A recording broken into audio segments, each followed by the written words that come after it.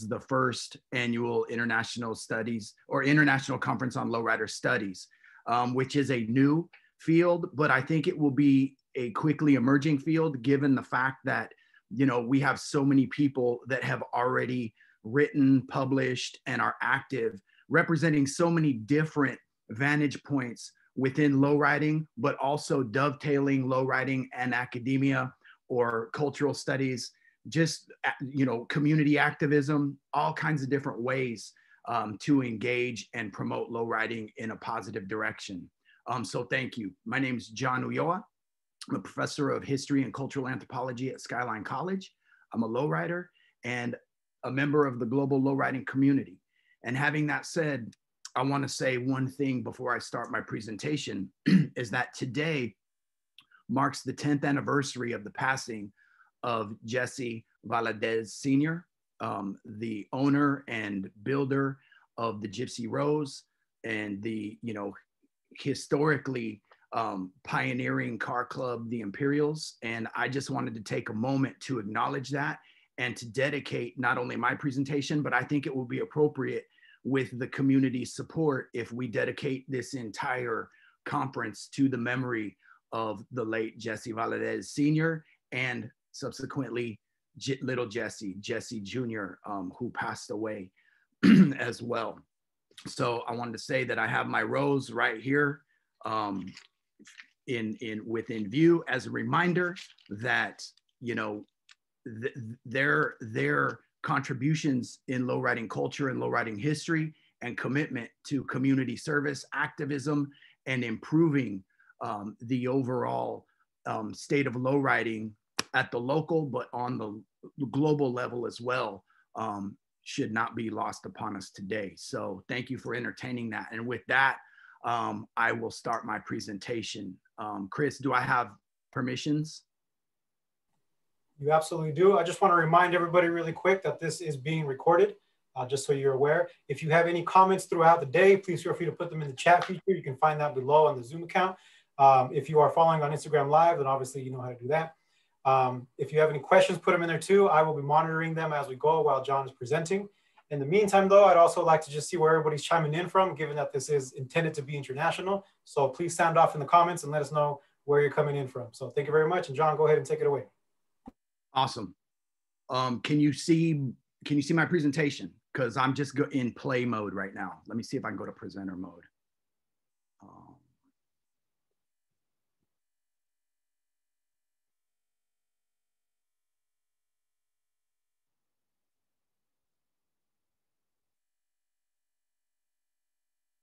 I'll just go play mode. Is that good? I still only see you, John.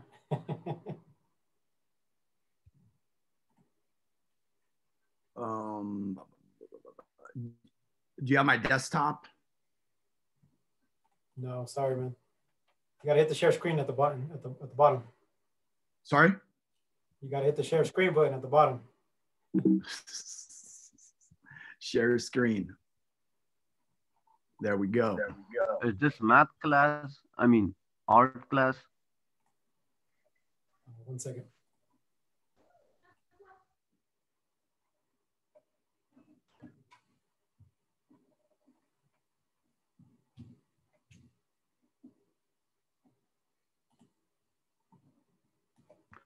Is this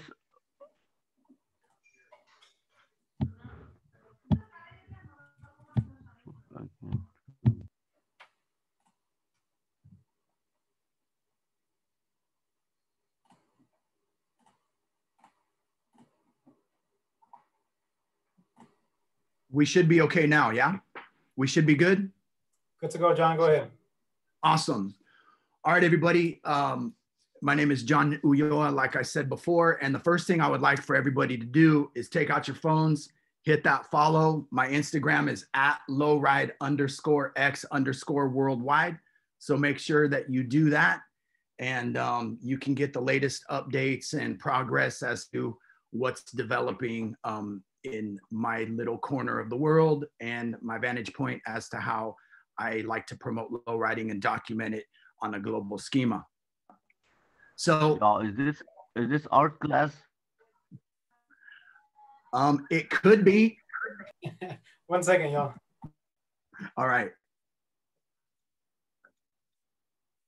Is this Miss Robinson's?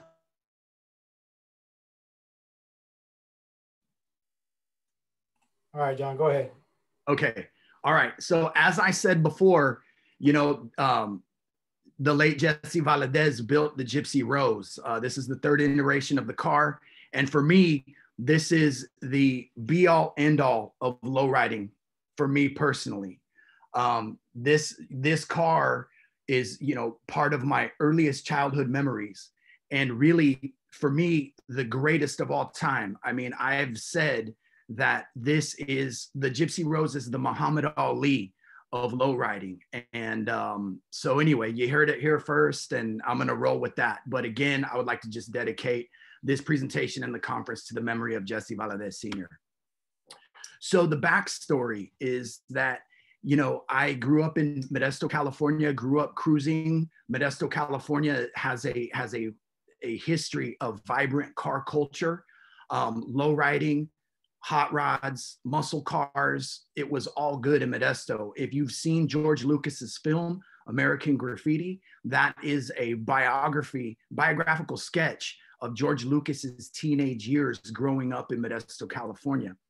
Um, and so the the the premise of this kind of where it begins ground zero if you will is that you know as a child growing up in modesto those were very formidable years and very influenced by um, by what i was seeing and experiencing in and around town on all sides of town and i'll get into a little bit a little bit of that later um, i grew up low riding i bought my first car at age 16 a 65 impala station wagon and I've subsequently owned six. I'm currently working on my sixth build, which is a 73 Buick Riviera.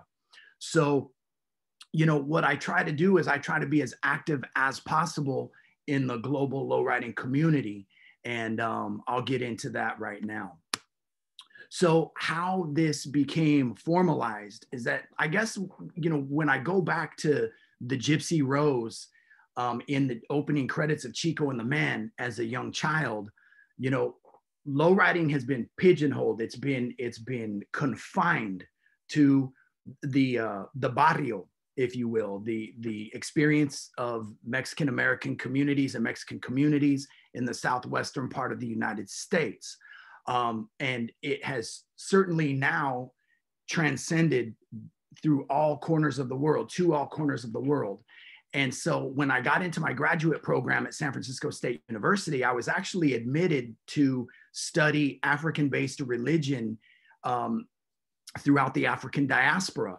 But I thought, you know what? I want to do something else. That's how I got in. And then I said, you know what? Whatever you teach me, I'm going to filter through the lens of low riding. And this is going back to like, you know, oh, between 04 and 07. And um, and so I started to basically just use low riding as my filtration system. Whatever they taught me, I processed through low riding. And they were skeptical at first. They said, you know, how is that g- gonna gonna work out? And I said, well, look, you know, they have, you know, they have an active low riding scene in Japan. And they were like, that's it, sold, boom, you had us at Japan. Um, so the the first PowerPoint that I did was called Bouncing Across Borders, Low Riding Globalization and Material Culture. And so this is ground zero for me. This is the the car on the top right is the first car that I hit switches on at probably between four to five years old. And Joe Lomelli, who I'm pictured with there, um, he and his brothers were heavily, heavily influential in my development um, as a lowrider. And then, as you can see, now bottom right is my current build which is a 73 buick riviera so things have literally come full full circle for me and um you know it's important to to note here that my come from is coming from active low riding rather than just it being a field of study so once I got out of grad school, I started my teaching career and shelved the shelved the research component. Um, I went to a photo exhibit. I got went to a photo exhibit put on by Dead End Magazine. And those guys, you know, the Espinosa brothers, Juan and Jesus, and now their nephew Diego, um, are really, you know, content builders, and and they really, really had the Japanese custom car culture scene really well locked down in terms of traveling and meeting people and vending at, at events and documenting. And so they've been really influential um, in, in me exploring Japan in particular, but kind of resurrecting my research. And so their show, um, Far East Style and Custom, was a photo exhibit dedicated to custom car culture in Japan. And you know, I thought, let's see what's out there, right? I told my wife, I, I want to really get back into this. I want to sink my teeth back into this, and I really want to do this. And so I started to like observe what was happening in the community, and then I started doing a literature review. And what I found was was that a lot of, and for those of you who don't know, a literature review is basically where you you research on the topic that you want to write about and you want to see what's there and what isn't there so you can kind of get in where you fit in in terms of your contribution to scholarship so i started looking at the research and i started looking at what was already published you know and of course the the the print media right? The magazines lowrider magazine street low magazine the old QVO magazines Orlie's low riding you know all of those of course. But then i started to get into the academic scholarship to see what was to see what was there. What i found you know not a critique just an observation is that you know all of all of the the writing about low riding had been highly highly localized right because the field work gets done in a community so it's really difficult to you know, and unless you have unlimited funding, is go traipsing around the world to be able to document. So I was like, mm, well, I knew going back to the Gypsy Rose intro credits on Chico and the Man, back then as a child, the thing was way bigger than I understood it or could articulate it as a kid. But when I saw the uh, you know the japanese lowriders come out in lowrider magazine in like 91 92 i said okay there's something here now. We need to really really explore this. So a lot of people want to argue about the origins of lowriding and i let people have that fight. Every culture has what i call a creation myth not what i call but what exists is a creation myth the, expl- the explanation for origins how we got here plenty of people want to fight about that my thing is that the milk is already spilled. Now I'm interested in where it's running. So the chips are all in with globalization of low riding. So my methodology is this. In other words, how do I go about informing what it is that I'm producing? And first and foremost, it's coming from what anthropologists call an emic perspective. The emic means from the insider's point of view. Okay. So the fact that I'm able to come into this from an emic standpoint, I ask different questions than somebody might ask that doesn't already know about the culture. It does pose a challenge sometimes because you know you have to check the bias, but the you know by their objectivity is a myth, right? Howard Zinn said you can't be neutral on a moving train okay? So by you know the processes are subject are subjective right? So by default i would argue that the findings are going to be subjective okay? So emic perspective through participant observation. The picture here is of me grinding out and refining a half inch twisted custom grill that i made for my latest build and i'm doing that right behind me on my workbench um, I welded that thing together and, you know, took a semester welding class in order to make my final project, which was my grill. So all through this, I'm still trying to up my car IQ, my knowledge from the car standpoint, as well as the theoretical standpoint as well. I also do what we call multi-sited research, very, very influenced by uh, Michel Laguerre, but particularly Bernard Wong. And Bernard Wong's work, um, The Chinese in Silicon Valley, is the culmination of 35 years of research documenting Chinese, the Chinese diaspora, the Chinese communities throughout the world outside of China. And so Bernard Wong's globalization seminar was kind of the birthplace um, for, for, my, for my work. So multi-sited research, okay? Born and raised in Modesto, my participant observation, my life experience happened there, here in the Bay Area. I've had the opportunity to document in Japan, in both Nagoya and Tokyo, uh, Brazil, Sao Paulo, Brazil, Miami, um, Cartagena, Colombia, car culture in Havana, Cuba, and throughout Cuba. Um, so we take these multi sites and then we put them all together. In other words, it's not so hyper localized. It's kind of you know looking at you know the common threads through how these cultural diffusional flows work and function. Okay, but then again, I'm self funded. I don't have any grant funding. I don't have any money. So what do I do?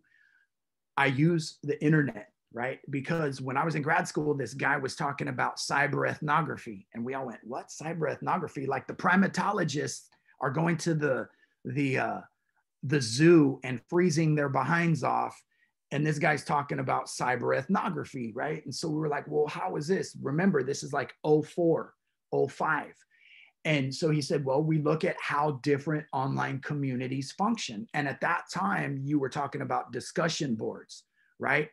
You know, MySpace hadn't even happened yet, right? Let alone Facebook and now Instagram.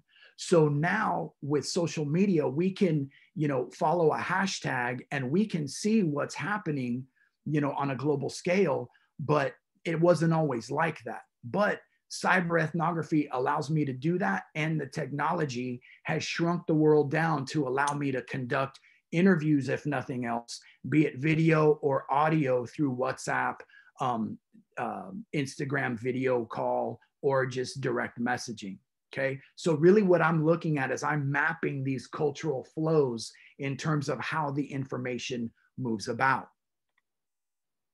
So let's talk about culture and cultural diffusion for a moment when we think about culture and what a hugely broad and loaded term that is, right?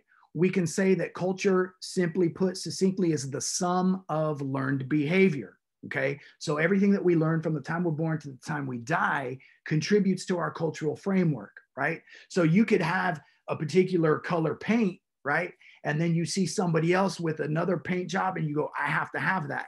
That experience is reshuffling your cultural deck and reformulating your understanding of how this all works, right? And building and adding to your toolkit. So, the question that I have really um, been forced to answer in these kinds of talks, but just in conversations casually, is how did it happen? How is it that we get from you know the confines of the barrio experience to a global and worldwide phenomenon Okay.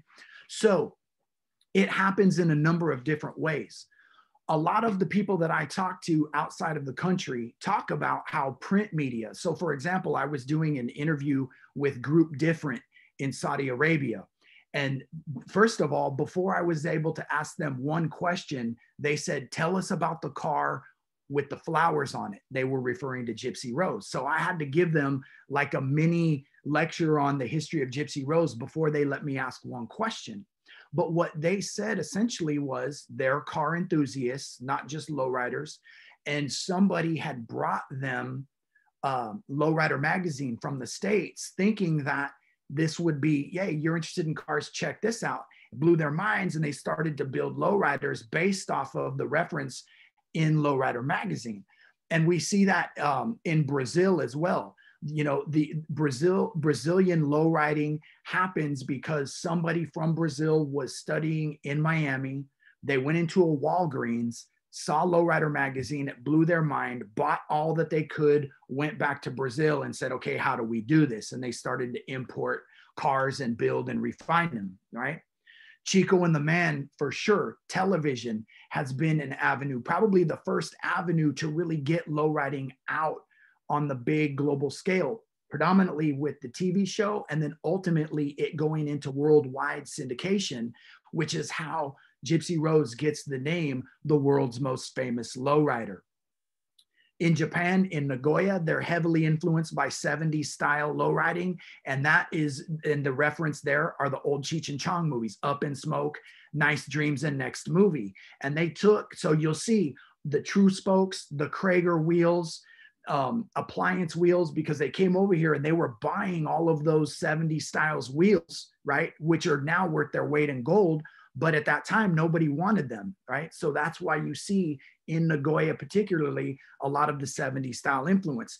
The car there is actually called next movie 62 that's hk the owner who is now a member of at that time um, I forgot what club he was he was a member of then, but now he's a member of Genocide Car Club based out of Los Angeles. So he flies a plaque that says Los Angeles on it in Nagoya, Japan. Okay. But really, really, where we see the explosion of low riding on a and to a global audience for you know um, adopting the lifestyle or appropriating it if you will to some degree is with gangster rap videos you know the easy e rolling in my six four you know um or ro- cruising down the street in my six four sorry um rolling in my six four with snoop dogg right so all the dr dre the chronic and then the Warren G, G Funk, all of that LA stuff just exploding throughout the world ended up being how people used that as reference for low riding. Okay. Of course, social media happens, right? Facebook, Instagram, the HAMB, Jalopy Journal, you know, these dis- early discussion boards, and ultimately, you know, these communities now have people reaching out and you know finding club membership. For example socios car club began in tijuana mexico okay? The second chapter sacramento california. Third chapter australia and now they're in japan. And i want to say they're in they have one other chapter that's escaping me right so they've been actually to move around from tijuana here to sacramento by a move right but then from there through social media and the mushrooming effect online. Okay. And then ultimately, human travel, human movement in terms of travel and military. If you go back in the early issues of Low Magazine, late 70s, early 80s, okay, what you will see is you will see letters to the editor from military personnel. Or there's, I just came across one from a guy from Great Britain that was like, Hey, I came across your magazine here in England. There is no low riding, but how do I do it? Okay. So, you know, the the the trip to Japan back in 2015, I believe it was now, 16, was a formidable experience. Those are actually my feet cruising in a car that show quality, uh, 75 Monte Carlo, I want to say with and we were able to cruise but before i could get in i had to take off my shoes. So when your parent your mom always told you make sure you have clean socks i think this is what she meant.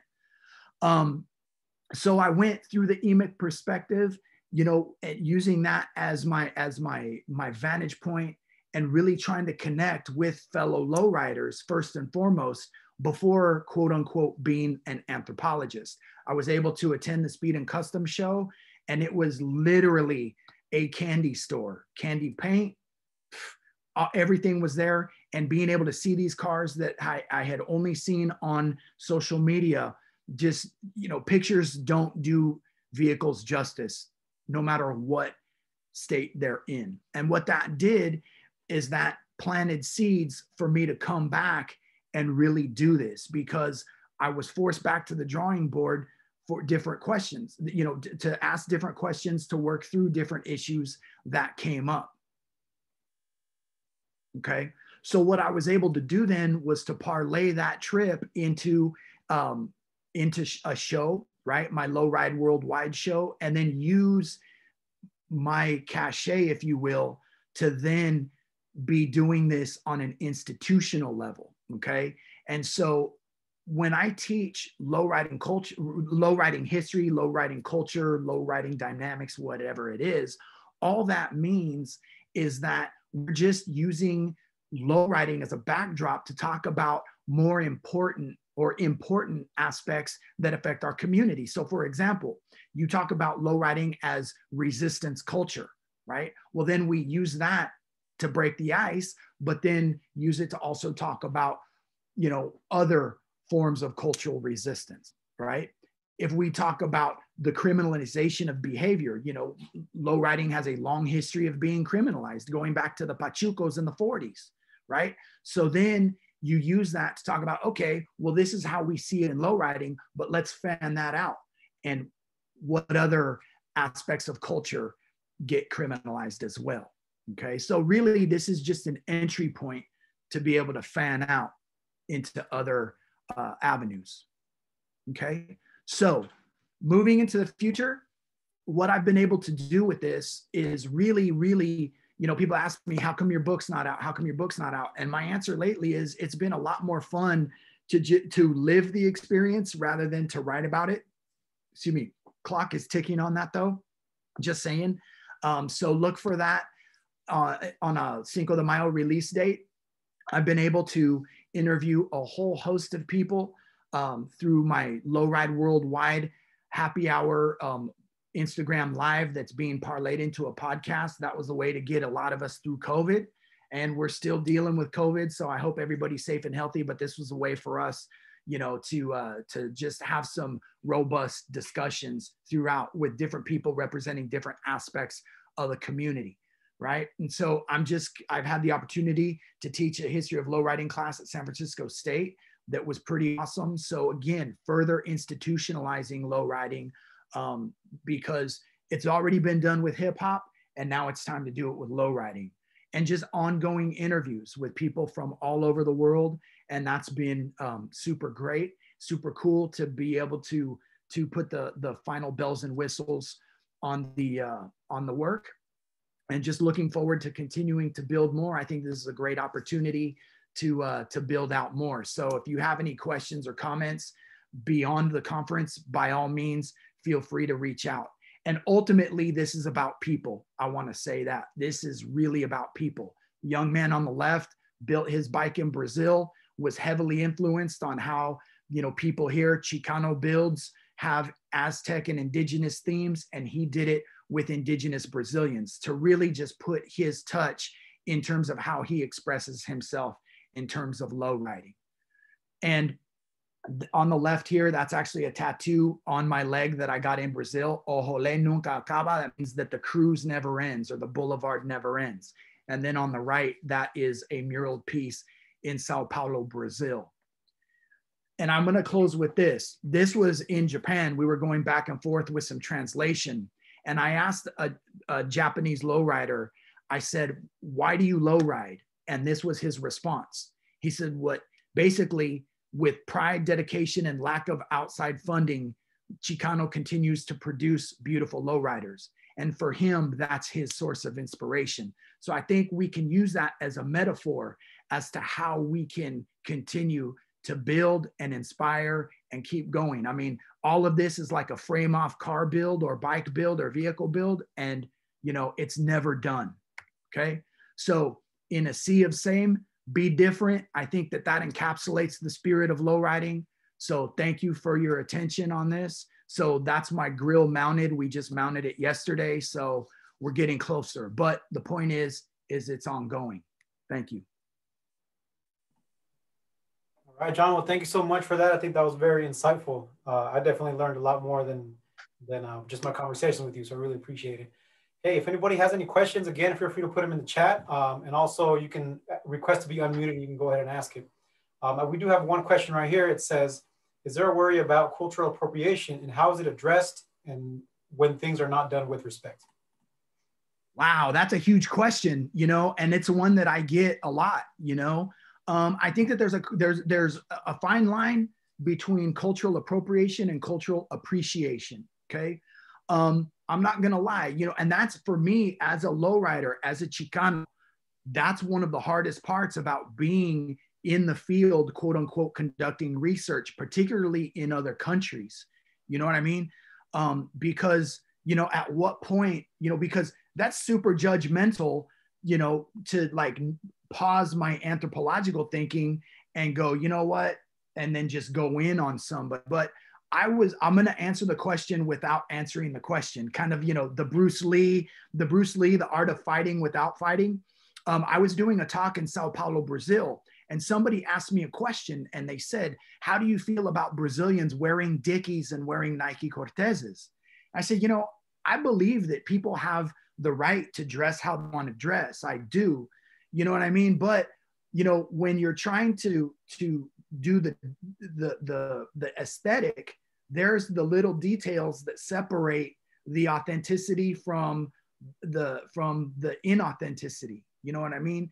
And so you know, what I said was, okay, tomorrow we're going to have the event. How would it be if I wore a Brazilian Jiu Jitsu gi with a black belt walking around the lowrider event in Brazil going favela, favela, favela, favela. And they everybody started laughing. And I said, You're laughing because that's a ridiculous notion. And you have to understand that for you know myself at times a lot of people in the united states that are watching the cultural appropriation that that same sentiment you know or more intense is felt because you know people are saying you know because you know people are being very protective of their culture right so it's hard you know to see when somebody is appropriating but then again it's like you know at what point do you make that judgment call to identify it and say that person's appropriating versus hey this person has a lot of love and respect and dedication to this stuff. So i don't know if that answers the question but that's my answer. So appreciate that uh, yeah. we are at time for your presentation but quickly if you want to just say there's one more question here for you uh, maybe yeah. you can mention really quick one thing what is something that you want outsiders to understand about lowrider culture what I want somebody to under, what I want anybody to, to understand is that, you know, everything that I do, I'm coming from the mindset of does this positively promote writing? Is this good for low riding culture? Right. Just in terms of my own personal come from and perspective. And I think what, you know, the, the media and particularly movies you know that have have, have reinforced negative stereotypes about lowriders right and you pick be it you know doughboy in Boyz n the Hood be queen latifah in set it off be it in you know the more recent movie lowriders boulevard chuco and boulevard nights whatever right there's this presentation of a criminal element. Now not all lowriders are up for sainthood but what i would say and what i want people to to know and to understand is that there are a lot of people doing a lot of positive things with low riding as well. You know in terms of community activism food drives coat drives charity work right? Um you know giving back to youth you know building youth up to be the next generation you know to carry the torch um, for people who are starting to age you know i think that's what i would say i would say that you know i would want people to know that we are not all criminals and there's a lot of people doing a lot of good work here. So that's my answer. Thank you. Great question. Awesome. Once again, John, Profe, thank you so much for, for those words. Um, and hopefully everybody learned a lot. I know I did for sure. So we're going to keep this going. we have this conference all day long. For those of you who are just joining us or just came in during this presentation, welcome. Uh, please let us know in the chat where you're chiming in from. We really want to hear that you're from all over the world. And we've already had at least three countries represented here. So that's what's up. Um, you are tuning in to the Save the Kids Lowrider International Lowrider Studies Conference, the first ever. Hopefully, it's going to grow, get bigger and better. Of course, due to the pandemic, we are sticking to a virtual format. And as you can see, we're kind of figuring this out as we go, but I think we're, we're doing a great job so far. But eventually, we want this to grow into something real, something big, where we're in person and we can go all over the nation and all over the globe. You know, uh, we want to expand it into low riding so many different aspects, right? Not just the scholarly and academic aspect, but the street culture. We want to do a car show. We want to do, you know, contest, the whole, the whole nine, right? Everything related to what it is that, that we represent here today.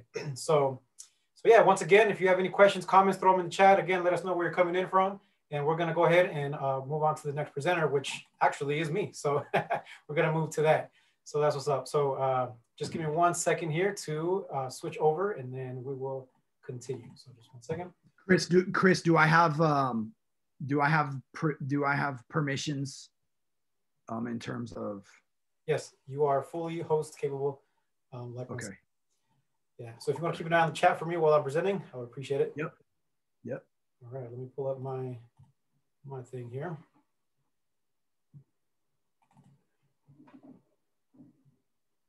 So it's taking one second. I'm not sure what's going on.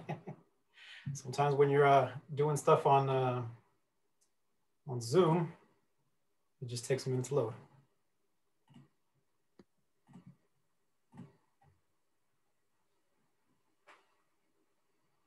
Okay, still, there it is. Okay, finally. all right, so you all in just a moment should be able to see my screen here.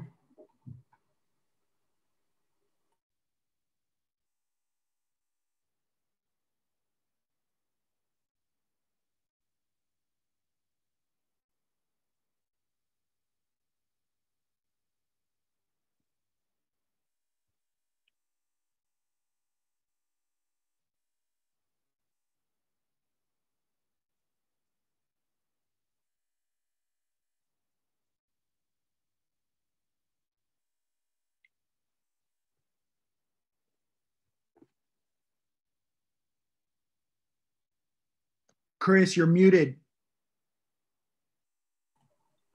I didn't do that. there we go. We got te technological issues resolved here. Moving on. so my presentation is called Cruising Towards a Lowrider Education. And my entire research has been how we connect this culture, this phenomenon back into the classroom, you know, without having to do research about it and pulling it out, without having to like wash it down, without having to change it up, but just saying, how do we view it from like uh, John Ulloa said, right? The low riding lens. And I'll talk a little bit about what that means. But real quick, once again, my name is Xris Macias. Uh, currently, I work for the University of Utah as a director of a Dream Center. The Dream Center, uh, we work with undocumented students, uh, people of mixed status, whatnot, to make sure they access college and make sure they navigate college and have all the access that everyone else deserves and, and, and that they, they, should have, right? Uh, and so it's a little interesting because people say, how does this have to do with your research? But honestly, when I talk about different cultures and different phenomena, this is one way that I can relate to that, um, to that idea of not belonging somewhere to that idea of saying maybe this is my country, maybe it is not, right? I like to say ni de aquí, ni de allá is where I identify being from, you know? And a lot of times for the folks that I work with, that's a very same philosophy, not from here, not from there. So where does it actually fit? So we'll talk about that. so the main idea here is that alternative forms of education, I believe need to be validated outside of a classroom. Right now, the classroom is work, it works on what's called the banking model, which is there's an authority figure, they have the certification, they have the training, and they're the ones in a formal classroom saying, I'm going to teach you everything that I know or everything that's been approved by some curriculum or by some board of education, right? And that seems to be working in terms of getting us testing and moving on to the next phase. But what are we actually learning and what are we at, and how are we actually seeing ourselves in that curriculum? And the fact is that for people who identify as lowriders or Chicano, Mexican American, Latino, Hispanic, whatever you want to call yourself within that of the creators of lowriders, we just have not seen ourselves in the curriculum. We're just, we're just not present, right? So the idea again is let's validate something outside of the classroom that is a well-rounded educational model. And for me, that's lowriders. You know, when I grew up, um, I've always seen them. The first time I saw somebody hit switches and just come like an inch off the ground, because back in the day they weren't quite as radical as they are today, right? Um, I was amazed and I fell in love and I said, that's that's what I want to do someday. I'm gonna get my own car and I'm gonna do that. You know, growing up, my family had a, a Delta 88 we, uh, there's a Chevy Nova in the family. Uh, we've had so many different vehicles throughout, but none of them were really that full low rider, right? They were kind of stock. Some of them had a little bit of customization, but not like that. And I always added and wanted to do more and more and more. You know, today I'm driving a 1967 Chevy Impala, uh, currently parked in the garage because it's like 30 degrees outside and, you know, it doesn't do too well in the cold. But otherwise, I mean, I love being out there, right? Whenever I take my car out, I actually like to call it research. So my wife makes fun of me because I'll be like, hey, I'm gonna go do some research because it's part of what I do, connecting it back to the classroom, which means I'm going out for a drive, I'm going out for a cruise, you know. So my points are low riding does provide a well-rounded educational foundation. It does provide a means of resistance for a community that has been marginalized, a community that's been discriminated, right? And that's historical. We'll talk about that too. Low riding provides a tool for cultural preservation. You know, when you are, again, not seen in the classroom, when you're constantly told that you don't belong, when you're constantly told that your language isn't right, when you when you just feel like ni de aquí, ni de allá, like I said, not from here, not from there, then you find a way to resist that. You find a way to be resilient. And again, lowriders is one way that we do that in our communities and, and uh, preservation, of course. It's also a tool for solidarity.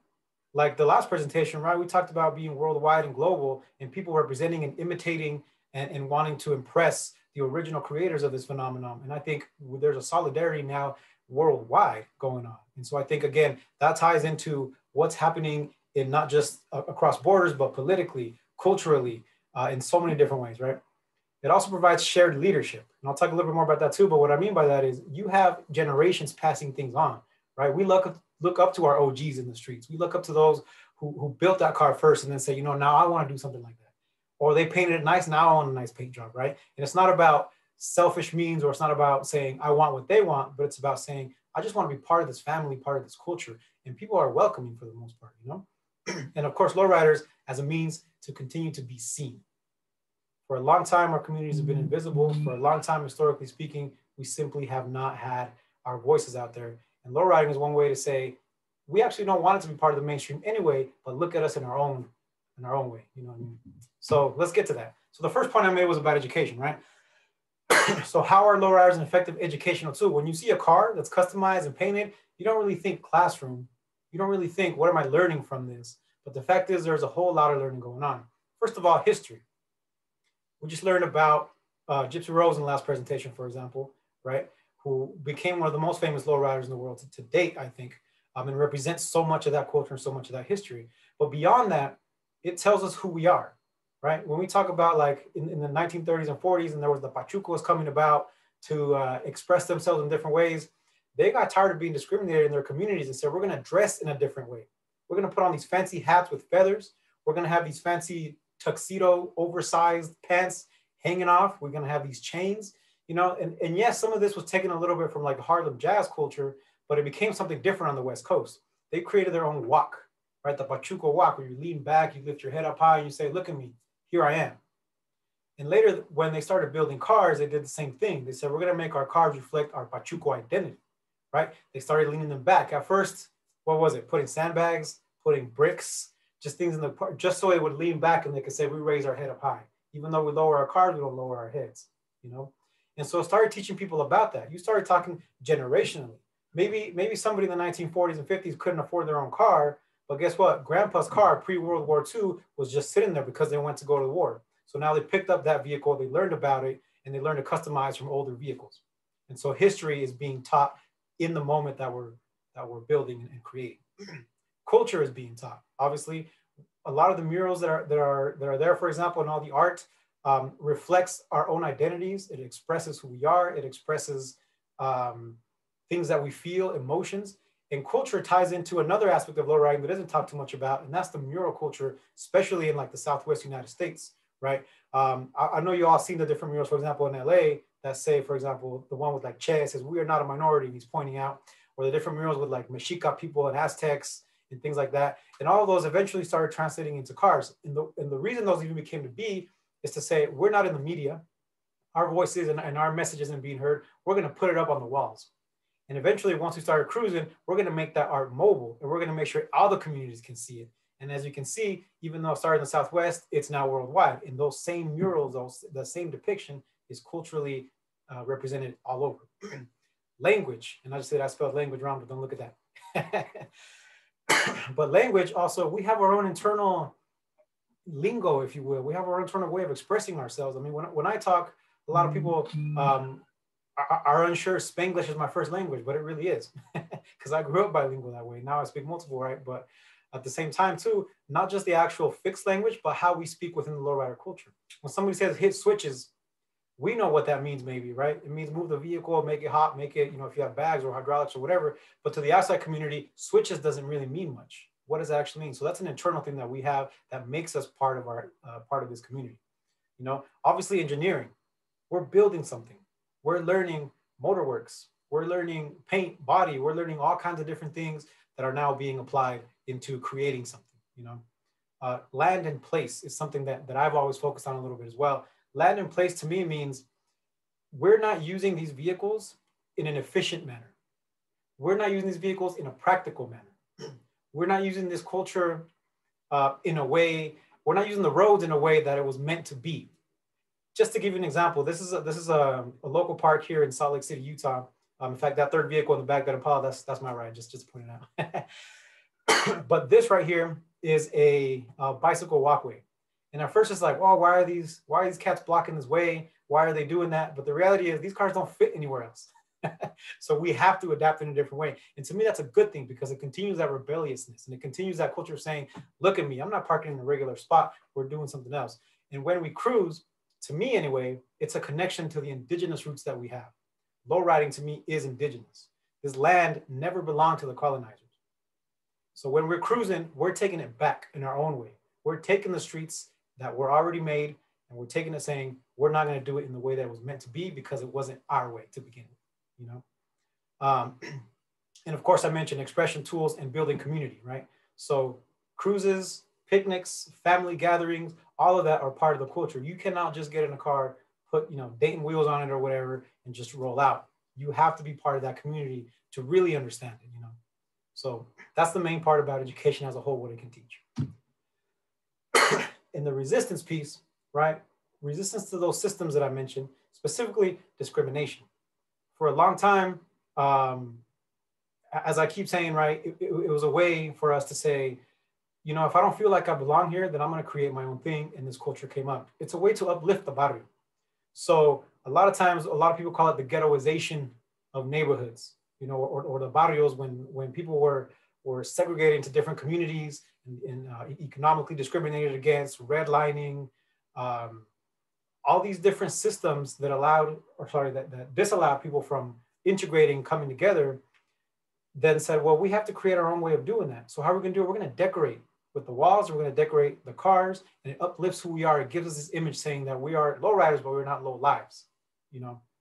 Again, it's anti-mainstream, mainstream, anti the banking model. So what I mean by that is, again, when one person has the authority teaching the other, but to de-school, because now we don't have authority. Now we have a whole community coming together now we have people acknowledging that we all have different talents, right? We have your artists, your pinstripers, you have your, your engineers, your, your, your uh, people working on the engines themselves. You have those who are hydraulic experts. You have those who are artists. You have those who are the historians. Everybody contributes something to the culture. And it de-schools this whole philosophy that only one person has the authority or one person has the knowledge, right? So it breaks it down a lot. There's something else that I like to call in Spanish or in Portuguese, malicia.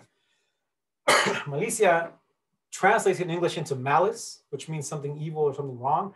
But in Spanish and Portuguese, malice is actually a deceptive way of resistance, a way of surviving, right? So when we say malicia, we say, I'm gonna look at you with a smile, but I may have a different intent and not necessarily an intent to hurt you, but an intent saying you don't know who I really am or what I represent, and that's okay. And that's part of the reason why a culture has gone worldwide and is not being changed, right? They still dress like Chicano culture, they still wear the shoes, like uh, the professor was saying in our last presentation.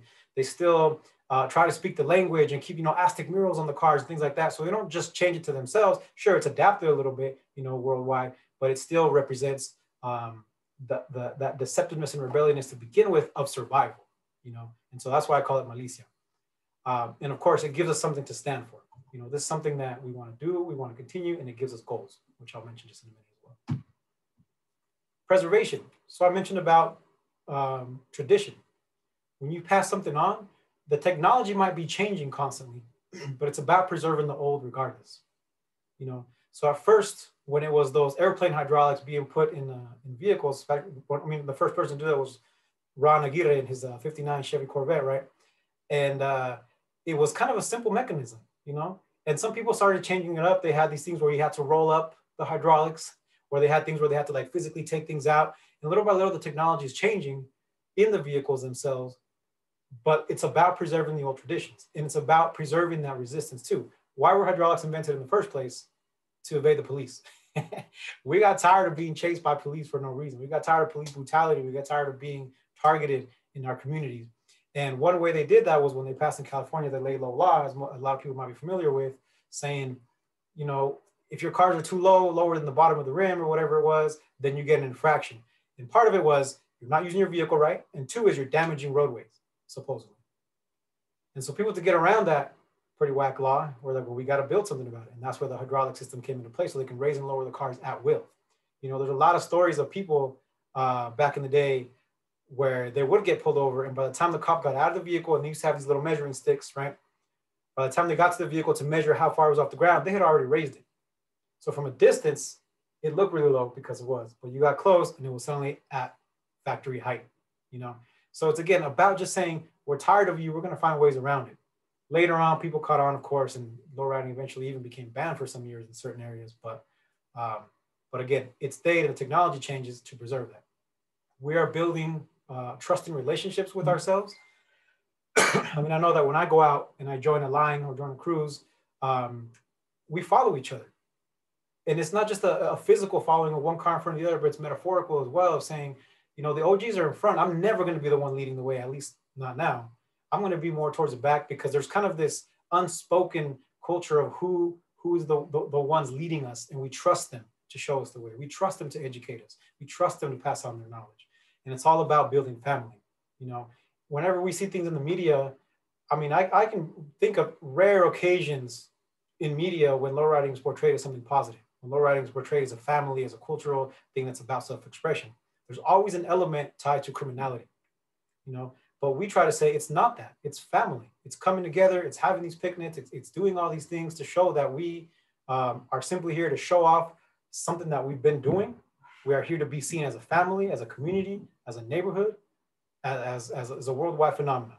You know, um, I, I, was actually just having a conversation the other day. It's a little off, off, off script now, but uh, we're talking about what movies do show low riding in a positive positive way, right? And like I had a hard time thinking about it.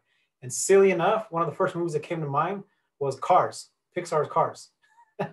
there's, there's a lowrider in there, and I'm like, it's a little stereotypical, but it's not a criminal. It's a guy who lives in a neighborhood who has a who has a, a, a girlfriend, I guess, and it was kind of interesting just the way that worked. You know, another one I thought about was Napoleon Dynamite. there's a scene in there where like he gets picked up, and you know, car starts hitting switches, and they go off, and it's just like it has nothing to do with anything else except for that's his ride to the school or whatever. You know, but rarely does that actually happen. I'm not saying these are great depictions, don't get me wrong. I'm just saying these are smaller attempts at non-criminalization of low riders. But anyway, that's a whole nother conversation that we can have about media and representation and whatnot. So off topic, like I said. of course, we're talking about solidarity, right? These are now cultural icons. When we talked about Gypsy Rose in our last presentation, Gypsy Rose was in a glass case in Washington, D.C which is the complete opposite of the original goals of this, saying we want to resist these systems. But at the same time, it's also, did we just make it to the very top saying we are now part of essentially a museum, right? The Smithsonian or wherever, put it on there. And it was displayed for, for quite some time, right in front of the Capitol building. So when you have those people who originally were against our existence and were against our culture in general, and now they're being displayed up there, that was such a huge turning point in lowrider history. You know, it's becoming these icons that we that we we can respect and appreciate. As we mentioned, it's worldwide. Since there was a whole presentation on that, um, I'm not going to get too much into that, of course. It gives us pride. Obviously, we have goals. when I, when my car, I mean, it's still being built, but I have a goal and I have a future with it for, for not only for the vehicle itself and my relationship to it, but for my own kids. I want them to be a part of that. They know that there's something at the end of the of the journey here that's going to come out cool. It's going to come out that they like. That's going to represent everything that I just mentioned in them, right? I already mentioned land acknowledgement a little bit of how it's something that we use to, to reconnect to our roots. So let me, let me go off a little bit on that a little bit more too. One of the ways that we teach history and one of the ways that we recognize our, our past stories is through time, right? Through the, through the, the, the, the colonization period, you know, when this country was, was founded as, as a political country, time in European and Western structure is linear. It's something that one thing happens, another cause and effect, cause and effect. But our ancestors here, native people in this very mm-hmm. land, all the way to the Maya, to the Mexica, uh, through South America, had a different concept of time, right? They said time isn't something that's just cause and effect. It's something that we are a part of. Space and time are connected to who we are. This land is connected to our time. We represent it all at once. If anybody's ever heard of the concept of unapku, and I probably should have put it here, but unapku means something is intersectional things are things have more than just duality. It's more than just night and day. It's more than just good and evil. It's more than just uh, male and female, for example. There's a lot more to it. And so when we when we look at time and space in that way, we are now connecting to to our indigenous roots and trying to understand what that really means. I know it's a little difficult to, to grasp because we're taught in these Western, uh, you know, European style schooling systems. But to me, what that says is, of course, the people who to lowriders are going to be the ones driving slow of course we're the ones who are going to be taking our time building things and, and going low and slow the whole time because we're not tied to this concept of time. Intergenerationally, we still keep this indigenous identity with us to show us how to do that. So while everybody's going fast, we're over here taking our time, if that makes sense. I'd love to do a whole presentation just on that concept, but again, that's a whole nother thing, right? And the passing down of stories. I love it when I see a mural and say, tell me why you put this mural on your car.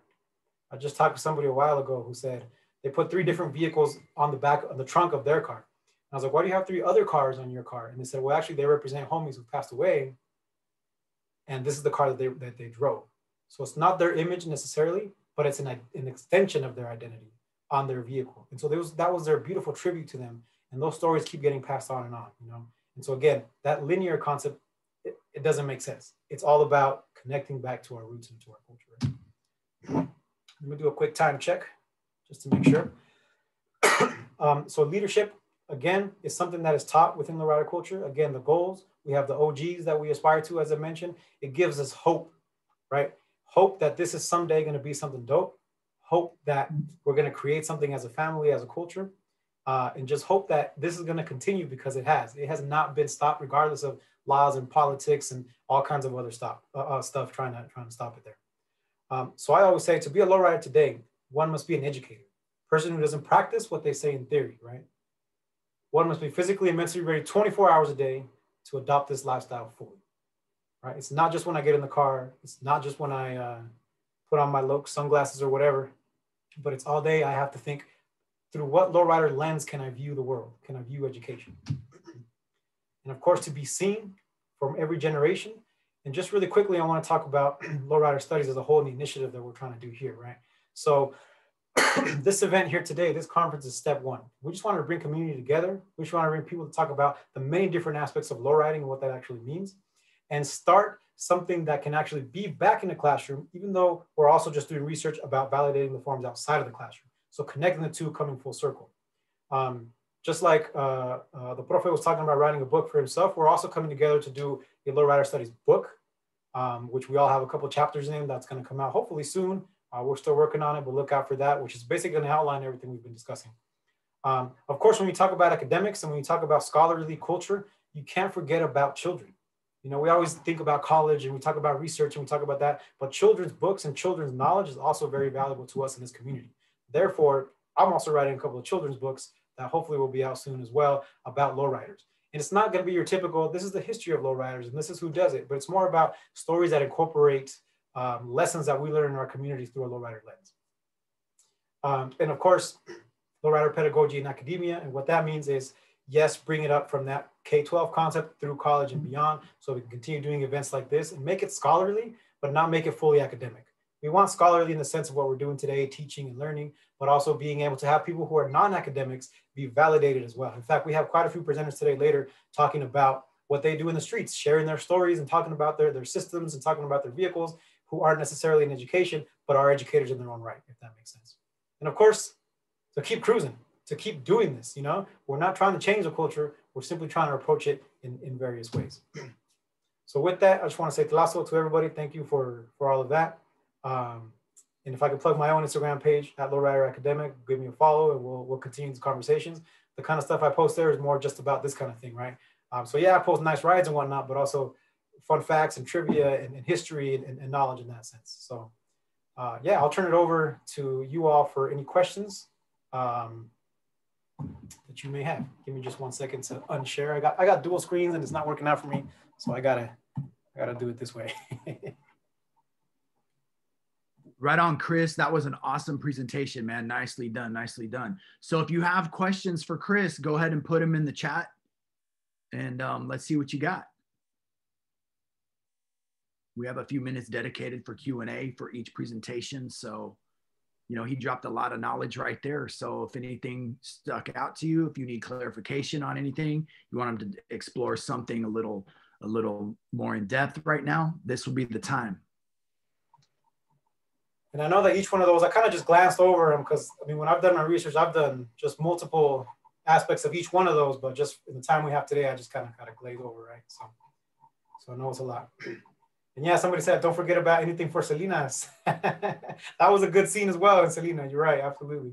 Thank you for bringing. You know, I had that same I had that same question about you know what what uh, what movies positively depict low riding. I put in the chat. McFarland USA yeah. was, was pretty much the only one that I could think of.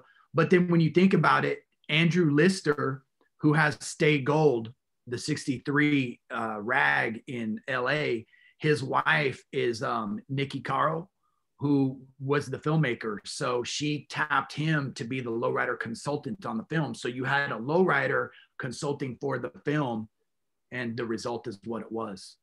For sure, for sure. Yeah.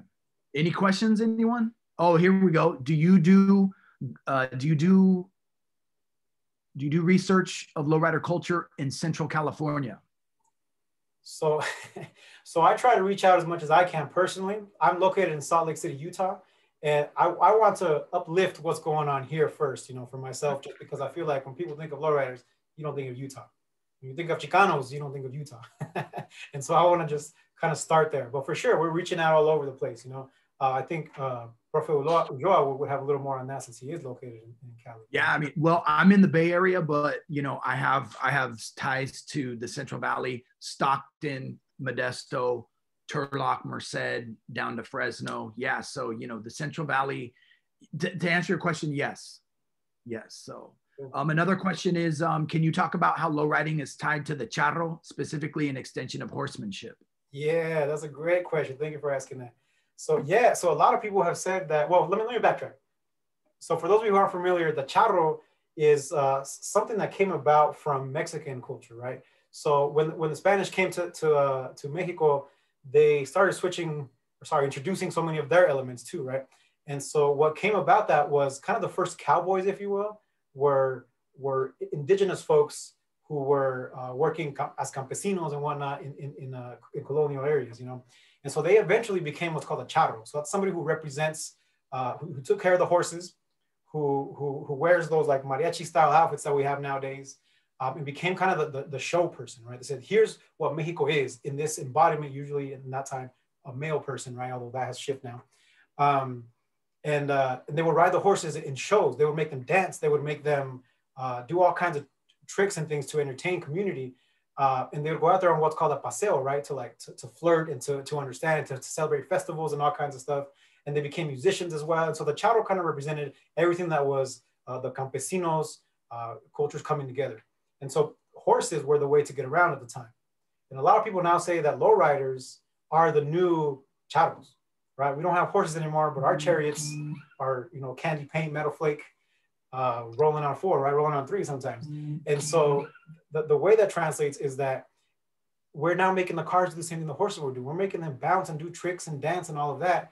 Um, and we still like to dress up when we do. I mean, I, like I, it's not like I wear a fancy dress or fancy clothes every time I go on a cruise, but I like to show that when I ride my car, I show respect because it represents more than just a vehicle, you know? And so it's kind of that same thing of saying, if, if I'm if I was a campesino back in the day, I, I could have been a charro. And nowadays, I'm I'm a, I'm an educator. I'm a blue collar worker who goes out and builds something and is the new new uh, representation of a charro. I mean, there's a lot more to it, but that's that's a really good way of, of tying that in together. Thank you for bringing that up. And um, I put in the chat, James Di- James Diego Vigil wrote about that. Car Charros is the name of the, the article. Any other questions for Chris?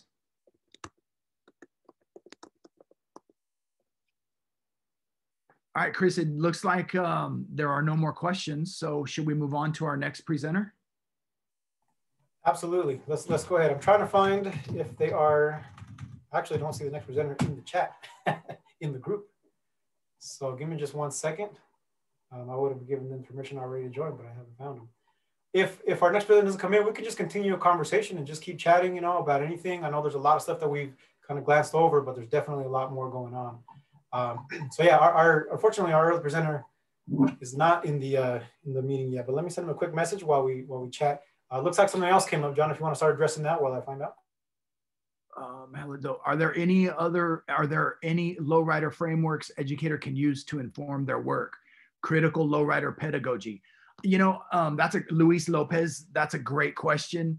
Um, you know, all of this is really new. You know, um, and so, for example, you know, I mean, I think that that would be a great great avenue to explore. I mean, basically, what I've done in my own work in teaching the class at San Francisco State is I took um, critical race theory and um, critical pedagogy, and then I just basically filtered that through low riding, and the end result was the course. But basically, thinking about you know social, a social justice framework and ethnic studies framework, um, you know, race, class, um, and and gender um, components to it all. So yeah, that's a great question. Again, this is this is this field is in its infancy, so there's there's only a buildup um, to come. So that's a great question. Yeah, CRT. And I would, yeah. I mean, uh, as we've talked a little bit about that, there's already critical hip hop pedagogy, for example, right? where they take elements of hip hop and they say, what does that actually mean? Um, it's not just about the music itself, but it's about the cultural phenomenon.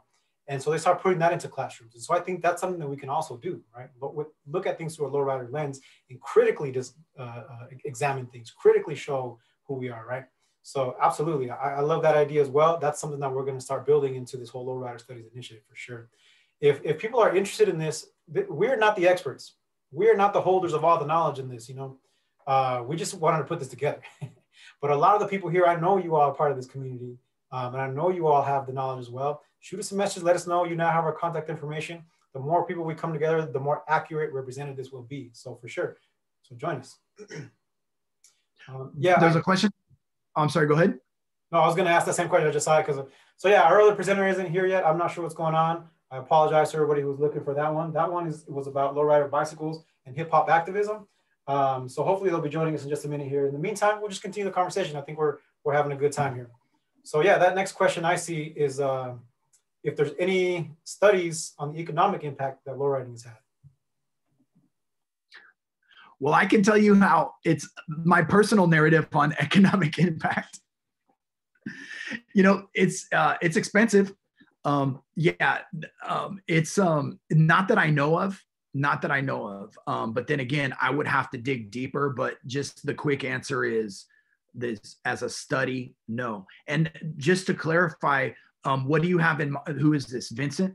What do you have in mind in terms of economic, like on the personal economics, you know, on industry economics, on consumption? Like what what do you think?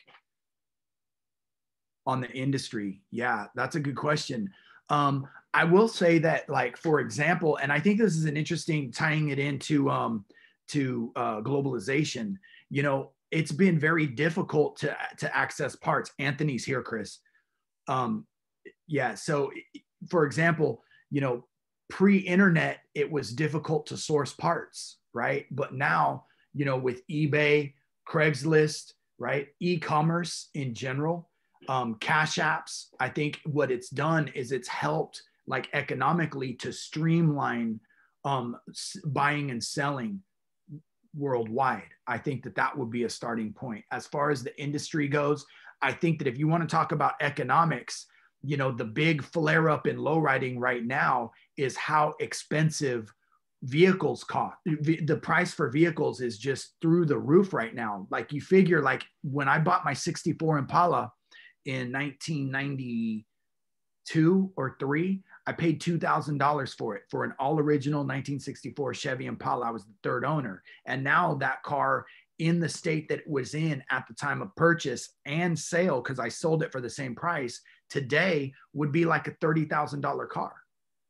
You know, so that, you know, I think it also calls into question accessibility, right? Accessibility in terms of, you know, who who has access to this, who can afford to low ride, who can't, you know for sure. Those are great points.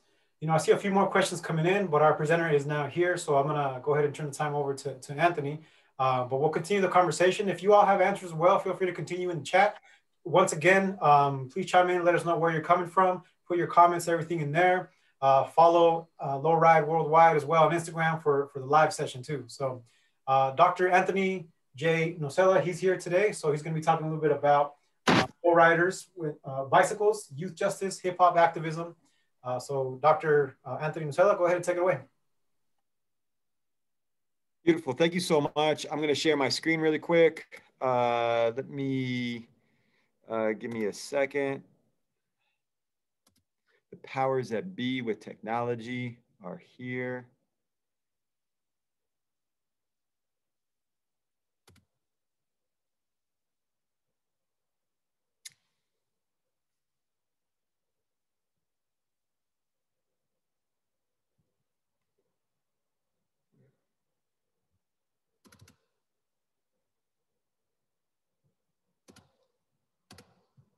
All right. Let's share.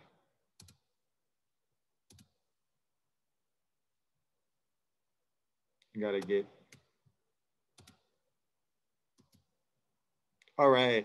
Um, Chris, can you see my PowerPoint? Yes, you are good to go. Okay, great. Um, so then what I will uh, do is just kind of take you through Save the Kids Work, um, an organization founded in 2009 by youth um, for Black youth in uh, juvenile detention center in New York. And, uh, and I'm going to talk to you a little bit about myself um, and locate myself uh, and my story and my experience with you as I, I, speak. From first to 12th grade, I was in segregated schools um, for kids with severe disabilities and, you know, crack my head open a lot of times, have stitches, um, then graduated from a, a, school, a very private, uh, segregated school that um, for kids with severe disabilities. And, uh, and I was the first person to get a PhD and a master's degree from that school. A lot of them um, are doing amazing work now, um, but we need to have schools um, and communities and families that support us, right? So, and I think that's what uh, lowrider culture is all about: is supporting each other, um, no matter where we are in our journey, right? So, uh, Save the Kids is uh, what do we do? We serve youth. Um, uh, we're fully volunteer, a national organization um, uh, made up of a lot of families and friends and uh, parents, specifically mothers of incarcerated youth and formerly incarcerated people. Uh, we focus on alternatives to incarceration. Uh, and so we don't see a colonial white settler uh, system as the answer. And so, meaning, i.e., the punitive justice system uh, that we adopt in the US criminal justice system. And we embrace uh, food justice, hip hop activism, lowriders, and punk as which are hip hop, lowriders, and punk are the most uh, criminalized and demonized and segregated youth cultures uh, in, in modern US uh, human history. And so we want to flip the script and say that these are the answers to a lot of oppression, uh, a lot of marginalization, a lot of violence, a lot of incarceration. So uh, that's kind of what I kind of spoke about already. Uh, we serve um, for groups, youth of color, youth with disabilities. We work with them. We put on hip hop shows. We put on mass rallies uh, nationally in Miami, Minneapolis, um, uh, Syracuse, uh, Los Angeles, the Bay Area, et cetera. And we put on poetry slams and poetry writing within incarcerated locations, um, as well as um, we have served nine, uh, shared 900 pounds of food in Seattle for free. We manage, uh, co-manage uh, with a number of other amazing uh, groups um, uh, that David Michael heads up uh, in Miami. a nine to 10 acre urban garden, which talks about how to prepare food, how to grow food, and then um, working with ciphers and hip hop uh, performances as well on that nine to 10 acre uh, plot of land. So uh, we're doing a lot of work on building communities um, and decolonizing communities and spaces. So that is some of the work that we do. Uh, so why do we need to uh, um, end prisons? Well, uh, the uh, the concept is corrections, and they're not correcting anybody because recidivism, meaning the in and out of people going in and out of jails and prisons, are not working. Right. So the idea is we need to create another system. About seventy percent or more, eighty to percent of state prisons, mi- minimum, maximum, uh, supermax, and medium uh, prisons do not work. Um, in the 90s, Bill Clinton took out a lot of programs as well as the Pell Grants um, and the bachelor's degrees and the master's degrees out of prisons. And so it, it, it provided a lot of conversation um, of what can we do when people get out of, of jail not re uh, re-enter but reintegrate we want to be there with open arms with a lot of programs and support right so uh, one of the biggest uh, open arms and communities that is there is of course uh, uh, the lowrider community. So we'll be kind of talking about that. Um, and of course, once the uh, the the system, the, the criminal justice system has uh, you know, uh, brown and black bodies, they don't necessarily let them go. And of course, we can kind of talk about the 13th Amendment, which is the uh, right, hap- right happened after the Civil War in 1865, signed into law saying that we do not allow uh, um, slavery um, on a social level, but we do allow it on a criminal level and an institutional level, right? So everybody in prison um, is a slave under the 13th Amendment. It says uh, we allow we don't allow uh, slavery except if somebody is duly convicted of a crime, meaning anybody in prison is duly convicted of a crime. So we don't have 2.5 million people in prison um, that are prisoners. We have 2.5 million people that are in prison that are slaves, um, and thus how we get Victoria's Secret, JanSport, Verizon, uh, um, AT&T.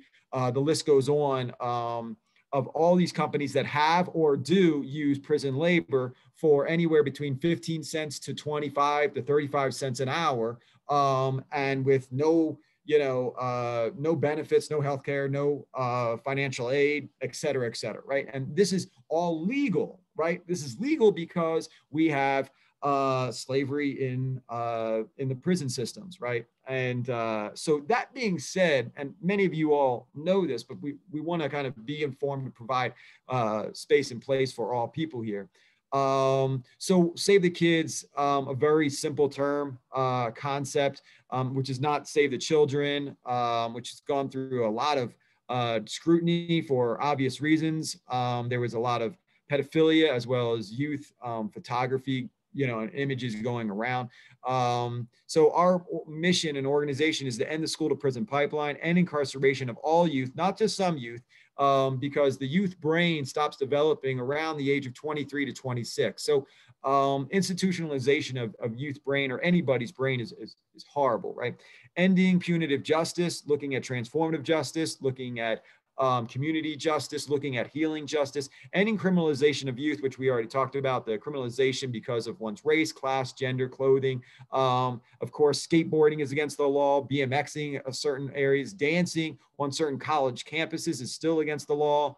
Um, certain music, which Tipper Gore, um, Al Gore's wife was trying to ban um, hip hop, and she put in that whole label of uh, parent guidance, and you had to buy uh, NWA and Public Enemy and KRS-One, et cetera, at 18 or above. Um, ending in the policing of youth, right? Surveilling, stopping frisk, curfews, uh, um, uh, truancy laws. Uh, if you don't go to school, um, because maybe your teacher is racist or the kids around you are homophobic or racist or classist, et cetera. Um, and that's a great thing, right? Like you're avoiding oppressive behaviors as oppressive language and oppressive spaces, um, you get arrested for that, which is truancy, right? So we need to challenge these things, and we need to provide lowrider communities the the ammunition and, and power and knowledge to challenge these uh, spaces and places, um, and uh, embrace uh, youth um, uh, and, engage and challenge the juvenile detention centers.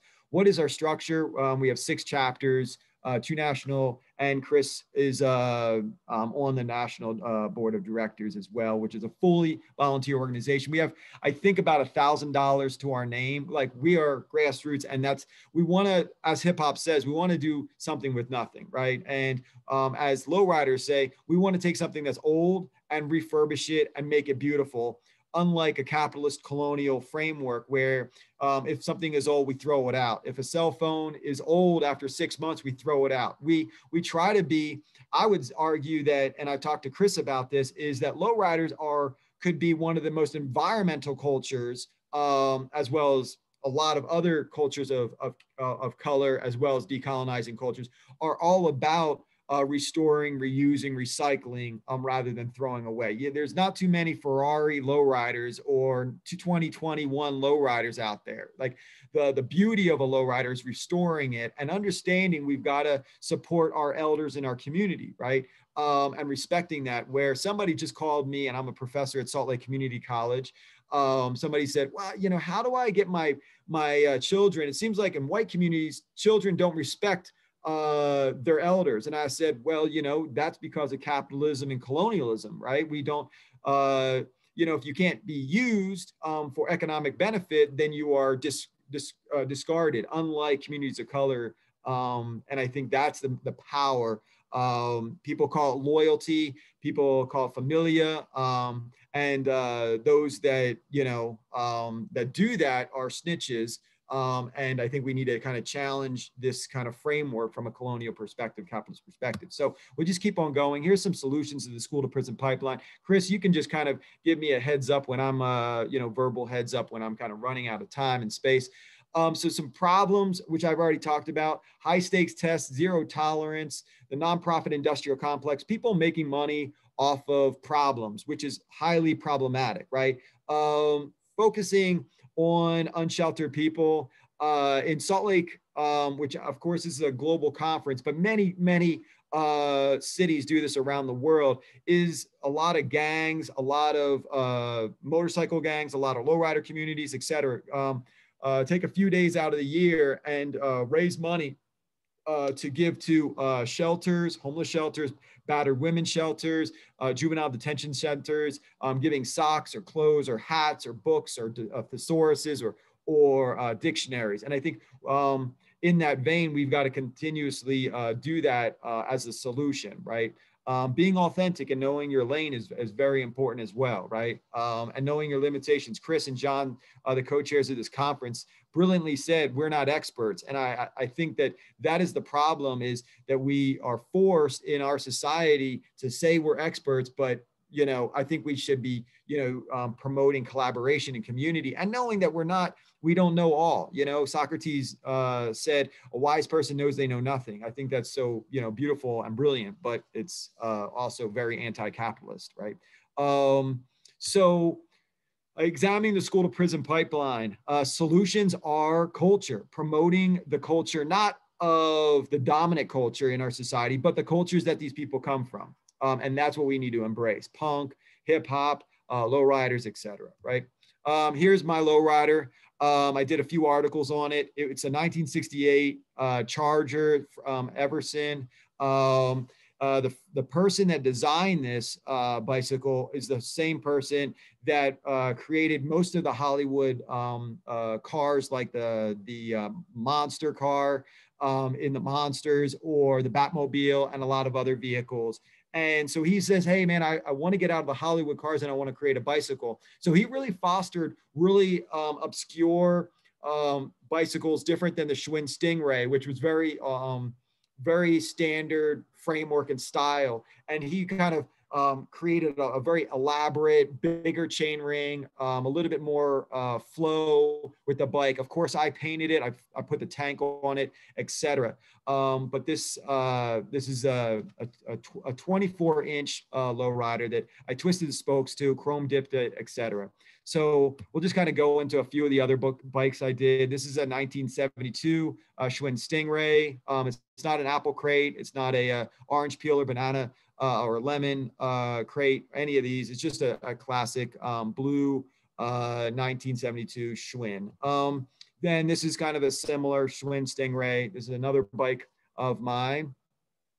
And uh, bicycles are really great to build community. I brought these into juvenile detention centers, and we build a number of lowriders um, in the community. And of course, we we talk about the paint, uh, the the seats, the mirrors, the chrome dipping um, that uh, go into it. Just like hip hop, people say, "Oh, well, I'm not a rapper. How can I get involved in hip hop?" Man, if you know how to make shoes or shirts or hats or graphic images or um, or how to manage Jay Z's uh, Instagram uh, or Flickr account or you know all these different accounts. Flickr doesn't really be used that much anymore. But if you get onto uh, some independent music, you'll see Flickr being used, MySpace being used, Sound Sound uh, sound wave uh, sound other sound forms being used so that being said we need to to look at lowriders as a form of youth engagement as well as um, entrepreneurship right um, for youth uh, and so they can create their own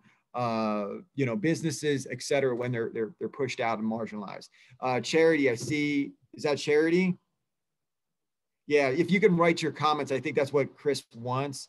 And then I'll just keep on going. This is a 12 inch uh, lowrider um, that I built up, and you can't see all the paint on it. Uh, it's very custom. The seat, the uh, the, the handlebar, uh, the, the the actual um, uh, uh, front fork was bent um, and curved. Uh, and then I'm just going to talk a little bit about um, the first and second annual Lowrider show. Uh, we had panels, uh, music, um, and uh, uh, breakdancing, as well as uh, trophies. And uh, so we started the first annual uh, win- uh, Salt Lake Winter Lowrider Bicycle Show because you don't want to take your lowrider car out in the winter because it's going to get salty and and ruined by the, the elements, right? So we created this. It was free and open to the public. Um, and then we created the second one, which just happened uh, via the pandemic. Everybody wore masks. There was distance. There was arrows. We only had about 20 bikes this time. Last year, we had about 50 bikes and over 200 people attended, which was really amazing. I'm just going to go to, um, let's see if I can see the chat. Uh, I can't see the chat right now, but I will take, I'll look at the, uh, the chat in a second if I can. Uh, this is Chris Um, again. I can help you manage the chat if you want to continue. Okay. Yeah. Um, what was the chat? Oh, people are just commenting about your bikes that they look cool. Uh, we don't have any questions just yet, but if questions again start coming up, feel free to ask them there. If you need to be unmuted, let me know and I'll unmute you so you can ask your question. Okay, cool. I grew up in Philadelphia and then New York. Um, and then I moved to Houston. I was always into hip hop at a really young age, um, uh, DJing, putting on shows, doing hip hop activism. Um, and then when I got to Houston, I really got into lowriders, the jumping, the sound competitions. Um, and then when I went to Fresno for a few years, then, you know, that just kind of uh, got me more involved. Um, but in high school, I was building lowrider bicycles. Um, and then uh, middle school and prior, I was really into hip hop. So that's just kind of, and then my uh, lowrider uh, club that I'm into at Utah is the Dream Keepers Bike Club. Um, and uh, this is not my bike club, but this is just some of the, the stuff that we do at uh, the, the bicycle lowrider show. Um, we have conversations panels around the culture. So it's not just like uh, showing cars and bikes, but we're actually talking about the history, the culture, um, uh, by OGs that are from different car clubs and bicycle clubs, um, which is so fu- fundamental, right? Um, and I think there's a lot of similarity between hip hop and lowrider, but the one major thing between it is that it hasn't been uh, whitewashed and colonialized and capitalized because it's easy to sell a CD by Sony and all these companies. And so anybody can purchase a, a, a CD for $10 or on your phone or etc. So you can go to concerts, but it's not as, as John said, you can't just buy a car and just keep it in your pocket. Like it's a lot, it's, it's a, it, it's a lot harder. And thus um, the lowrider community has been protected because of that. Um, while it's not as, as large and promoted as the hip hop community, it's also protected because of, of, of that limitation be, and, and it hasn't been capitalized um, and, and, commodified and exploited and appropriated uh, in that same element. And I think that's brilliant um, because you can't put a bicycle and a car in your pocket and you can't buy uh, a bicycle or a car for $10, right? Um, so here's some of the bicycles at the show, the panels in the front of the room, the, the, uh, the 50 bicycles are in the back of the room. Um, I'm not sure. So some of my, let me go back to, yeah, so we'll just go back to this for a second. And so that, you know, I want to open up the conversation. Um, and then, as some of the presenters know, I'm working on a lowrider studies book right now. Um, I'm really excited. Chris is in it, John's in it, Elizabeth's in it. Um, most of the speakers are in it um, at this conference. Um, if you want to participate in it, please let me know. Um, but the book and the field is there to uh, give. Uh, credibility to something that is legitimate, right? So the difference between legitimacy and credibility is legitimacy is um, does it hold value on, on, its own? And yes, it does. And credibility is everybody around it giving it support. So the external people around it giving it support um, uh, is credibility. And so we want to give it credibility. And so there will be, uh, John will be the, uh, you know, I'm really excited to uh, know John and Chris, and they're, they're doing a phenomenal job. Um, thank you so much for the conference. If anybody's got questions, please let me know.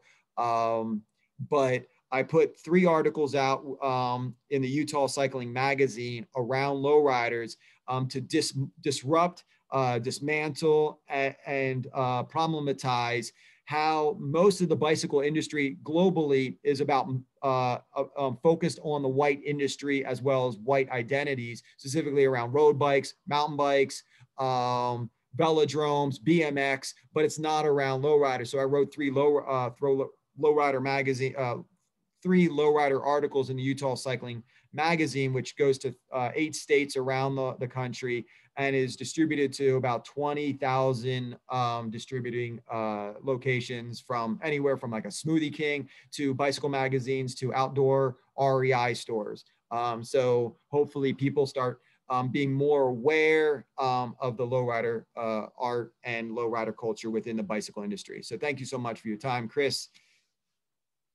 I know there's not too much time. We went over a little. I do apologize. That's that's totally fine. Thank you, Dr. Nocella, for that uh, wonderful explanation of Save the Kids and, and, and, about your bikes. I think it's pretty cool. Um, uh, again, if there's any questions, feel free to ask them in the chat. We probably have time for one, just really quick answer before we go on to our next one. Um, and somebody is asking about slides. We will have, first of all, the whole session, every session, the whole conference is being recorded. It will be uploaded to the website, hopefully by next week, once we do some editing to it and whatnot. Uh, but we can absolutely share everything uh, with you all. So yeah. Um, yeah, somebody asking if they can contact us afterwards. Um, they asked it in Spanish, so I'm going to go ahead and answer it in Spanish. Um, están preguntando si pueden contactar con nosotros después. Claro que sí. Voy a poner mi correo electrónico también para que lo puedan hacer. Uh, so yeah. Um, was there any questions for Dr. Nocella?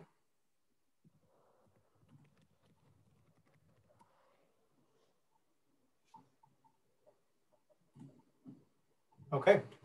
Uh, if not, we'll continue the conversation. We'll continue the uh, chat. So we're going to move on to our next presenter, and that is Gloria Moran, who is a scholar and filmmaker. Uh, she is already on here. Gloria, you do have uh, host capabilities now. So whenever you're ready, you can uh, join us with video and share your screen.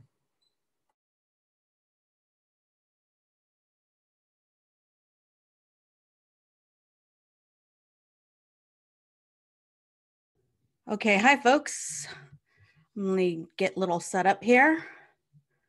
Made sure that the six-year-old is locked away. While you do that, once again, just remind everybody to continue the conversation in the chat.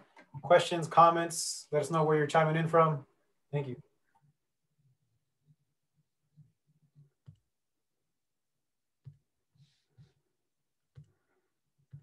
Remind me, Chris, how am I presenting? I'm used to Absolutely. Uh, towards the bottom of your screen, there's a share screen button. screen. If you click that and you select which image or screen you'd like to share. There we go. You're good. There we go. There we go. We got you. Go ahead. There we go. And hi, this is me. Oh, wait. Of course, the wrong camera. Hi, this is me on this camera. I've got two screens. Um, I look better on this other one. So, but we'll just go with it. So, um, I, uh, I, yes, my name is Gloria Moran. Um, I am currently teaching just one course at SF State. Um, literally for the uh, fun of molding young minds. And by day, um, I have my career led me into becoming an IT post production supervisor, and that is what I am doing by day. And I told work that I'm at an early lunch. So here we go. Um, this is based off of my experience of my film, which I'm going to talk about, um, some written materials, which I've created, and then what is going on for the future of um, women in low riding and this film. Um, so just to kind of start with the positionality of who I am um, and where this project started, um, things were really started, you know, um, motivated by personal experience. And um, I synthesized my research in an undergraduate thesis, which received honors. And motivated me to want to continue on and either go in the PhD route or create a film. And at the time, there was this um, burgeoning film program called Social Documentation in the Community Studies program at UC Santa Cruz. So, as a Latin American Latino Studies grad of UC Santa Cruz, I applied, didn't get in, but I got in the second time around. And that really fostered. Um, kind of my artistic brain and how I was going to approach um, a topic that was so personal, um, but also with um, having, you know, some distance from the problematic issues uh, within the community itself. Um, the film approach is based in social documentation, which to kind of just give you like two little bullet points here, um, very anthropologic, ethnographic, um, and really leaning on the filmmaker, knowing all the nuanced understandings of the geopolitical, social climate um, of who you're filming and where you're filming. Um, so this became important as as much as um, my Chicana background is based off of having um, a mom from LA and a dad from Stockton. Um, I, I can't say I'm the authority on Chicanos in San Diego. And so I needed to learn all about it. Um, while I was filming and after I'm filming and before, etc., in order to uh, create a well-rounded piece that was um, not pathologizing in any way and really talked about issues um, in an authentic manner. Um, to counterpoint, um, this is a, an ongoing conversation in the film uh, world, especially for documentary filmmakers. Recently, the HBO documentary about Tiger Woods came out. There was a giant call out about the fact that it was all white directors, and uh, the directors kind of like tried to just, you know, brush it off, and now they're getting dragged. Um, and so it's been a really important tenet of my work as a filmmaker. I'm a founding member of the Brown Girls Doc Mafia, and um, we are making strides in holding folks accountable um, because the Ken Burns era is drawing to a close, according to us. So, um, so more on my connection to lowriders, as I think often um, sometimes uh, folks don't know exactly where I'm coming from, but I have a very strong familial collect, uh, connection with. Uh, I used to go to car shows with my dad. He wanted to have a lowrider magazine and kind of like um, just a brand with t-shirts and even Chicano rap. Um, and so I used to go to the car shows on our weekends together um, and tag along. And so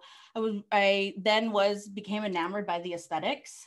Um, you know, there's a lot of crafting and ingenuity. I think we'll probably hear a lot of the term Rascuache being um, said later, or if it hasn't um, been said already. And um, and so making do with what what you have and that what kind of you know just captured me. And um, everything was just different from different from what i was used to seeing um, outside of these car shows. Um, and then we have these this like i was this, attracted to this resistance politics um, uh, with parents who are involved in uh, the chicano movement at berkeley. Um, and then my undergrad lens of feminism led to going, wait, you know, I've always loved lowriders, but actually, where are women lowriders? And thus started my giant dig. Um, and so, to give just, you know, of course, the briefest analysis of women's presence in lowriding, we've often seen um, in in um, more of a helpful manner. Um, so I have, they've been like more of the supportive partner or the quote unquote hood ornament, either used as the, you know, the live model or um, posing on the vehicle or the actual mural on the vehicle. Um, and a lot, and there's even a historical exclusion with the fact that, you know, patriarchal norms, um, especially of the 40s when the GI Bill was um, especially beneficial to the burgeoning of lowrider culture. Women didn't have access to that. Um, there were also some women like in the 70s who were involved, which I'll touch on in a bit, but um, they oft sidelined that once demands of motherhood came along and it felt more that the um, male counterparts vehicle was the family vehicle. And so um, there's some scholar, scholarly attention. Um, it's often passing. Uh, there's a, a, lot of analysis about the ramifications of Lowrider magazine and its um, its imagery. But what I specifically wanted to look at was how women lowriders were refocusing and repurposing what was given to them and making their own autonomous spaces.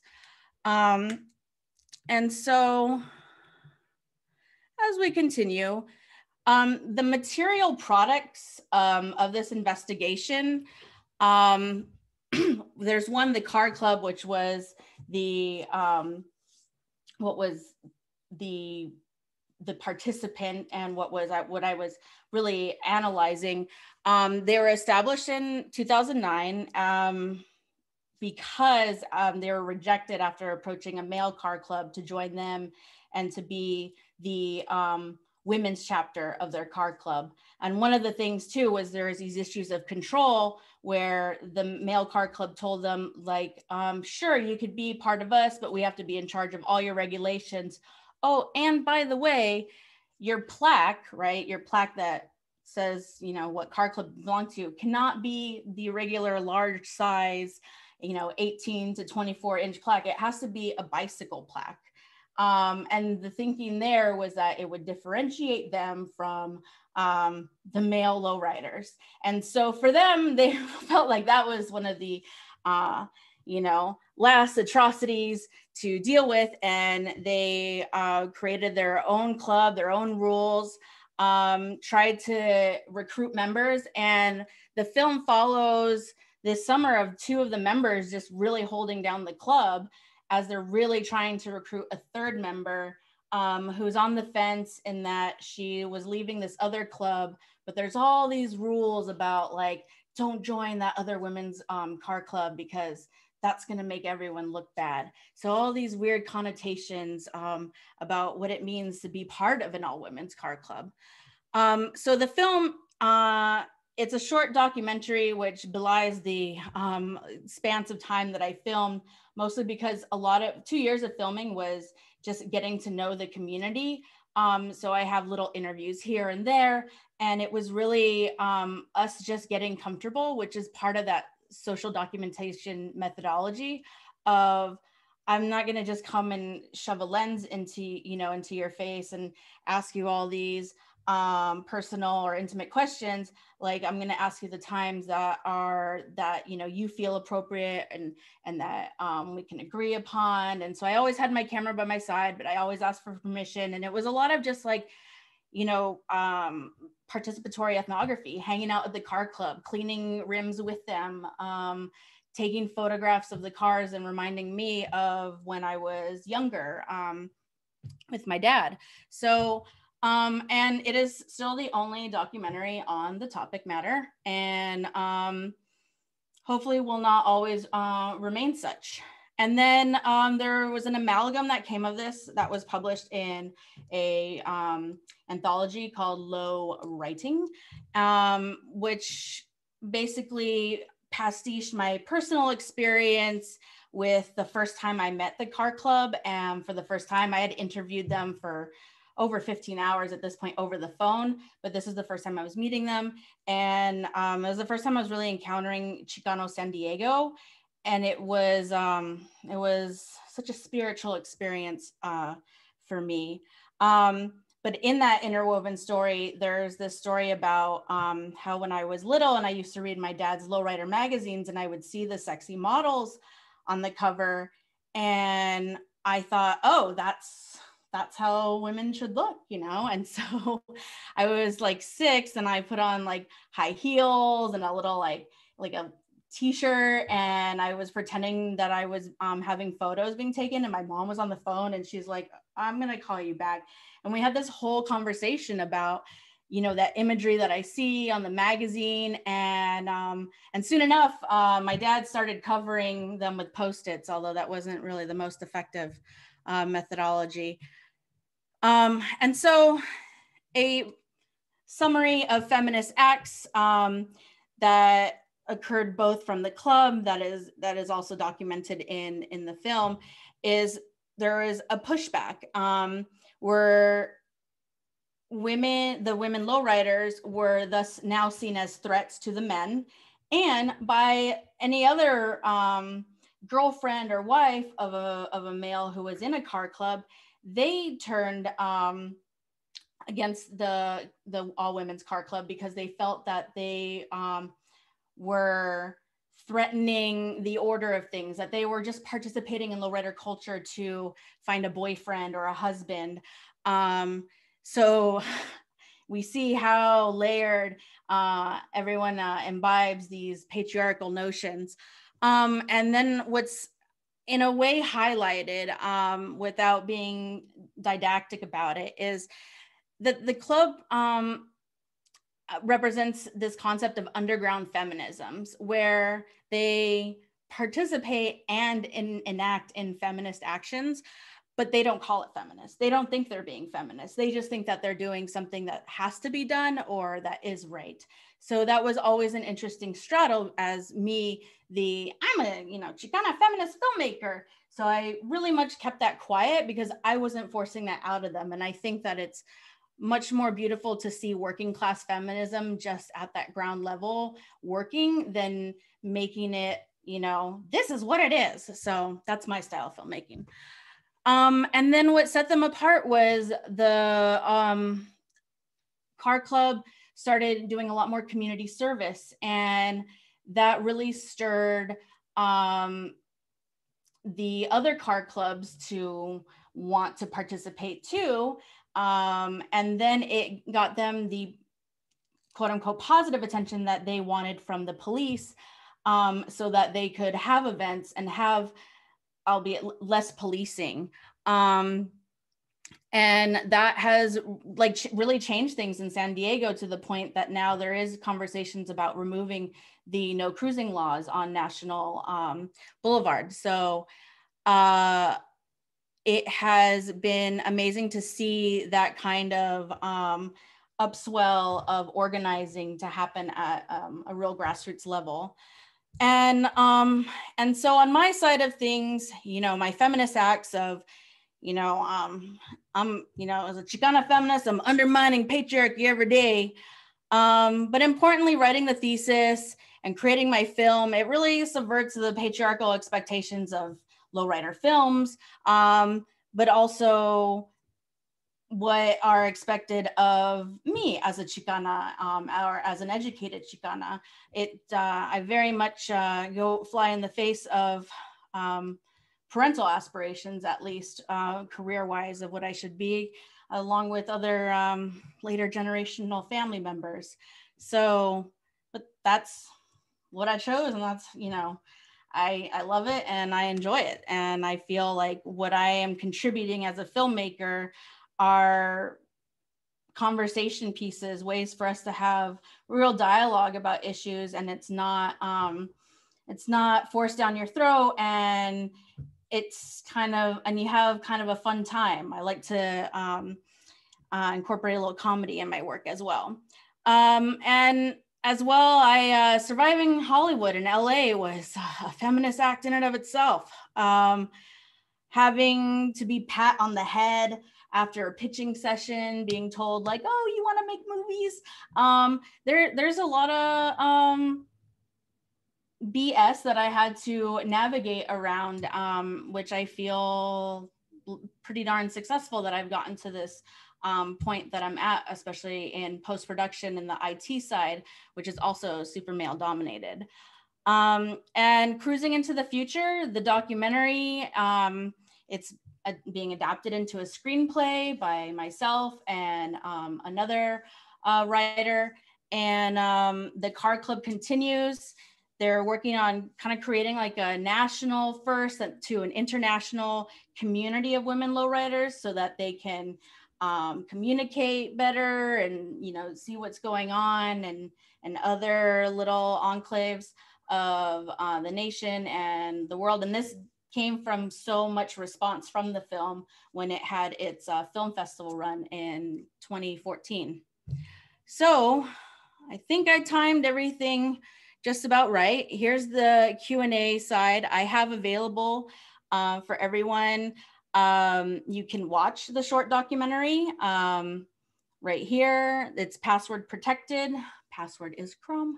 And um, if you want to follow me on Instagram, I'm the Pomo Chola, as in the postmodern Chola.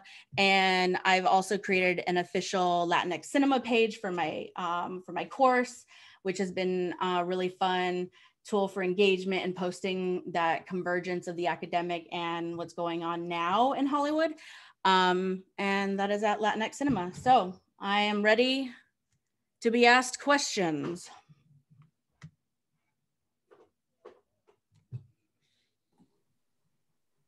Thank you, Gloria, for that. That was that was informative, and, and, and, I really appreciate your perspective on on on, on lowriding culture from, from your lens. So I think that's really dope. Um, so far, I don't see any questions specifically in the chat, but again, if you have them, please let us know. You can put them in there, um, or um, you can ask to be unmuted, or you can ask it that way. Uh, someone's asking if you can drop links for this uh, in the chat, Gloria. Mm -hmm.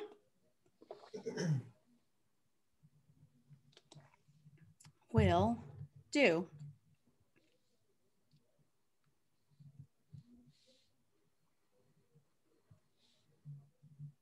And I'm definitely going to check it out. I hadn't heard of it before I talked to you about this conference. So, in planning it, I haven't had a chance yet, but definitely on my list for sure. I mean, at this point, maybe I can. I mean, it's going to be so easy if I wanted to put it on Amazon Prime at this point. Um, one of the things that didn't hold me back was the constant financing and one of the things was music um, which of course was very important and i wanted like really authentic music so i was able to get greg landau to create um, original music. He um, has worked with um, uh, all sorts of um, the artists that we can that we know from east la los Insontles and um, and oh my god the group that la marisol, la marisol is in. And so um so yeah so that was the expensive part. And there's another large sum that i would have to pay if i want to put it on amazon but now that i am so gainfully employed that might be an actual option now so and that's my story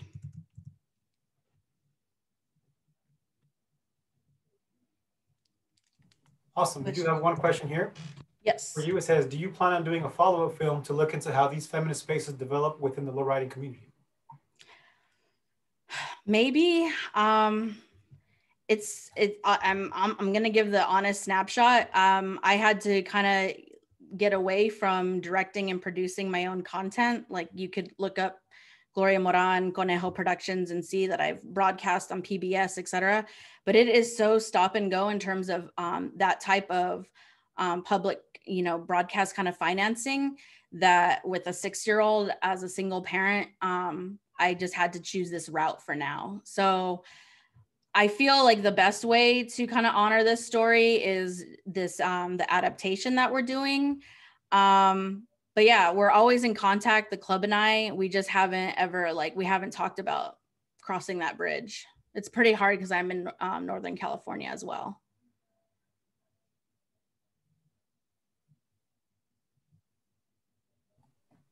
Thank you. Is there are there any more questions for Gloria today? Any jokes? Or follow up on that? Or jokes, yes. oh yeah, just a look here. Well, I really appreciate you having me. This was so exciting um, to, you know, dip back into this realm of presenting as well. Although, I mean, I'm doing lectures all the time and recording them, you know, to just talk ad nauseum about um, the unique ladies has been fun. So I appreciate it. Thank you for giving me the space.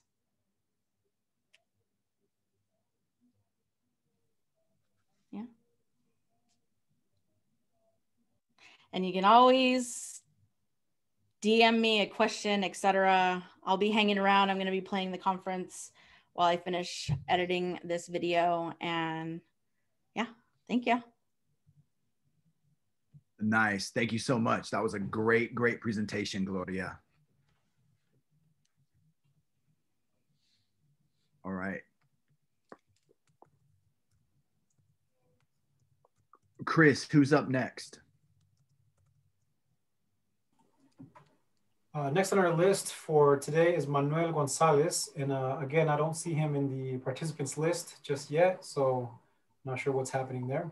But if Manuel joins us shortly, um, he will be discussing something called authentic self-expression, which is talking about culturally relevant poetry um, and how it ties into this art form that we've been discussing all day today, of course. Um, so if uh, Manuel's in the chat at all, let us know, but I don't see him yet. So in the meantime, we can always, like we said, continue that conversation. Or if people would like a short break, we can also do that too. I know it's going to be a long day. I hope some of you are planning on joining us for the rest of the day, but uh, it, it, will take all day. So we understand if, if that's not possible. Um, once again, I do want to remind everybody that, excuse me, this uh, conference is being recorded, so you will have access to everything once it is edited and uploaded. Um, but yeah, so if there's any more questions or anything, please feel free to, to continue in the chat. Yeah, so while we're treading water, waiting for our next speaker, um, I'm just scrolling all the way back, almost 45 minutes into the uh, the questions, and Vincent clarified the economics issue that he was exploring, and it was uh, he says I feel that low riding contributes to local tourism economics, where there is a show or a cruise. That is what I was looking to see if there were any studies done. Um, as you know, you know we will spend money and that's true. Um, you know, car shows, you know, there's always a lot of vendors. Um, you know, if there are car meetups or happenings, certainly we patronize the local businesses and such. So, yeah, I don't know that a formal study has been done on that, but it is certainly an interesting aspect of all of this for sure.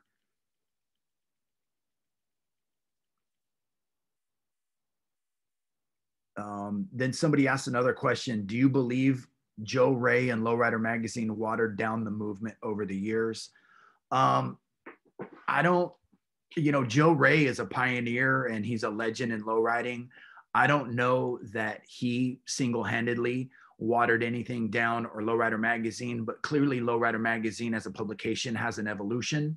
Um, and now that it's out of print and just um, in digital form, um, I think that the best thing that they have going right now is certainly the lowrider role models um, the mini documentaries um, that really, really promote low riding and um, and people really uh, overcoming a lot of adversity with some interesting stories, really documenting um, personal narratives. I think is is powerful stuff too. So um, I wouldn't necessarily say that it's any one person or any one entity that would quote unquote water anything down.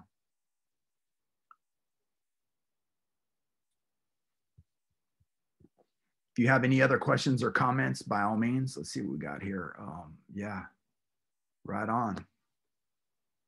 Rafael Perez says, role model presente. Glad to be here. We're glad to have you here. Thanks for being here. Um, Ricardo Cortez, how can we get involved in future conferences? Well, you're involved already. Be active in the chat, bring your questions, keep in touch with us in the future. And, um, you know, we're only planting seeds here. This thing's going to grow. So, right on. Ruby Chacon is dismissing her class for sixth period. So Ruby, thanks for supporting the event and having your students here with us means a lot. You know, um, youth and, and youth participation in this is super important. You know, um, that's how I got involved as a kid was being being influenced and um, inspired by my elders. And so as much as we can expose kids to this and um, pass it along intergenerationally, the sing will never die. Right on. Chris, we have him? Well, unfortunately, I still don't see Manuel. Um, so we'll just continue the conversation, I guess. Or like I said, if people want to take a quick break, we can also do that. We can pause this and uh, come back in maybe 15 minutes and then continue conversation. And then our next presenter after Manuel is scheduled for um, 12.30 p.m. Mountain Time.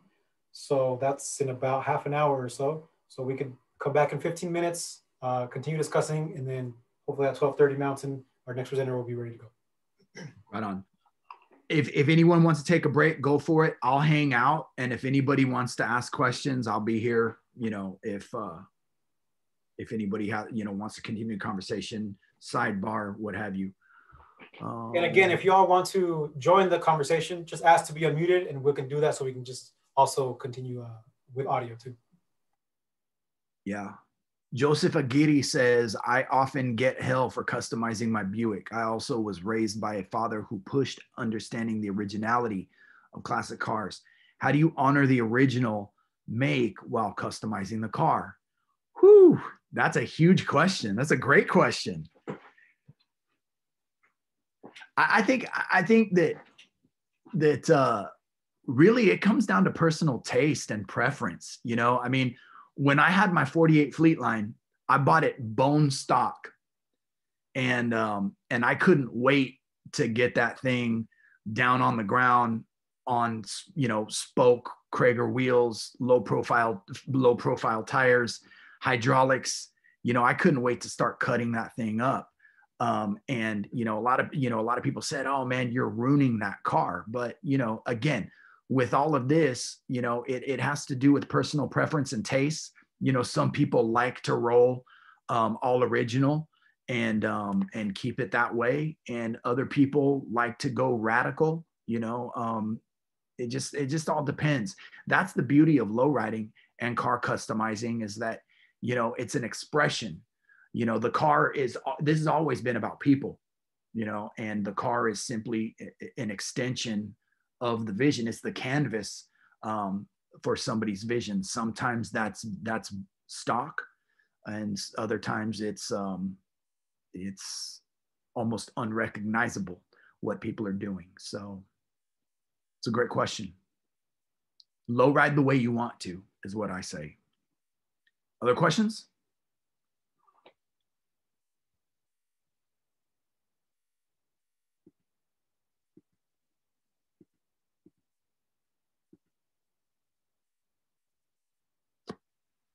When you were in Brazil doing the documentary, what clubs stand out?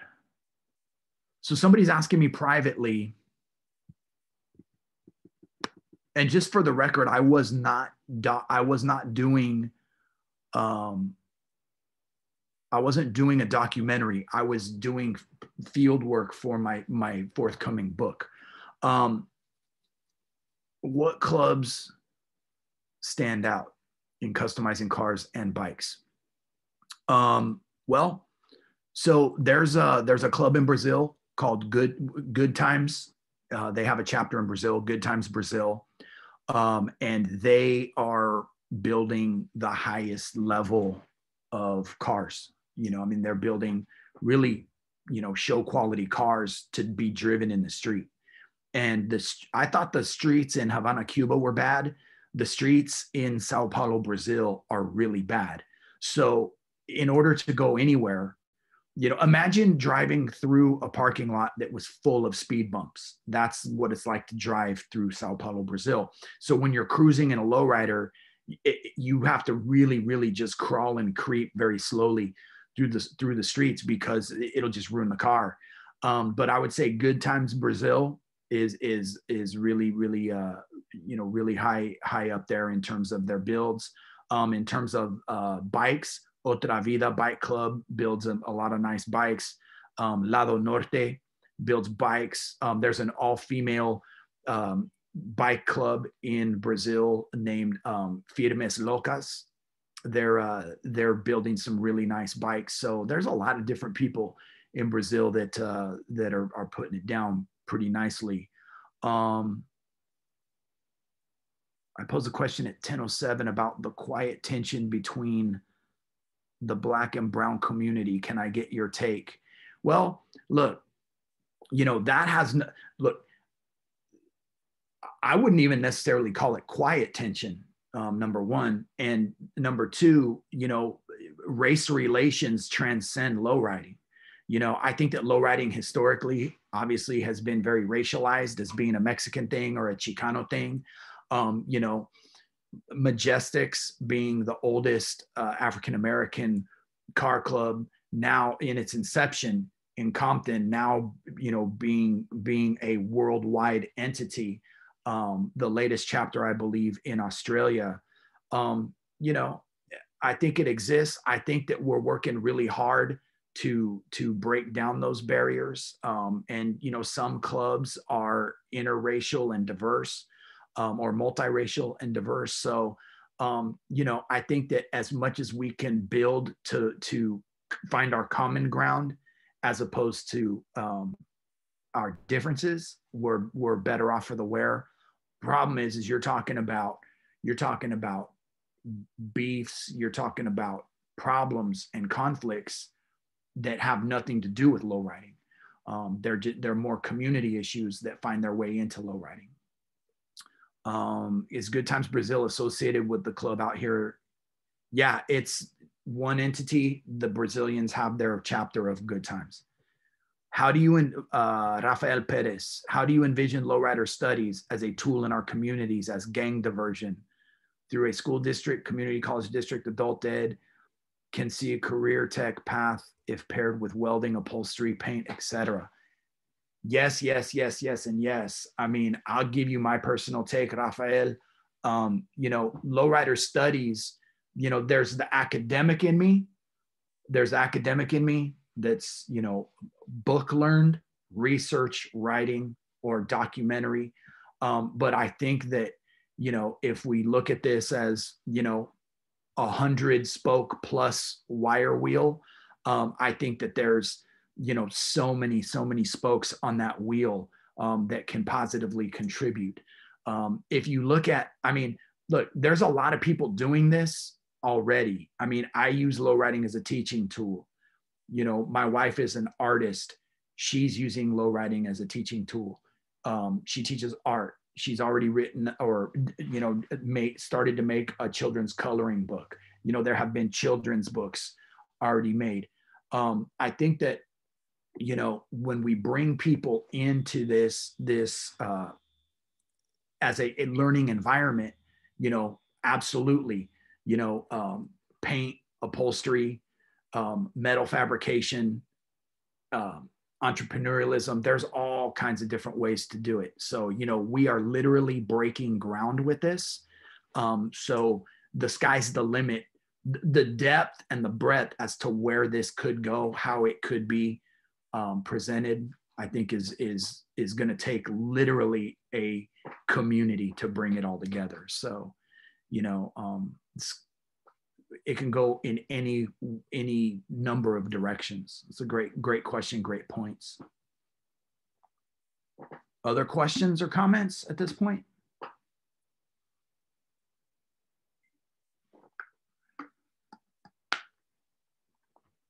well let me ask you a question and then you can put it in the chat.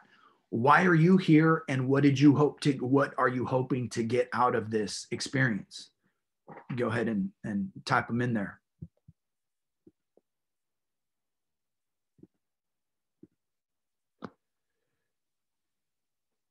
Is your academic community pairing with the curriculum developments of the new ethnic studies courses in Los Angeles Unified and other districts? If not, you should be. This is an important fork for children of LA. Okay. I can I can kind of address that a little bit. Yeah. Um, so we, we are talking about building that curriculum once we have something to, to, to show that it's happening, right? So this conference is step one, like we mentioned. Excuse me, the Low Rider Studies book that's being published is going to be step two.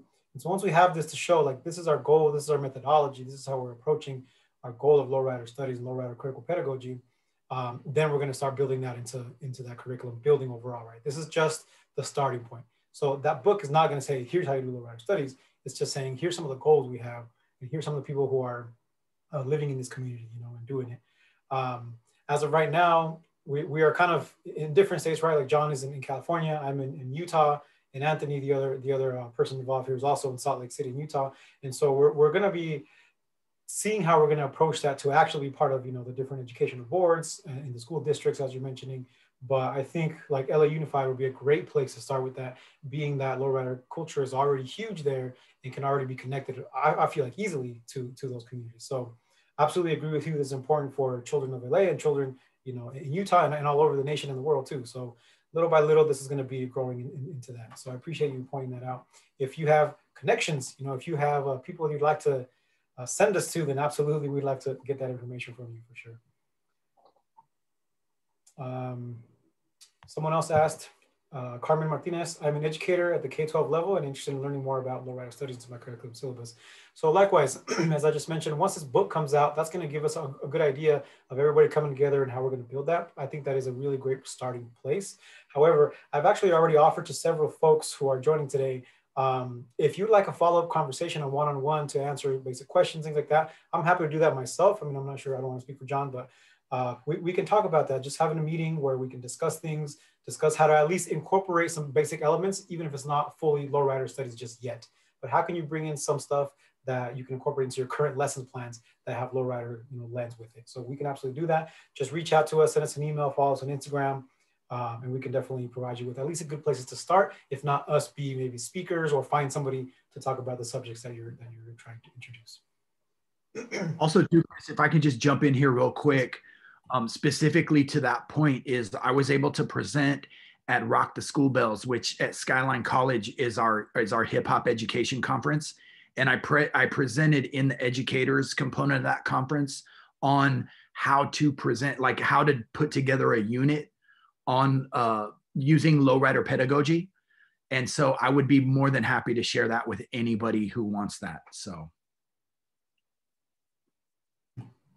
Uh, we have a question about when we anticipate the publication of a lowrider studies book asked by uh, Cherry Garcia, Sherry Garcia, apologize.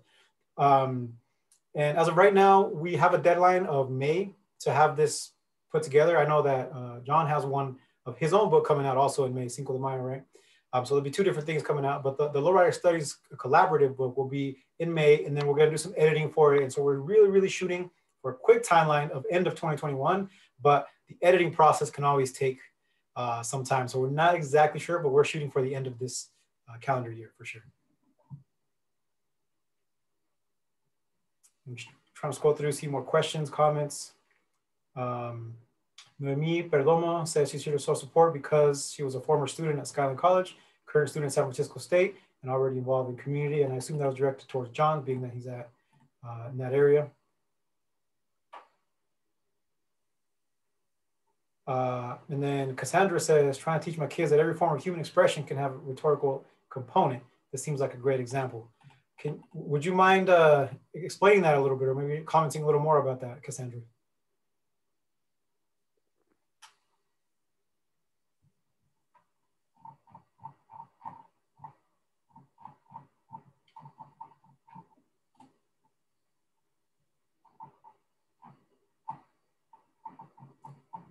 Um, while we wait, I guess we can keep, continue scrolling through a few more. There's a lot of comments in. Thank you all for your participation. We really appreciate um, that you're that you're getting involved with this. Like we said, this is the first step. As long as you're here contributing to the conversation, we appreciate that. Um, if you'd like to be involved more, then absolutely um, continue. You know, contacting us via Instagram, uh, email, whatever. We'll definitely find a way to, to include you.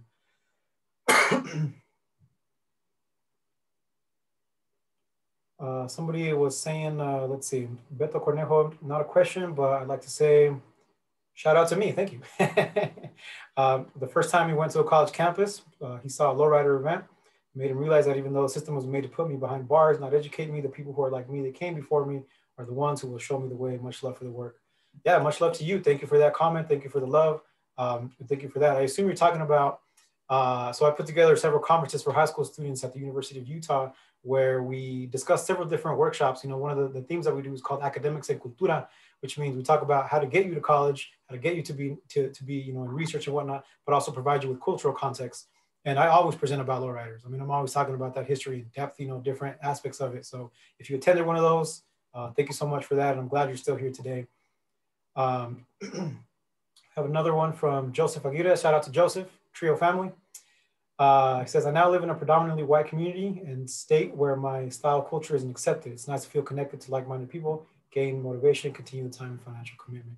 Absolutely. Uh, thank you again for, for being here. We appreciate that you, uh, I, I know you personally, so I know that you're a leader in your community too, and you being here and being able to take this knowledge back and spread it, spread it elsewhere is going to be just amazing for all of us, for yourself, and to continue that motivation, right? So I'm glad that you, you did join us.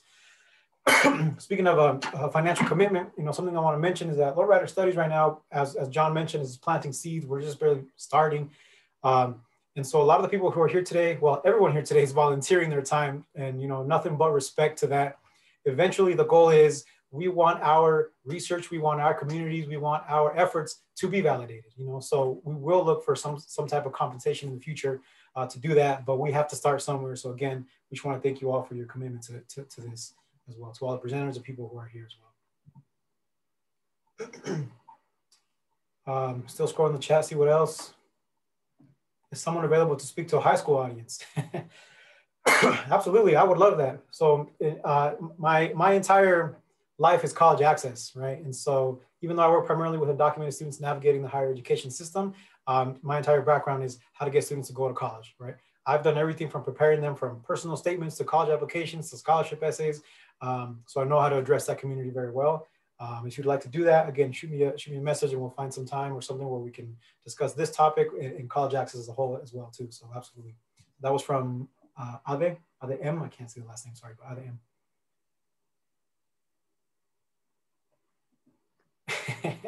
Someone said, didn't imagine that lowrider pedagogy existed.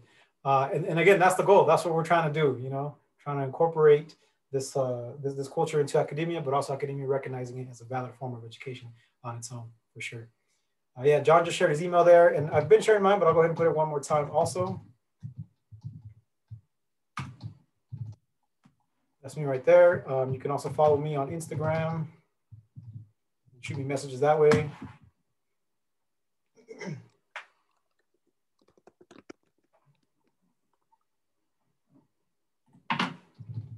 And Anthony, uh, can you say a little more about what you just said, Anthony, about lowrider counseling? Sure. Um, uh, there's a presenter, and John uh, connected me to that individual that's doing a lot of counseling and therapy. And uh, people are trying to use lowrider bicycles and cars, and then just uh, the history um, as a form of therapy. Just like, you know, DJing, scratching can be a form of therapy. I, I created the first hip hop music studio in New York, which was the first music hip hop music studio um, in the country.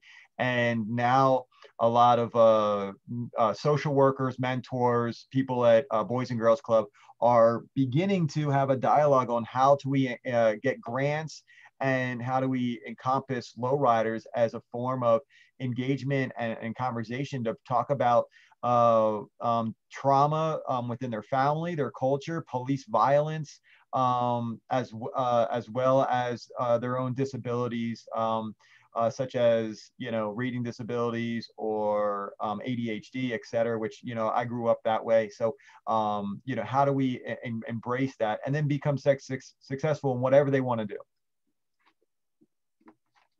And Anthony, since we have you here, thank you for that too. Um, someone asked a question. I've been scrolling back and forth through chat. There's a lot coming in. Again, thank you for all of that. Somebody asked, what are your thoughts on low riding in an eco-friendly world? Low riders are viewed as a gross polluter. You kind of touched on this in your presentation. So would you like to expand on that, that question? Sure. Um, I think like it's, it's, it is, we have to be aware of how white supremacy and colonialism flips the script on black, like brown on black brown crime or black on black crime where the like angela davis um, who was in my department at Syracuse University, has uh, really noted back in the 70s that if we're really going to talk about violence, we cannot be talking about, and I'm talking about violence is, is, is the pollution and the environmental destruction um, on this planet, the killing of uh, uh, non, uh, non, non-human uh, species uh, that we'll never see again for the mighty dollar, right? Um, and the and destroying the ecosystem. So I think um, what lowrider bicycles and lowrider cars are doing, as well as everything lowrider, um, scooters, um, there's there's uh, you know they're taking something that's old and rejuvenating it and, and, and, reinforcing in their communities not to think way. So if like they're not typically getting a 18 wheeler and low riding it uh, around and majority of the time, um, what has, uh, what has been banned in Colorado, a state in the United States, um, as well as in Utah and a lot of others, is this like these big diesel typically uh, white dominant uh, uh, uh, youth that are driving this and they're causing a lot of pollution. And I forget the, the term for this is just like blowing a lot of smoke and, and charcoal and, and, and coal uh, diffusion. So that's not, um, but I also think like, so there's those two points, right? Like we need to point the finger at who's really causing the destruction on this planet and uh, roll, uh, rolling coal. Exactly. Thanks, Jay. Um, so that is like, I was at a protest for DACA uh, in, in Colorado and people were getting incarcerated in ICE and two white kids with Confederate flags charcoaled me and of course i stood in front and the police like pulled the car over etc but this is very much part of a particular we don't we don't want to be part of the environment. We don't want to be part of the community. We want to dominate the community and that's not lowriders. Like so we have to understand the lowrider theory and culture but we also need to understand the, the importance of um, how uh, this culture has been protecting the environment since day one, um, all the way going back to the Aztecs and the uh, which are symbols on lowrider hoods, right? Like um, if we looked at a lowrider or a uh, white dominant capitalistic um, hood, what we would see is dollar bills and Donald Trump. Like that's that's the difference. We see Aztecs and the Mayas and the uh, the Incas um, versus Donald Trump, and I think we need to like challenge and push back on this idea that lowriders they they they ride slow, they ride low, and and they typically only ride on Sundays.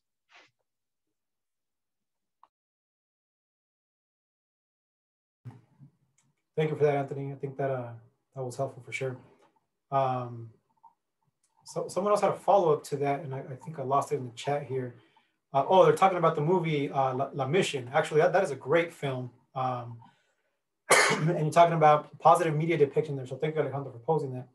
Um, I, I kind of go two ways about that movie because I really enjoyed that film. That story is really great. But um, I made a point earlier about when when films depict lowriders, there's always an aspect of something that's that's negative or criminal to it, right? In the media, anyway. Um, in this case, um, the, the story itself was told through a lowrider lens and a very very well told. I think. I mean, it had you know uh, a Native American man, for example, who was there being the OG, the mentor for them. Um, connecting kind of that history. It had the art pieces. It had the the, the struggle of the barrio, but being you know um, uplifting that community and whatnot. So it did have positive feel. But the, the main act, uh, main character himself, I believe the character name is Che, played by Benjamin Bratt.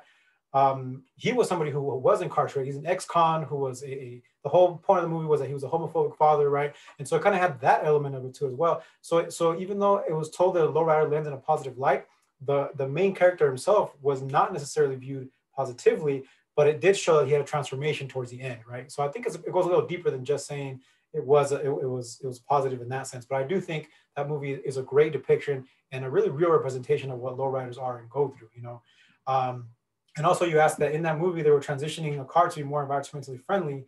Um, yeah, they were making a car. What was it out of uh, oil or something like uh, used oil? I don't um, like frying oil, something like that. So it didn't run on gas. Um, I really wish they would have explored that more because I think that's such a dope concept. Um, but absolutely, I mean, personally, if I could do that to my car, if I had the know-how and technology, I might consider it.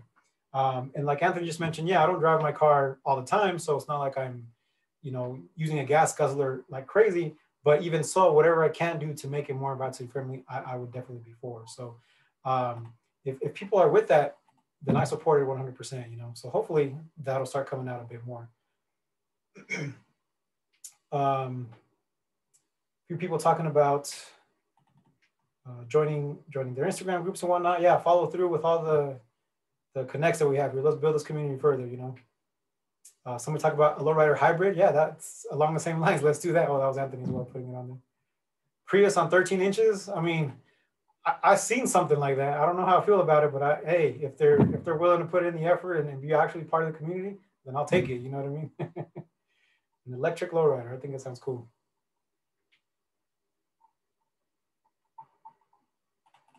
Uh, and then let's see, another comment here. Uh, Angie Loyola says, yeah, there's lots of inter intersectionality in the mission. It's a very deep movie. They talk about machismo, homophobia, culture, um, all of that. So absolutely. So what I just mentioned, you know, if you'd like to mention more about it, let me know and we, we can include you in the conversation. I've also noticed that right now, the three of us who are really coordinating this, I know that we're all men. Um, and so I want to just recognize that there's a lot more to it than that. We're just the ones who came together to put it together to put this event together, but I really want to recognize that there's a lot of different people also behind this these efforts too. So I don't want to just hear our voices. You know, if you're if you if you want to speak, um, please feel free to do so.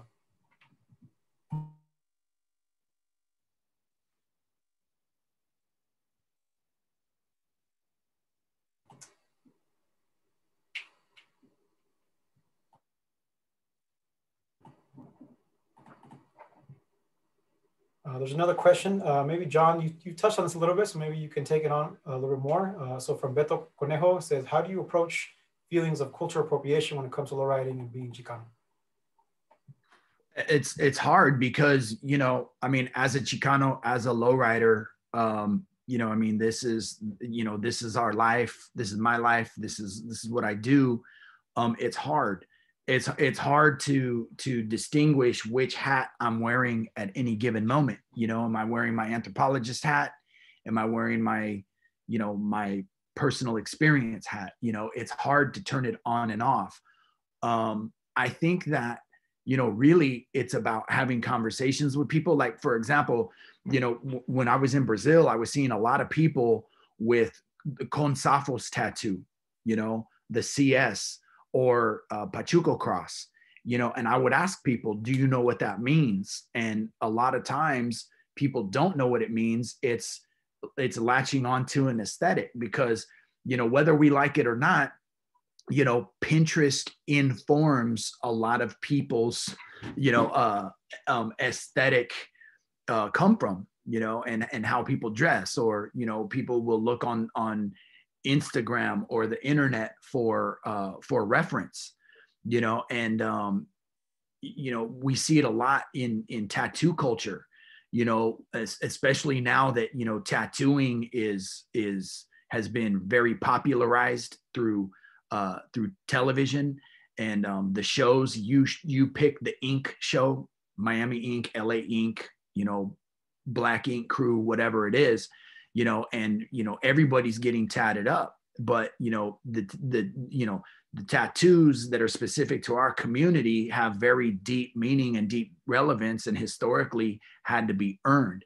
And so you know to answer your question um you know how do i approach the feelings? You know it's it's a hard one because sometimes there's things that i see when i'm quote unquote in the field doing my research that do not sit well with me you know and you know it's it's a struggle to be honest to mitigate or or to work through some of that stuff especially where now you know you're being hosted in another country you're being hired to speak you know people are taking you around people are you know feeding you people are trying to do their best for you but you're observing something that might be con you know be hitting that that alarm of appropriation. So my thing is critical and thoughtful dialogue to try to talk through this stuff rather than to just come down hard on somebody and being accusatory. That's personally how I navigate through those waters. Wow, thank you for answering that. Uh, there's we have just a couple of minutes for our next presenter. They are ready to go, but we'll just uh, make sure that those who wanted to join that presentation have the time to join. So we'll wait a couple of minutes to do that. Um, people are asking things in the chat. Do we have any information on the Brown Berets? Uh, well, interestingly enough, um, I'm a former active member of the Salt Lake City Autonomous Chapter of the Brown Berets myself. Uh, I grew up as an activist here in this community and um, one of the founding members of our chapter here. So absolutely, we have all kinds of information on Brown Berets. I mean, I have a whole historical uh, perspective on that as well as, as well as activism here in Utah. So if you want more information on that specifically, we can talk about it. If you want the connections of Brown Berets and lowriders, well, I'm your guy uh, for sure. I, I, won't get into all the politics of that just now because I want to keep it to lowriders, but for sure, for sure. Uh, here's another question from Alejandro. Uh, within the lowrider movimiento nationally and internationally, what do you see as unique to certain regions? For example, Cali compared to New Mexico, US compared to Japan, etc. And I think uh, lowride worldwide, John can, can probably answer that better. Yeah, right. So, you know, um, you know, sociologists have this term called glocal, right? The global and the local.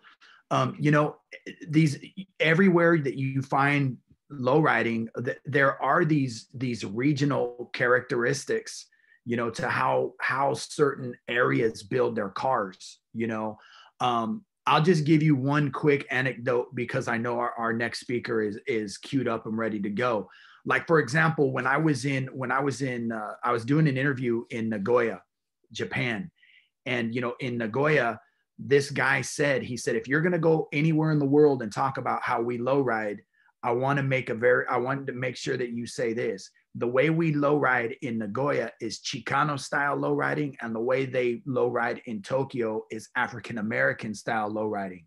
And I thought that that was pretty interesting because here you have, you know, a, a Japanese lowrider making ethnic distinctions based on the localization of these scenes. And really, when I kind of drilled down and unpacked what he was saying, was that you know what they call in Nagoya Chicano style lowriding, they're really referring to 70 style lowriding, and then it, the quote unquote African American style in Tokyo is really 90s style lowriding with Cadillacs and G bodies, Impalas, right? As opposed to you know in Nagoya where it's like really elaborate crushed velvet upholstery and patterned out um, paint jobs on either Cragars or Tru Spokes or Appliance 70 style wheels you know? And so i think that that's that's important too. I mean i've heard stories of where you know friends from up here show people in la pictures of their cars and they're like that's not an la car they just know like right at a glance it's not an la car you know where you from it's like oh i'm from you know san francisco bay area yeah i could tell right away that that wasn't that wasn't uh, an LA car. So yeah, it, that's the cool thing too. Is kind of a subset is that you see these, you know, this local identity in just terms of you know the community having influence um, on these builds that are indicative. Um, I just want to get to Pete Savala real quick, who said people need to recognize how positive giving back to the lowrider culture is their communities, fundraisers, toy drives, the community aspect of things um, I think is a great point, Pete. Thanks for bringing that up for sure. Yeah, I know there's a few more questions. We definitely want to get around to it. I'm, I'm sure we'll have time to continue those conversations. I don't want to leave you just hanging, but we'll have to kind of revisit. Um, our next speaker is queued up and ready to go. Um, and that's Guillermo Aviles uh, Rodriguez, uh, talking about lowrider bodies in motion, body art uh, in steel and flesh. Sorry, I'm reading two screens. so Guillermo, you are now, uh, you have host capabilities feel free to uh, screen share. Take it away. Wonderful. Yeah, I don't have a screen share. I uh, I'm just going to do the traditional paper, but before I do, I wanted to let everybody know a little bit about my background. I'm a lecturer at um, CSUN, California State University, Northridge, in the Chicano Studies Department, and in the theater department. And um, I'm really happy and honored to be here. Just hearing the conversations really uh, inspires me and uh, feel humbled to be a part of the conversation. Um, what you're going to hear is an excerpt from my dissertation, which deals not specifically with the lowriders, but with mobility. And so I have a chapter about food trucks, chapter about lowriders, a chapter about um, operas that took place inside of limousines in um, Boyle Heights, East LA area, and so I come at low riding from that angle. And um, the, um, you know, before I go into that, the other thing that I, I was uh, dying to tell everybody is that long time ago, I, uh, I did my undergrad work at the University of Utah. So it's uh, a little bit of a digital homecoming for me to hear all the, the Salt Lake based people talk and tell stories because um, it, it uh, blasts me to the past of my youth. So um, here it is. Uh, this section is called uh, Tattoos in Transit. Key lowriding scholars, most notably Charles M. Tatum and Brenda Jo Bright, theorize lowrider art as portable murals, scrutinizing them for the unique ways that they reshape the urban geography of Chicano communities. Bright explains the relationship between lowrider art and murals thus. Quote, Chicano car murals draw on a variety of relevant sources such as Catholic imagery, Aztec mythology, and American popular culture to create visual narratives about identity, experience, and fantasy, unquote. What Bright leaves out are the more abstract designs that were common on lowrider cars as early as the 1950s. These purely decorative patterns and designs adorning most lowriders are critical to this paper's theorization of lowrider art, not exclusively as murals, but as transit tattoos. Both these modes of expression resonate deeply in Chicano communities, often drawing from uh, the color, their color from the inkwell of historical memory. Mm. It is body modification like tattooing um, that prehistoric archaeologist Aaron Deter-Wolf and research associate Carol Diaz Granados say people use to quote, define, classify, decorate, enhance, and sanctify themselves and others, unquote. Understanding the art on lowriders as transit tattoos enables one to theorize most automotive artwork found on lowrider artwork that is more often than not small, hidden, non-narrative, and unsigned, like many tattoos. Danny D, one of the top car painters on the West Coast of the United States, articulates a sentiment in keeping with this theory, observing that, quote, painting a car is like doing a tattoo on somebody, unquote. Yep. Beyond this, there is the um, arbitrary juxtaposition of images atop lowriders identified by scholar Ben Chappell that finds its reflection in miniature on the tattooed human body. Then there is the somatic element in much of lowrider art, which involves the scraping and carving of glass and steel that's more akin to tattooing than painting. By refocusing the referent of lowrider art away from murals and towards tattoos, a more dynamic canvas of ink on and in human flesh, we can account for the crucial element of mobility. The simultaneous ways lowriders invest artwork with kinetic potential and the way they have been criminalized are key to the idea that one cannot understand lowriding and by extension Chicano identity without understanding the way mobility and modification create a network. According to Bright, constructing a lowrider in the early days of lowriding followed a recognizable pattern. A Mexican American takes his car, usually an old model Detroit brand, and refurbishes it into a Baroque ride. He achieved this by removing, quote, all signs of the manufacturer, unquote, and transforming the vehicle into a distinctly Chicano aesthetic. Removing the model name from a car becomes a symbolic step in making the vehicle tabula rasa. As one of Bright's informants put it, quote, your ride is your pride. And to have a big chrome advertising for Buick Riviera on it is tantamount to having Buick Riviera tattooed on your chest, unquote. Lowriders' robust investment in their car illustrates a commitment not merely to transportation, but in a unique cultural practice fueling their agency, identity, and mobility. Chappell contributes to this line of thinking by pointing out how the word lowriders is now uh, an appellation for both the man and machine. He goes as far to claim that, quote, lowrider owners become identified not only by their vehicles, but as their vehicles, unquote. And we heard a story by Xris of the tribute to the fallen brothers, not with their images, but with the images of their cars to support that theory. Um, this explains the patriotic feeling lowrider owners expressed in emphasizing the Americanness of their vehicle when confronted with the customization of foreign car models. Um, as Roman, a lowrider from Austin, Texas articulates, quote, I drive American, an American classic, not foreign plastic, unquote. This lowrider aficionado sees himself as a man of steel in contrast to the breakable and unmalleable plastic. Bright extends this idea to cover even the lowrider owner's geographical home when Bright, uh, I'm sorry, when writing about lowrider vehicles and the way they are, quote, identified with their owner and by extension with both his home turf and his cohort. A lowrider then provides both an individual and an entire group with an identity.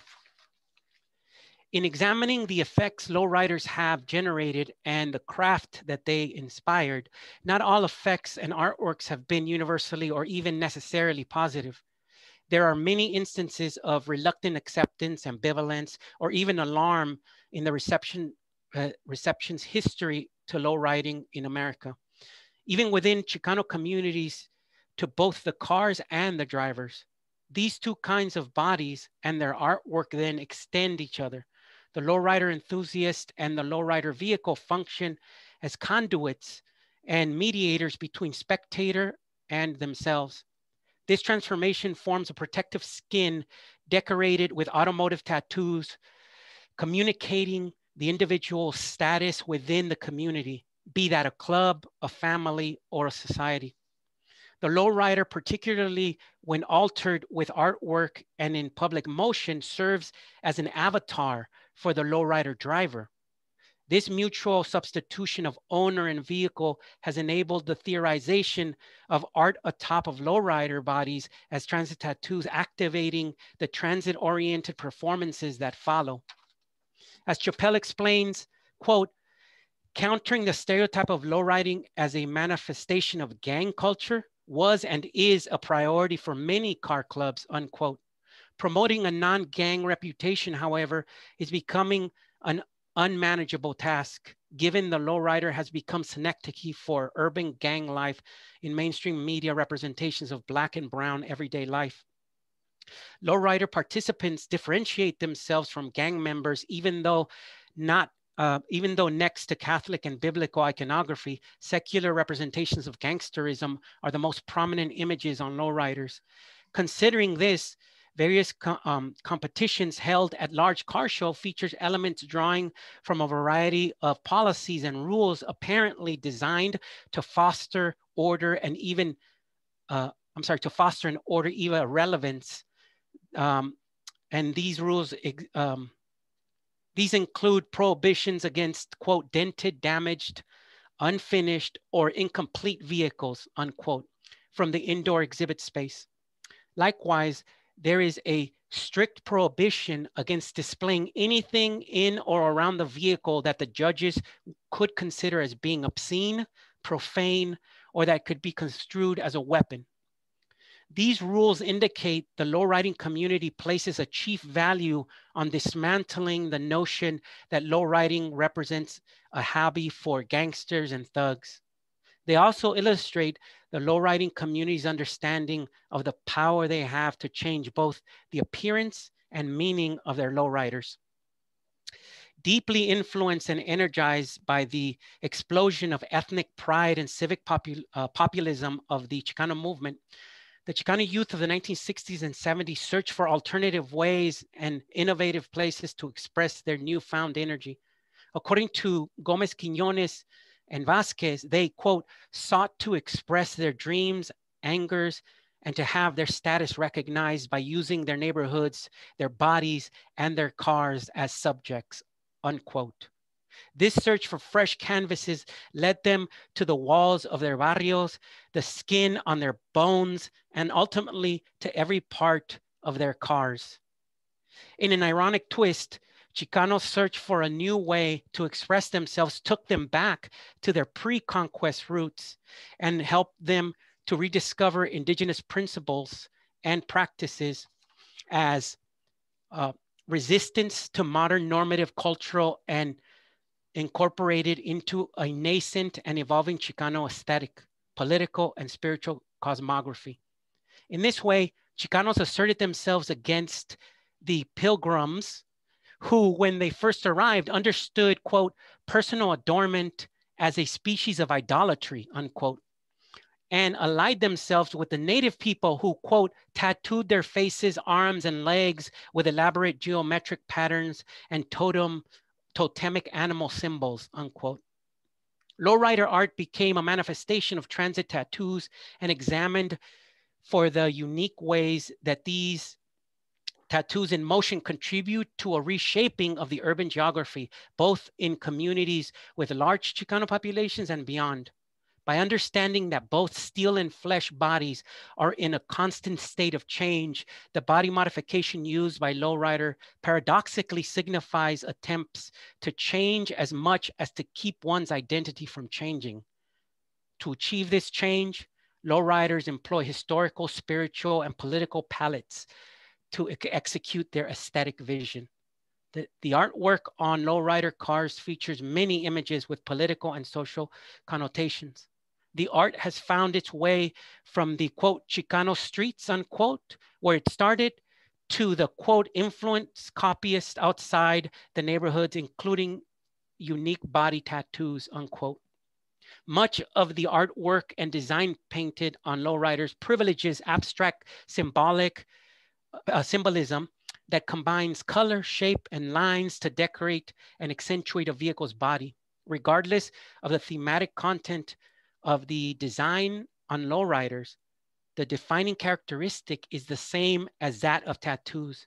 They are both deeply embedded representations that signal an assertion of individuality and the humanity through body modification that a specter confronted with, I'm sorry, that a spectator confronted with artwork on a mo mobile human or automobile must contend with motion as a factor of their visual consumption is key to the perception of the artwork.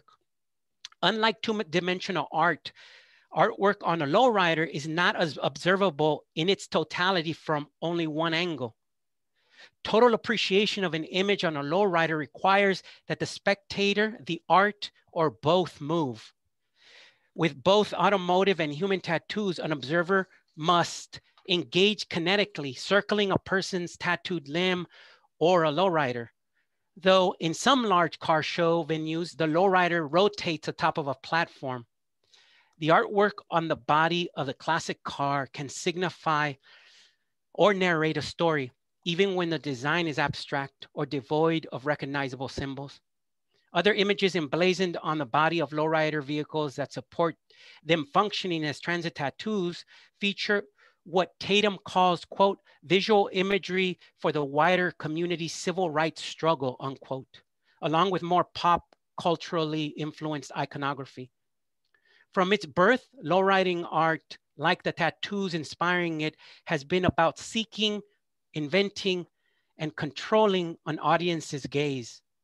The art of lowrider hoods, trunks, and side panels share many elements with both the mural found on a wall and the tattoo found on a lowrider's body in the streets of many major cities. But they seem to complicate even as they manifest the basic qualities inherent to both.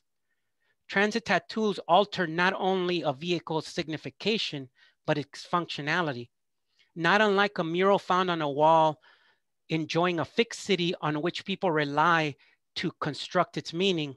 An image of a crucified Indian fixed upon a wall in Siqueiros' America Tropical evokes a different meaning when placed on a post on a portable postcard or on a wall calendar. The scale and size of a mural on a wall is also large owing to its purpose to be viewed by as many people as possible.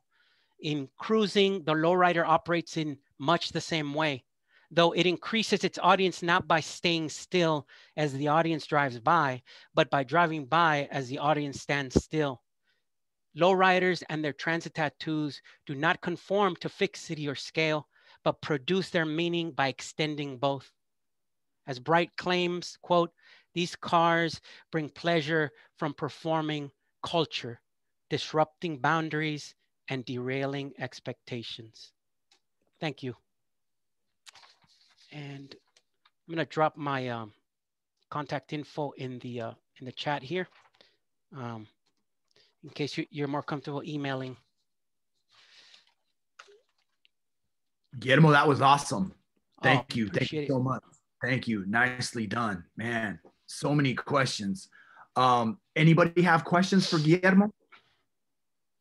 And we could spend we could spend a whole week just on that. as, as I was reading, um, I had these thoughts of, oh, they made that point already. They made that point already. You, you all of you had talked a lot about the different elements um, that you know that I had in my paper, and I thought I'm on the right track if you know people um, are resonating with those ideas. So I was really happy about that. Right on, for sure. Um, Is this the Aviles Rodriguez who worked at Fremont High School? Yeah, that's right. Uh, Amy, you're you're absolutely you're a detective. Absolutely, that's so funny. No, I'm sorry. She's a a, a teacher there actually. Uh, Miss Cunningham is one of the teachers there. Yes, absolutely. It's a small world. I did um maybe like eight years in LA Unified, then I went off to community college and then I, that's awesome. Yeah, Amy, so you have my contact info there. It's funny, we have to go to Salt Lake City to get connected. Virtual, virtually visit Salt Lake City. So For funny. sure. Any questions for Guillermo?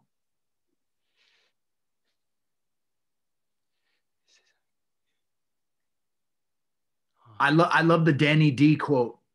Yeah, You know, yeah, painting a car is like tattooing a body. And and there's, you know, I think that it's important to know, you know, I mean, this is this is a this this is a synthesis, right? In terms of, you know, when you when you go to a show, right? Or even just taking the car. I, I can't take my car out to get a bottle of milk without making sure it's all wiped down and the white walls are clean. You know, um, it's important. And then the aesthetic that goes with that, be it the dress, the tattooing, the soundtrack, right? It's all a, you know, one presentation. Yeah. Yeah. Um, so Anthony says here, thank you so much for the research. You are a lowrider methodologist. wow. Wow, we're man, we're creating a new glossary: lowrider pedagogy, lowrider Awesome. methodologist, Yeah, right? Transit Yeah, yeah. tattoo is awesome. Um, you're getting a lot of props here.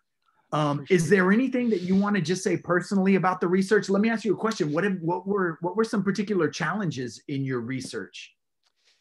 Yeah, so so one of them was just editing this down to 10, you know, 10 minutes, 15 minutes because you know, um, a lot of the the things that I sort of get upset and loathe is when an outsider comes in, thinks they've got it all figured out and then writes and gets published on a half informed basis, especially with people who are visiting a, you know, a phenomenon from the outside. And so what I try to do is never make a claim without giving an example or backing it up. And so what I found in this excerpt is like just because of time, you can't get deep into making that point and supporting the the connection. You just have to sort of. So the challenge, at least preparing for this, was to leave enough um, scaffolding to show that it is researched, while not you know putting people to sleep with the with that part of it. But then also, you know, another big challenge I'm sure a lot of you are having is that now that COVID has hit and been with us, you can't really set up coffee. You know, you can't go visit the car show because they're not they're not doing at least where I am. I'm in Los Angeles. You know, they had a couple of them early, but people got you know infection rates went up the thing. So so that's been a challenge. Um, but I'm hoping to come back to it uh, when when things get a little bit safer. Um, and then, um, yeah, my my research is, I would say, more uh, historical than ethnographic, but that's the next phase is really like connecting with people um, and doing what you all have done, right? Uh, boots on the ground kind of things. But yeah, that's my challenges. Right on. Anyone else have any questions for Guillermo? Yeah.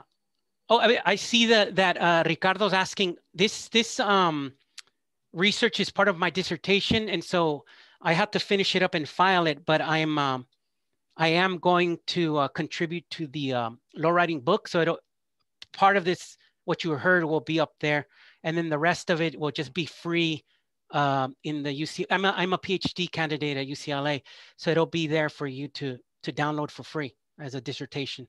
And if I ever get a, you know, an opportunity to develop it into a book, you'll be able to, to get that, but nothing um, immediate with that. Yeah. I, I really hope that you do because what I'm finding in my own personal research is that, you know, I mean, you you referenced all the heavy hitters, right?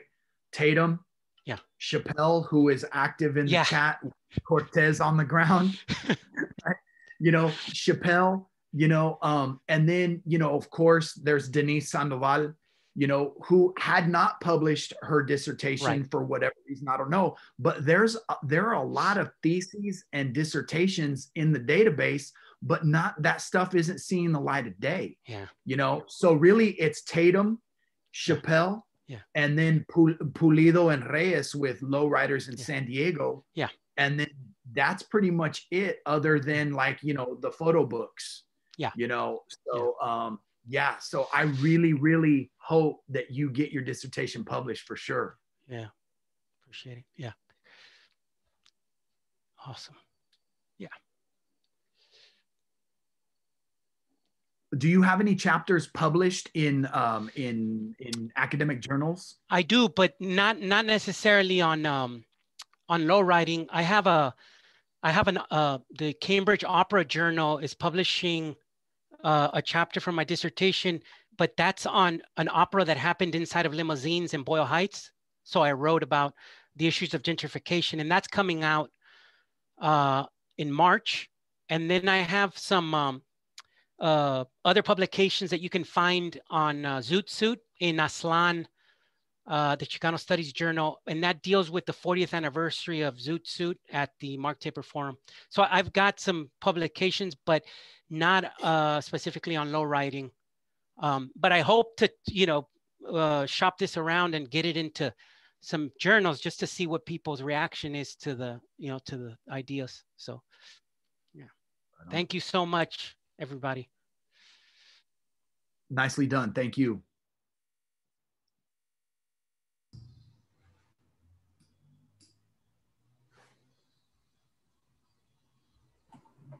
Awesome. Thank you all.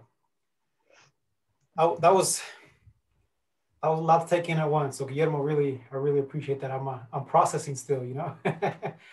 um, before we move on to our next speaker, there's just a couple of quick comments in here as well. I'd like to just get to.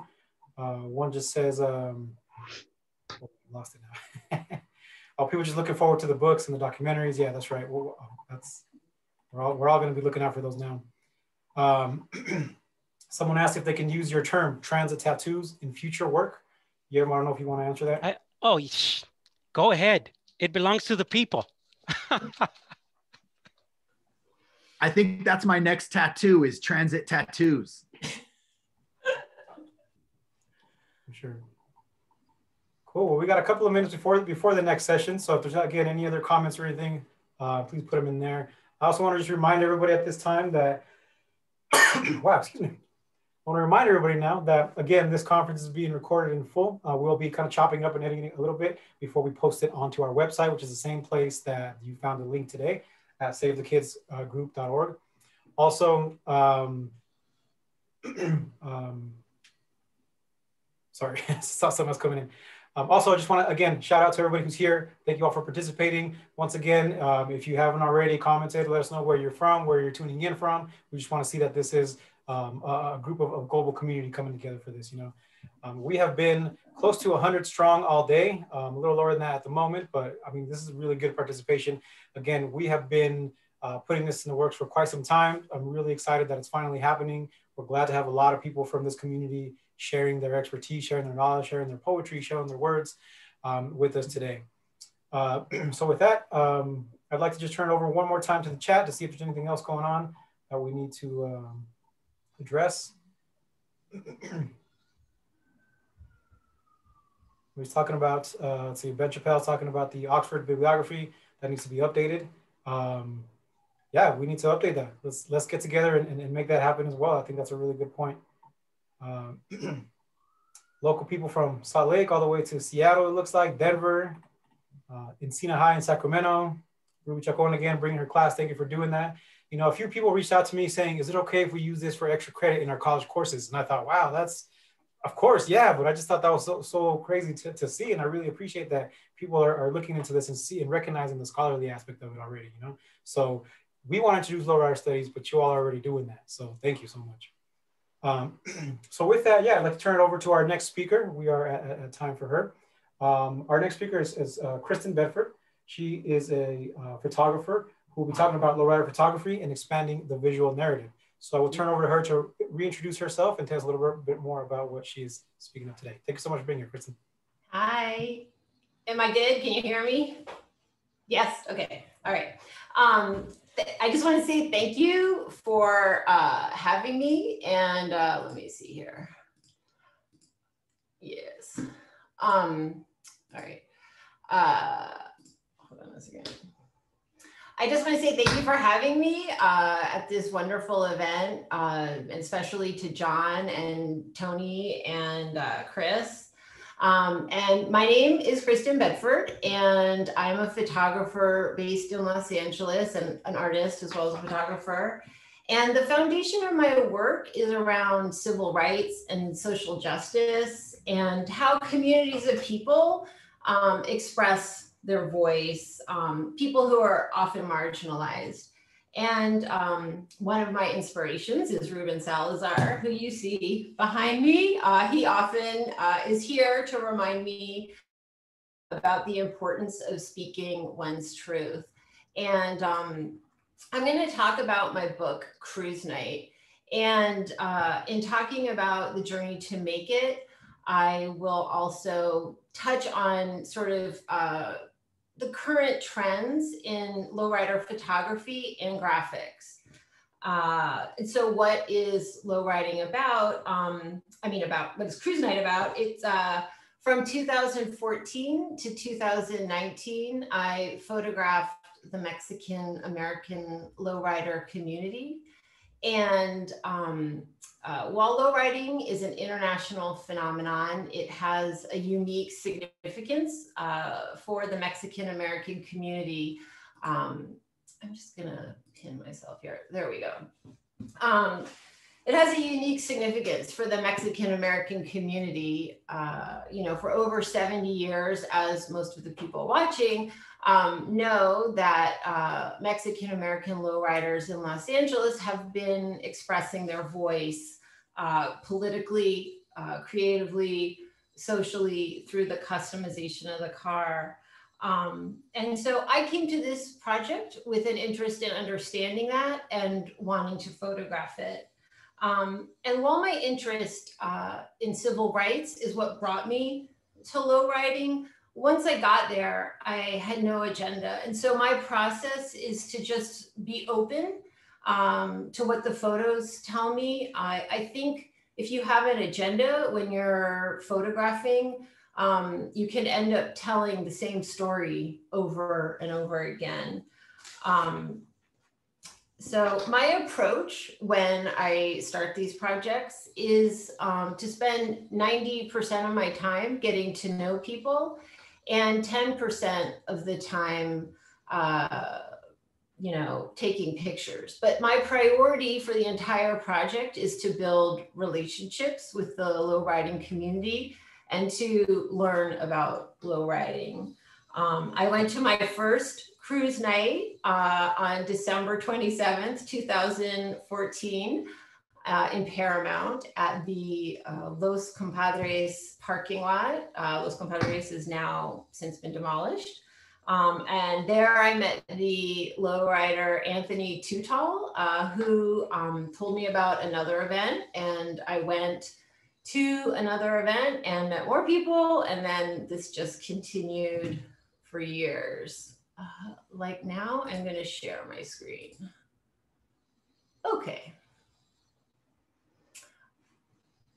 So um, over the years, I have formed close bonds with uh, the lowrider community and uh, you know was eventually invited to quinceañeras and weddings, funerals, backyard barbecues, road trips, car shows, the list goes on. These are just a few of the people who I'm friends with now. Uh, Mario and uh, Mary and Chemo and Richard and Jesse and Sapo. Sapo, you might be on here, aren't you? Um, so just to give you a sense of uh, kind of how I was working. And um, just to dive into the book now, um, as soon as I went to my first cruise night that December 2014, I just knew that I was in the right place. Everything felt right to me. Uh, and this is the very first photo that I took for the project. It was at that uh, December 27th, uh, 2014 cruise night. And this one is titled Anthony Tutall. And after taking the photo, I went back to my art studio and I was struck by the feeling uh, that the image was filled with mystery and light and form. Uh, and it was telling me a story and quietly doing so. And as the journey continued, um, I began to see a theme where glimpses of moments that didn't rely on showing everything were speaking to me. I went to the Lowrider Super Show in Las Vegas uh, with a bunch of lowriders in October 2015. Uh, this photo titled Raquel uh, was taken that weekend. Again, I was interested in the quietness and the form and the mystery. Uh, in this photo titled Miss You Brother, I was struck by the tender, vulnerable, and moving words on the no draft window. Uh, the light, the sentiment, the lines of the car all convey um, a love and a loss to me. Um, none of these, uh, none of the photos I take are posed. Um, they're all natural. And in this day and age, um, with the iPhone, this is very hard to do because people are extremely self-aware now and posing and how they want to look in photos. Um, but becoming closer with the community, um, becoming part of the family, I uh, could take these unstaged photos. Uh, and while cruising with people, I wanted to try to capture that moment of cruising. And in this photo titled No Soy de Ti, I Don't Belong to You, you see Mary in the back seat of her bomb, and uh, her son uh, Gilbert is driving at the time. And uh, you know, the wind is blowing her hair, and she's moving it out of you know out of her face and, and when I see this image, I felt like she appeared as a divine heavenly figure. There, there's a sense of being part of an inner landscape and transcendence. Um, there is also the clear and very important message of her independence and defining herself as her own woman, as seen on her tattoo. Uh, in this photo titled Yahera, I'm at the last cruise. Um, before the 6th Street Bridge was demolished in 2015. Um, you see the golden light uh, on her face. And again, there is a feeling of being witness to an inner landscape. Her beauty and stillness, um, again, speak to me as a divine figure. And um, what I also appreciate in this photo is the historical significance um, as the 6th Street Bridge is an important landmark uh, in the lowrider community in Los Angeles. Um, also, I like the flower in her hair, which is a nod to the Pachuca styles of the 1940s. So there's all this history and connection uh, swirling around in her quiet, introspective form. Uh, in this title, uh, photo titled Samantha, you see her sitting in her father's car while is a storm is approaching in Elysian Park. And I'm struck by both her beauty and that of the car and the quietness that is there set against this dramatic sky. So the history of my work has um, been around has been around people. Uh, before doing cruise night, I had no experience photographing objects. So it took me a while to figure out how to relate to the automobile, both moving and still. Um, I see low riding as a fine art, uh, both the vision of the car that is executed by the owner and the craft that goes into expressing that vision. So I approached this um, craft and vision um, very closely. Um, I, I went very deep into the paint jobs and this photo titled Candy Lime uh, is part of that journey to explore the micro element um, of these works of art. And here is another one titled Candy, Lavender, and Magenta. Um, if you're saying to yourself, no, that's not candy lavender. I got everything from the owners of the cars. so this is what they are calling their paint color. Uh, so, um, and then I also step back uh, a couple feet and photograph details from the cars to go deeper into the symbols and the meanings of each automobile. Uh, in this photo titled Para Luis, uh, you see the roses in the lowrider display. Uh, the owner put those there in honor of his late father, and his father always kept uh, thriving rose bushes in their front yard uh, in East LA.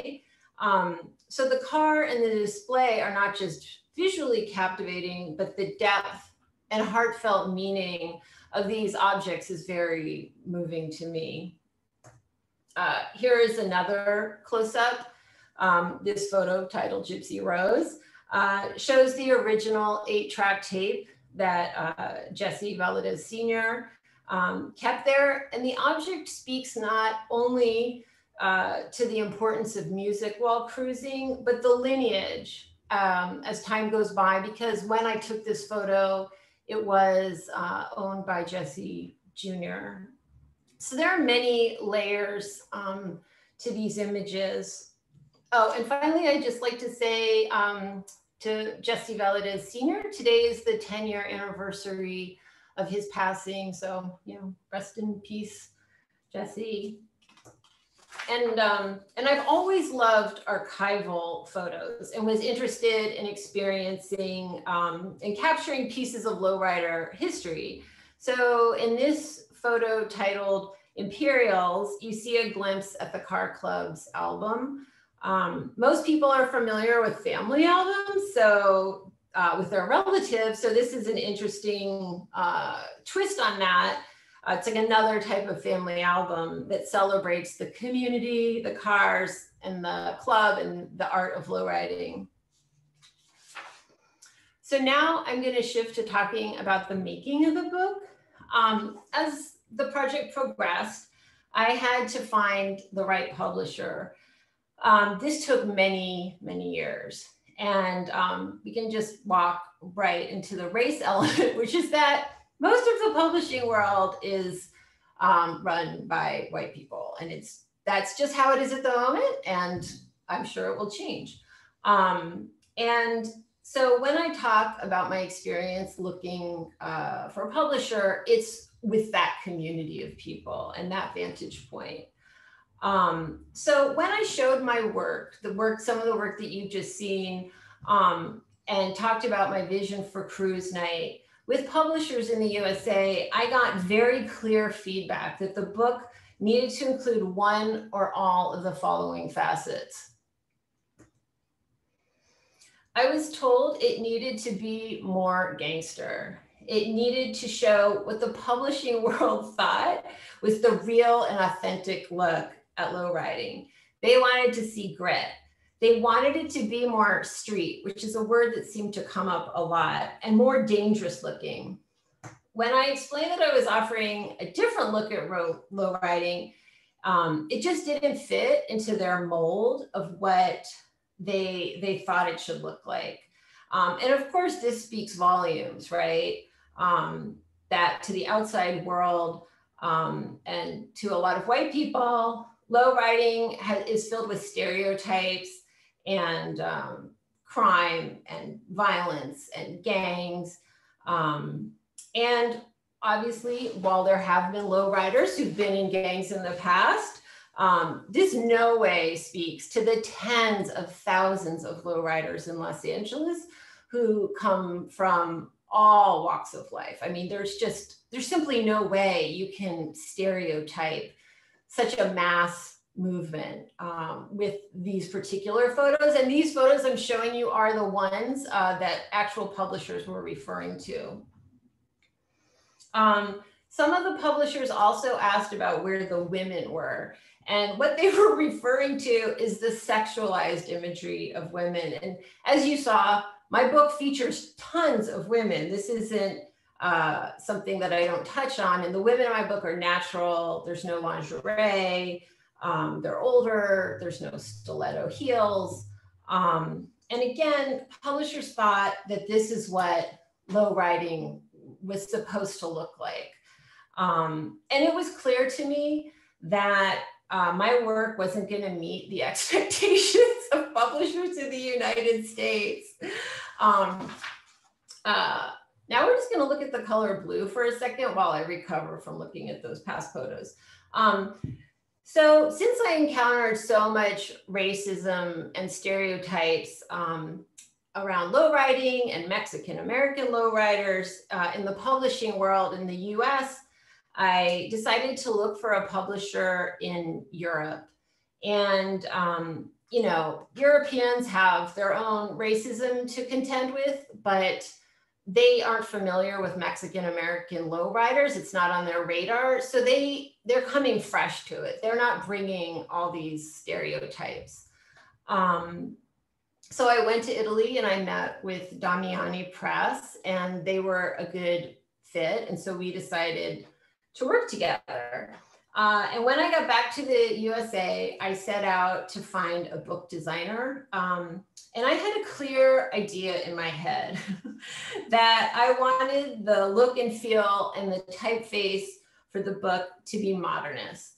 Um, I feel like modernism is an integral part of the Los Angeles landscape, and it tied into another aesthetic and cultural element in the book. Um, I felt that recontextualizing low riding in a modernist style um, would present the work through a new lens, which is, you know, how I saw things. Um, and plus, if you want to go into like the details of modernism, modernism, the Bauhaus, Art Deco, Streamline Modern, they're all interconnected. So when you look at um, a 1930s or 1940s Chevy and you see the, the lines or the hood ornament, you're actually experiencing a, a branch of modernism as well. For another day, we can talk about that. Um, so I set out to find somebody who could realize my vision. And I wanted to use uh, this circular, this modernist font called, uh, or typeface called Circular. And um, I met with a number of book designers. And I got similar feedback from all of them. Uh, they suggested the typeface and the look of the book should again be more street. This word kept coming up, uh, is what they told. They suggested I use graffiti fonts like this, um, or the classic Gothic font. Uh, the other theme that came up was that book designers felt the look and feel could also be more folklorico in style. And I was presented with traditional typefaces used in Mexican decor um, and the media. Uh, so again, I was coming up uh, against a stereotype of how Mexican American lowriders should be seen. It was either street or folklorico. Uh, while these typefaces are appropriate for some things, um, it again seemed like lowriding was being pigeonholed in my experience and it's such a diverse movement and i feel like there's room for so many forms of expression um, so uh, i finally found a kind and humble uh, book designer uh, who who helped me realize my vision. Uh, this is a graphic uh, representation of the final cover uh, in the circular font. So after a long journey uh, from that first cruise night in Paramount in 2014, I went to Bologna, Italy uh, two months ago in November to oversee the printing of the book. I really wanted to make sure the car colors were accurate as well as the wide range of skin tones. Um, and here I am working with people at the press and I will say that I was triumphant. I got my book realized the way I wanted, and it was not easy. It took years. Um, it was very difficult, but in the end, I, I won. I got it. um, so, and finally, I want to address the text in the book. Uh, I was urged by many people to have um, a famous artist, a renowned art critic or a prestigious academic uh, write the essay. And I was always really uncomfortable with this. I thought that um, it was the lowriders themselves that should uh, be the text and uh, their words. So I spent over a hundred hours driving around Los Angeles County, um, interviewing old time lowriders. Uh, so I transcribe the interviews and I use quotes that capture a moment, um, a glimpse at the experience of low riding. And um, these quotes are interspersed with the images in the book. And for me, the photographs are visual poems. And I wanted text poems to accompany them. And the quotes with the lowriders are the poems I, I dreamed of. And I want to read two of these quotes while we look at some more photos from the book. Let me just take a sip of water here. Also, some of these quotes, um, they give titles to people in car clubs who've now since left the car club. So um, this one uh, is by Tomas Vasquez, who uh, was an Imperials car club, and he was a lowrider since, it has been a lowrider since 1970. When I was 12, me and my cousin used to go to a Sunday matinee in Whittier. It started at one o'clock and we watched two movies for 75 cents. We would make it a point to come to that matinee show because when we came out, the boulevard was hopping. Cars were bouncing their hydraulics, revving their pipes, stereos were on full blast, and we knew that one day we were going to be cruising on the boulevard.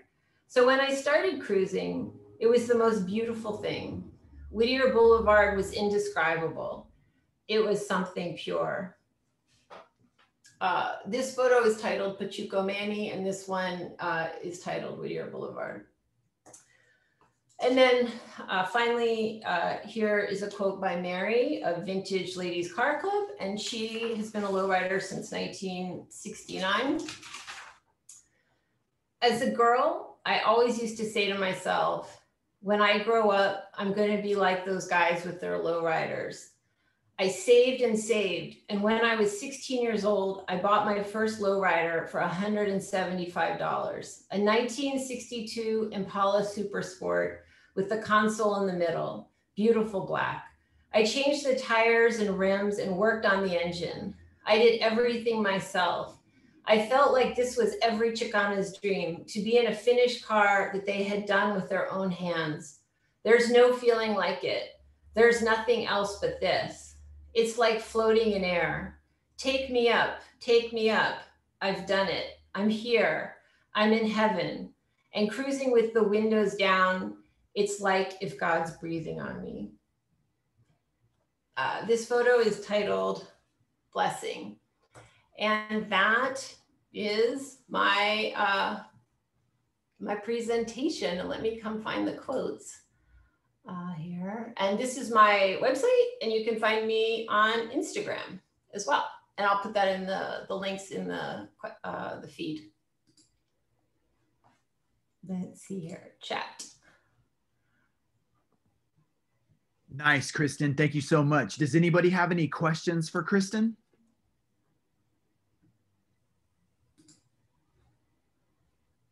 Cindy Valadez says, Thank you for all you have done and continue to create. Kristin, also thank you for recognizing my dad today on his anniversary. Much love and respect always. Much love, Cindy. Much love to the whole Valadez family. Um, where can we get the book? Is the question. Oh, yeah. So it's, um, now there's uh, a lot of traction about the book. The book. When's it out? The book. The book. Okay. Yeah. Um, it's available for pre-order on Amazon whoa, okay, I'm gonna look that up right now and post it. Um, and uh, here we go. So it's available for pre-order. Here, I'll put the link in. Oops. Keeps going to everyone in meeting. There, that's the link. So um, the book, as you know, is printed in Italy and they get put on a boat. So they have to sail here. Um, and Amazon says it'll be available by April 13th. Um, so if you pre-order now, uh, you'll get it by then. Um, I, it, it, looks like a lot of them have sold already. So um, it might be good to get one now. uh, but yeah. Edward Salas asks, did you ever run into pictures of a red 38 Chevy owned by Nena? She was one of the first mujeres on the boulevard. Where does she live? Where did she live? Like where did she when when she when she had it on the boulevard? What area? Edward, can you clarify where would where would that car been driven? Norwalk. Okay, Norwalk. Huh. And was she part of a, a car club?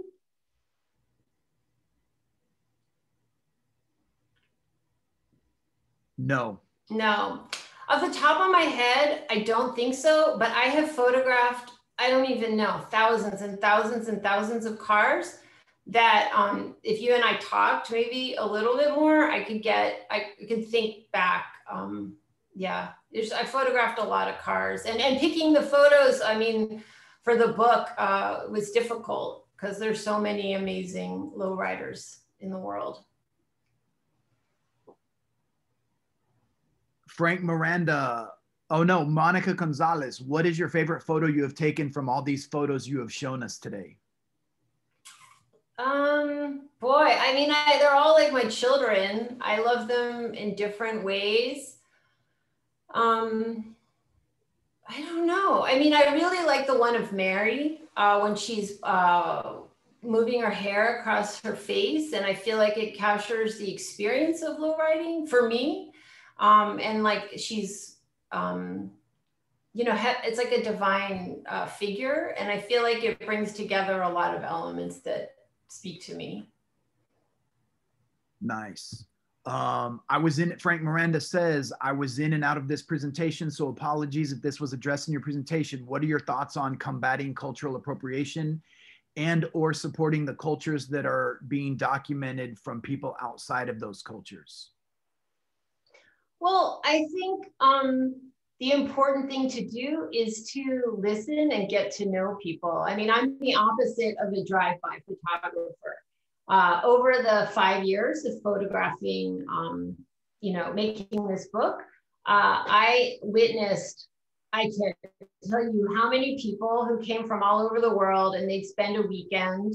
They'd go to Whittier Boulevard on Saturday. They'd go to Elysian Park on Sunday. Maybe they'd do something else, uh, you know, barbecue or something during the day.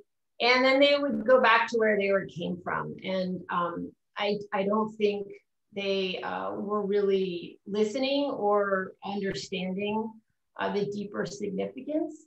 Um, and uh, so I think that it's all about relationships and trust. And um, I feel very close with the community and, um, you know, just like there's a lot of kinship. So, and, and everybody understood what I was doing there. I wasn't taking from anybody. I mean, I'm friends with, I know just about every single person in the book personally. Um, so there's, it sort of feels like a, a family album, sort of, you know. Um, and then what was the other part of the question, John?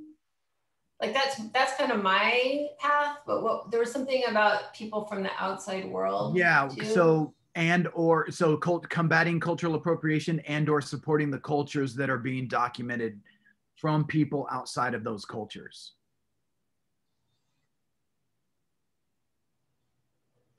I mean, it comes down to respect, you know, and love. And how do you want to be treated? You have to treat other people that way, you know. For me, photography is about love and it's about relationships. Um, so people in the outside world, you know, I, I can't speak to how they do it, but I think if you want to be part of something that you're not originally from, the greatest thing you can do is show respect and listen. Cool. Any other questions for Kristin? Did you mention um, did you mention the other communities you have been embedded in? Bruce is asking that. No, I didn't go into that. um, yeah. Oh, then somebody wrote, "What initially drew you to photograph low riding?" Sophia Trujillo. Uh, that I it was a, an interest in uh, civil rights and uh, how writing um, is a form of uh, expressing and exploring one's voice um, uh, politically, culturally, socially um, through the customization of a car. Um, so I, I come in the ground level with a political interest. Right on. Any other questions for Kristin? All right, Kristin. Well, thank you for your presentation. Thanks for participating. Good to thank see you. you. John. And we're all excited about your book and the book after the book. So Oh yeah, I didn't mention the second book. Do I have to, I have to, I have one minute, right? You have one minute. Plug, plug, plug that, So- that book after the book. Yeah, the book after the book, it's a whole other story. Um, so while I was conducting all of these interviews and recording oral history, um, uh, when I was setting up the appointments to go to people's homes um, or shops, I uh, asked if they had any old photos uh, that I could scan, um, photos that they had taken dating from the 50s uh, through the 90s. And so um, I collected a very large body of um, vernacular uh, archival photos um, from low riding in Los Angeles. And during the pandemic, I started an Instagram project, which you can go see. Um, I can write my Instagram here. Um, where I post um, old photos of old school low riding photos taken by lowriders on Instagram. And uh, since uh, I began, people from all over California and the Southwest have been sending me photos. And um, I wanted to honor those photos on their own. So I'm going to do um, another book um, called uh, Recuerdos, which is, uh, it's going to be a smaller book and it'll just be a sampling of those old uh, lowrider photos. Um, I didn't want to uh, mix them into my work. I wanted to let them sing and stand on their own for uh, the beauty that they are. And um, it's a whole other conversation talking about the history of, uh, you know, people's family albums and their personal representation of low riding. Awesome, Kristin. Well, thank you so much. Thank we got to move on to the next presentation. All right. Have a good you. day. I look forward to connecting with you real soon. Yes. Awesome.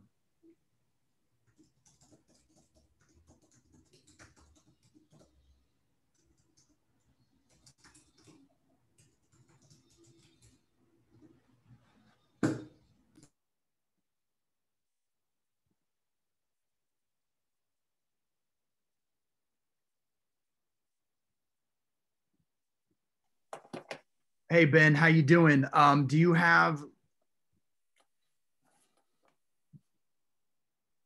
Let I'm me- good, thanks. Can you hear me? Yeah. Do you have? Um, I don't. I don't have a present a visual presentation other than just there's one photo that I want to show sort of towards the end. Okay. Um, so if I can uh, if I can share the screen, that shouldn't be too hard. okay. Let me um let me get that happening. So I'll introduce you if you don't mind, everybody. It's nice to finally meet you. Um, we have we are thrilled to have Ben Chappell, who is a professor of American Studies at the University of Kansas. Uh, Kansas, Kansas. Sorry, that's my teaching coming in. University of Kansas. He's the author of Lowrider Spaces. I'm trying to hold it up. I'm Lowrider Space. I'm I've got it right here in my hand.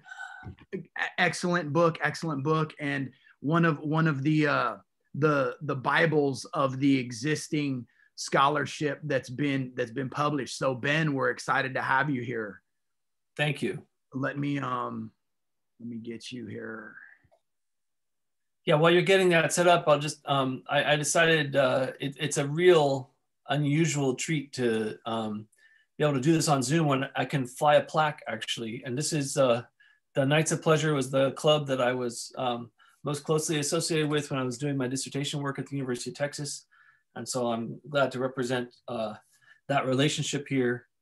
Um, I also want to, I'm going to throw a, a link in the chat for something else going on in the Midwest here where I am now. I, well, um, it's in Chicago. It's not right here in Kansas, but here in the larger Midwest. Uh, amazing festival that uh, goes on in the Pilsen neighborhood of Chicago. I highly recommend that you check it out. They're also uh, working on an art book uh, project, trying to get it funded. So I thought I would just drop that in the chat for everybody.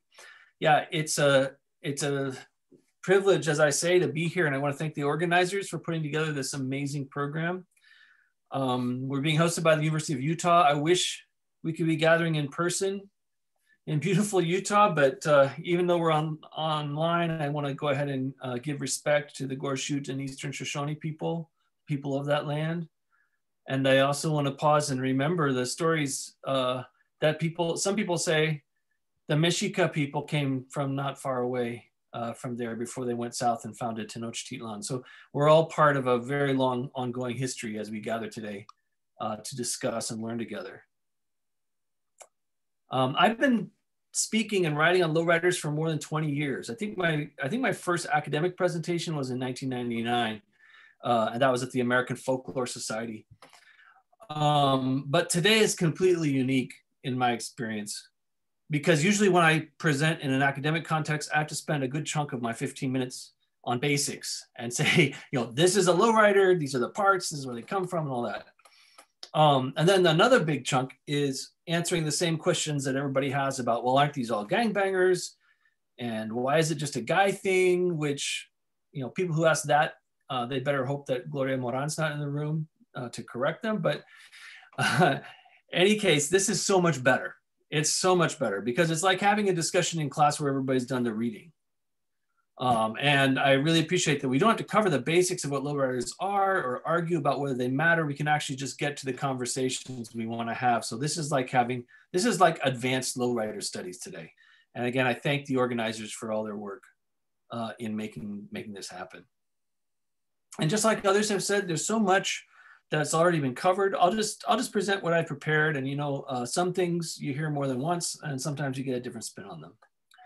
Um, but what I planned to do today was talk about lowrider aesthetics, and part partly because one of the ways that I got interested in lowriding was I went to graduate school not specifically knowing a lot about lowriders, but knowing that I wanted to understand aesthetics and politics, and that was my that was my drive really because I had studied to be a music teacher, which means that most of my education up to that point was training in aesthetics I studied the Western tradition of music and what sounds right and how do you play or sing in order to make it sound right. But I also noticed when I went to work in schools that there were only certain sounds that were being taught as being right, certain ways of being music that were considered to be valuable and enriching for everybody to learn.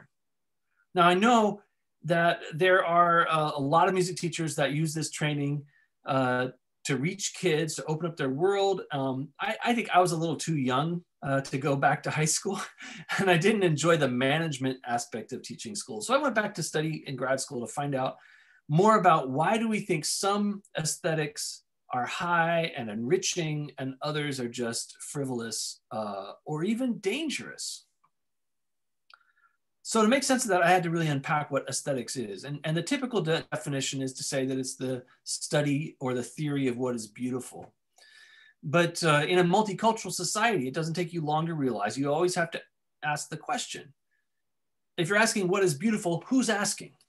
And who's deciding? Who decides what is beautiful? And as I got into my graduate studies, I also started to learn from a lot of scholars um, about questions of affect which is uh, questions about how social life a lot of times works through feeling and sensation and kinds of force that we don't always know how to talk about.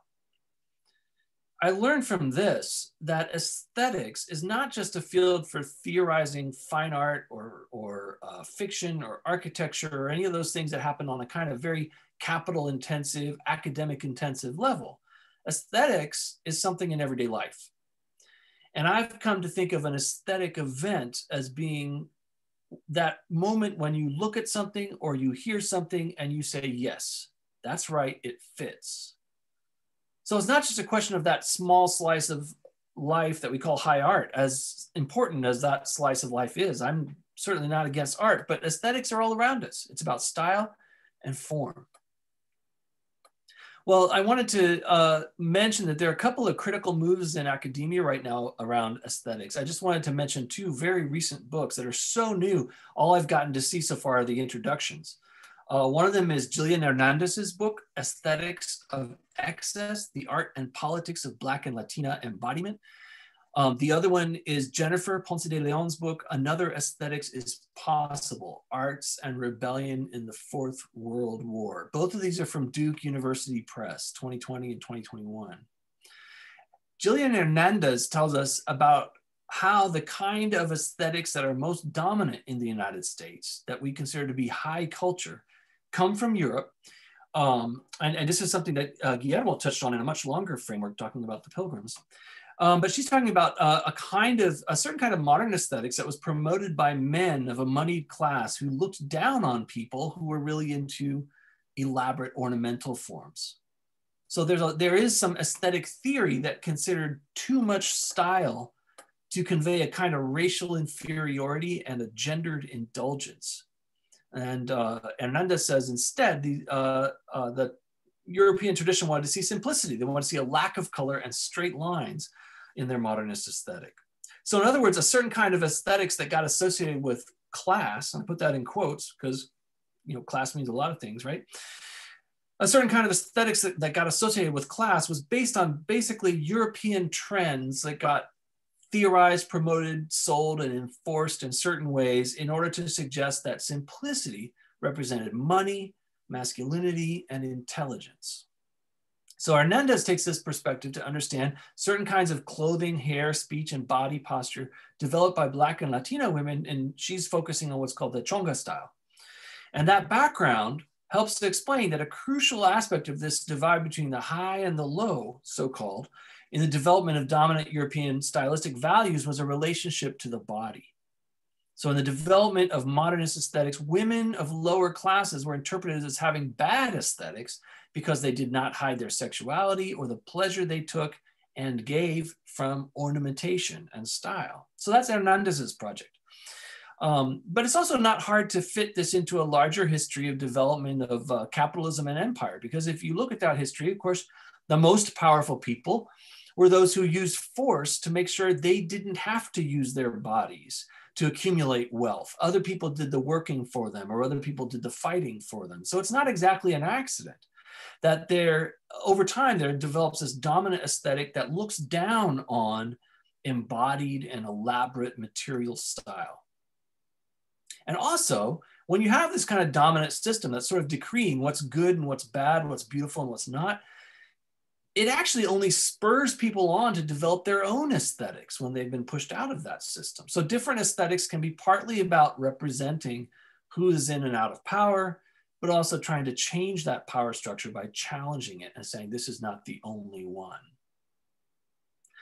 Jennifer Ponce de Leon, uh, this is the, the other book that I want to uh, bring up today. She's also interested in what you might call street aesthetics. And I'm glad that Kristin brought up that usage because I think that, you know, when people in a certain uh, in, in, that publishing contest talk about make it more street um, it matters uh, what the context is for that right? And i think that we can talk about street aesthetics in um, in a different context uh, uh well essentially i think that that's what i'm going to be talking about today. But anyway jennifer ponce de leon is interested in in uh, in aesthetics that are situated against the dominant power structures and she draws inspiration from social movements around the world that are struggling to change things. And part of her point is that political struggle is never just about policy or who's in government or what movement is able to convince people uh, uh, to, to do things. But when people struggle for a different world, they also make the world different. They make it through graffiti, through music, through ways of speaking and dressing, and again, style and form in everyday life. So Ponce de Leon defines aesthetics as being not just about the things that are recognized as art, but in her words, she calls it the socially forged sensory composition of a world. Socially forged sensory composition of a world.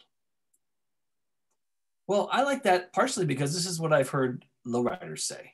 It's a way of living, it's a lifestyle. And what follows from that uh, from uh, especially from uh, Ponce de Leon's argument is that aesthetics is always political. When there's a confrontation between different aesthetics, you can see it as a struggle partially over different ways of feeling and seeing reality. Okay, so that's my quick dive into aesthetic theory. But what I, what I really want to say here is that there's this conversation going on in academia, and people are looking closely at the history and the politics of aesthetics, but too often that conversation does focus on the so-called uh, high art. In other words, the conversation focuses on people who've been credentialed either by academics or by, uh, by money, whether it's in the art market or Hollywood. Um, but scholars like Hernandez and Ponce de Leon, and I'd say pretty much everybody at this conference who's participating in this conference seems to understand that people in everyday life make aesthetic decisions. They make judgments and projects and engage in that struggle over how to see the world. They make that, those decisions every day. So basically, I'm arguing that the history and experience of low riding has a whole archive of knowledge on this. We've, there are books and books that have been written and can be written to inform these debates. All right, so that I want to get uh, into a little bit into specifics. Um, my work on these questions was in Texas. Um, it's been some time since I uh, had my uh, chucks on the ground um, in, in, field work, uh, but after a very, very long process of field work and, and, study and writing, I published my book, Lowrider Space in 2012. Um, and the title of that book hints at a major part of my argument when I went into the lowrider scene and I connected with a club and went cruising with them, hung out at meetings and fundraisers and a lot of the day to day activities uh, that it takes to be a club, I was always asking, what is the work that aesthetics is doing? And I really agree with uh, Ponce de Leon when she says a lot of times we think of aesthetics as a form of expression, as sort of telling the world who you are. And that's true, aesthetics is expression, but aesthetic forms don't only represent things. Aesthetic form also makes things happen. And I refer this not just to as, uh, uh, as expression, but performance. And another thing that I think happens when lowrider aesthetics comes out in public on the street through this performance is that it produces a certain kind of space. It gives places a certain kind of character or identity. Remember, aesthetic judgment is looking at something and saying, that's right, that fits. And, um, you know, having that kind of effect depends on where you are. Every lowrider knows there are neighborhoods where you can cruise and people are going to look around and say, you don't belong here. But also, lowriding is a feature of barrio communities. For years after I did my fieldwork in, in South and East Austin, the times I came back, I would always get that feeling when I when I first saw a lowrider that I know where I am. I'm back in a special place. So this is a way that aesthetics is not only a personal statement of identity, but it's almost a way of doing battle over the boundaries and the borders within a city. Uh, who different spaces are for, how space and the boundaries and hierarchies between communities are going to get policed. And some of the things that I learned from lowriders is that style is a performance of space. It makes it happen. And when you do that in public, it becomes a politics of presence. And I would call that a version of what Henri Lefebvre called the right to the city. So there's so much more to say about that. And, and there was a lot more that I was gonna uh, cover in the abstract. I wanna make sure that, uh, I wanna make sure that there is um, time for some discussion. So I'm just going to jump ahead um, because in the first presentation today, there's a question about appropriation. Actually, in the last presentation, also a question about appropriation. And I do think it's important to keep in mind that when we say aesthetics is about form and style and about space and where it happens, it's important to remember that it's never just about these things, but it's also the way that they happen together in a certain social context. And that context is, is one of certain social relations between people. And so I'm going to tell you a, a real quick little story um, here about this 64. I'm just going to show one picture rather than do a whole PowerPoint thing. So the center of my fieldwork in Austin, Texas, was the cruising scene on East Riverside and the place that people on the east side call Chicano Park. Um, these places are part of the East Side Barrio that has all but disappeared. The 7872, uh, sorry, 78702 is one of the most intensely gentrifying zip codes in the United States. Austin has grown two or three times the size since I studied there, with a lot of the growth coming from high tech industry coming in from California.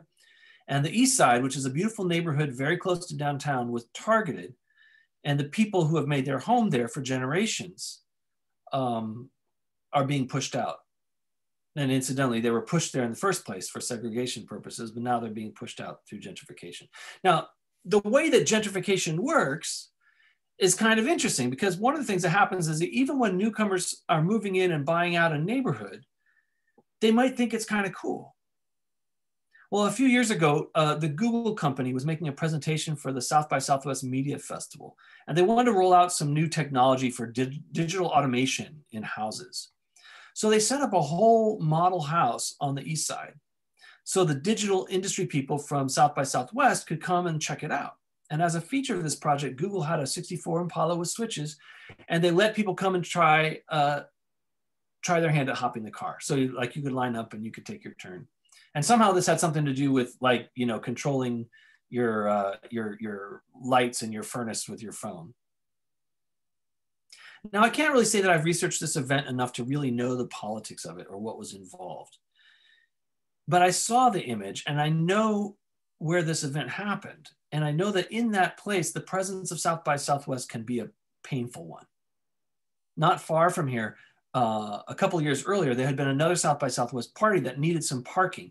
And just for that, they evicted a neighborhood business that sold pinatas and, and, and party supplies, and they demolished the store with the stock inside. That was just to make the uh, way for a party to happen one night out of the year.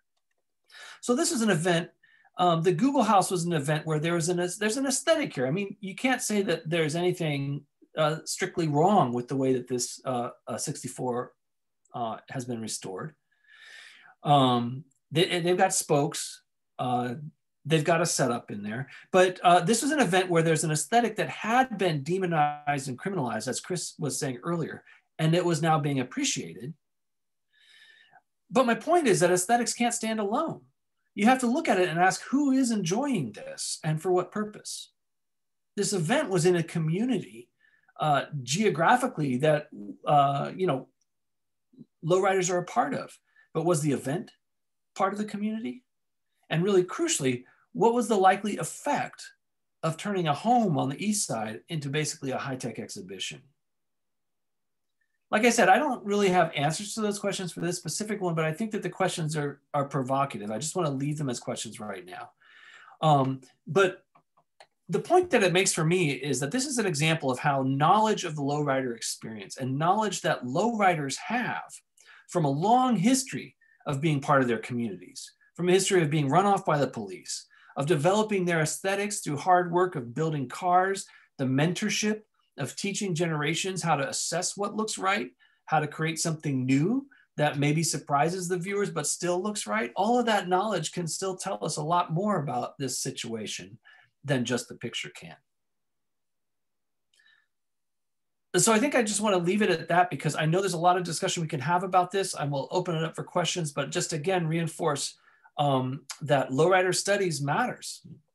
And uh, I just told this very brief story to try to make the point that low writing has a lot to teach those of us in education. And um, so it's been my privilege to help support that in this conference.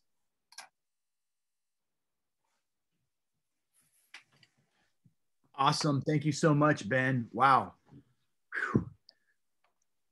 lot lots of lot to unpack for sure um do any of you have questions for ben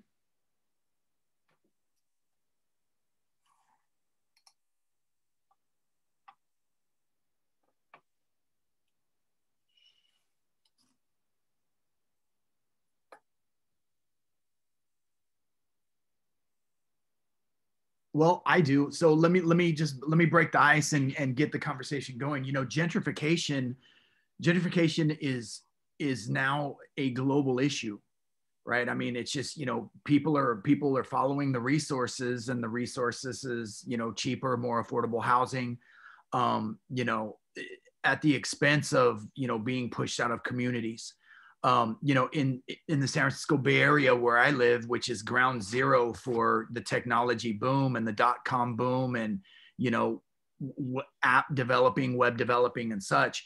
In the Mission District on Mission Street, which is like our Whittier Boulevard in San Francisco, you know, um, there was an event, and you know, some gentrifiers were coming out of a you know shishi restaurant right on Mission and there were lowriders everywhere. And the person said to her friends, who I'm assuming were out of town, from out of town, this is not a normal night here in the neighborhood.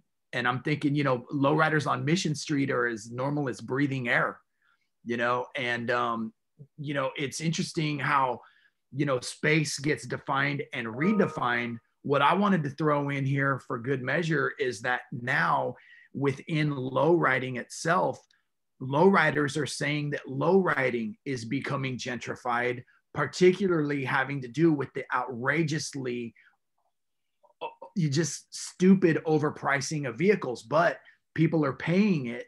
So it does become a question of access and accessibility. So what do you think? Yeah, that's a great uh, that's a great point. I mean, I think that um, sometimes it when when you talk about like cars getting overpriced, that's such an interesting uh, uh, point, and I think that that's partly it's it's very closely related to the picture that I showed, where like you can take the form of a '64 Impala, which is as lowrider as it can get, right? Um, and but you can still take that material form out of its context and it becomes something different. Even if it looks exactly the same it becomes something different because of the relationships around it right and so i think that that is that's something that's really important to remember and that um, and, and that this kind of uh, the, the conversation around aesthetics i was talking about is that it's not just a, a question of qual of uh, of uh, quality or characteristics of objects even though it does have to do with that. It's a material thing but material things are always part of lives right? And and and they fit into lives in certain ways.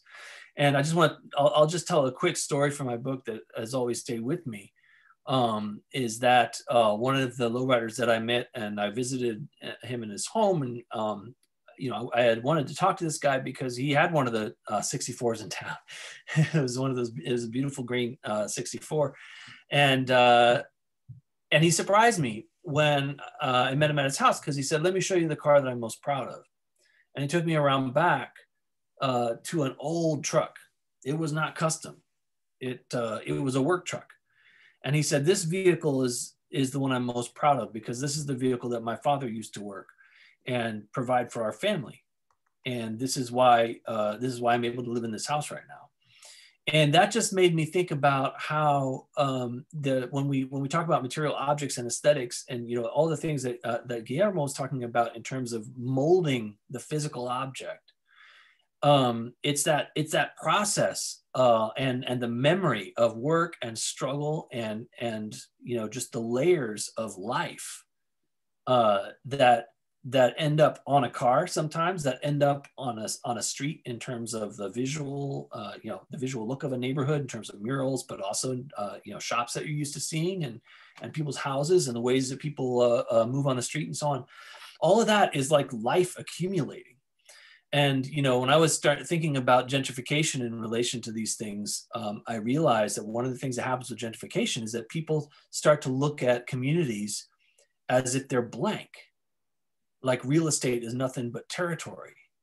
And you know if you it's like you can buy that and turn it into anything you want. Well you can technically do that but sometimes to turn a, a, space into anything you want means you have to erase generations and decades of history um, that are that that happen just from people being there and so this is why i think it's so important when you're dealing with these questions um, to always be uh, respectful, yeah, um, but also just really learn um, some of that history that is in people's experiences and the knowledge that they have. Right on. Um, someone says, um, Isaac says, um, he liked when you said that when people see a lowrider in a rich area, they tend to say, that it doesn't belong. Yeah, I mean, I think that that's just part of, uh, you know, uh, in the United States, we all know that that cities have boundaries, right?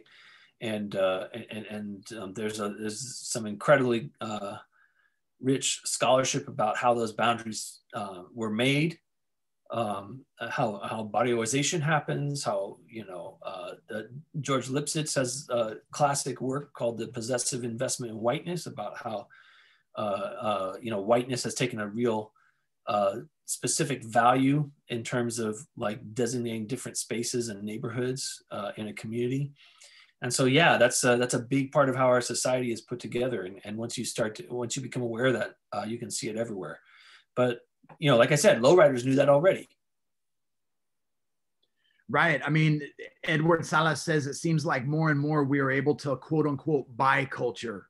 Is it mm-hmm. identity versus practice?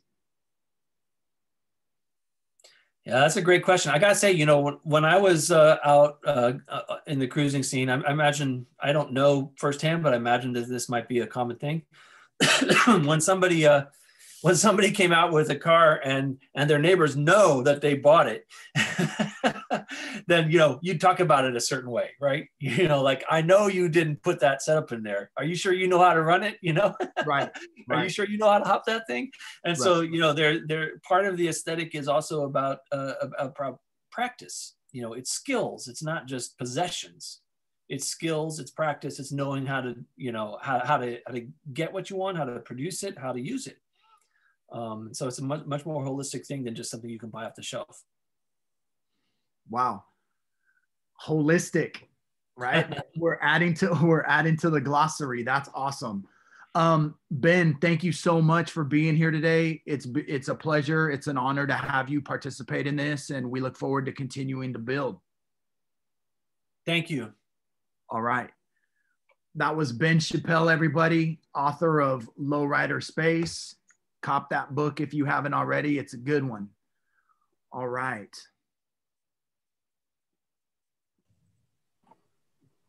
Awesome. Well, this is really going strong. We're about 100 people on average for every session here. So once again, I want to thank everybody for tuning in, for joining us, for your questions, for your comments. I see a lot of comments um, along the same theme of saying, you know, I never would have imagined something like this happening when I was younger, or people saying I feel validated, or people saying, you know, I never thought about lowriders in this way. So that's what we're here today to, to do, you know, to continue to be seen.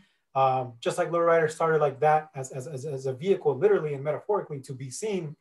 We are here today taking on another chapter, another step, you know. So once again, thank you all to everybody.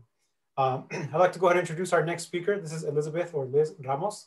Uh, she, her session is called The Lived Experiences of La Raza's Membership in Lowrider Car Clubs, a Phenomenological Study.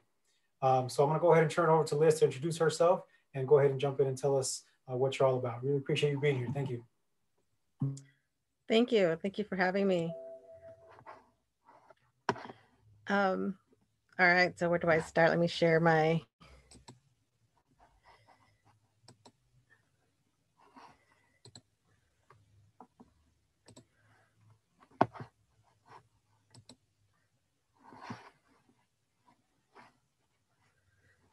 Okay, let's see. So I want to um, thank John for the question of I, is it identity or is it practice? Can you? There we go. Because that's really what my study is about.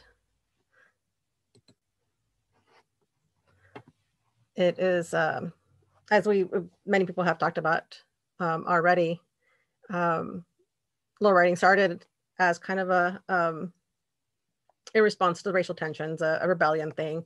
It really has morphed into something a lot more um, positive, and that's kind of what my study is about: is trying to reflect on those positive things because I think we need more of that. And um, and I, again, I, I'm thank you for having me in this presentation because I think that this hopefully will contribute to that that positivity. Um, one of the things that I that drove me to do this uh, research is that uh, I, I, work in the mental health field. Um, I'm a PhD candidate for clinical psychology. Um, I've uh, been into lowriders um, since I was a, a kid, um, starting with, uh, you know, my uncle had the lowrider and we cruised and we did all the thing. Um, going into being a teenager, going to super shows, all that good stuff. Um, but as I started going through um, through school and, and through getting um, my undergrad, master's, and, and, so forth, and finally working with uh, the the the community, um, one of the things that really stood out was um, what are the things that keep us from developing serious mental health issues um, what are some of the things that contribute to wellness um, and then working in a psychiatric hospital that became really evident in the sense that um, we really didn't see a whole lot of um, latinos um, um, hispanics coming into the hospital and, and, it was very curious because where i worked there really was a um, big population of Latinos. I um, even got to do in outpatient programs. So people that had um, been hospitalized were now living back in the community, uh, but needed that continued care. We had probably 500 patients in our outpatient program, and my group of uh, Latinos was comprised of like eight, which was really underrepresented. And so I, I really started questioning why, why is, is do we have such a, a lack of um, responsiveness to the services out there? And so going back to the low riding, this is where that low riding came back in is, as I started thinking about, okay, now what am I gonna do my research on? What am I going to write a book and, and do this whole study to culminate my, my education with? And um, so the, the one thing that really resonated was the issue of community. And that is super important for the um, mental health um, community, for the individuals that have serious mental illnesses. Um, but even for those that don't have serious mental illness, I mean, with COVID now, we are facing so many mental health issues. Um, so what keeps us from kind of going over that edge and, and developing more serious things? And so um, I figured, you know, this is going to be my last thing for, for school. I'm going to make this interesting for myself, but also add something to the field of psychology that really has not been represented. Um, and so that's where low riding came in. I was like, okay, I am going to study lowriders. I, am very curious as to um, what uh, drives them. Again, is it uh, identity? Is it just practice? Um, and then the the question of is it a lifestyle? Is it a hobby? Um, who differentiates that? How do you determine that? Um, so I wanted to to um, study personality. Um, I got to the point where I was like, okay, let me just narrow this down.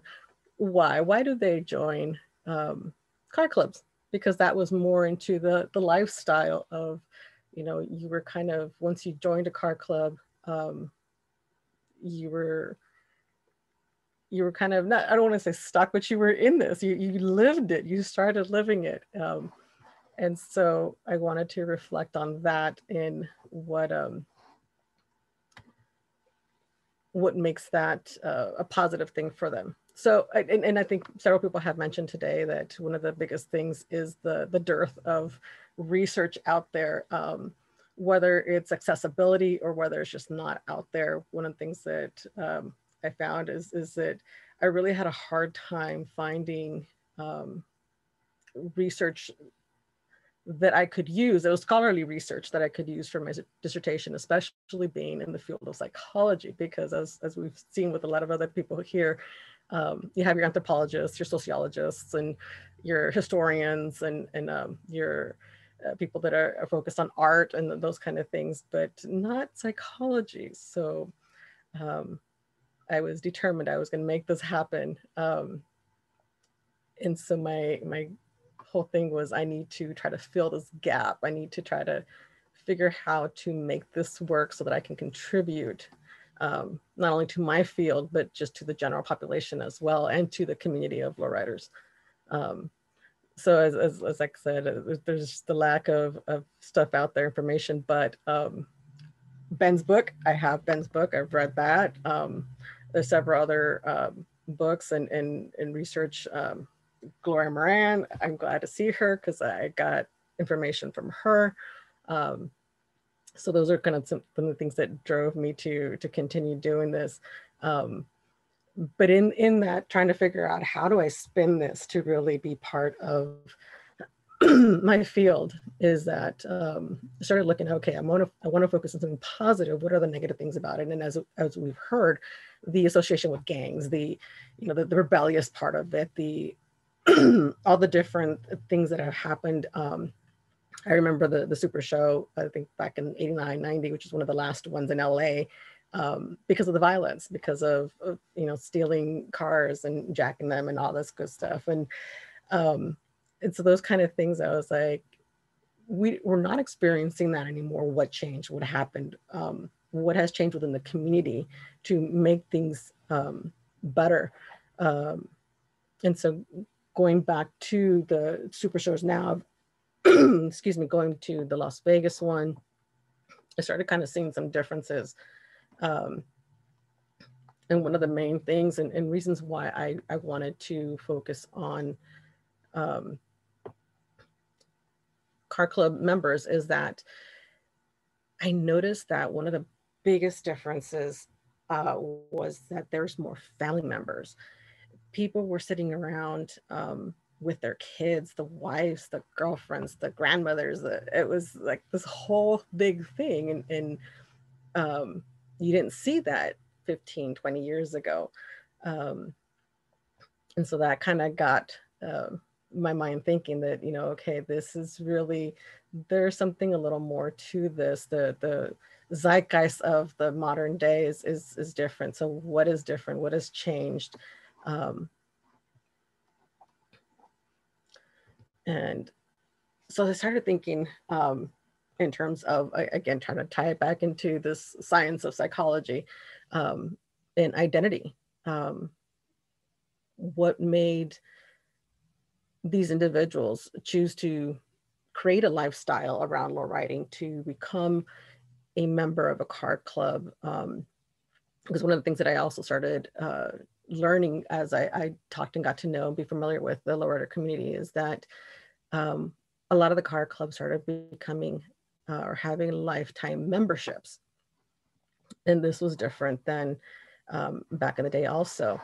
Um, and that contributed to, okay, if someone is really willing to um, stay in a car club for, you know, 10, 20, 30 years, um, what are some of the, the, driving things? So values, um, low riding has predominantly been um, known as, as a Chicano thing, but as, as we've heard, um, it's not just a Chicano thing anymore. And even back in the day, African Americans were a big part of it.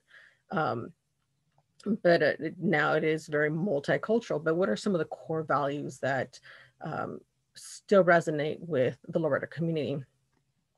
And then again, how does it work as a as a network, um, as a social system to support wellness, to um, how do they come together as either a brotherhood or as a familia to help individuals out when they're struggling, whether it's dealing with racism, financial things, occupational things, what have you, raising kids. Um, so that was my my framework. That's what I was looking for. so my research questions were basically trying to explore the lived experience. So how do they see their experience in a lowrider Car Club? Um, what has influenced them to make that decision to be a member of a car club? And and one of the things that in, in this picture here, um, one of the things that really helped me kind of motivate me to to do what what I did in my research is the owner of this car um, was a, a friend that I've had since like kindergarten. I live in a small community. We all know each other. Um, but he really kind of, uh, the low riding community helped him come out of a dark place and really change his life. Um, and I am super proud of him for um, having this car, for changing his life, and for, you know, being a better person. Um, so again, my it, my study is a qualitative one, which basically means I interviewed a bunch of people. Um, I had to kind of keep it. I, I, wish I could have done more interviews. COVID really kind of put a, um, a pinch in all, all these things, but um, I did two interviews face to face, and those were awesome. Um, but definitely a, difference from having to interview um, individuals by phone.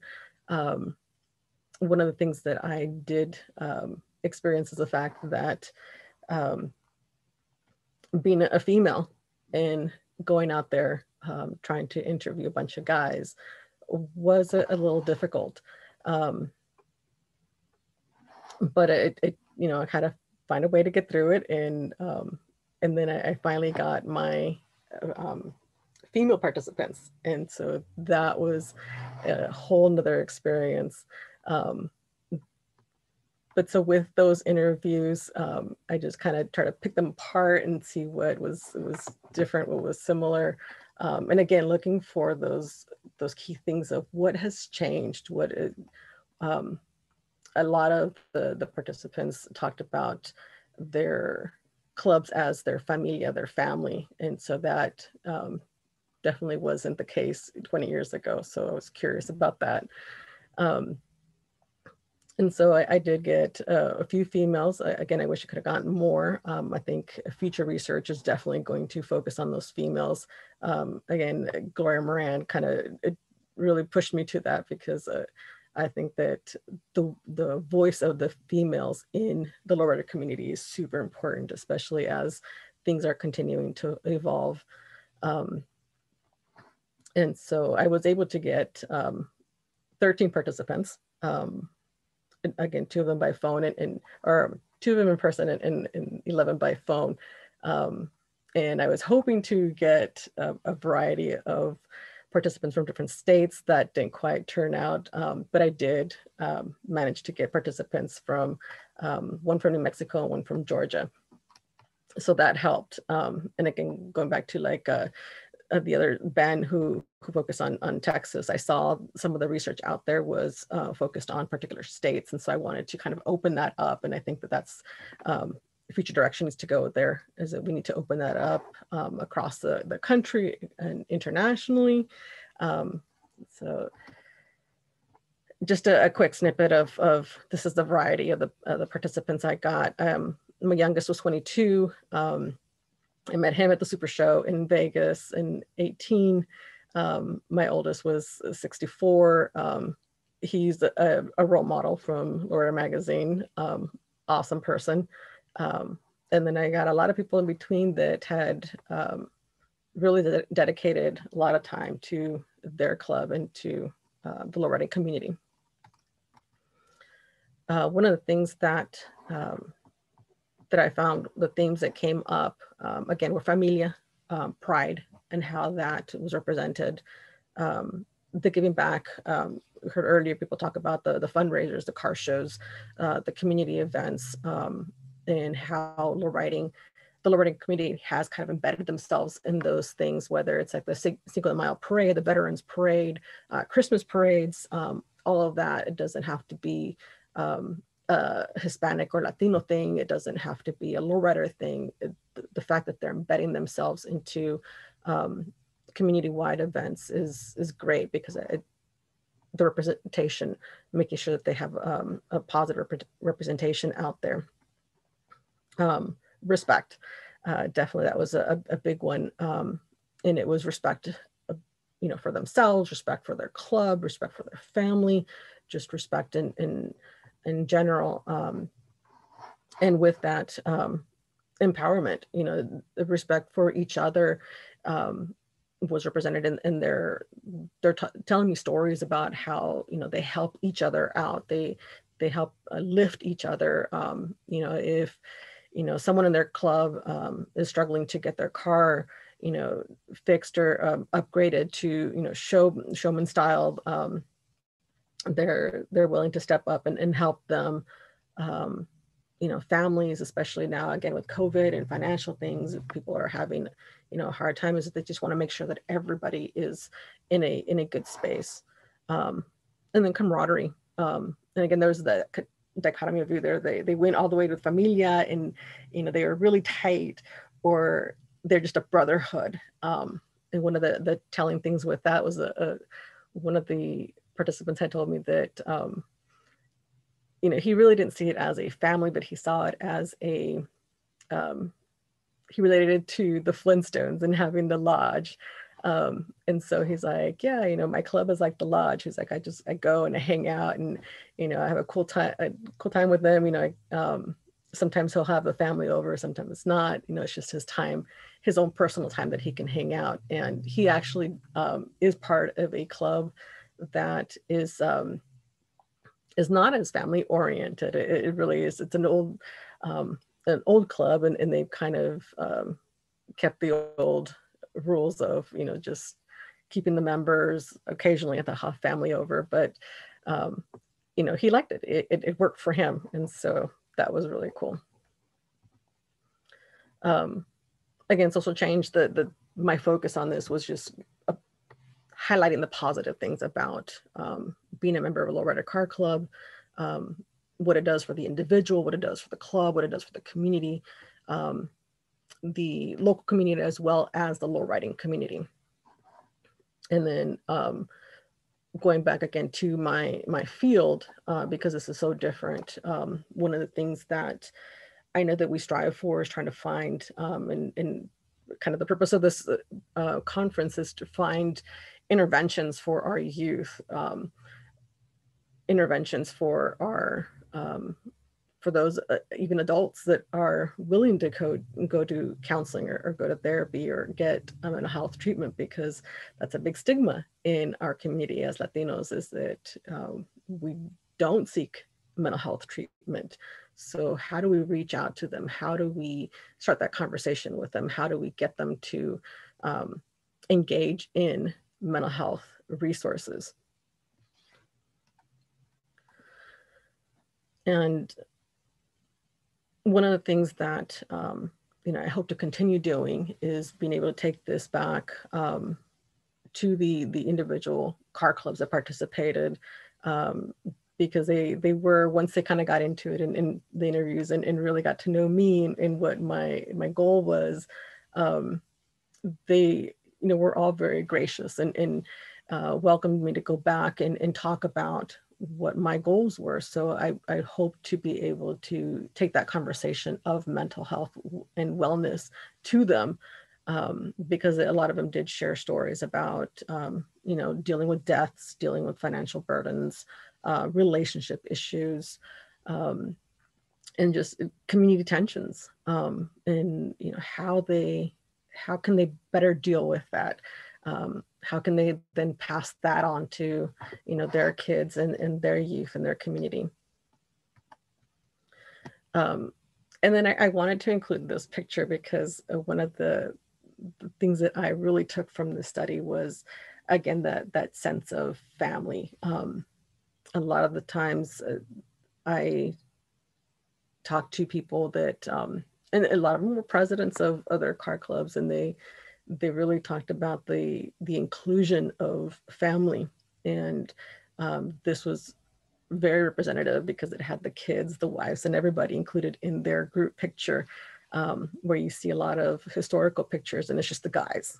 Um, again you don't have very many of the females um, you know there, there aren't too many. There females have been in the lowrider community since the 70s if not earlier um, but we really don't see representation of them. Um, it's mostly the guys, um, but this stood out because of the fact that it, it really did include them in, in um, going out to cruise nights and stuff. Um, they would tell me, oh yeah, you know, we, we barbecue, we have everyone, you know, come together and everything. I was like, yeah, sure.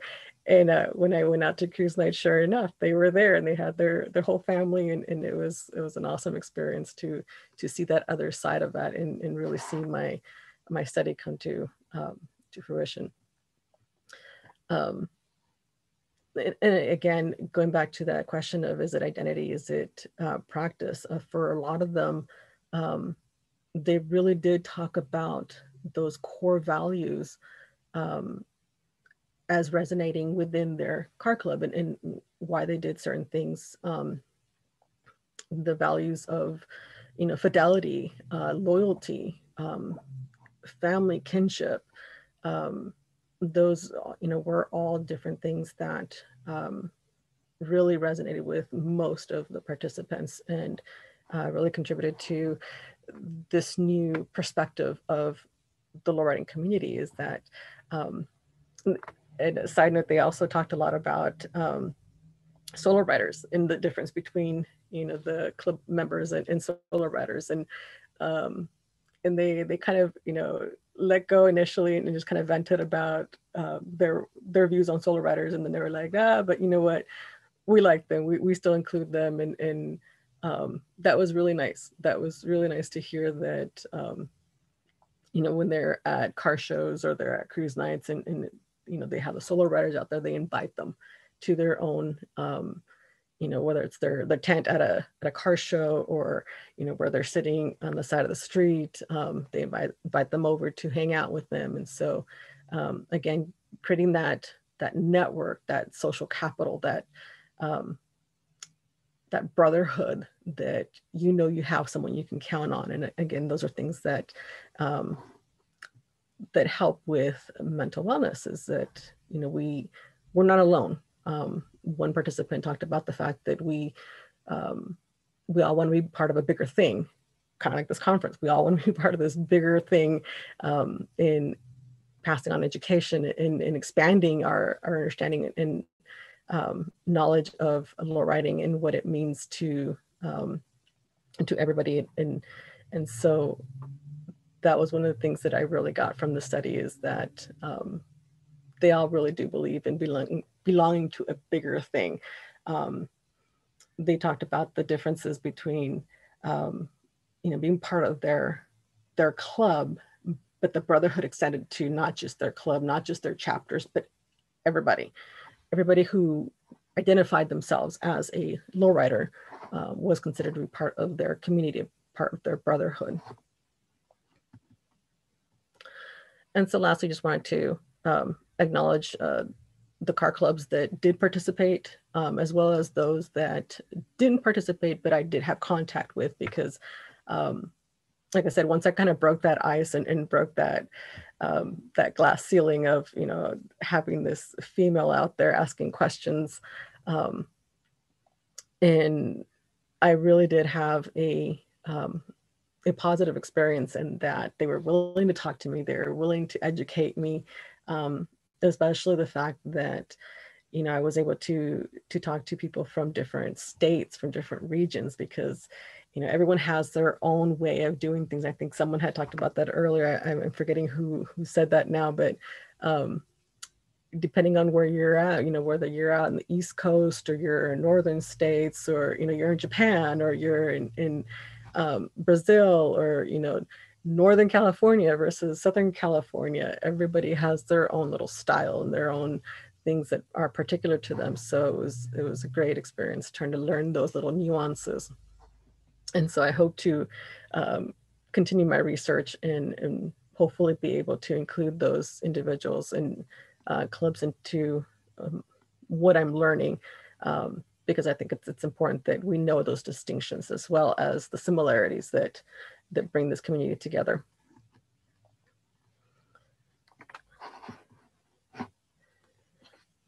Okay. Um, I'm not sure how I am with time.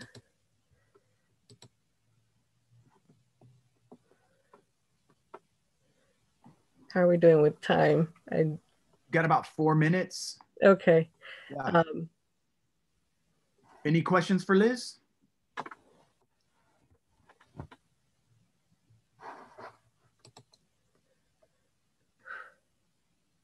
How long have you been interested in these types of cars and culture?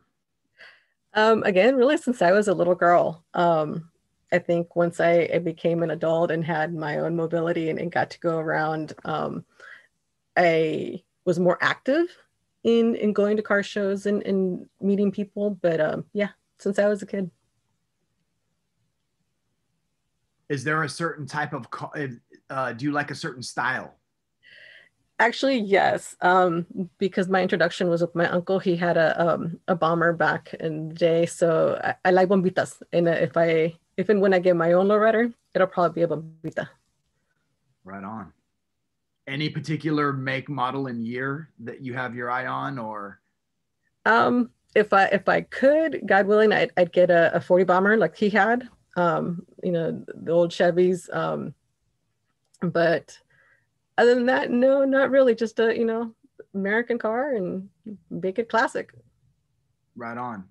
Chris asks can you say a bit more about lowriders as as support systems more than just about building community um, I guess I want to know a little more what what he's looking for. Um, they're a support system in the sense that um, they're in contact with each other uh, frequently, um, not just in their their meetings. They're you know they're texting, they're calling, they're hanging out, um, so that conversation is open. Um, and I think a lot of the people that I talk to um, have kind of been moving more towards um, you know, back in the day, the machismo, you know, you didn't talk about stuff. If, if you had problems, you really didn't address them. You know, he'll take care of it on, on his own. But now they're they're they're asking questions, and they're addressing certain issues, and they're trying to you know help each other out that way. Very cool. Any other questions for Liz? Do you do you have Instagram? I do actually. Um, I don't use Instagram very much, but I think it is Latina Shrink 10 is what my Instagram is. Is that all one? Yes, all one word, Latina Shrink 10.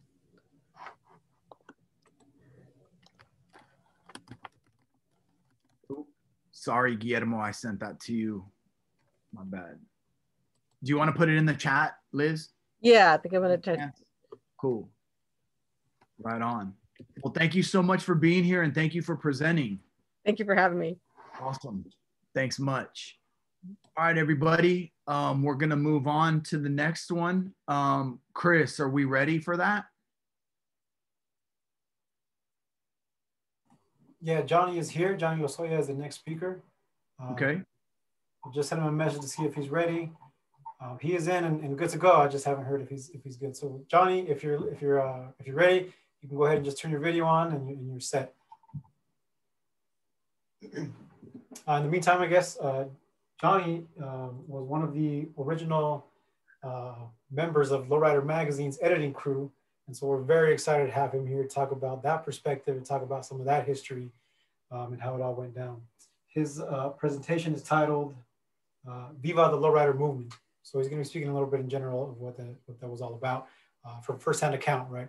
So Johnny, if you're ready to go, we're ready for you.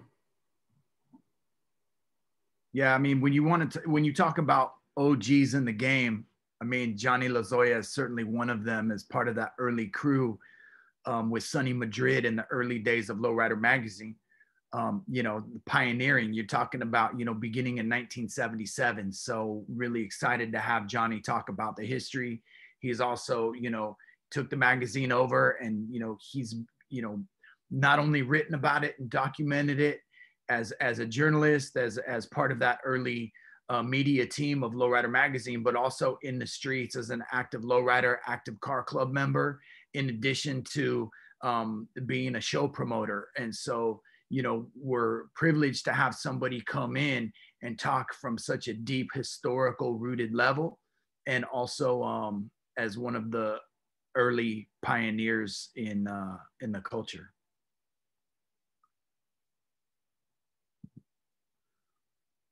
On on my screen i show him as connecting to audio and then the three the three periods kind of dancing there so. Okay so it looks like he's trying to connect.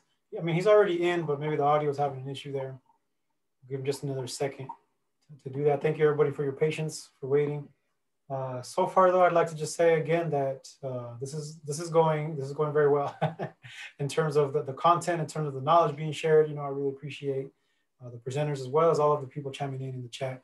Once again, uh, telling us where you're from and, and, telling us your thoughts on this overall. Uh, it makes me really happy to see that there's a community behind this already. You know, um, absolutely. To, to, be completely honest, uh, John and I, when we were talking, we, we, were a bit nervous putting this together, thinking, all right, how's this going to look? How's it going to go down? But so far, I mean, you all have made this made this a wonderful event. So once again, thank you very much. Absolutely, absolutely, and it's just a, a pleasure to be be part of it. You know, I'm I'm ecstatic. I'm ecstatic. I mean, you know, it's already been so robust, right? I mean, from what from you know where we started to right now, and then I was looking at the schedule, and there's still a ton of stuff to go, right? We still have a lot of presentations to go, so we're you know, do what you can do, you know, drink that coffee, you know, grab your lunch to go, Uber Eats, whatever.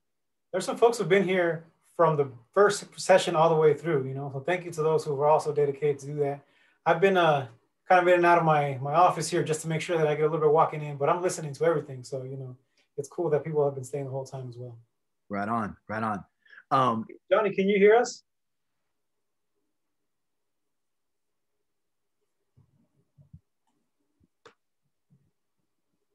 Okay, looks like looks like there might be some technical difficulties there.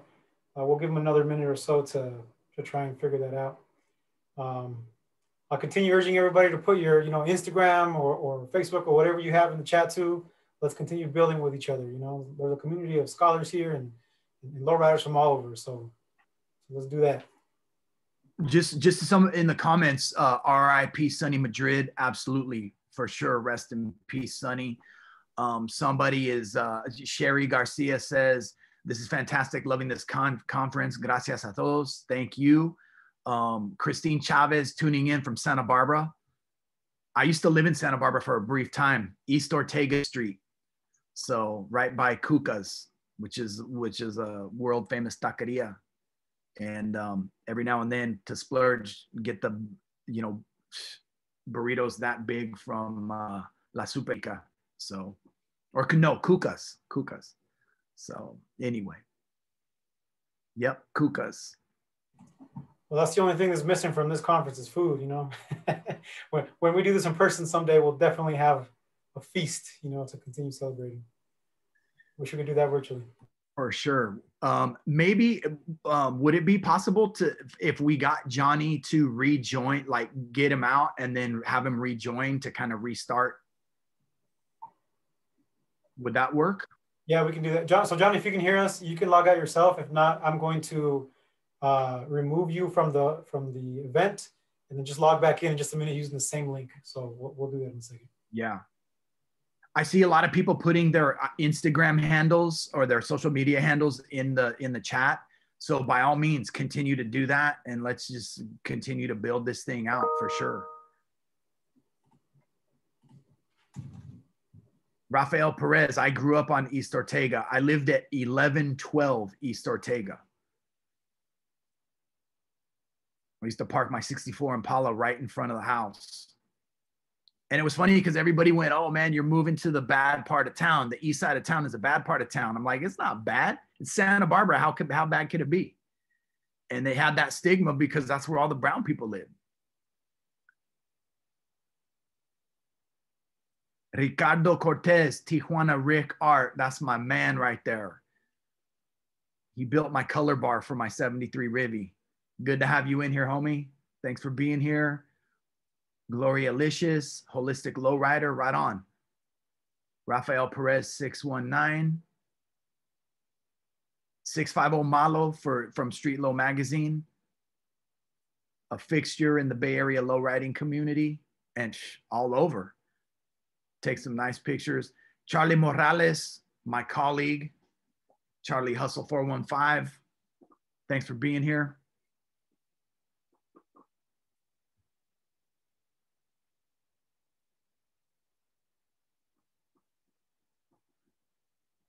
Right on. Okay, looks like Johnny's back in. I have made him uh, co-host again. Johnny, one, one more time, if you can hear us, um, go ahead and, and, do your thing if you can. If you're having technical difficulties, feel free to send me a message. I know we can communicate directly over here as well.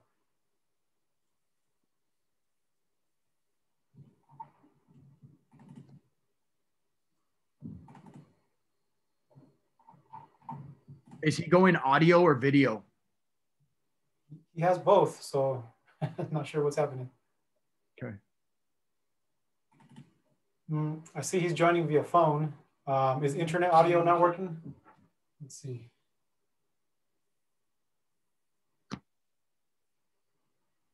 Yeah, I just got another message that he's via phone, so we're trying to see what we can figure out. Again, sorry about the technical difficulties, y'all, but thank you for your patience. We'll, we'll keep the conversation going. Um, I'm gonna step away for a second, try to figure it out. Um, John, if you want to. Sure, sure, sure. Right on. Right on, everybody. Thanks for being here and thanks for being patient.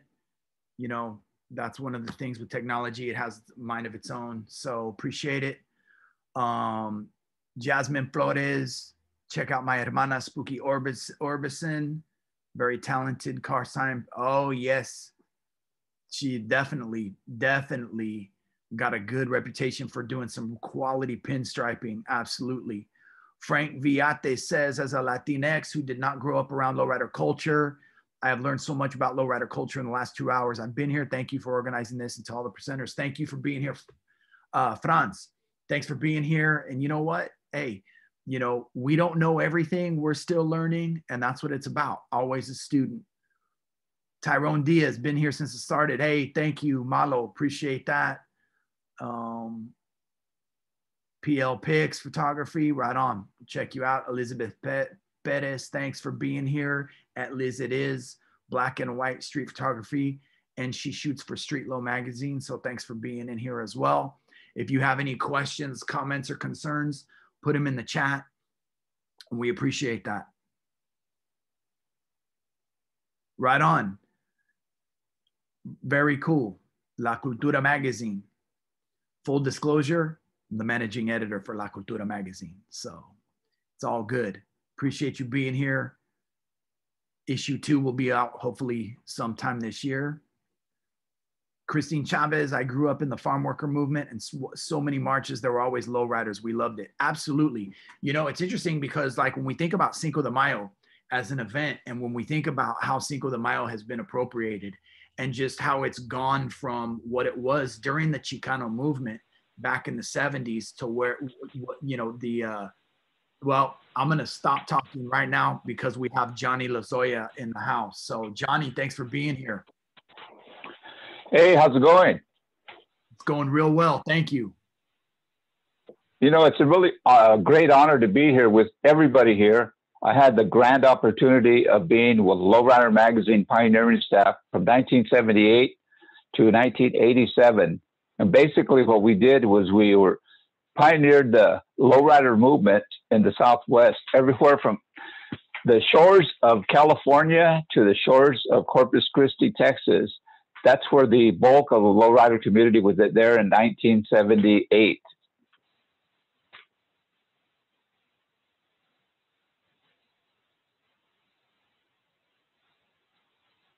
Did you have any questions? Tell us a little bit about your experiences, Johnny, and, and what that was. Maybe share some some stories of, of things that maybe didn't make it into the magazine that you might want to be, that you might want to. Well, uh, in a nutshell, in the early 60s, I was interested in the cars. I used to see cruising by the parties that my sisters would have back in Oxnard, California. They weren't like my parents' cars. They really, uh, really tuned me into their low and slow uh, positioning. I was up, I was really excited to see those cars and hear the pipes rap. Then I started a, a car club back in 1972. Uh, it was called the Stylistics Car Club. And we were one of the first clubs in Ventura County. From there, I went to a Lowrider magazine to work with Sonny Madrid, the pioneer of, uh, of the movement. We traveled the Southwest, we cultivated the Southwest, and it was a grand opportunity to, uh, to share that today.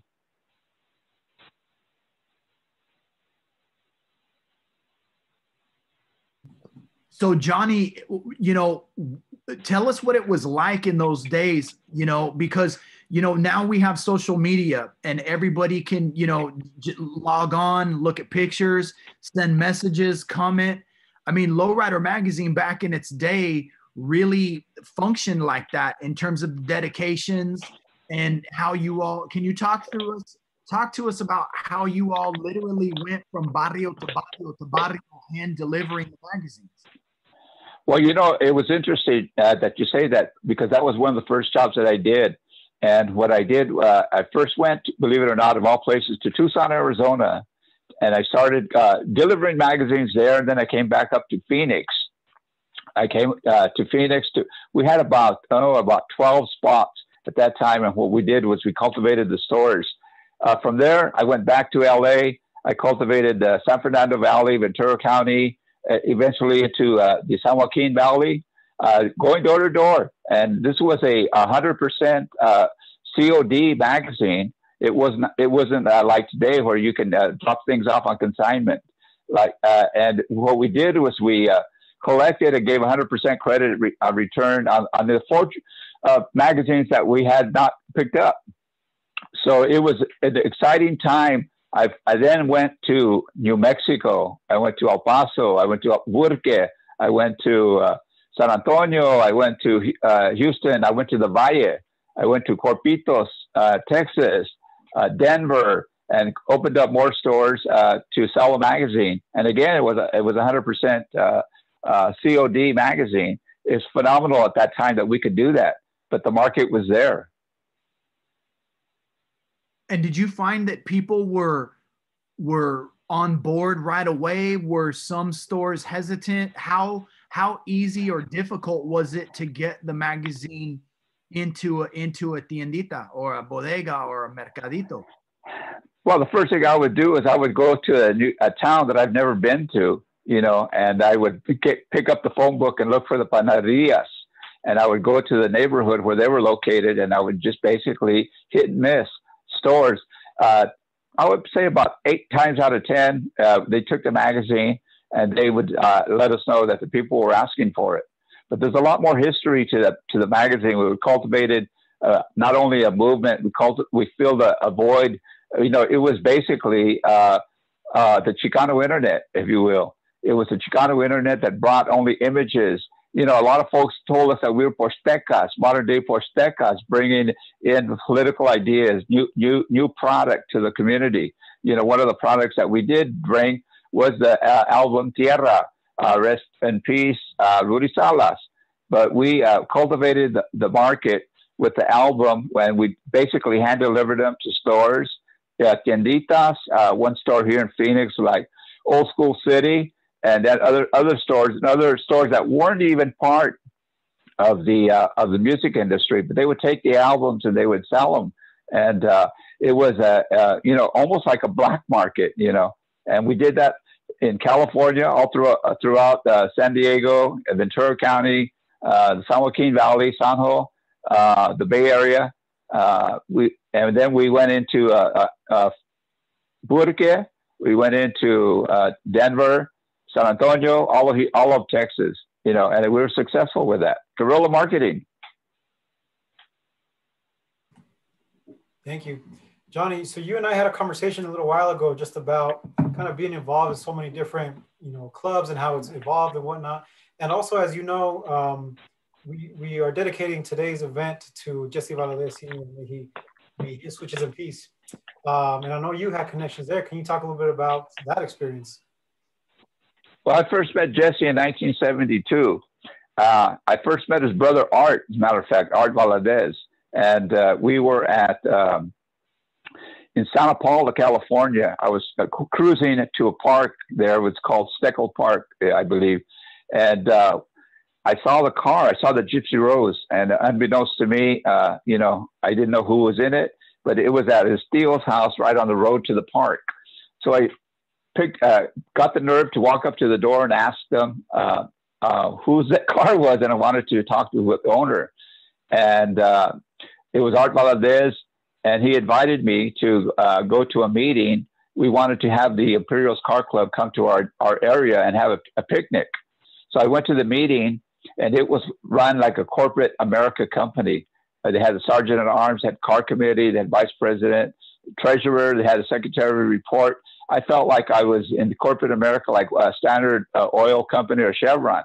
It was interesting, but it's because of Jesse's leadership, his his uh, compassion for humanity, his uh, his uh, love for the lowrider motorsport that uh, uh, allowed us to develop a dialogue.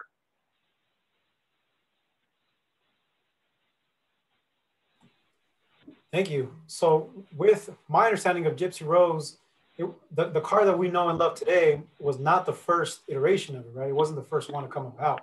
Um, and there's not much history about the previous two Gypsy Roses, I guess, that, that existed, except for a couple photos here and there. Uh, can you maybe speak a little bit about the, the, evolution of how it came to be the Gypsy Rose that we now know? Well, you know, uh, back in the day, uh, you know, there were there were uh, two of them, two, two, two Gypsy Roses, 63 Impalas. And uh, one of them happened to get bumperjack, believe it or not, somewhere along the line.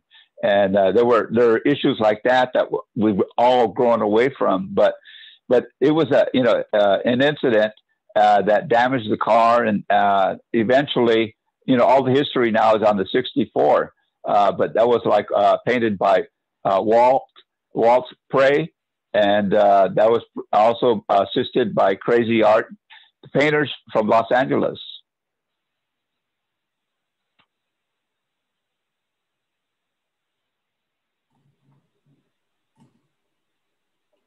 Chris, you you want to you want to throw these questions, Johnny, that are in the chat? Yeah, absolutely. Yeah, thank you, Johnny, for that. We know you have a lot of experience in this, given that you've been uh, low riding longer than, than, than most of us, and that's not to say that you're to say that you're an OG and that's respected. You know what I mean? Well, I, I call it uh, uh, double OG. oh, for sure. Um, somebody, yeah. somebody's asking a question in, in, our chat here, and I'll go ahead and read it off to you. It says, "What okay. you uh, on low riding, or sorry, tell us what your view is on low riding in the 70s, 80s, 90s, now and to now, and how do you feel that it's evolved?"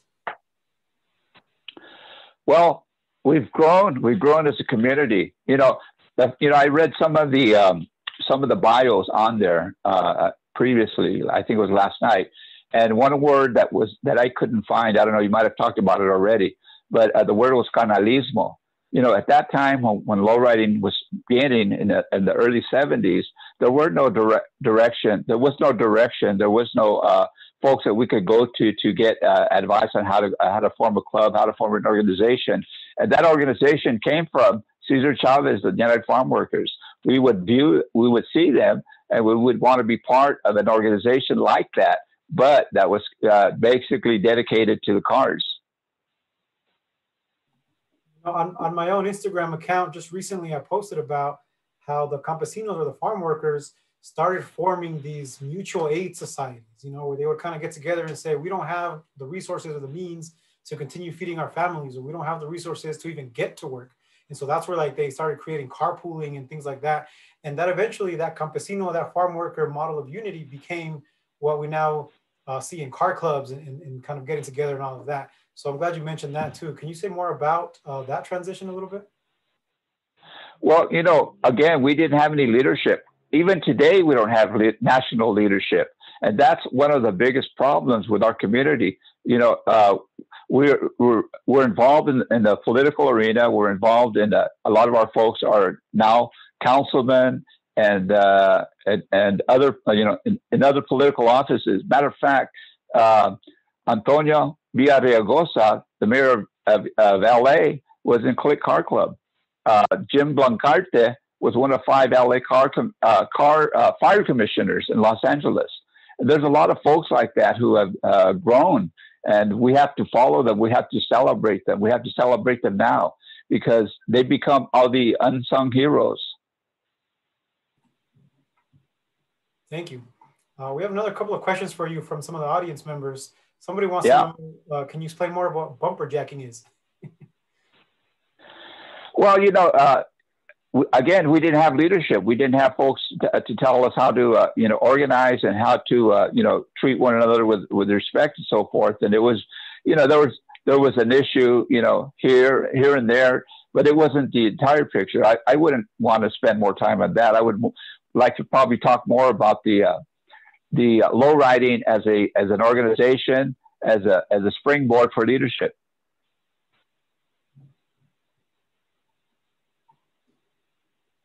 Cool. Sure. Why don't you go ahead and do that for us? I mean, what what is your take? I mean, you know, where do you see that? Where do you see that going, Johnny? Uh, I've been fortunate enough to um, to cultivate uh, here in Phoenix, Arizona, and be involved in the political arena. Uh, one of my colleagues here, uh, Councilman Michael Nowakowski Hernandez, is a city councilman. He's just terming out after eight years. Uh, we also have uh, some folks that are in the state legislature uh, here, and I think they're uh, what they've done is they've uh, they've uh, taught you know led by example, and and uh, they communicate with us. We we participate in the political arena. We we do get, get out the vote. We what we do is we also have caravans and so forth to bring attention to some of the injustices here in Arizona. And of course, everybody knows, you know, we had the biggest one with SB 1070, where I documented. We documented everything, all the marches, all the uh, all the uh, the celebrities that came here. Everybody from uh, Jenni Rivera to uh, to uh, um, uh, the folks from the uh, from the uh, Black Lives Matter community. We we work together with with with the campesina, with the Radio Campesina, and so forth. And we have to be active, actively more engaged in the in the process. That's what's going to to help us.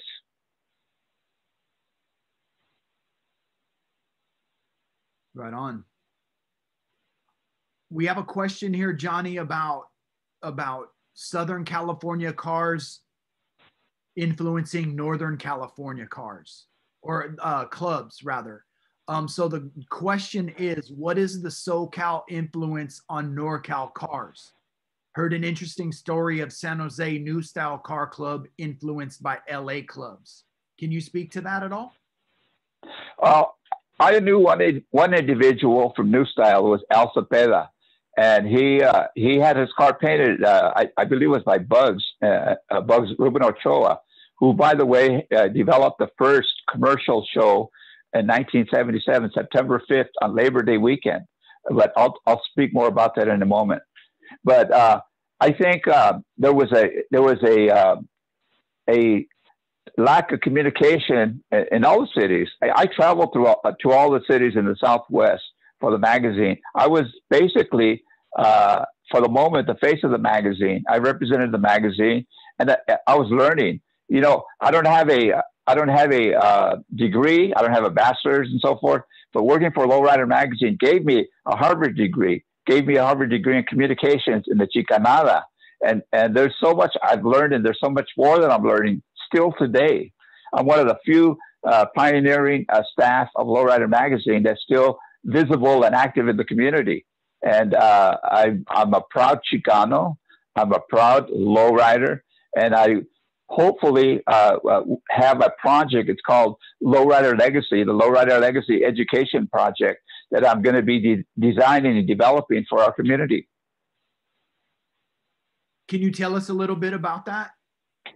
Sure. Uh, as, as I said earlier, we don't have any leadership out here in in, uh, in our community. We don't have, you know, everybody says Cesar Chavez. Cesar Chavez, there should be a hundred Cesar Chavezes. You know, we have the numbers. We need that. We need the leadership. Uh, we we have folks that are uh, actively involved in the political arena right now that want to to lead, that want to share, uh, but uh, with this project, what I want to do is write the history, the true history. Everybody has a story. Everybody has a story in the lowrider community, and it's true. Everybody's story is true. You know, it might not be your story, it, but it, but it's true. That's what we how we all grew up. You know, we weren't uh, growing up with these uh, fifty to hundred thousand dollar cars back in the day. We started off with what we could afford. Uh, we would but there's a lot of history that a lot of folks don't know. A lot of folks don't know about the tr- uh, the uh, the real Jesse Valadez, the real Sonny Madrid, the Sonny Madrid who was a visionary, who had who had an idea, a concept. He didn't invent lowriding, but he did invent the magazine, and he did invent and uh, the lowrider movement, and I helped cultivate it all across the Southwest. Today, it went from uh, the phrase from local to global. And that's where it's at today. And that's where it should be. When I started the club in 1974, I called it New Image because I wanted to project a new image for us. I wanted to show that we were productive uh, folks, that we that we could build just as much. Our ancestors built empires. Why can't we build an empire today? An empire of low riding or whatever. Yeah, that's that's a powerful statement right there. I mean, I think that you know, for for what you just said, I mean, you know, as a child, like four or five years old, you know, seeing Lowrider magazine for me meant that I was seeing Chicanos, I was seeing Chicano culture, I was seeing Chicano pride, and that's really, I mean, for, for me, was the greatest aspect of of lowrider magazine was it wasn't just about cars but it was like comprehensively documenting what was happening with raza all over. Can you talk about that? You know it's it's interesting that you say that because when we began uh, i uh, i started cultivating the southwest and in uh, in january '79, and uh, you know, I started uh, flying to all these uh, cities. You know, San Antonio, Houston, Dallas, whatever. And at the same time that we were developing this project, the magazine,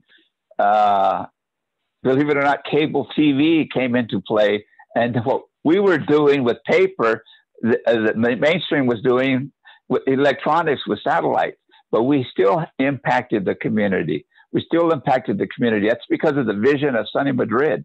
I worked with him for approximately 10 years, and we worked together cultivating the Southwest. There's nobody out there. There's nobody out there that that that did that type of work that he and I did. But I also have to mention Larry Gonzalez, El Larry from from uh, uh, actually from Salinas and then Sanjo.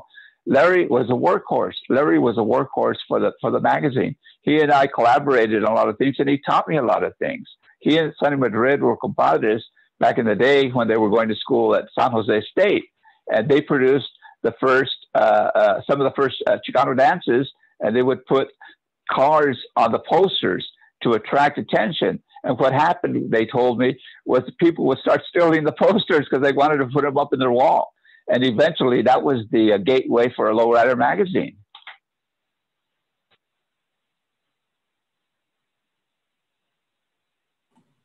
These are great stories, John. We really appreciate you you sharing them.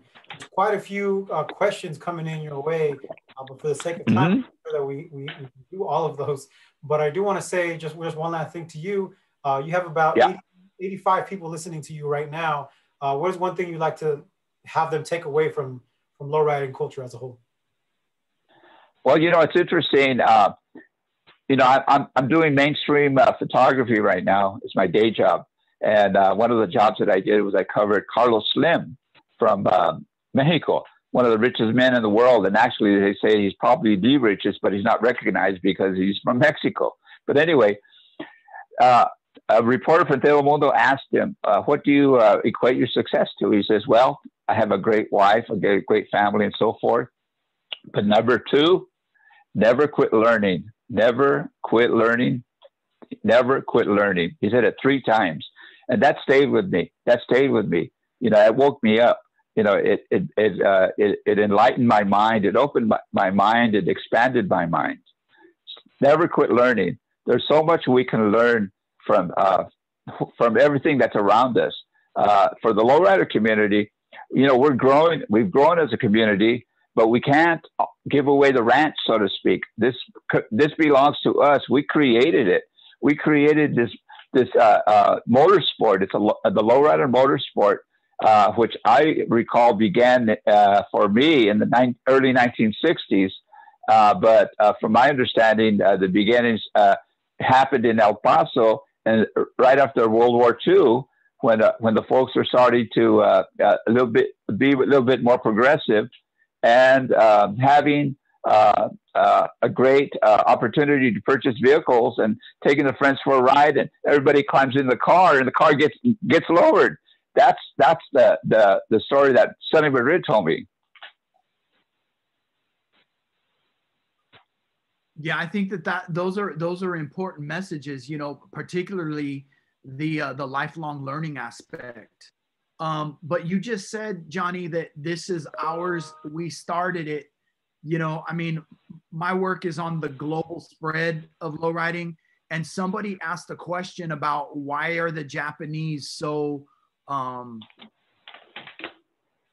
why why do you think the Japanese obsessed with lowrider images? What, what do you what what's your take on that in terms of like kind of where this has gone beyond the confines of Aztlán, if you will?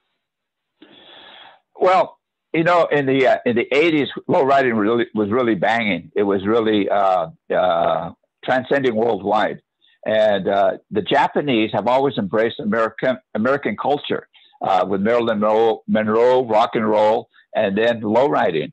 Um, some of the folks that I met, uh, Takashi Katsuki, who was one of the promoters, co-promoters from from Japan, I believe he, he and his colleague produced the Osaka show and then uh, Tokyo shows. Uh, and they came to California. They started buying vehicles and transporting them uh, to to Japan. And just like the 50s, 57 Chevy, which is the world's most famous car, period. Uh, well, once a vehicle, a lowrider went to Japan, and then it, it's just like anything, it really caught the fever, uh, the, you know, the, the love of that Americana.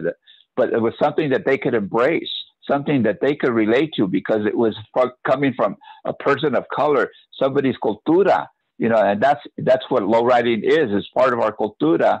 And uh, it, you know, people are in love with our culture, but maybe sometimes they're not in love with us.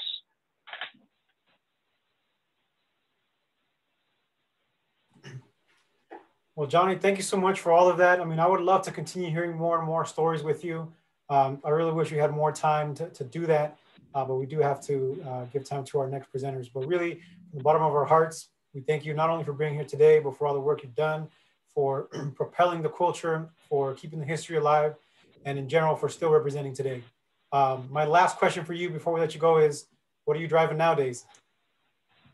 Well, I, I don't have a car right now uh, that I'm building. You know, and it's matter of fact, during my uh, my entire uh, uh life, you know, I've had about three cars that I built: a '63 Impala, a '62 Impala, and a '73 Monte Carlo. And uh, you know what I did build was the shows. That was my contribution, uh, and I continue to do that. You know, I built I built the show. As a matter of fact, I'd like to share a small story with you. So I was the first Chicano that went that produced shows for 30 years all across the Southwest, not just one city, not just one town. And uh, one of the times that I went to the Houston Astro Arena and I walked in, I didn't have the chance to even get the door closed behind me. I was told that uh, we're not hiring today. We're not hiring. And I looked behind me and I said, oh, I'm not looking for a job. I'm looking to book the facility. And those were some of the challenges that we had to face back in the day that we had to overcome. It was institu- institutionalized racism, and we're still uh, dealing with that today. And uh, you know, we ha- we can't forget who we are, and and we can't uh, you know let down either. You know, si se puede. You know, the Dolores Huertas invented that phrase. She told Cesar Chavez, and that's what we have to do. You know, we have to continue going forward, no matter what it takes. Beautiful, thank you, and you're right. Si se puede. Uh, thank you so much, for, for, for your for your words today. Uh, we'd like to thank uh, you. of course, we'd like to continue to our next uh, presenters. It's actually going to be a panel of uh, lowrider mujeres. So they are here joining us now. We have Madeline Alviso Ramirez, Jessica Vasquez, and Vanessa Alviso. Uh, I do not see Vanessa in just yet, so as soon as she joins, I'll go ahead and, and add her. But Madeline, if you'd like to. Uh, Vanessa is actually right here. Oh, she's oh, right next to me. you. Okay, perfect. That's why. Is Jessica on? Chacha, are you here? Yes. So if Jessica can turn on her video as well, you you all are good to go. We can begin uh, screen sharing. Um, you, the floor to speak is yours. Thank you so much. Yeah, we'll just work on it. Hello. So um, I am so excited to be here, and I just want to um, thank the um, organizers um, for putting on such a much needed conference. Um, my name is Madeline Alviso Ramirez. A lot of people know me as Nena de Chola Pinup, Chola Vida, and I'm also the president of the Ixchel Foundation. So I'm excited because I feel like I found my tribe. Um, I'm definitely all about, um, you know, empowering our gente. Um, my background is in art and in um, the Chicano Studies movement. My sister as well, she's a professor of ethnic studies at Washington or at, at Yakima Valley College. And Jessica is a marketing queen and lowrider model, and also the treasurer of Ixchel. Vanessa is the vice president. Ixchel is an organization that is meant to empower um, mujeres who are self-identified cholas who are pursuing a higher education. So it, um, okay, we have a little technical thing going on. Um,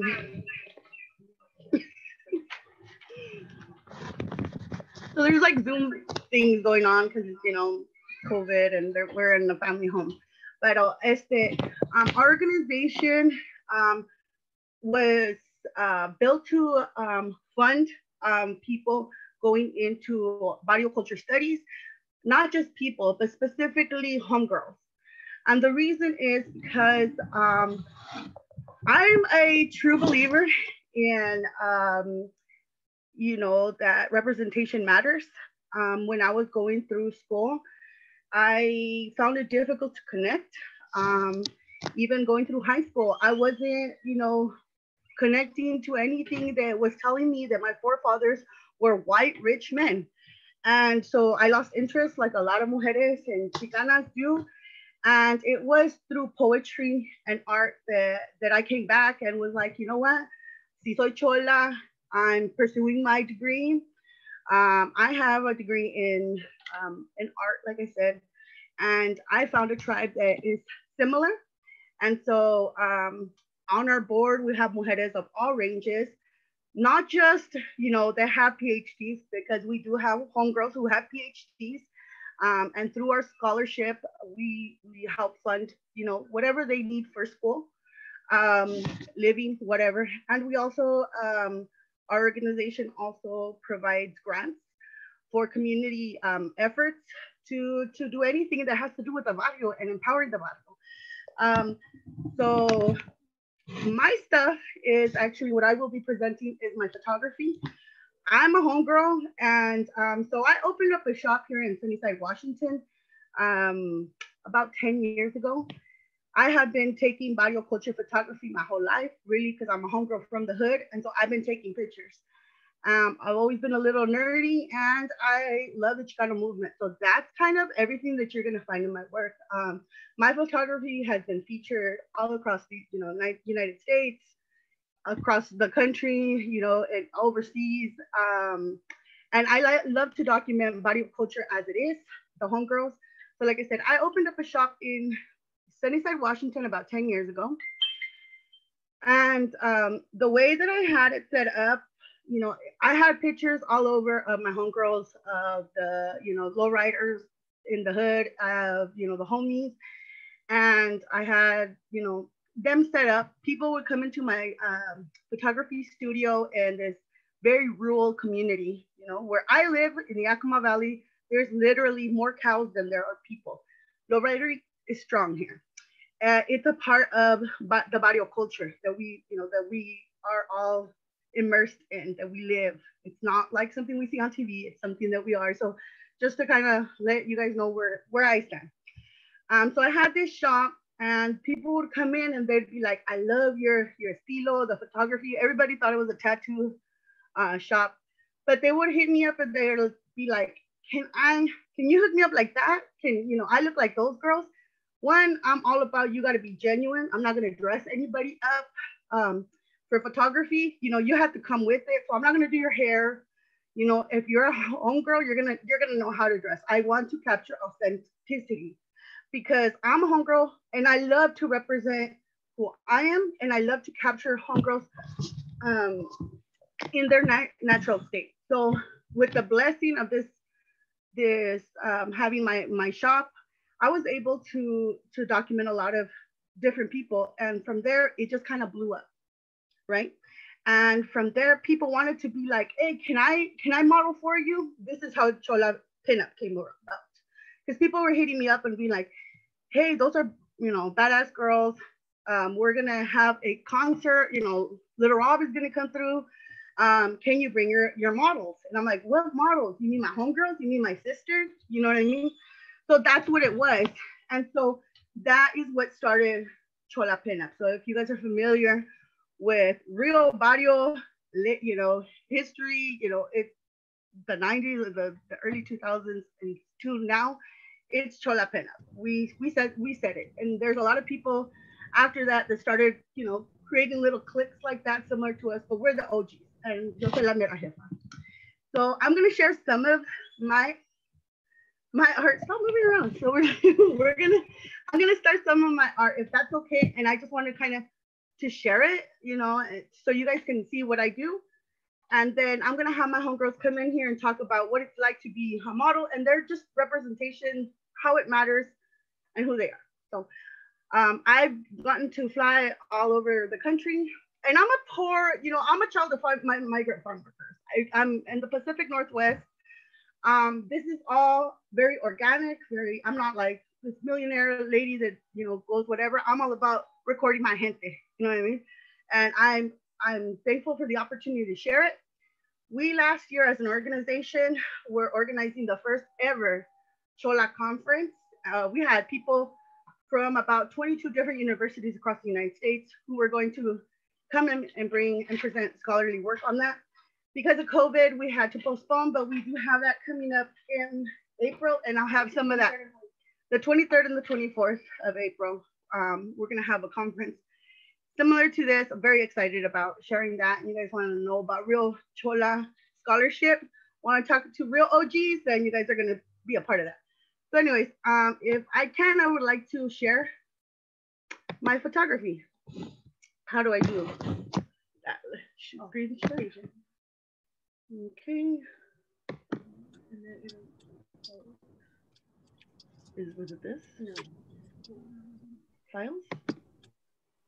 You should have screen sharing capabilities. It's located. at the Okay, I'm trying to, I just made a thing on. Hold on, I'm. And then can you try to put a like, give, me- give us a second, please. No problem at all.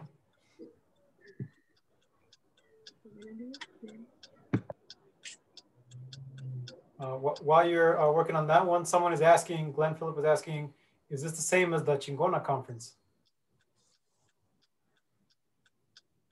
No, no, it is not. This will be the first annual uh, Chola conference. It was uh, originally meant to be um, held at MiraCosta College in San Diego, but like uh, Madeline mentioned, due to COVID, that was not, you know, we weren't able to do that. So we were we will do, be doing it virtually in April.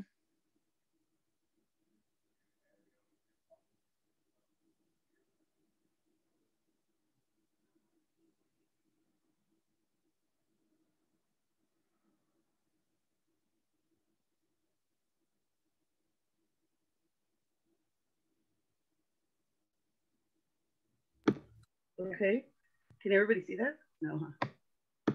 How- How do I do screen share? Yeah. Oh, Screen is, girl, your screen share is not. Mm. it's not- Oh, what the hell? What is going on? Okay, let's try this again. Screen share. Check that you do have um, full screen sharing capability, so. There? Select the correct screen. How does it? Yes, you- yes. All right, we got you. Go ahead. You guys can see it? Yes, go ahead. Oh, awesome. Okay, so um, this is a. I'm just. Why is it on this one though? I wonder how does it go back? Oh, wow. I don't know how to do this. I'm really bad. I'm over here asking the teacher. A ver qué. Okay. Go back up. Okay. Okay. Present. It should be on that side. Present. Okay. Mhm. Okay. Okay. It's now it's just gonna go on its own or what? How does it go back though? This is sad. um, I do not know how to do this. So that, oh, wait. Okay. My name is Madeline Alviso Ramirez, and I have a studio. That's my stuff. Um, this was taken in Granger, Washington. So, like I said, I'm from the Pacific Northwest in an area called the Yakima Valley in the state of Washington. And it is my pleasure to bring homegirls from all over the United States to my little neck of the woods. A lot of people, when they see my stuff, are like, oh, are you from LA? Um, my husband is, I am not.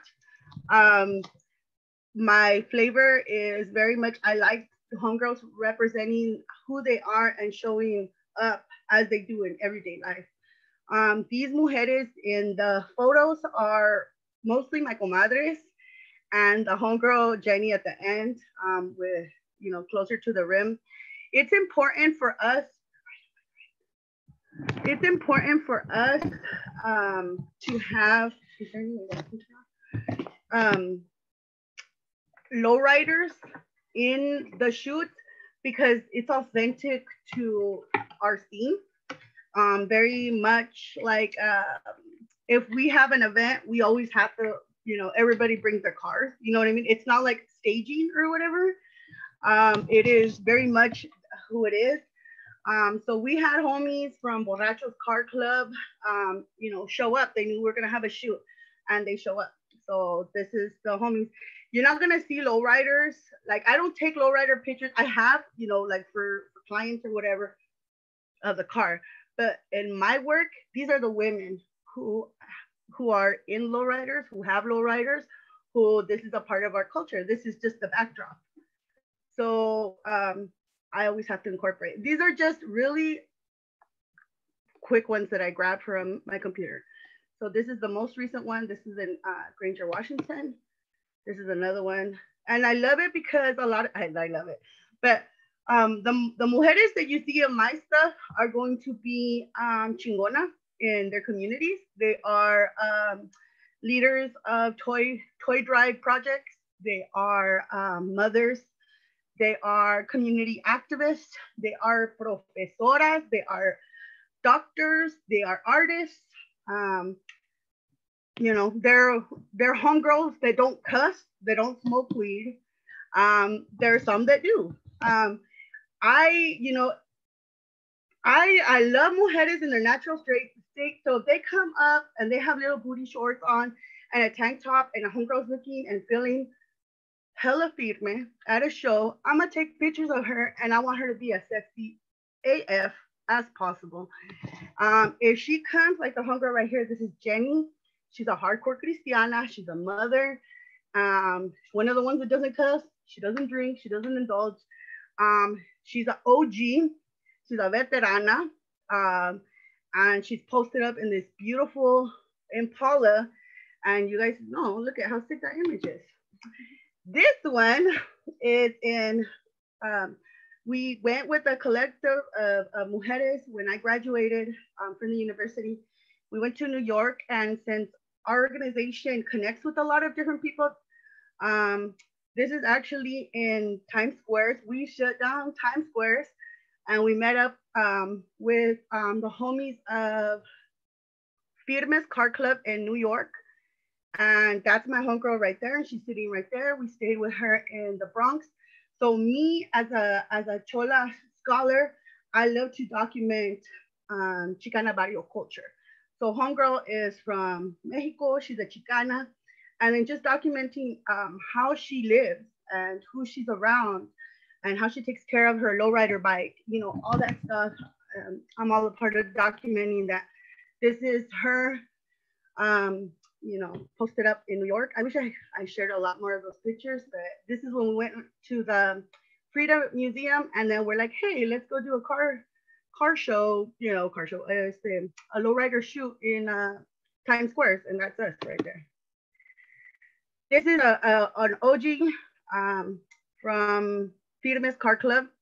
You know, he's a heavy hitter from from the East Coast, and here he is with um, one of the co-founders of Chola Pinup is Monava um, Landeros, and of course a car in the back. So they're lowrider guys, and they show up to my shoot, and they're like, "Oh yeah, you know, we stayed up and we did all these pinstriping, and I'm sorry that I didn't show that for a lowrider conference in New York.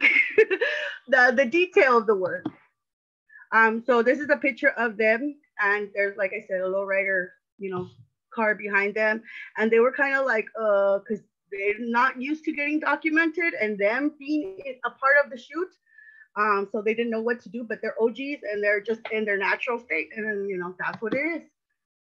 This is um, the homegirl Gothic.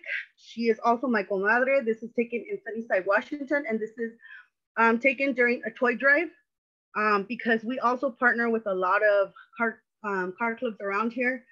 And of course, they love us going down there because I'm taking pictures, I'm putting it out there. The homegirls are there supporting because it's all about empowering our community, right? Working together.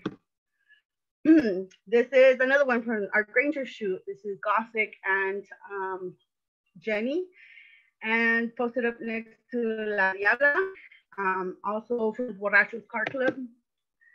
And the homegirl, there's uh, Jess in the back, and she's next to my sister Beva, who's an iconic um, Chola pinup model. You guys probably know who she is.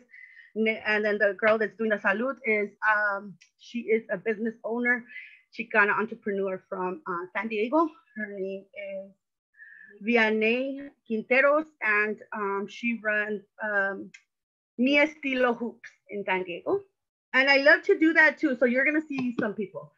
This is the homegirl Gata, another one that people recognize too. And she's next to this beautiful purple Impala, which I don't know why I shared this picture when I have another one with a whole oh, nice car. These are my two baby sisters, Beva and Bashi. And Bashi's right next to me. She'll be here talking. But again, this is at a lowrider event um, where we're collecting toys for kids um, in the area that we live in. Like I mentioned before, I'm the middle child of migrant farm workers from Texas and Michoacan who made it to uh, the Pacific Northwest.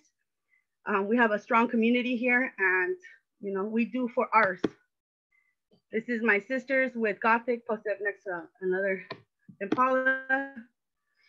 So a lot of people don't get a pictures of this, this badass chingona. Um, if you guys are familiar with the movie Mi Vida Loca, um, so for a while, I'm gonna just say it. For a while, um, I'm all about everything Chola culture. We had not seen or heard from uh, people from Mi Vida Loca in a long time. Um, I was a stalker and I found um, Angel Aviles. She was not doing anything. She was kind of like doing her own thing. And I told her, you need to come out. Um, I want to go to Echo Park, take some pictures, um, and get you again out there. She wasn't out there at all and had not. And now I'm glad to see that she used that and stepped on whoever she needed to step on to get to where she needs to be. And now is selling Chola culture you know, and I'm being real. So anyways, for me, for me, Vida Loca, this is Whisper. You don't see her out. She's not out there, but I got that rare opportunity to work with her. And this was taken in downtown LA, outside of um, Cartoon Shop. Um, this is a homie from um, Oregon. He is a rapper. Um, and I just kind of wanted to show too that, you know, these are the kind of pictures I take. This is a homegirl again, um, Whisper posted up next to some of the Chola pinups. And um, car club? I'm sorry, I forgot which car club. We I believe we had two different ones um, this day, and it was in downtown LA. This is the most updated kind of um, Plicas featuring Whisper, who is rarely seen. She doesn't do public stuff, but she does work with us.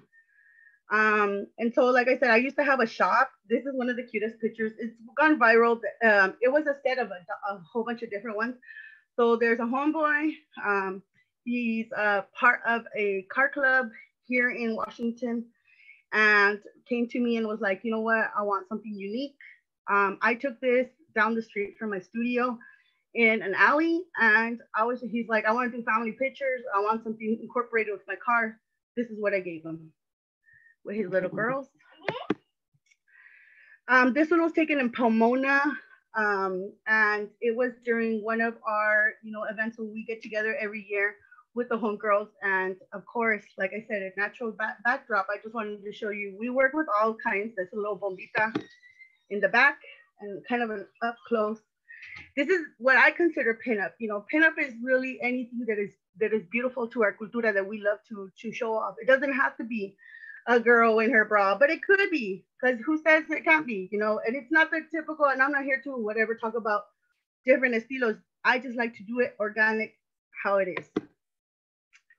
Another one, see, because I can do the, the sexy chola girl or whatever in the background. These are also homegirls um, from the Oregon chapter of Chola Pinup with, um, I believe his name is Mr. Patron from Oregon. He's a uh, Chicano rapper. Um, this is a little homegirl because I do everybody, right? Um, she is, I believe, 15. Um, her mom is one of my best friends, and um, you know, it's all about that life, right? We started young. This one was taken in uh, um, Echo Park on that hill, and I have actual members of, um, you know, that neighborhood here in this shot, and also um, people who were in the movie Mi Vida Loca are there. And also, um, of course, I had to be like, oh, well, I'm going to throw in my Chola pinup. So I threw Chola pinup homegirls in there. The girl who was facing you, this is the first time she had ever left the state of Washington. Um, she had just had a baby. She's a little homegirl from where I grew up, from my neighborhood. And um, she knew what I was about. And she was just like, I heard you're going down to LA. I need to go. I need to go with you. So she came. And of course, I had to put her right up in the front. In this picture, means a lot to me because, um, like I said, she had never left the state. The only people that she had ever been exposed to on that level, um, you know, were was through a screen. Like I said, we're from Washington State, and she had never come out and experienced nothing. And when she came out here, she was amazed by the community, and um, it was like she was just that day. Was just like wow, she's never been exposed to anything like that. So of course, I had to put her right up front when I had actresses and and all these people and big names in the back, and she's right in the front because that's the homegirl. Um, this is my little guy, and um, this was a long time ago. I just had to kind of just throw him in there to give him a shout out. I love that bumper sticker right there or that decal that he has. I know, I know. This is the registration. This is um, PSM. He is a rapper from Oregon and um, hardcore lowrider dude. Um, this is, I didn't get a picture with his whole drum flab, but um, I just like this picture and just to kind of show the people who I document and like the real people that are, you know, in this cultura. This is my little baby girl, Donancy. Um, and she just kind of posted up on my on the dad suburban and um, you know we started like she's she's seen me what I've been doing and she's always like hey mom you know I want to do it I want to I want to be a little model you know I want to be a chola pinup so she's wearing the chola pinup hat. She's dressed like like the home girl that she is. Is that is that how I ended it? Okay so um let me stop sharing. Okay, so um, I recently came out with a book. I'm not trying to be whatever, but I did come up with a little book, um, a photo book with my best um, uh, barrio culture. It's, black, it's called Browns in Black and White. I sell them through me. Everybody who gets one gets a book bag that I draw on, and it comes with my prints and stickers and all the books are numbered and I just had to do that little drop. And um, I guess um, if we can, um, I'd like to introduce the, the two mujeres who are my partners and, you know, who have supported me and who often model for me. So um, Jess, I don't know if you want to, to add anything, sister? Um, I just want to add the element of the lowrider community and the way that they give back and how it's not so much the photography that joins us, but the camaraderie that we have and the same beliefs that we have um, to create a, a better environment and a better world for our youth and to empower each other instead of knocking each other down. Um, so when we do create um, these relationships with the car clubs, um, it, it, it's not only to take pictures, it is for a reason and a purpose. And I think that um, we have made um, many um, great friends and we've networked with many car clubs. And I feel that they all have that in common. Um, they uh, have uh, that family you know, unity and um, it, building the car itself is something that um, is family oriented, you know, and, and it goes beyond that and giving back uh, where it's needed. So um, as a model, it's kind of hard because you have this beautiful car behind you or in front of you, or you know, and you don't want to cover the car because it's it's so gorgeous and it's like a masterpiece, right? And right, it, and you have to kind of like be in there but not be in there and like kind of so um, it's definitely something that um, you have to master as a mo- as a model, right? So uh, you still want to show the beauty of the of the car, um, and still capture, you know, the the chingona or the woman, you know, also in the frame. Absolutely, and um, Vanessa's next to me. She is also a model, also a partner. She's all about it too, and so aquí. Um, and and well, you you all have already uh, touched on a lot of this, and I know that we're running um, a bit on time here. We're running over on time, but um, I did want to just echo what everyone's been saying about the importance of representation, how this absolutely has um, incredible, the, the, the potential to have an incredibly positive impact on our kids, on our youth. As an educator, um, I find it, it's, I, I'll admit I did, um, I did allow my, um, some of my, my undergrad and my, um, and, um, I did allow um, academia to, to strip me of some of my body culture when I was uh, pursuing my my degrees, and um, I, I am sad about that. I'm sad because I did I, I, feel like I had to let go of some of that, and I, I was very miserable and very um, depressed um, uh, while that was happening, while I was not living in my truth. Um, and um, so having this sisterhood that I was literally born into, but also um, had the, the privilege of of um, being a part of um, really um, validated my my identity, really validated my my experiences as as not just um, as not not just a chola, not just a, a kid from um, you know not just a barrio kid, but a nerdy one, and um, and uh, you know an academic identity um, and a barrio identity don't necessarily have to be mutually exclusive. You know, they're, they're, they do not have to, um, they, they can exist within the same body. And um, so that, that's been really empowering for me. And um, so being that I did grow up, I am the little sister of this amazing photographer, um, a couple of amazing photographers, actually. And so I did get used to, um, I did get, um,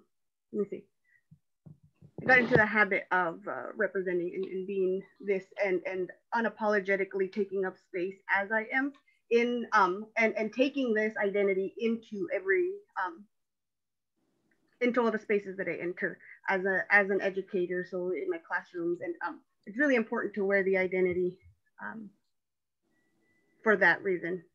Um so yeah but th this is I, like i said i'm just echoing what everyone's already said. This is i'm so incredibly excited to be a part of this.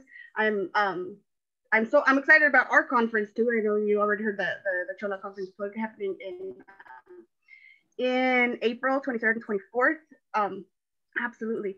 Yes absolutely. And i can an academic identity and body identity can coexist can live within the same body and that's absolutely okay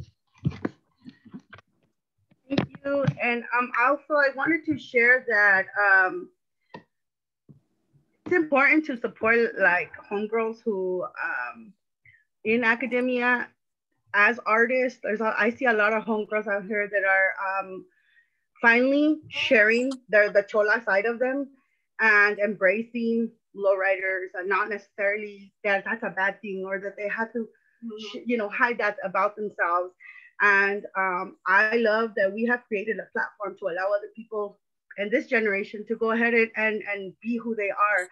And that we're getting asked to go and speak at more places, and that we are building a community that is opening the doors for that. And I just wanted to encourage everybody to be open minded. Um, Chola doesn't mean bad, Barrio doesn't mean bad. And um, it's just our community and um, a lot of people have have seen that or feel like they have to defend it. I'm very particular about outsiders coming in and trying to document, so that's why it's important for us to do it. Um, both me and Cha Cha have podcasts where we document barrio culture. I've been doing it for a long time.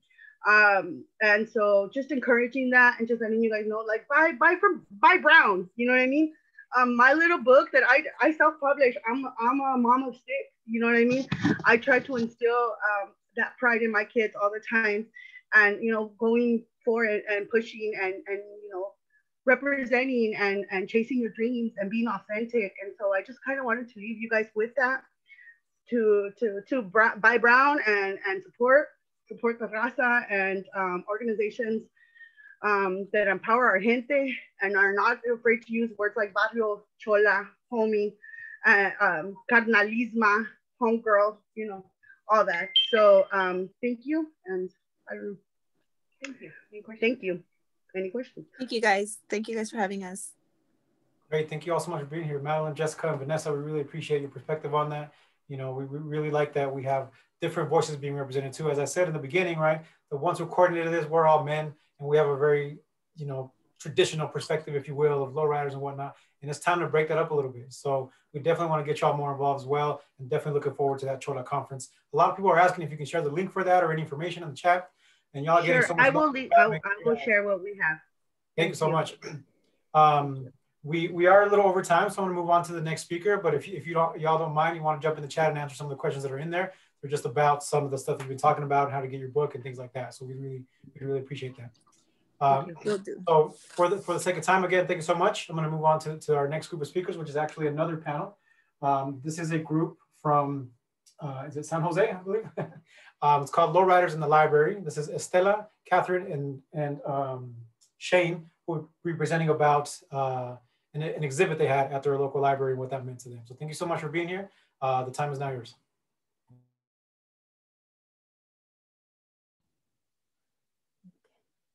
Okay, well, Shane, are you, are you, are you there on this? One second. Oh, he's, he's still checking in, okay. No, he's there. I'm He's just there. trying to get the PowerPoint. Oh, okay.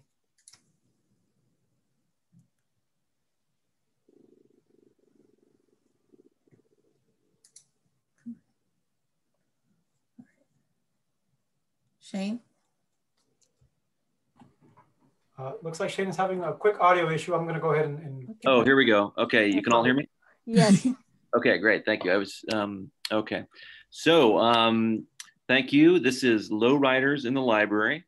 I am Shane Curtin. I'm the uh, head of the California Room, which is the historical archive for the San Jose Public Library.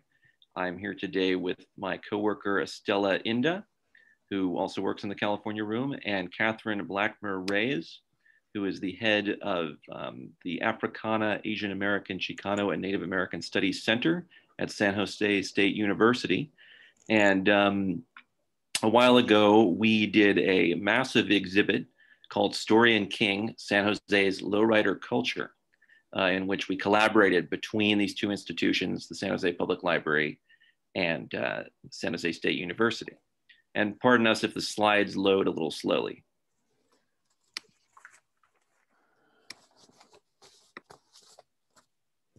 Like right now.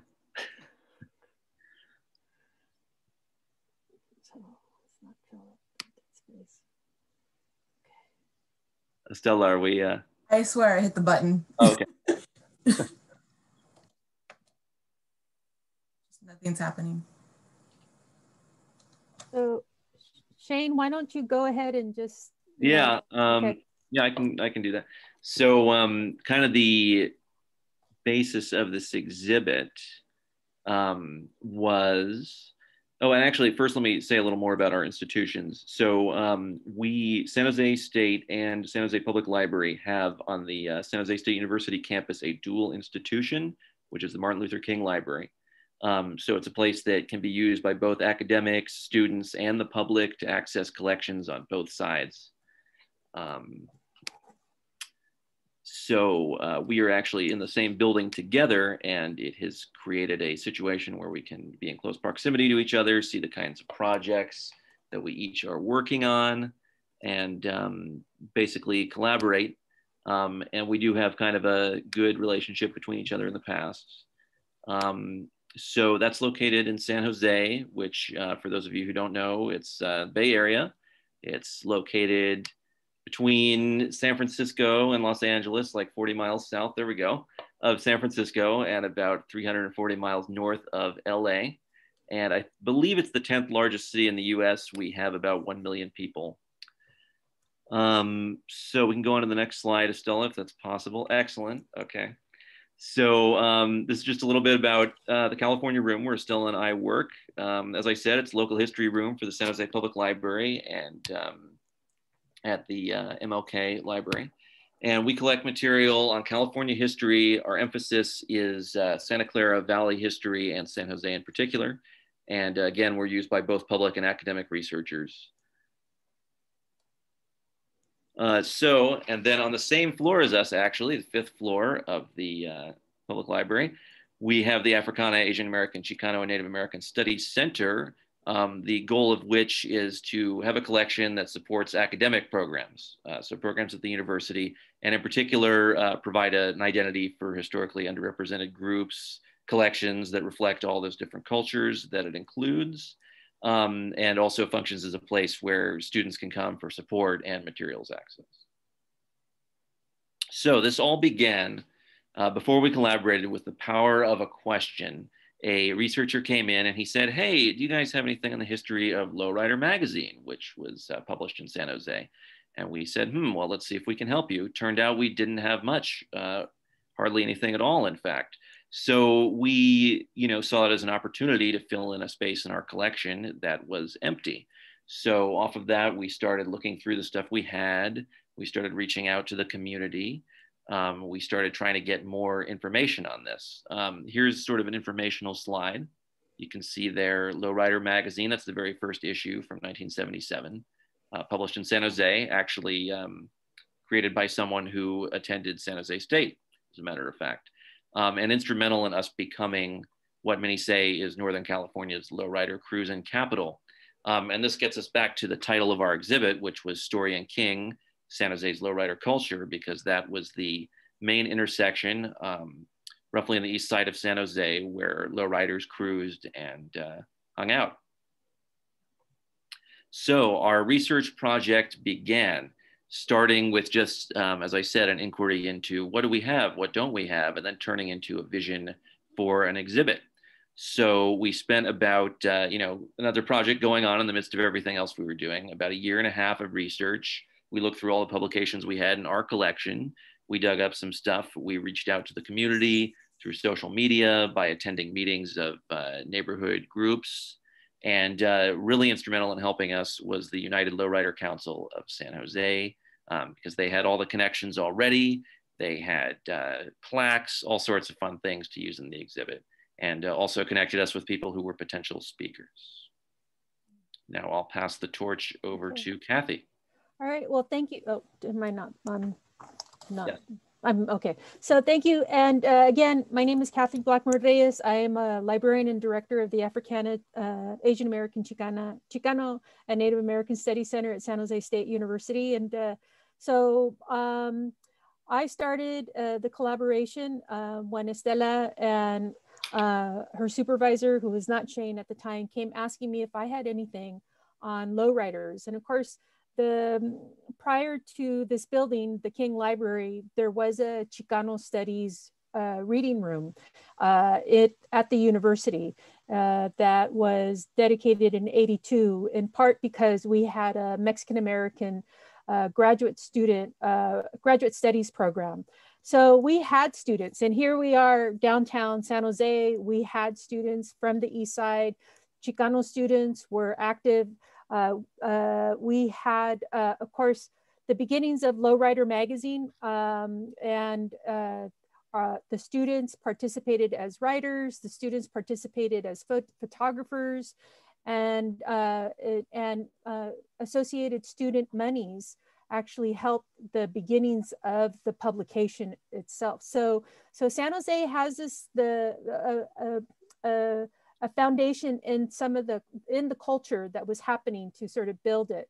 Uh, and it was very interesting uh, to to see and to discover these things. And this is an image from david gonzalez that i discovered in my in my collection of materials. I i hadn't really i hadn't really looked for it but in the in the process of finding it um, and finding look, looking for materials i found this image and it was used as a as an outreach tool from the Mexican American uh, Graduate uh, Studies uh, Department, uh, reaching out to uh, Chicano students, probably in San Jose, but in, elsewhere, showing that there were Chicano students at the university and in the uh, trying to get enrollment uh, increased of, of, Chicano Latino students. So this was a nice surprise. Um, when the building uh, finally came uh, to be, uh, one of the, what the city requires is that every uh, city uh, funded building has to have um, an art project. And so Mel Chin, who was the artist who was assigned, appointed to this project, uh, cr- created the idea of the lowrider tables, Raza riders tables. And so um, these are uh, two tables that, um, that we brought up from another section in the library and put it as part of the exhibit. Uh, artists, individuals made these tables. And so you have a 48 Chevy Fleetline and then the bicycle, uh, it's called the East Side Story. Uh, so uh, this was this is permanent. These are actually permanent uh, pieces in the building itself. Okay, next. So the collaboration that we had was also using the resources of the university um, and uh, we had access to large printers. Um, I tried and, and tried to get an actual car in the library, but that didn't quite work out. Uh, so the next best thing was to have uh, photographs that could be printed as large as possible. Um, and unfortunately, we were able to do that with the university. Uh, so we had, um, we had, I don't know how many pictures like this we had on, uh, as part of the exhibit, but it was, it was very, it was very nice to, to have that visualization of these large uh, images. I also think it was amazing how much women represented in this exhibit. I, I think that was something that for the very, um, the young part of this conversation that was happening, um, to have uh, women as photographers, um, as organizers, as coordinators was extremely important in our conversation and, and it really removed the idea of a male dominated um, uh, culture. And I think the other part where, and I think um, Estela will probably hit on, is it was also very family oriented. So it was not about uh, just uh, men alone or young men alone. So um, in addition, of course, we had the, the ability to have all these tours. Um, the university uh, now, instead of Mexican American studies, we had Chicana and Chicano studies here. And so they had our had classes coming uh, to see the tours. We had the high schools coming. We had uh, middle schools. And so it was, here these are student specific, but, but it was really always families that would come and, the, and parents bringing their children to see the exhibit that was very colorful, very bright, um, and very exciting. Um, and in addition to the tours, of course, we also provided um, panels we had panels that were presented and uh, speakers that represented the community, um, who were people who actually own the vehicles. Uh, we had scholars that were that um, that also spoke to um, lowrider studies, as guess as as we have here in the program. So it was uh, very exciting, and, and there was a lot of uh, participation not just from the university, but a lot of participation from the community. The community really stepped into these presentations and it was really great to, to, to have them all collaborate in this uh, program. Okay. Right, so I'm Estella Inda. I work for the California Room for the San Jose Public Library. I am the curator, or was the curator for this exhibit. Um, it was very interesting for me to become the curator because it happened while uh, there was a shift in my supervisors. I actually lost two supervisors during this whole project and end up running to Kath, uh, Catherine for the help and the support. And then later, while I was on maternity leave, Shane started and we came back from maternity leave and we put the exhibit together. Um, so it was a really an interesting project to, for me to start off with curating. Um, the exhibit took two floors. We took the exhibit space on the second floor, as well as every available exhibit space that we could find on the fifth floor. We really wanted to capture the whole culture as much as possible, which means we had to get as much of it as we could on display. On the second floor, if the slide would load, I will show you. We exhibited photos from Suzanne Lopez, a photographer for now over 30 years in the lowrider community. She has worked for many years with different car clubs. One in particular is the Impalas Car Club. But uh, we wanted to show some photos of car events, lowrider events in San Jose, and that's what we put on display on the second floor. On the fifth floor, is one of my favorite parts, which is this window decal that really caught your eye and put on display the artwork that's attached to the lowrider community. There's such beautiful art in the car and we really wanted to catch that. The exhibit itself was a way for us to document the history that I was having a hard time finding through the research, um, to get it documented properly and take it away from the stigmas that have been placed on the lowrider community. Um, and it was really a community e exhibit because they're the ones that helped us make it possible.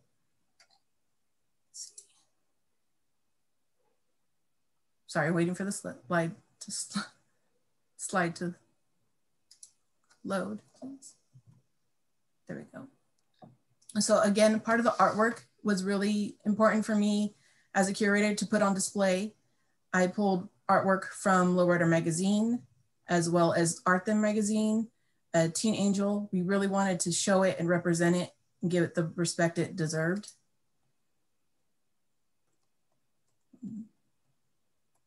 Come on.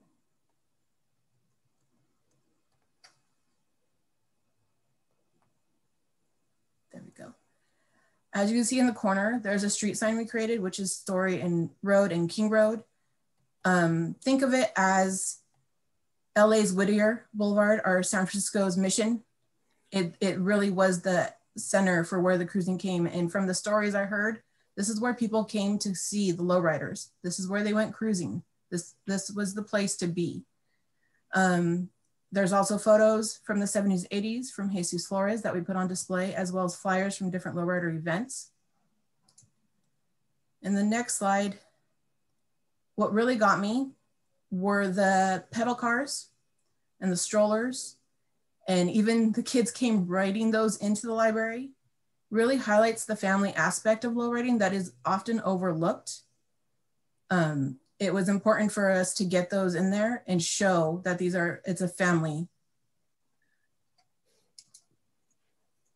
On the next slide, we gave dedicated areas to as many car clubs as we could. We wanted to represent as many San Jose car clubs as well as show, as well, we had newspapers showing the different times and the different stigmas and how they came about. But one of my favorite things is this definition of lowrider because it's completely wrong. Um, in there, it talks about a teenager who owns and drives such a car.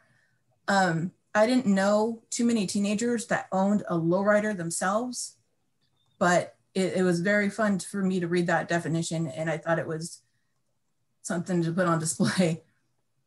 Um, overall, as I said before, this was a community community driven exhibit because it was a community that really gave us the materials to put on display. We put as much as we could on display, gave credit to as many people as we can throughout the history. But again, focusing on San Jose, we didn't go that far out, but we wanted to make sure that San Jose was represented and put it back in the story of lowrider history. And passing it back to Shane. Thank you. So the numbers, um, as Kathy discussed, we had our speaking events. We also had an opening gala. Um, amazing attendance to all of them. We had a DJ that was pretty fun. Um, so almost a thousand people at our three panel events combined. And then our guest book was signed by an additional thousand. Um, and there's all those who weren't counted who saw the exhibit. We also had a follow-up event the next year um, because Jesus Flores had this huge collection of photos, about a thousand photos that he gave us, and 70s and 80s mostly. They had, you know, almost all the people in them were un- unidentified outside of the people he could remember. So we had people come and uh, provide feedback on those photos that he presented.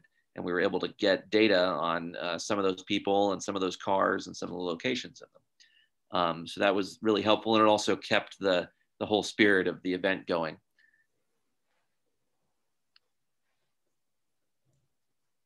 So here you can see some of our media coverage. Um, again, this event was, you know, resounded throughout the community.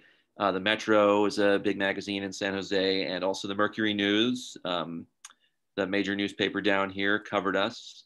Uh, down in the lower left, you can see uh, that was for the Jesus Flores event. I really like that flyer. Some of his photos are on there. Um, and over on the right here, so the city, um, you know, really responded to us more than they necessarily do to things going on at the library. And actually, uh, you see there are two city council members, one of whom um, was actually involved in low riding himself. Uh, they came to speak at our event and, and introduce it and kind of reinforce the meaning that it had to the community. Another thing I like about that top right photo is that you can, uh, if it were larger, you could see in the crowd just the the array of people from uh, really all different age groups who were there and who responded either because they had participated themselves in, in low riding and sort of its apex in the 70s and 80s here, or um, just the younger generations who are carrying that tradition on. Um, all of them in here, and some people you don't normally see in our library, uh, where its location is downtown, and and uh, people who were able to learn what the library has to offer as a result of this, who wouldn't normally come by, um, are now all interested in working with us. Um, is that coming back, Stella? Oh, great. Okay. Um, and so as a result of this, we started thinking about the future. You know, what else do we want to do? We, we sort of um, tapped into a force in the community that was larger than anything we had anticipated. So um, we want to look forward into the future to see what further exhibits we could do. And the lowrider culture, which was mainly, you know, something that, that occurred, uh, well, downtown on the east side in San Jose, like Story and King was its epicenter. Um, we wanted to look at the east side community um, as a whole and all the other cultural aspects that were coming in there uh, primarily through the 50s to the 80s, which was sort of the main point of its development. So building on the connections we already had, the Lowrider Council, the community organizations, we started reaching out even farther to more organizations. Um, also continued working with uh, Kathy uh, and her center to get more connections. Um, so at the top here, you can see uh, it's really iconic mural uh, from San Jose, unfortunately no longer there. Um, and then below um, on the left, you can see me with one of our contributors. And uh, behind us is the mind map I started building on my wall um, as we were digging up all these historical photos and things. Uh, so yeah, and we're, we're able to sort of recover some of the interesting things we've recovered are newspapers that, you know, haven't seen the light of day that were for the community, um, bringing those back, getting those digitized, um, and really just connecting the generations and documenting this history that uh, much of which has never been recognized archivally in San Jose. Um, yeah, and that's the conclusion there. Um, the kind of last thing I want to say um, is if anyone, you know, has any connection to San Jose on here uh, that we haven't already talked to, and they know something about the East Side or have photos or materials or connections, please feel free to contact us um, at these uh, these emails listed here. Uh, you know, we're, we're happy to keep building this larger and larger. And uh, we've been delayed by the virus, of course. So there's more time to keep adding on. Thank you.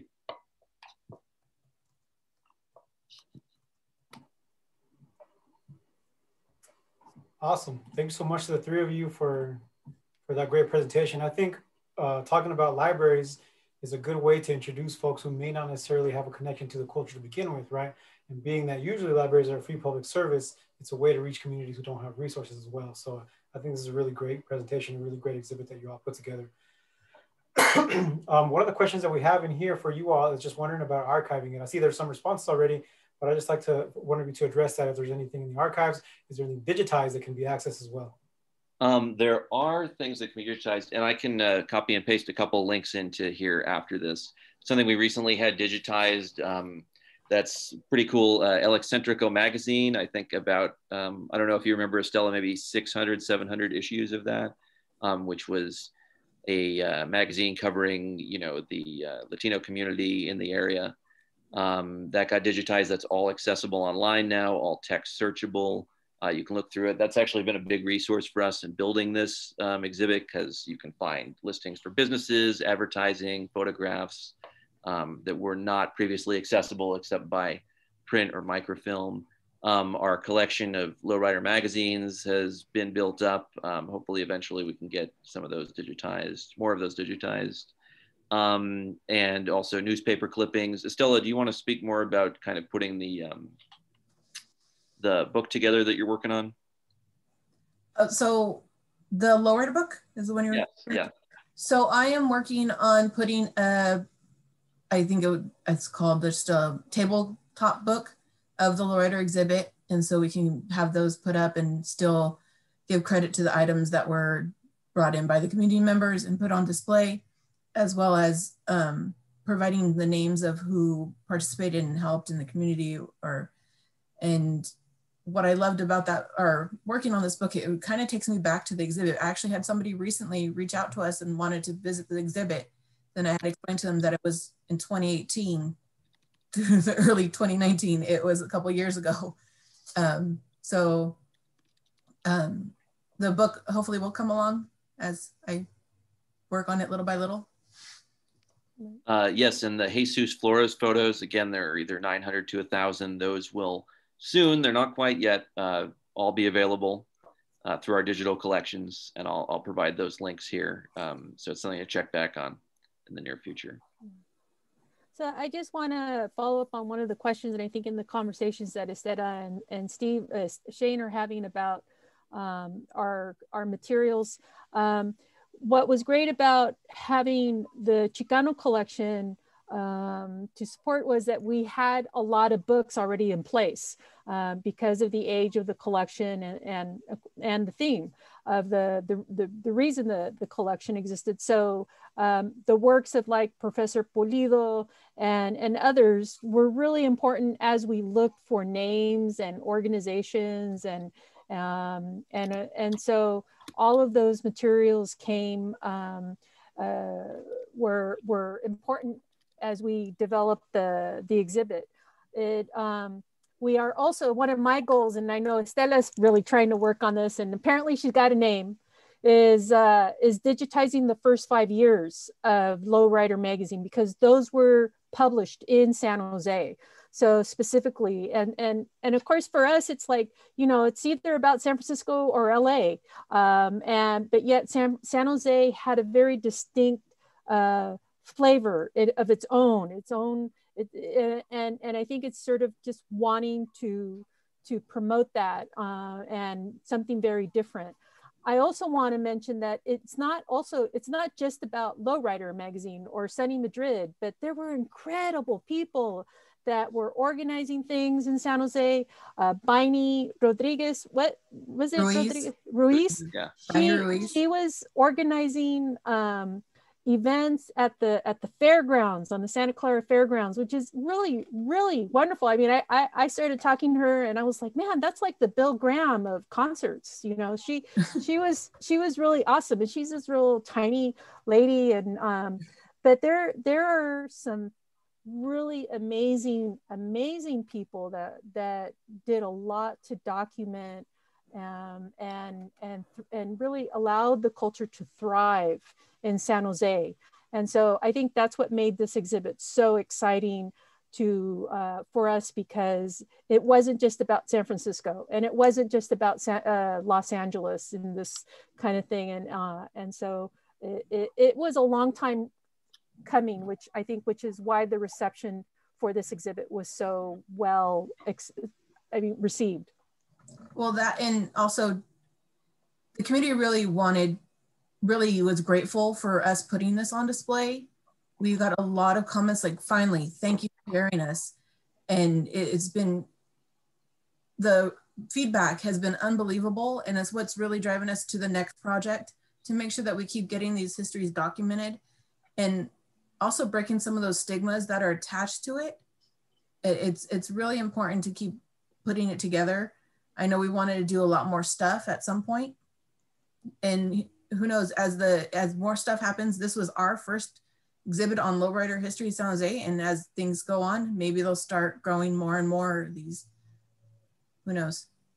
Um, I included some links there. One is just to our main page where you can go to the first one, go to kind of track developments. Um, uh, I see a question was asked of Estela there about tracking the book's progress. That's something we'll, we'll have a digital version of we can put up um, eventually as well. And also I included uh, two separate links to Internet Archive. One goes directly to El Excentrico magazine.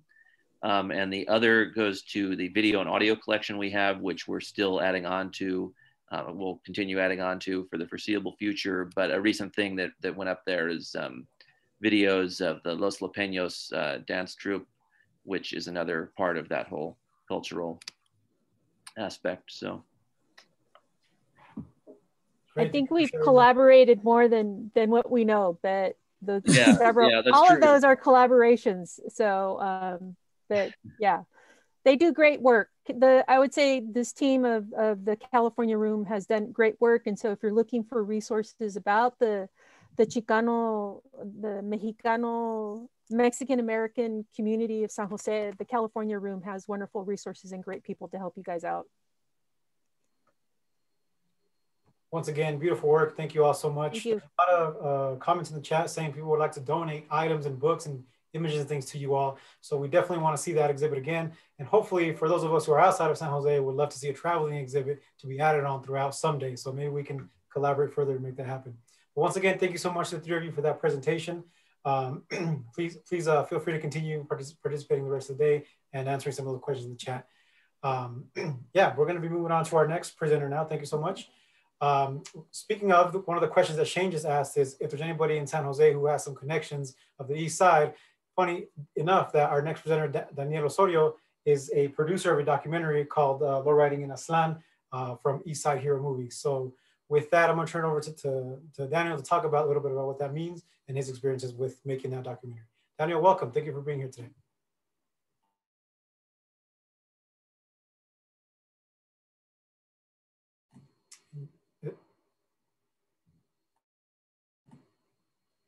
Okay, we can't hear you, uh, Daniel. So let's see. You are unmuted, but let's see what's going on.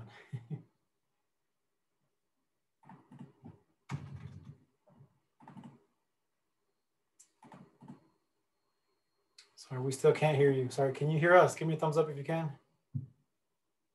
Okay, so you can hear us. Cool. So that means that your speaker is not connected.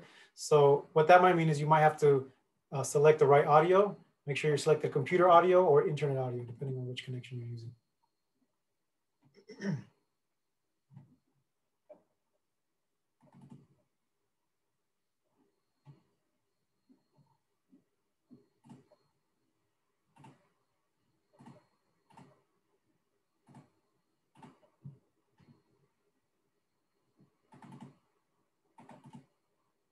Okay, we'll give you just another second here uh, to figure that out. Let me know if you need assistance. We can chat directly as well in here.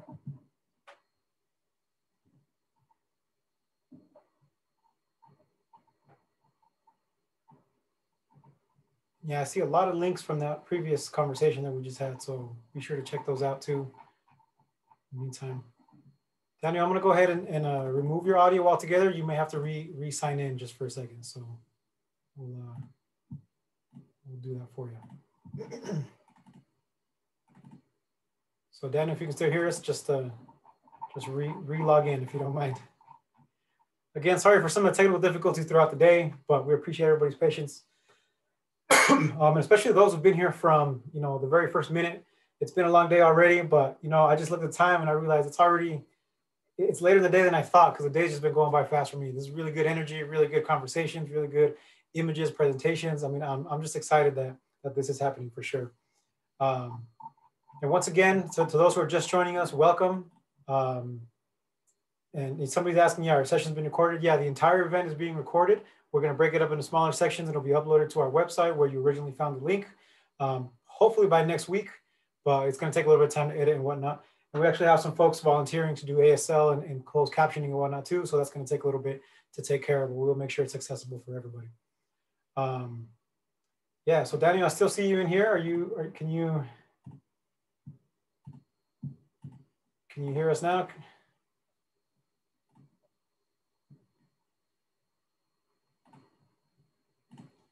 No? Actually, you're in here twice. Are you using two different devices?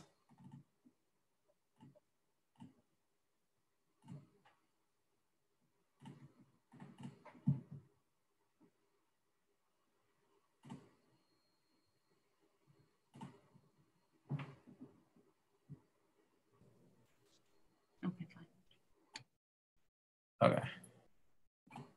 Okay, we got you now. Thank you so much. Thanks everybody for your patience again. Daniel, go ahead. The time is yours.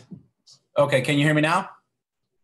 Okay. All right. Perfect. That well, the background just uh, uh it's a little different. I don't know whose house that is, but because that's not my background. But uh, again, thank you everybody for uh, letting me be a part of this huge venture, the first annual Lowrider Chicano Studies, just event online. My name again is Daniel Osorio. I am the director and producer for a lowrider documentary film called Lowriding in Aztlán, which took place.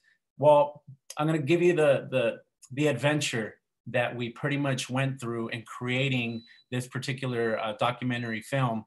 And uh, still to this day, it, I reflect on it. It's amazing that we even got this done, uh, only because of everything that was going on early on in my life when I just had the initial idea to uh, direct and produce a lowrider film. So a little bit about me. Uh, as Xris mentioned, I'm born and raised in the east side of San Jose, and uh, I lowrided, or or I mean, I didn't own a lowrider. Let's put it that way. But I cruised a lot. if, if, a, a lot of people on here probably do know what cruising is, and it's you know you hang out with your friends, you jump in a lowrider, you jump in your bucket, you jump in the minivan, uh, you just basically going out on the streets and having a great time with your friends. And and me being a male you know you're looking for other females you're looking for uh, phone numbers and vice versa. But you're just really meeting each other and you're enjoying you're enjoying life really and it's just a, a special way to connect with other people to connect with your culture and connect with yourself. You really do learn a lot. So i'm going to be sharing a couple things. Uh, i found this flyer. I don't know if you guys can see it. I'll put it right in front of me. It's an original flyer for Boulevard Nights, and that's what we did. Uh, Boulevard Nights is an event out in San Jose that's till this day, it's already hit its 25th anniversary last year, uh, created by San Jose Cruise. And man, this is where the passion came from because all of us were low riding and there's purpose and there's meaning to it. So when I had an interest to become a writer and a filmmaker, I wanted to then express that. I wanted to put meaning to it because, as we all know, or a lot of us do know, there's a lot of negative connotations or stereotypes in regards to low riding, uh, and a lot of it not factual. And my goal, since it was in my backyard, I said, well, let me tell our story. Let me dive in and find out the truth about low riding from true low riders those who are in car clubs, in the industry, uh, out in the streets, promoting the culture, and see what really is going on. Is it all factual that what the news and the media is saying, or it, is it all not true? So, and me knowing, being from the backyard of, of all lowrider history and culture, from Lowrider Magazine to Street Low Magazine to uh, just the where low riding initially thrived uh, our story needed to be told and and to and not only in, empower and inspire our people but also to educate others who were relying on media sources and we all know how the media is they're not telling the full story on what low riding truly is so that's where it really all started it started with with cruising and if you i'll show it again because it's a pretty cool flyer on how the adventure began. So then I created this this idea, this this documentary, but it wasn't that easy. so here I thought I was gonna go and just meet everybody and and the movie was gonna get done super quickly. No, because although yes, I'm from the east side and yes, I am from the hood, uh, I wasn't a lowrider. So um, even though I took part in all lot of lowrider events and now I'm a filmmaker. Now I'm pointing a camera to people and recording them. So I had to then earn that right to tell the story. So it literally took about six months before anyone was like, okay, now I can sit down with you and, and we can record a formal interview. Uh, only because, you know, they didn't know me. And at that time, a lot of the intentions of media, news report, uh, newspapers, uh, you know, dating myself, newspapers, uh, they were putting out that negative vibe, that negative image, that negative print about what low riding is. And they didn't want that. So they needed to know, first and foremost, was my word going to be true? Was I going to stick to what I'm saying and tell their stories and not tw- twist their words just for a quick buck. And so it was all about building relationships at first. And you know what? I'm glad it went that way because I was able to learn a lot more about low riding. I was able to learn about more about myself. I was able to learn more about the culture and my own community that I thought I really knew, but I really didn't know anything. And so that's the way it really got started is meeting people. And the first person, I always mention this because this guy was just uh, truly a special human being. His name was uh, Kita from, from USO, from US Car Club.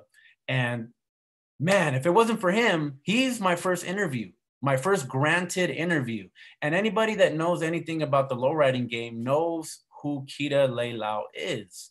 And so he's the one that really initially jumped everything off because nobody was messing with me. nobody wanted to sit down and talk to Daniel Osorio until Kita said yes. And so I, I was able to uh, interview him in, in a lowrider gathering, which was in San Jose, and they were talking about the state of lowriding. And he granted me that access, that interview.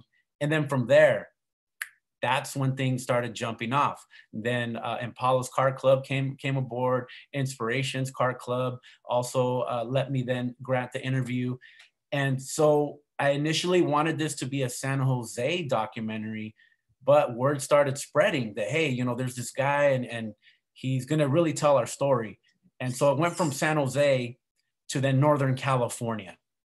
And at the time, I was just graduating college uh, I, I, was broke. I didn't really have any money because you know you're paying your student loans, and I was start personally starting a family, and so I literally was on a shoestring budget, and but I had to do it because I was like, you know what, we have to get the the our our culture, our our raza, our community, this low riding community story told, and so this is what I had, and I'm gonna grab it.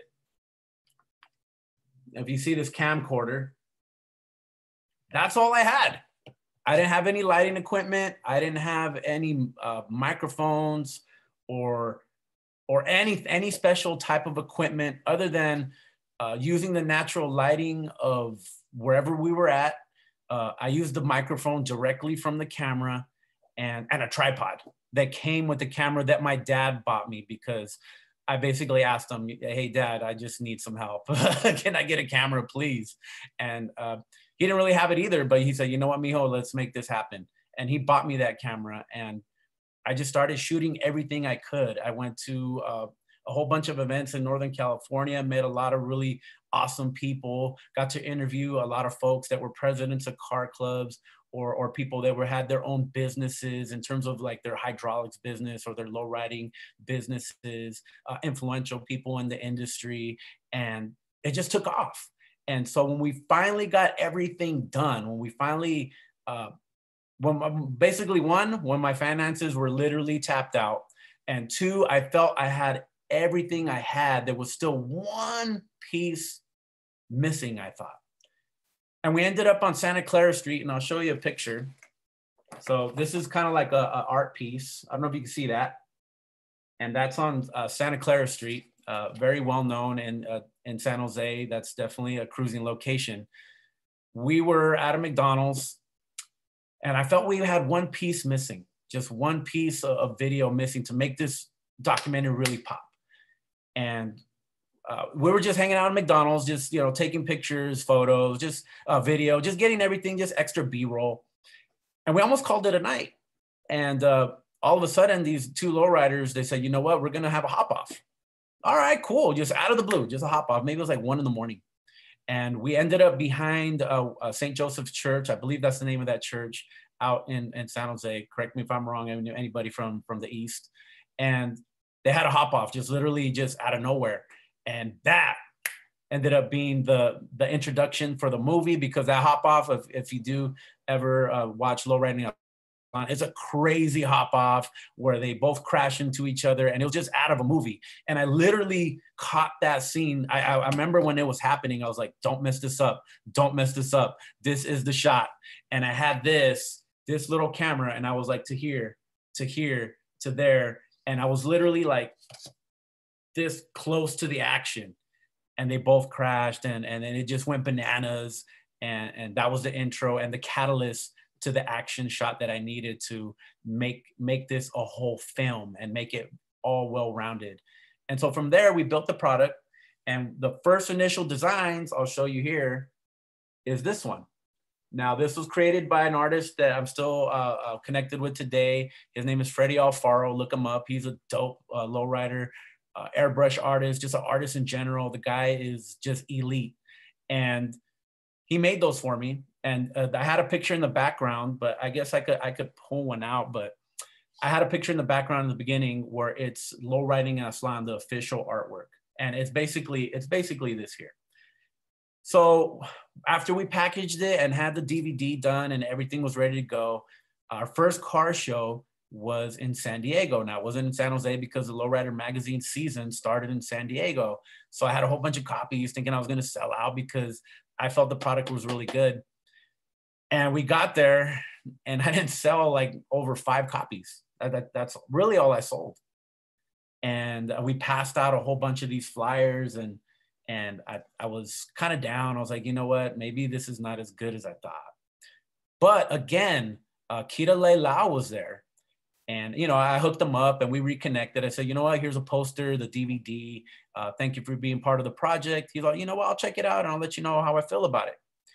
And after that weekend, basically at the end of that event, we sold five. We didn't make any money. We lost money for all the travel and this and that. But these flyers, we must have passed out hundreds of these. And if you ever been to a lowrider magazine event or any type of event, everybody's flyers usually end up on the floor. you know, people grab them, okay, great. You know, you're selling me something, just put it on the floor. But at the end of the day, after there was a slew of flyers all over the pavement, not one of these was on the floor. So I felt that that was a great sign that, you know what, people are going to look at it because, you know, we're in a different part of the state. So nobody didn't really know who we were. This is an independent venture. We didn't have a big budget to promote. This is the first time they're barely hearing about it. So I was like, you know what? Those didn't end up on the floor. People are interested. It just, we'll see what happens. Within that week, Kita spread the word. I guess he had watched it and liked it. He told and spread the word through his connections in the lowrider community to support this movie. Again, helping me just out of the goodness of, of his heart and, and the goodness of, of what low riding really means is support. And we went to another car show uh, the next week and I, I sold out. I sold out of everything I had out of my trunk. And I was like, wow, we do have something. We do. We're just going to have to push this thing as long as we can because uh, people were liking it. People liked the message. People liked the way it was presented. It was both sides. It was the truth and, and the things that are not so right with low riding. It was the real deal. And so we pushed it. And so I was able to just keep pushing, keep pushing. And we, we ended up in some film festivals. Uh, we ended up on it. Well, I have some things to share. Hold on. Uh, we ended up uh, and one of the film festivals that I felt was really uh, a catapulting moment was this one here in LA. It's called Cine Sin Fin. And I don't know if you can really see that, but uh, we met a lot of people. We met a lot. Uh, we met Damian Chapa from Blood In Blood Out. We met Danny Trejo, who was an up and coming uh, Latino actor at the time. Now he's a legend. Uh, we met a whole bunch of other people in the industry that really helped then push what we had and they saw the movie and they really enjoyed it and they got us with the right people at the time and, and helped keep uh, pushing our message forward with our documentary film and so uh, another moment that i'd like to share within the whole process was lowrider magazine if you could see this the Be Real cover and uh, inside we were then uh, we were then highlighted alongside a very well-known actor uh, named Noel G. And that's when I first met him. And so now we were getting recognized. Now we were uh, really getting the attention uh, of a lot of people independently. And, and the word was spreading and people from all over the world started contacting me everywhere from the united states from germany to europe to australia even uh, supporting the, the documentary and, and, and purchasing copies of, of whatever I had. Uh, and it felt awesome because now we, have, we were having a formal voice within not only our own lowriding culture, but then we started getting a lot of, uh, of recognition at film festivals uh, and, and news media. And the one particular story that blew the top off was uh, the one by the Metro. It was, it's a San Jose, uh, and I'll show you here if you could see it. You probably can't, but it's the it's the Metro. You can't even see it, but the Metro is a well-known publication in San Jose, and they highlighted not only our movie, our movie, but the lowriding culture and the movement as a whole in this particular awesome like 10 page expose let's call it and they really dove in and told the story of what low riding was, is, and and pushing forward, and what really our message is, and and and what low riding is about. And that was a big deal because now we had the attention of film distributors. Not only were we getting attention on on radio, shout out to Javier the X Man for having me on his show back in the day. Uh, not only were we getting newsprint like Latina Magazine as well, uh, we were getting local print and big stories. And KTVU 11 with Damian Trujillo had, I think it was KT2 11 back in the day, uh, Damian Trujillo's show had me on as well. So now we were getting a ton of exposure. And the only thing left was to find a distributor because independently, uh, you can only do so much. I mean, I was scraping pennies just to keep this thing going, asking people for money, just uh, asking my families for support while I was having my own family. So, uh, you know, you can only do so much as one person, but you know, the, the people and the resources came together and helped me keep pushing this, this movement and this message along to when finally we met a guy named Jeff Clanagan and he was a part of uh, Code Black Entertainment. Uh, if you've seen any Katt Williams videos back in the day or a lot of black uh, like hip hop music uh, movies, he was behind it and uh, he was responsible for promoting NWA back in the day and a lot of early hip hop groups. So he knew street, and he knew what our uh, their crowd wanted, but he wanted to jump into I would say Mexican, Chicano, Hispanic type of crowd and, and market. And uh, I was able to connect with him because of a film festival.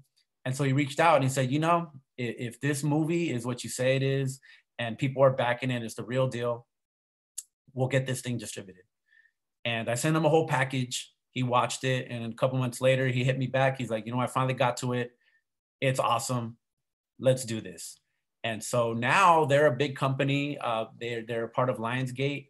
And at the time, uh, we were able to get a deal done. And then it was everywhere. So uh, Netflix was a huge deal uh, back in that time too. We were on Netflix, Walmart, Target, uh, Best Buy. Uh, for those who remember Hollywood Video and Blockbuster, the movie was there, and a really like heartfelt moment was when my children were able to hold a copy in Hollywood Video and just tell me this is Dada's movie. And uh, I still get a little little teary eyed over that because uh, that was a, a, a, that was a very special moment for me because I wanted to not only impact their lives, but the lives of the people that their stories that I told, because their their stories are important.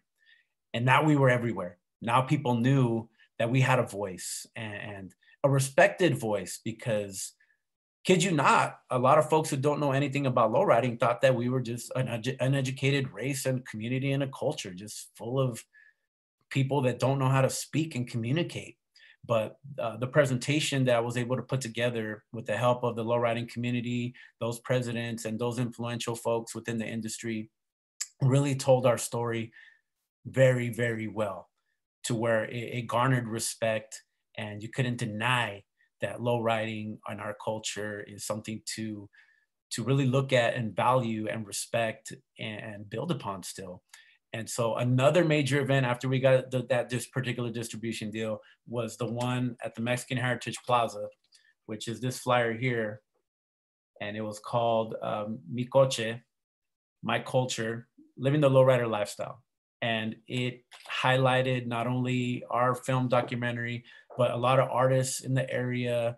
Uh, it really it really planted our our our culture with the, even the east side of San Jose. You would think Lowrider magazine would would have done that already, but it just really solidified with our community that lowriding is here to stay. Uh, this is something truly special that we have built in our own backyard, and it was the catalyst for those folks. Uh, shout out to Raza del Sol. Uh, for him even to start his own ventures with lowriding and and create all these other different events based off that event. It was a very inspirational and inspiring event to where it just it just said, you know what, this is something that we have to now uh, catalog and and really put in and put in the books of the city as something that is about us and, and it's positive and it's it's a value. It's value and the main point after all that adventure was the retention of our culture for us. That was really my main point from the very beginning to where it went from my the trunk of my car to if you could see this cover uh, this is the official cover of what the movie ended up being. And it, it just supplanted low riding i felt in, in a way where no other films had and really attacked the the issues that unfortunately are still going on today. Uh, those issues from stereotypes to versus hot rodding and and and the artistry and and everything in between to really not only attack those issues but address them and continue to build upon uh, what we have going and into the future so what is the future of low riding, I feel? Well, I'm doing a project called Eastside Hero, and I'll show you this here, if you could see that. And uh, shout out, shout out to Matthew Chavez, who helped me, who's helping me build this particular uh, story to where we're going now. What's the next thing? What is the next thing that we feel can catapult low riding and the culture and really impact the minds of not only the community of low riding, but the children, our raza, and what a better way to uh, present all that in an entertaining fashion and tell a story about a lowrider, uh, a lowrider superhero, uh, and and and who who basically is is in his 64 Impala, and, and it can be like uh, something that Marvel tells us, but from our side, from our culture, from our story, to really impact and benefit our race, our our cultures, to to move forward and and be entertained as well. So that's that's where i feel and that's our mission and that's our goal where we're going with low riding after that whole thing. Awesome. Daniel thank you so much for all of that. Thank you so much for that beautiful documentary. I mean those of us who've seen it we know it's just dope uh, some of that work i'm sure that coming into the future is going to be really cool I'm glad you mentioned kind of the superhero thing, being a comic book nerd myself, you know. Yeah. To connect these two things would just be amazing. I mean, I know there's a few things out there that try that a little bit, but we need to make that grow. So, so yeah, yeah man. Uh, uh, there's a couple of questions in the chat, but they're mostly related about the same thing. People are wondering if this is still available for purchase somewhere, where can we get it? And also if it's online anywhere to download as well. Yeah, so uh, the, the actual uh, documentary, you can still go on Amazon till this day and order uh, Low Riding in Aztlan on DVD. Uh, it is on DVD because you know it was made over 10 years ago. So uh, you could definitely get the hard copy that way. Uh, digitally, you might be able to find it still too. Uh, but definitely hard copies are available and they're still on Amazon. That would be the best way. That that would be the best way to get uh, your hands on some on the official copy. Cool. If you wouldn't mind throwing a link to the Amazon in the chat, just to make sure you have the right one. Uh, yeah, I'll go. I'll go ahead and try and do that. Uh, just, but you, you know, what you can do. You can just type in "low riding in Aztlan," the title of the film, and, it, and it'll pop up. Awesome. Thank you. Well, Danny, we really appreciate you being here today, sharing your perspective from that, the making of that documentary. You know, sometimes the stories behind it are, are equally as important as the story itself is being told, right? So we appreciate that. Exactly. Thank you. Um, so we, we have our next speaker in line, I think. It's Juan Roman. Um, I see a J Roman. Is that the right person? So I want to make sure I give the right credit and the right uh, capabilities here. If so, please please comment so I can give you the permissions and we can move, move on to that person.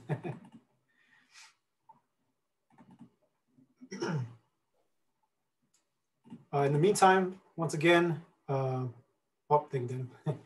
Uh, once again, I just want to thank those who have been here from the beginning and those who are just joining us too, uh, to continue putting your questions or comments in the chat, anything you'd like to say. And once again, if you'd like to be unmuted to share your comment, you know, verbally, uh, please let me know. We can definitely do that as well. We'd like to hear more voices too. Um, so if, if Juan Roman, if you're ready, just uh, let me know. We can, we can, we can do this.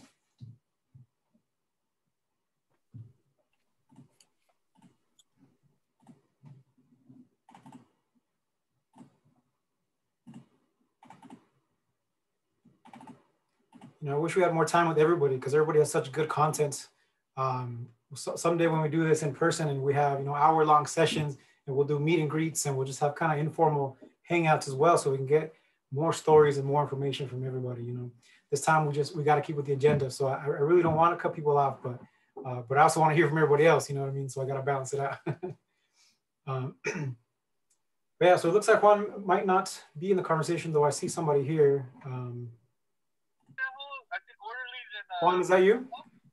Uh, yeah, Strelo came out way later. Which one did he start? Um, no, he just started promoting shows. Someone's having a conversation, not sure. Yeah, Sonny Madrid started. And mute, okay. so if I don't know if that's him, but he's on the phone or something. So we'll we'll see.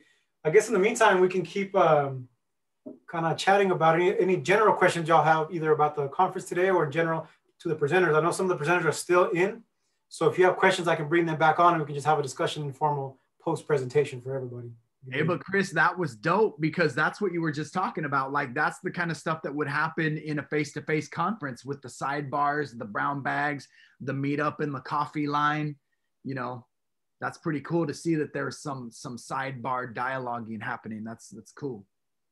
For sure yeah, so if anybody has any more comments or questions or anything they'd like to add and share, I mean, like I said, I can bring back some of the presenters too if they're willing. Uh, put them back on video and just have a conversation about their presentation if you still would like to discuss that. it's dope that we had two San Jose presentations back to back. For sure. You know, people from Cali be repping deep today. For sure. I see I see Utah in here too, so thank you all for being here. Um, I know we had at least one comment saying they were in Indonesia. So if, if they're still here, awesome. That's cool. Okay, so looks like looks like he's ready now. Let's see. Hey. Juan, is that you? Okay, cool, cool, cool. Orale. Okay, bye. Juan, can you hear us? Yes, I could hear you guys. Cool. Well, you are up next. Are you ready? Uh, yeah, give me one second. I was kind of chit chatting with my brother. Okay. Um, and listening at the same time. Orale, man, this is this is such an honor to be be here with you guys. Um, you know, it's not often that you get a um, you get in a place where you have a bunch of um, intelligent people sharing the same passion. And um, um, I absolutely loved all the the stories and information that everybody was that everybody was um you know sharing. But um let me go ahead and could you guys hear me? Yeah we can hear you. I don't know if you have video though because we can't see you but even yeah, yeah i'm trying to put on the video right now. Okay go ahead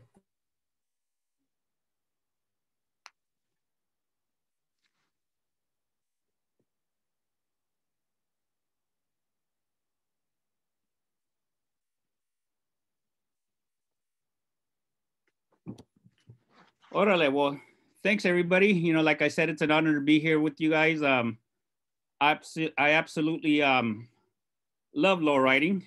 Um, I started low riding when I was, I don't know, um, a little a little kid.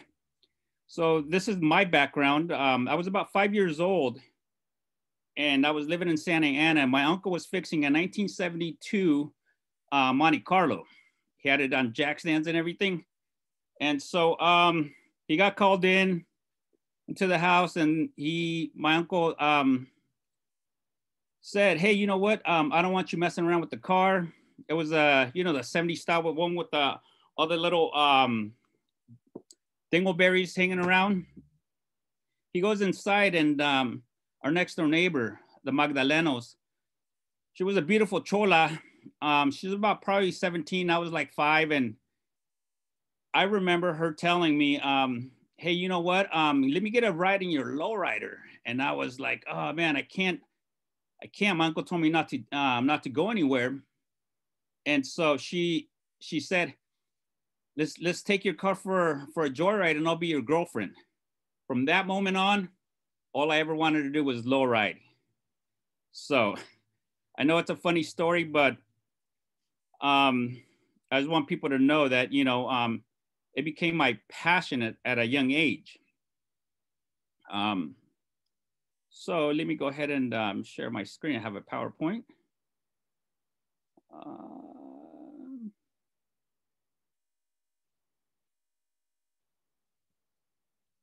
I have a PowerPoint right here. So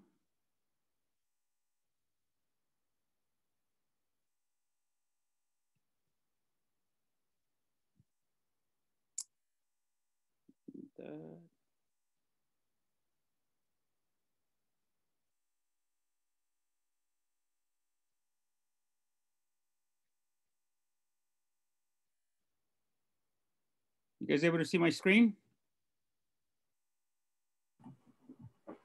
No, we see you, but not your screen yet. Okay.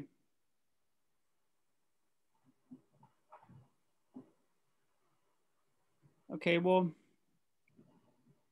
anyhow, um,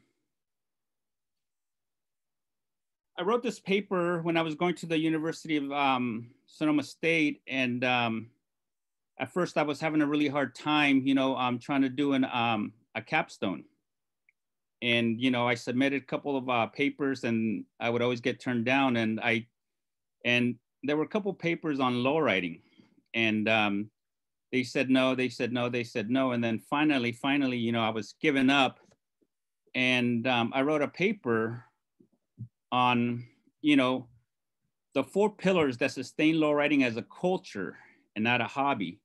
And throughout these, um, you know, throughout today, I, um, I hear reoccurring themes, music, language, art, and also, you know, the style of clothes that we wear. Um, and one of the things that, you know, we, um, about defining, you know, low writing as a culture is through, um, through music.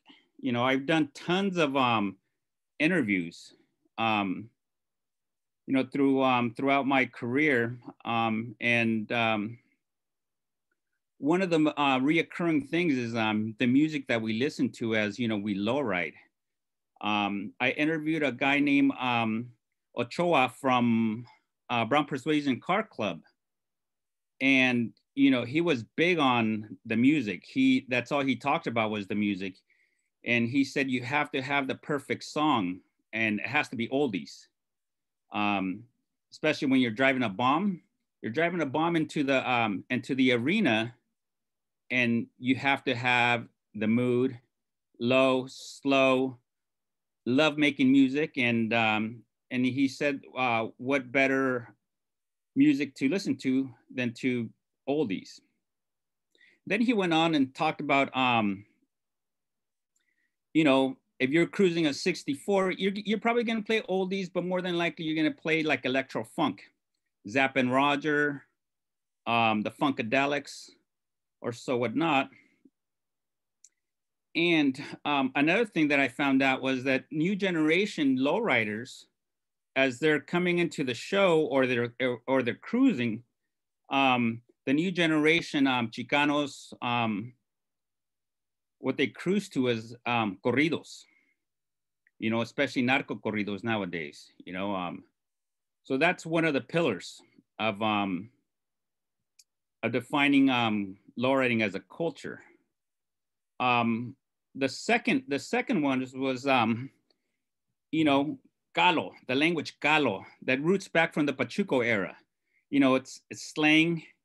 Um, barrio, um, barrio words such as aitehuacho, al rato, um, um, other, you know, um, Calo, Calo words, you know, um, calcos to define shoes or, you know, um, we got to understand the importance of language in low writing. Um,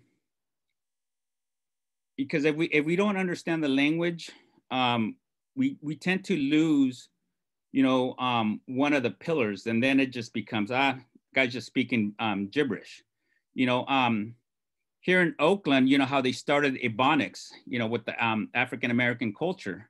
Well, we have Calo, and it, it didn't just start, you know, last week, last year. It started back when the Pachuco area was around, you know. Um, and Denise Sandoval, um, a scholar from um, Los Angeles, she stated that lowrider has his own language, you know, code switching, um, Spanglish, in other words. Um, that's super, super important that, you know, that we understand that. Um, there's, there's, a, there's, there's a lot of other words that, you know, um, that we use, um, um, phrases and so on. Um, code switching, I think it's not just um, important in our um, Mexican American culture and Chicano culture, but you know also in the culture of low writing. Um, we'll start off, you know, um, with speaking English, and towards the end of our sentence, we'll say something in Spanish.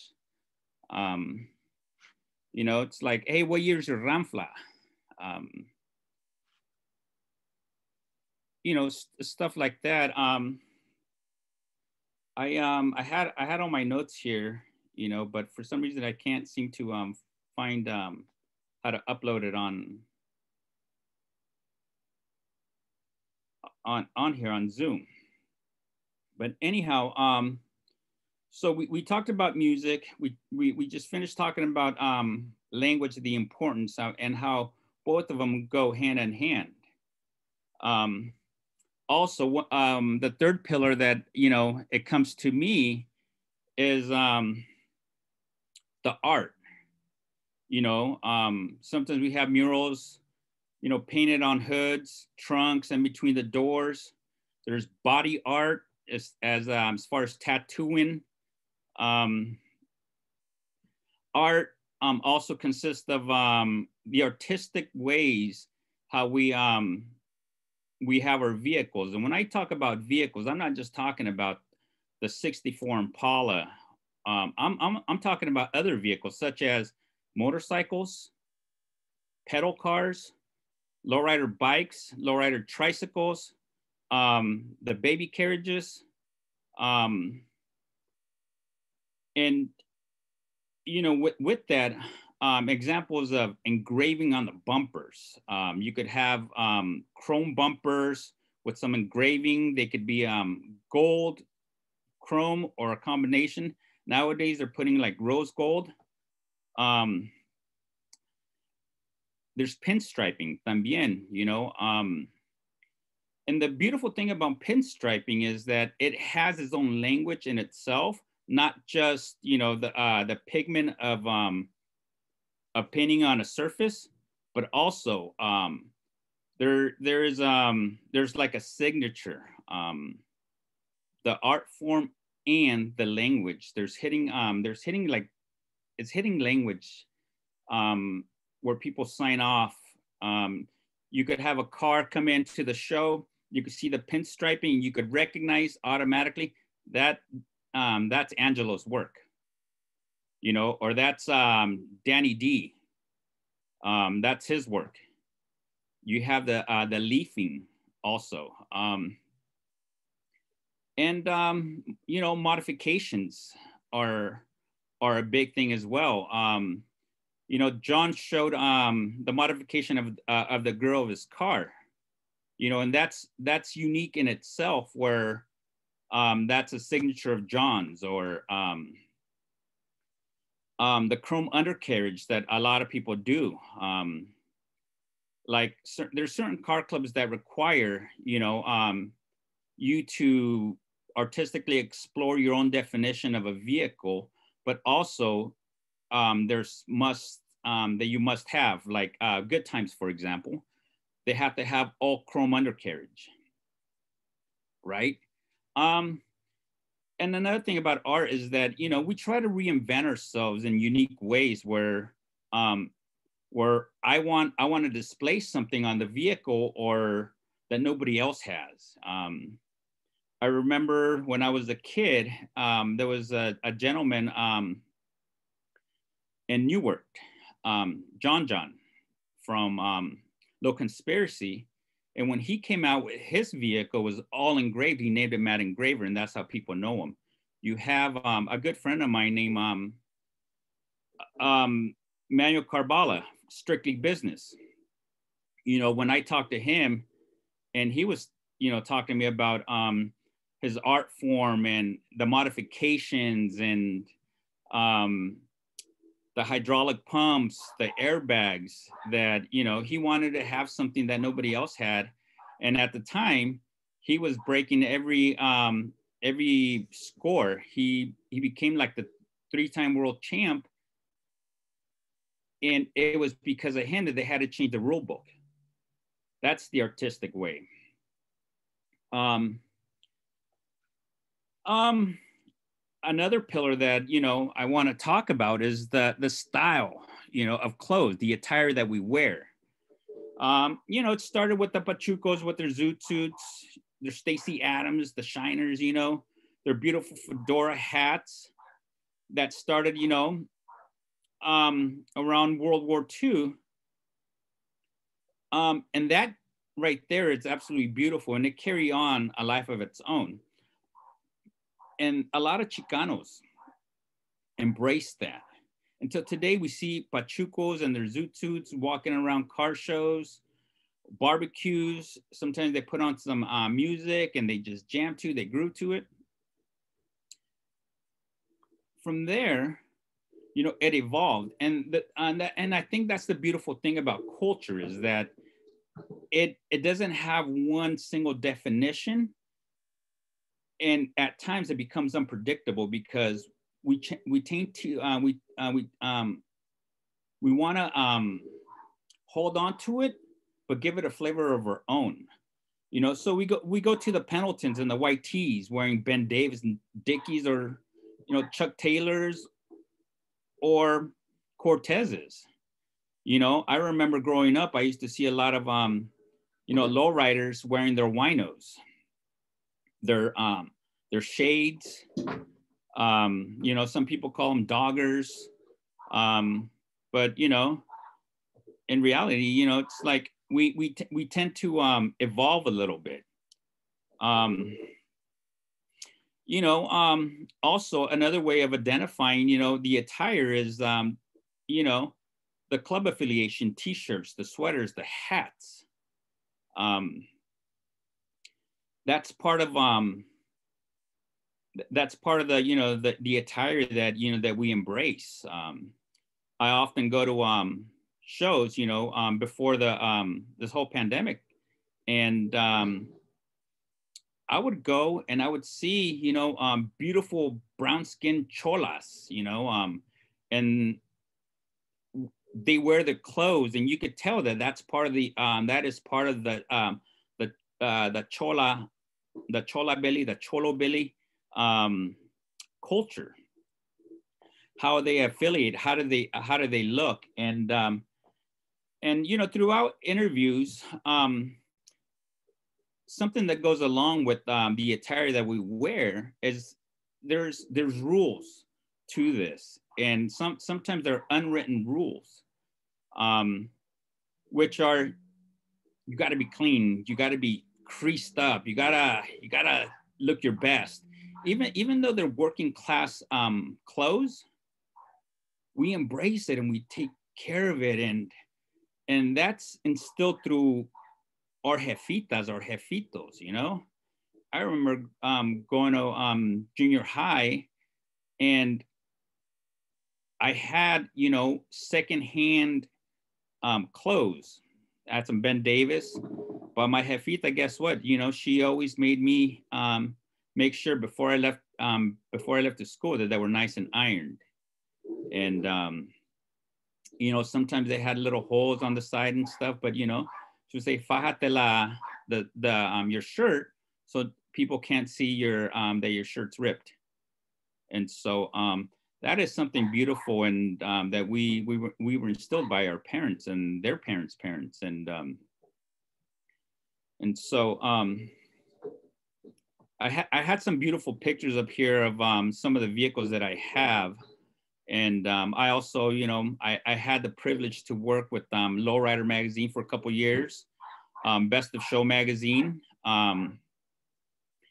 And I was also the editor for um, uh, Up and Coming Magazine before, you know, they decided uh, to pull the plug, which was Scalo Magazine. Um, I I had a chance to work with Alberto Lopez, um, one of the um, one of the owners of Lowrider Magazine, um, Manuel Carbala, um, the Ochoas from um, Brown Persuasion Car Club in Stockton, and one of my one of my heroes, George Torres, also known as Loco 64. And I remember talking to um, I remember talking to them one time when we were in LA, and he asked me why why why is it so um why is it so important that you know you're you're writing all this stuff and um and for me um for me it was like growing up chicano growing up in a working poor family um you know watching two or three channels because we couldn't afford um you know cable tv i didn't we didn't grow up with heroes you know i think the closest person to having a, a superhero and um on TV was El Chavo del Ocho, you know, and El Chavo del Ocho was some kind of clumsy, heroic, um, half man, half um, grasshopper or something. And so for me, it was super important because it was the local 64s, it was um, the um, the Gypsy Rose, it was um, strictly business that became my personal heroes. I looked up to them, and you know, um, and they weren't they weren't hijacked by by the media. You know, they weren't hijacked by Hollywood. Um, there were ordinary um, men who didn't have capes, who didn't have, you know, super strength, but they did have an influence, not just on me, but also a lot of kids from my neighborhood. Um, I remember seeing Local 64 magazines and I was like, oh man, one of these days I'm gonna have a car just like that. And fortunately enough, you know, I got a chance to work with him. I got a chance to work with um, um, you know, strictly business, uh, Alberto Lopez and um, other people, you know, um, that was super, super important for me. And another reason why it's super important for me is because if we don't start defining who we are, you know that Hollywood's defining who we are. Um, Tucker Carlson is defining who we are. Uh, our former president was defining who we are. So that is one of the reasons why you know I wrote this paper, and uh, because I wanted to give a definition, I wanted to give us a light and put everything together in a scholarly paper where we are defining low riding as a culture. You know, um, um, they did it with hip hop. You know, they defined hip hop. You know, you have to have um, a MC. Um, you have to have um, the attire, the graffiti, um, and so on and so forth. And then I thought about it, and I was like, hey, what about us? You know, this is a reoccurring um, conversation that I have with people that I interview, that I people that I you know that I talk to, that people that I listen to. You know, we talk about the music. You know, um, we talked about you know the the attire that we um, that we put on our backs, um, the artistic um, aspect of it, and also the um, the the vehicle. You know, uh, without a driver, music, language, culture, the lighter, the lowrider vehicle is just an object. And so, um, yeah, um, I think that's uh, that's pretty much it. I don't know how much time I have, but you know, um, I, I hope um, I was able to bring some light to it. Absolutely. So yeah, we're actually at time here, but I like what you were saying about building the pillars, you know, of, of what lowrider culture is, because I think sometimes we try to define what it is and we want, we need to have something that defines it, but at the same time, we need to step back and say, we can't really define it, you know, because it's something that's growing and it's, changing and ever evolving as we've been discussing throughout the day, right? So it's a, it's a fine line between all that, but I appreciate that you mentioned that for sure. Um, and like the comparison to hip hop where they have like the, the different elements that make it up you know, same thing that we're trying to do here. In fact, one of the papers that I wrote, I talked about taking a three-wheeled approach to hip hop. So kind of like the pillars, but it was the three wheels, right? Like a three motion, if you will. Um, so I think those are really, really great topics. In fact, uh, I'm sorry that you couldn't share the paper there. I was trying to see what I can do to help you out on my end, but it didn't quite work out. But perhaps um, if you can share that with me, I can later share it with, with participants. And also just want to remind everybody that's listening too, we are putting a book together about lowrider studies. So perhaps some of the stuff that you mentioned could be mentioned in, in that book also. So we'll definitely have to connect a little more and talk about it. I um I just want to say thank you to John for all the work, um, academic work, um, the work that he's done in the streets. Um, you know, not just for people like myself, but also people like my uh, my kids. You know, um, I think it's super, super important that, you know, we, um, we continue sharing this, um, this culture, you know, generation after generation and, you know, and we spearhead, you know, um, our own personal narrative. Um, and so, you know, once again, I want to thank you, John, for all the work that you've done. I've always wanted to work with you and hopefully one, one of these days I get to work with you. So. Oh, I would, I would love that. Um, you're in Oakland? I'm in Santa Rosa. You're in Santa Rosa? Okay, I'm in San Mateo, so we're close. So there's no reason why we can't, or at least be in contact like this. But we'll we'll we'll connect very soon. Yes, thank you. Thank you. Well, thank you so much, Juan. oh, el gusto es mío. Sorry, John, you were going to add something there. No, it's fine. I'm I'll get him on the on the private chat. Cool. well, great. Um, our next speaker is, is, local here to Salt Lake City as well. This is a professor here at the University of Utah that I've always looked up to.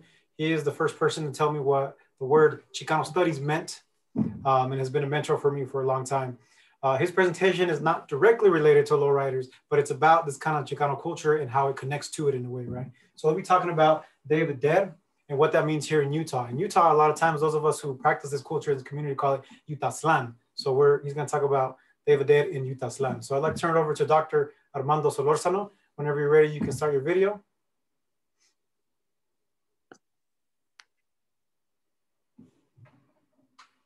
And there we go, we got you now.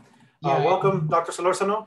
Uh, oh, thank you, thank you so much. And uh, certainly is, I think we are achieving today is something that we were looking for since the 1960 to enter into a conversation with all the Chicanos and Latinos in the rest of the, in the rest of the Southwest. This is a wonderful opportunity. And also to connect also with friends like uh, Ruby Chacon, uh, Mario Compian, you know, who is in Texas. Uh, also with uh, Professor Ben Chappell, who talked probably two hours ago, and he mentioned about our indigenous roots or roots and such honest. So after all, we are not isolated. And obviously it's, it's a pleasure to put a face in a name with John Ulloa. And by reading your work and appreciating your work on the street, like everybody's mentioning, certainly bring us a sense of unity.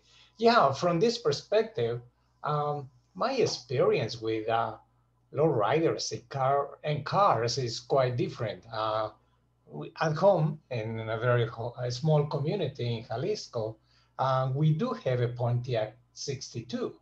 But as you know, at that time, uh, the US cars were not allowed to go to Mexico. Well, an immigrant brought it. I don't know how they got into the country, um, but again, it was an undocumented car.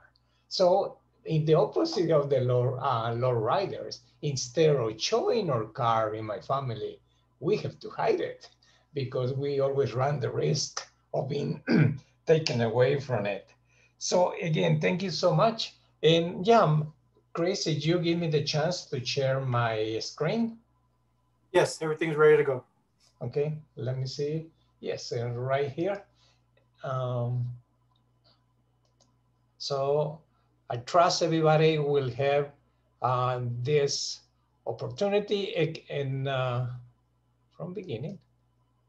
Yeah, right there. And again, even if the, if the theme is a little bit different, it shares some similarities with the low rider culture in the sense that this is part of the popular, popular culture. It comes from the people. It has a message. So yeah, and this opportunity again is uh, sharing what happened during the Day of the Dead. Of the Dead, and so this is uh, what I'm planning to do if I do have the time. The Day of the Dead, as it was in our indigenous communities, then come as it is in Nutaztlan, and I'm very appreciative of Chris, who always identify himself uh, what is the term you use, Chris? When they ask where are you from? Well, I two different things. One I said today, which is ni de aquí, ni de allá, not from here or from there. But the other one is I say that I'm Utano. You are, you are from where? I'm Utano. Utano. Terrific. So again, we bring how we celebrate the Day of the Dead in Nutaztlan. Um, the situation of the pandemic, which I think is going to be affecting also some aspect of the low rider culture because a low rider is something you don't produce for yourself. You produce it for the people or in yourself for the people. It's a community expression. How this pandemic is affecting these low riders when we don't have that chance, like somebody mentioned it, to bring it to the park, to sit down to have the coffee, to share the tacos, and how this pandemic is going to be affecting us in the state of Utah, again, we refer to the issue of the Latinos and Chicanos, is killing us. And also, I um, want to conclude with the idea, yeah, they might be killing us, but our Chicano soul will always survive. And that is the hope of this conversation. So again, at the beginning, how this Day of the Dead started. So our indigenous people always believe that there is no death, that there is just another way of living. So the way they put it, life and death are just twins, united by the same heart. So the idea here is that one day during the year, our ancestor, the spirits of the dead, will recall, uh, will come back to Earth to join us. So in during the time, this was the pre-Columbian belief. So the colonizers start mixing indigenous spirituality with Western Christianity. And that's how this uh, amalgamation continue. And now again has even been transformed in the United States by these issues of Halloween, which by the way, in this day and coming from research from your researchers in California, the, the strongest opposite that we do have cultural is to fight against this Halloween. So in the day, uh, in 2008, the United Nations declared the Day of the Dead to be part of the cultural heritage of humanity. So we are all over the world. So my hope, my expectation that someday the United Nations declare a, um, the lowriders as part of the cultural uh, heritage of all human beings. And it's not only a hope, it's something we need to work for that. So that happened. So this transformation was completely uh, brought into a different stage in the celebration in the United States. Yeah, it is a popular festival here when it was brought from Mexico, but again, it uh, reflects a relationship very complex between uh, between the economy because it has it has completely been um, commercialized. It, the capitalism took into its hands and put it as something when we can get profitable with? This is again a question that it was very prevalent in the first three hours of our conversation, right? What happened when somebody appropriate your ideas, your beliefs? And then it's also relation to uh, transculturality, something that John Ulloa has been mentioned all the time. All his work is about, well, part of his work is about um, low riders in Japan, and in another countries, in Brazil. Well, he knows that that lowrider that we do have in the United States when it crosses the borders, acquires a different identity, a, a different meaning, right? And so that is the challenge that Chan is facing. And also that we are facing with this issue of the day of the day, especially when it's turned into consumerism. So what is happening in Aztlan? Okay, what you have this is how the Day of the Dead is manifested in um, the Catrinas, right, in the mask. But I want just to project this uh, quote that I found in the book by Tomas Rivera, our own Tomas Rivera, migrant worker, right? One of the first president, the uh, president, I believe, was of the University of Texas. And, you know, he relates to whole the, the circle that migrant workers work. But in the middle of his book, and the earth didn't devour him, y, la y no se lo tragó la tierra, which is a wonderful manifestation of Chicano culture, right? And our background. So he wrote this about Utah, so you can have an idea where are we. So Chris also can project when he does his presentation, where in this book, uh, Tomas Rivera wrote, Comadre, do you all plan to go to Utah? And say, no, compadre, I will tell you, we don't have trust. That means that is contracting people in to work in, how do you say it? Utah. And why, comadre? Because we don't think there is such a state. Well, you tell me, where you have been, where you have heard of that place? Well, there is so many states, and this is the first time that they have contracted for work in those parts. Yeah, but tell me, where is it? Well, we have never been there, but I heard it's somewhere close to Japan.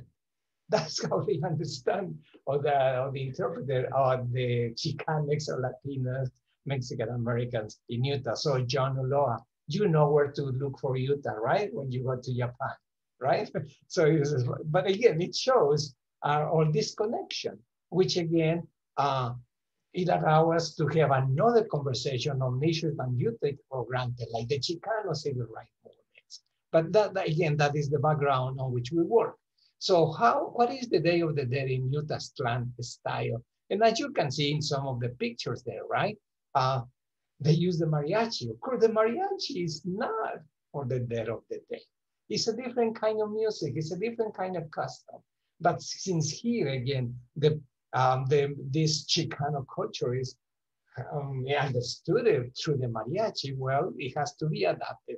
And as you can see, um, there is a lot of participation as the picture you uh, at the bottom from that little girl. So what happened in Utah? Well, it was the immigrant communities who brought the tradition to the state and recreated. And this is not new, no, right? That is the whole virtue of low riders to recreate the interpretation of the car. And not only that, the interpretation of what a car means in the living of the people. So they recreated also here in uh, the Dead of the Day in Utah.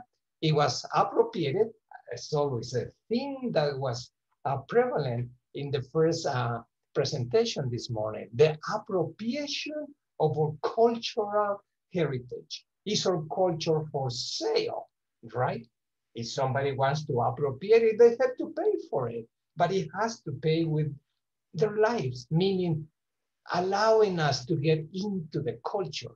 So it was appropriated by the government agencies, right? By cultural centers, by um, the consulate and some sections of the Catholic Church, right? And we hopefully will have time to talk about that. So Chicanas, Mexican Americans, Latinas and the Mexican Council recovered the celebration as a tool of education and racial and ethnic integration. Again, and I will make some more points at the end of the presentation. So what do we use the Day of the Dead in Utah?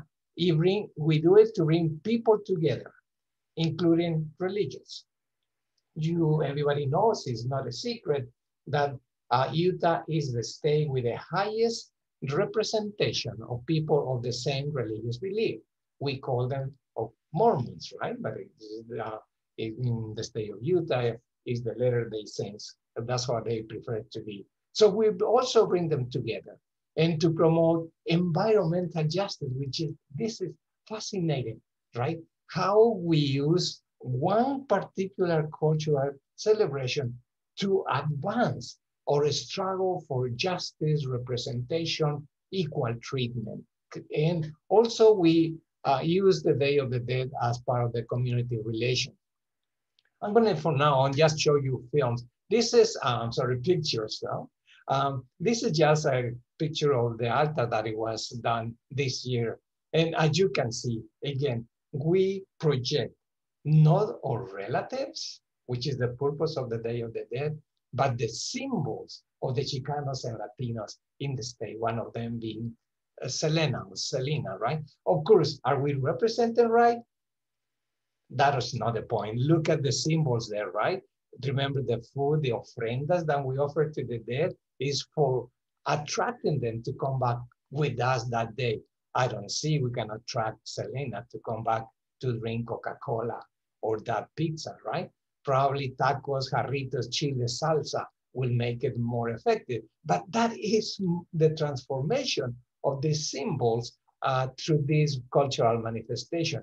We, again, this is a good representation of how we use the Day of the Dead in Utah for social justice. We do have several altars, and, and that happens every year, that we dedicate to all the communities or the schools or the the, Chic the Chicano students in high school, they dedicate the altar to all the children who died um, crossing uh, the border. And look at what is important for us is that it, the, the Day of the Dead is not only representation of art, like the picture you have on the right, but it's these children who come and play. So this spirit is not dead, and that's what is so fascinating to see that the Day of the Dead are not commemoration of the dead, but it's the commemoration of our lives. And to see these, these children bringing about the new generations. And I dream about that. And when I was doing this, and, and the beginning of these conversations in the morning,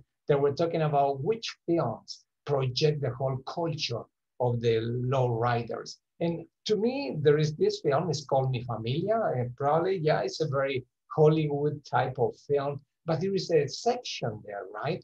Uh, and it takes place when um, one of the daughters is getting married, and and when his, uh, sorry, her brother go and show a low rider, probably you know that is it. And he's not only low rider, but as the uh, presenter who was before me said, it was the whole culture, it was the singing, it was the mambo, the salsa, and everything that surpassed, but it was done by the children, which is the future of low riders. And I wish we can have one segment and presentation for them. Um, this, uh, this shows, you know, how the government uh, appropriates, right, made their own the celebration of the Day of the Dead for their own purposes. The uh, document on the left is uh, the declaration for the city mayor in Salt Lake City, declaring the 2 of November as the official day of the Day of the Dead in the state, right? Of course, the governor was not going to fall behind. And the document on your right, on your right is the, official declaration from the state of Utah, from the governor declaring the day of the, uh, the Day of the Dead as the official day of the celebration.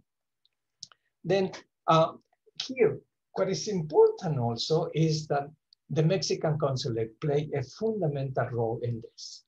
By how do they do it? Well, you know what? The consul even becomes the judge in the, in the Catrina uh, tournament competition.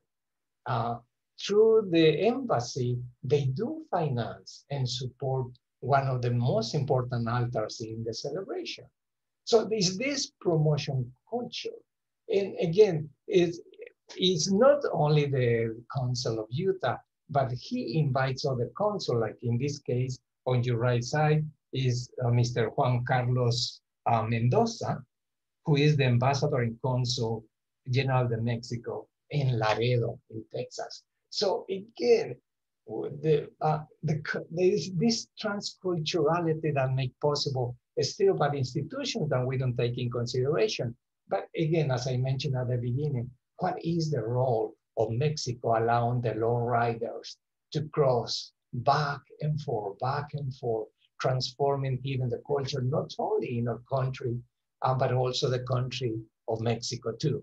So in this uh, celebration, you can see again that we need to adapt all these meaningful um, representations into the idiosyncrasy of Utah. We have all this face painting, which is mainly an activity that people do in parties, but we do it as a way to uh, portray and carry out our symbols again as another fascinating picture that you can see again when even the design are not really Aztecs or indigenous, but they have a different connotation and it has a meaning. Yeah, I love one statement from Low Riders that they said my body needs uh, tacos, but my Chicana soul needs meaning.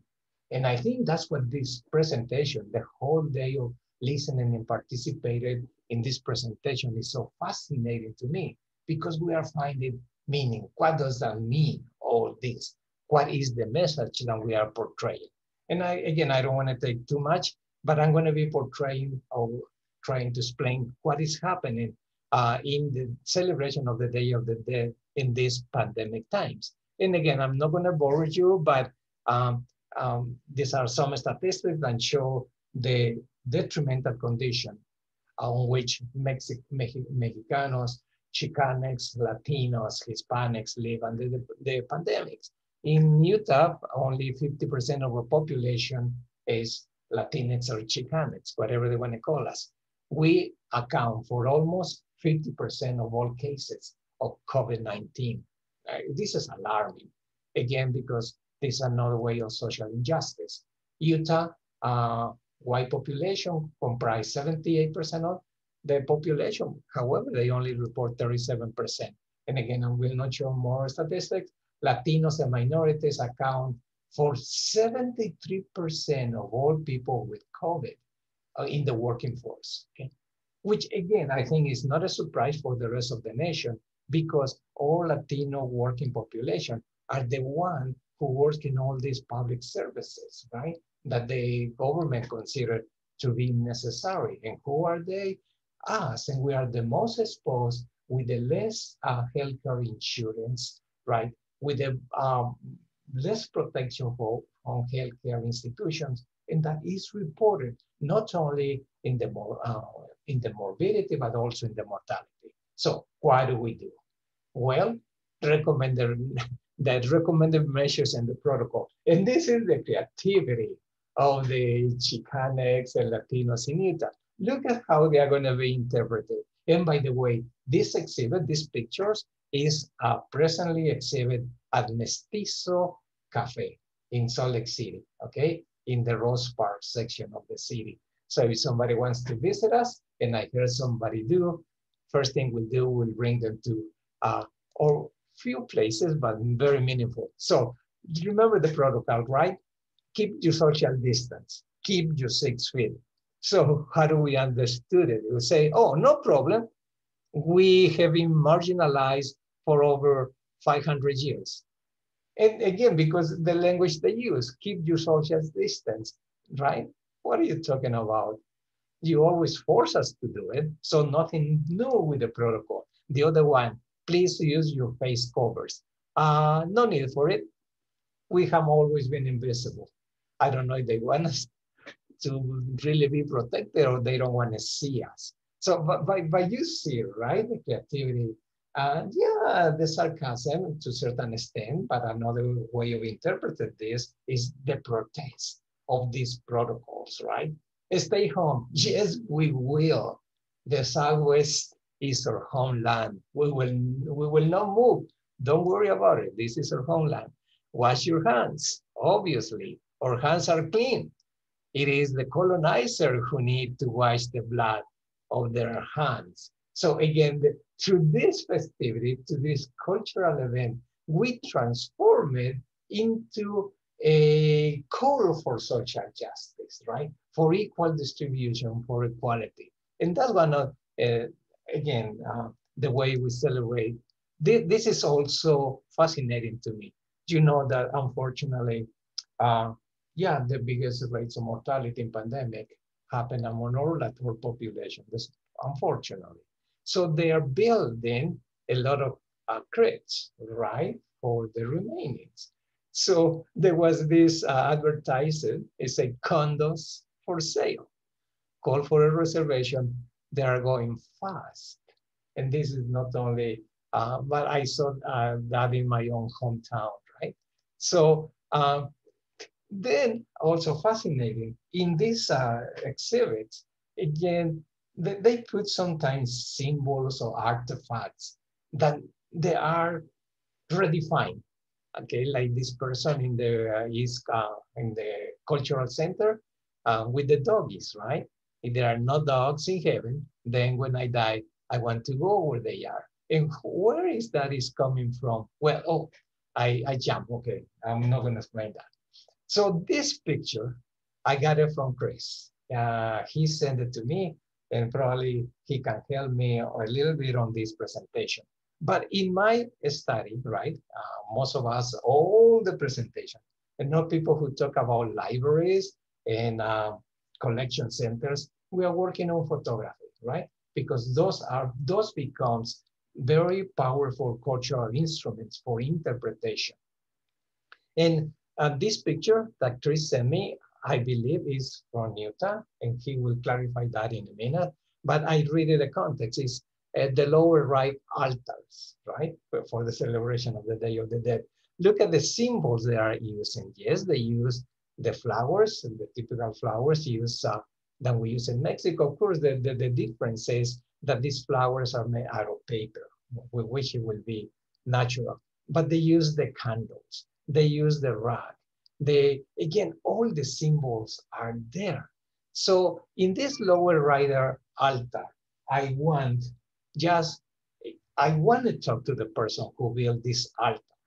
And I want this altar to be brought to the most important cultural centers in Utah. So again, but not with the message that the Lord lowrider is something that is dead, but the Lord lowrider, the people, the culture are alive. So if I will have a chance to talk to these people and to all of you, interpreting lowrider in pandemic time in the context of the Day of the Dead, my question will be, is a lowrider a living memory of our people? Is, can we use the lowrider culture to fight the historical amnesia of this country that put us at the margin without knowing that we are the foundation? That the low riders, to me, the low riders means that what we used to, me, to move is closer to mother land. That's what a low rider. It keeps this intimate relationship between Mother Earth and car, what allows to move. So we need to remind our country at, through the culture of the low rider. In the tradition, of indigenous ancestors, they need a chihuahua. And everybody knows that, right? Those little dogs and they put inside the coffin of the Aztecs and the Mayans. And that little perrito will help the people to cross the river to the afterlife. So my question is, do we need a low rider to get to the promised land, to paradise, to Aztlan, to the land of the fruit, to the land of the amazing women, to the land of equality. And I also ask, is the low rider the ultimate symbol of liberation for our people? Thank you much.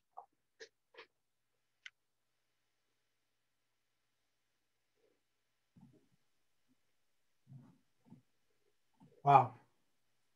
Those are some some deep questions and a very interesting way to connect everything. I mean, when you when you told me that you were going to talk about Day of the Dead, you know, I, I understand the connection to the culture, um, but I wasn't quite sure how that was going to be all related. But I think this makes perfect sense. Uh, you had me, you know, thinking, processing, laughing, and wondering now, you know, how these questions might be answered. And, and of course, we don't have the answers to that, but is a lowrider a symbol of liberation? I mean, I think so. Is it the ultimate symbol? That, that's that's a question we need to discuss. You know, is this how we get to the afterlife? Is low riding going to continue with us after we pass on? that's a question and that's a conversation that I definitely want to have with everybody here. So I'm gonna turn it back to the um, to the chat here to, to the participants if you all have any questions for Dr. Solorzano.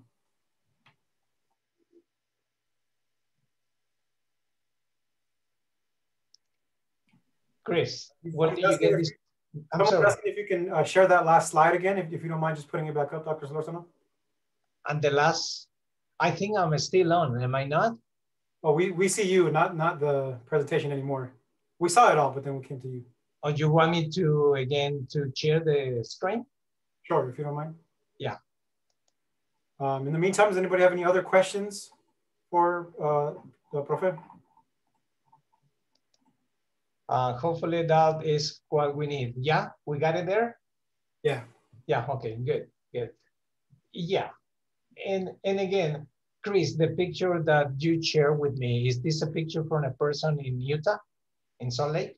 Yeah, so when we were talking about what, what to do for this, um, it's, it's somebody, it's a good friend of mine. Uh, her name is Andrea Hernandez. She's from Ogden, Utah. Um, I'm not sure if she's here today. I know that her, her partner's here today, but she's not. So um, yeah, so it's, it's, a photo that she took and, and I want to make sure she gets credit for that. And thank you for the connections you made again. Yeah, again, because I have seen again some uh, lowriders uh, in the state of Utah, but correct me, Chris, if I'm wrong. The majority of them are Anglo Americans, which is which is okay, which is exactly the issue that we talked about at the beginning. But they usually come and place their car outside the capital. But I think it, it, we don't do it in the capital. We do it in the park because again, it's a chair. It's not only showing the low rider, it's sharing the cafecito, it's eating the tacos together, it's uh, el chisme, right? Is the sharing, is the how are you, how are you kids? The low rider might be a pretext if, to establish these deep cultural group connections among us. And when I see a low rider in the capital, to me, it has a different meaning it, it doesn't mean power, do, doesn't mean economic class, because it will be very different if the low, riders congregate in Liberty Park, for instance, in Rose Park. But again, uh, for those of, uh, well, I, I'll leave it there.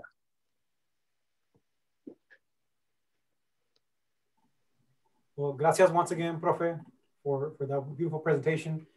Um, John, I think were you going to add something? I thought you, I thought I saw you. No, I was just going to say it was an it was an amazingly powerful presentation, and thank you so much, Profe, for delivering some brilliance. We really appreciate it. Thank you. Thank you, John, and uh, I'm looking forward the day to meet you. Igualmente, señor. Hey, gracias, man. Great. Um, so on our agenda, we have uh, Martin Morales Ramirez next who is going to be talking about the birth of something called El Campesino Project. Martin, if you um, are, are here, I've already given you capabilities to screen share and everything. Uh, you go ahead and start your video uh, and begin whenever you're ready. But we're, we're excited to have Manuel here as well. Campesino Project is, is a big deal in the lowrider community and about um, kind of talking about counter narratives and things like that. So we're definitely happy to have him on board too. So Martin, whenever you're ready.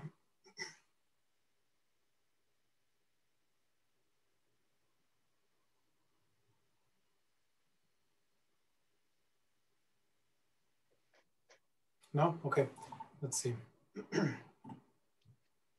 Martin, can you hear us?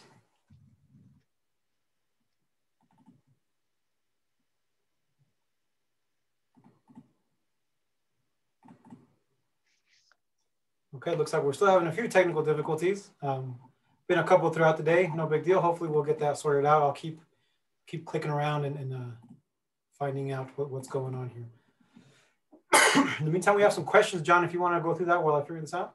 Uh, did you, I'm going to start at the bottom and work back. Um, Gloria is asking, do Chicanos and others call their lowriders quote unquote low low like hip hop culture?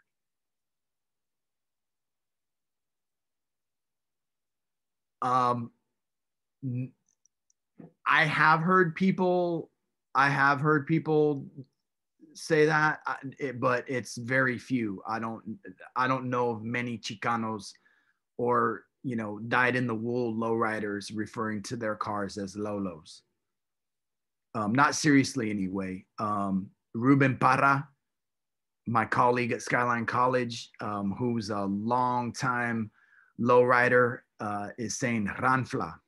So I'm going to defer to my elder Ruben with uh, Ranfla. Um, what else? I love hearing the discrepancies demonstrated out in the community, how politics play a role in the low riding community. Had to step away, but I'm going to look, yeah, I'm going to look forward to the recorded version. Yeah, you know, I mean, it's just what what this is. This whole conference is really a beautiful, you know, it's showing low riding for the beautiful diamond that it is, right? And when you look at a diamond in its different facets, you're going to get a different display of light. And i think that that's that's clearly clearly being highlighted today with this everybody's different vantage points and entry points into low riding. Is pretty cool. We ready? Yeah so it looks like martina's ready.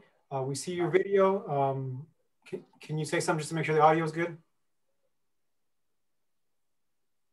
You see uh, radio check there we go perfect okay well martin talking about el campesino project take it away Buenas tardes. Buenas tardes a todos. I honestly, I was, uh, and I miscalculated the, the, the, time here, so I apologize. Uh, I'm gonna go ahead and uh, share my screen here.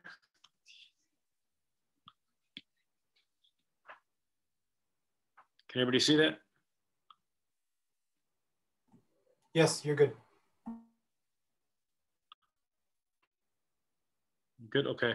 So um, I'm gonna go ahead and um, let me see here. You know what? Um, I'm gonna go ahead and share a different type of screen. Okay. Give me a second here.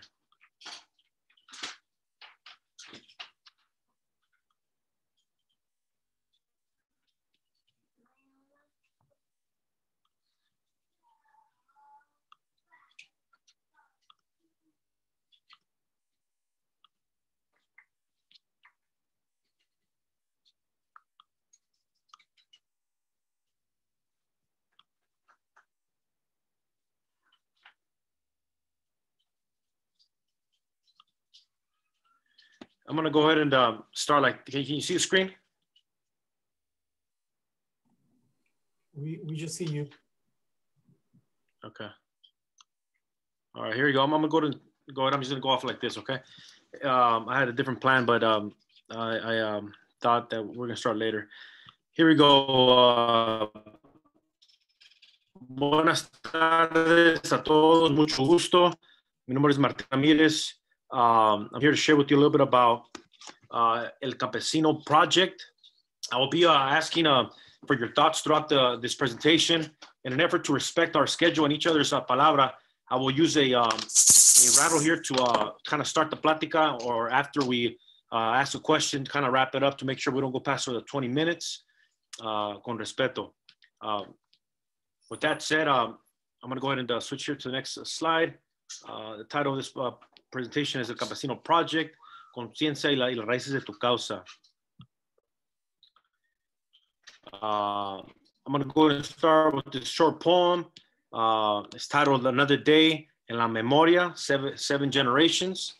Um, voices call us by name from the grave, maybe dead in flesh, but with much to say. Unsolved murders to the living that still run from demons every day. What do you have to say? Fuck it. Many will say, up and down the valley where Raza lives every day, mi carnal, I miss him every day. Simon, do you remember that day? It was like yesterday, pisteando at the baile with the camaradas, cruising down Broadway or El Camino. Do you remember that day? Celebrating New Year's to call it a day? Chale, it has to end one day. Walking home is a blessing every day. For many asking today, why did it have to end this way? At home, chilling with the homies, that told me they love me every day, puro pedo. That's all I have to say. I'm calling your name. Speak up and stop running from your demons every day. Not even your pill will stop calling my name because I run in your veins every day. Do you feel my pain? Tú eres mi otro yo, our ancestors used to say. So I will keep calling you by name. I see you are still running every day, trying to keep my name out of your mind, but not even the long hours will make you forget. The truth is that my birthday will haunt you every day. Why on this day? My mom remembers like it was yesterday. 69 unsolved murders to, with too many names to say, but they keep calling us by name.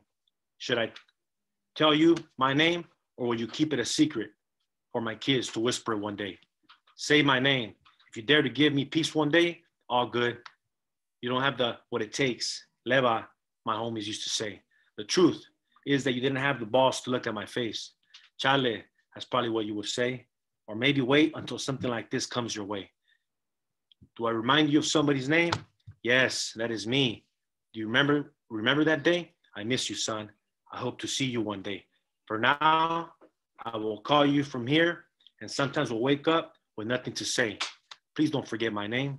I see you when you pass by my grave every day on the same day. Or did you forget that I'm here like yesterday?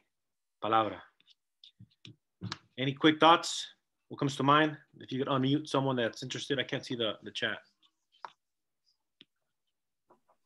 I can manage the chat for you. Yeah, so if there's anybody that wants to, uh, uh, any thoughts on that, what comes to mind?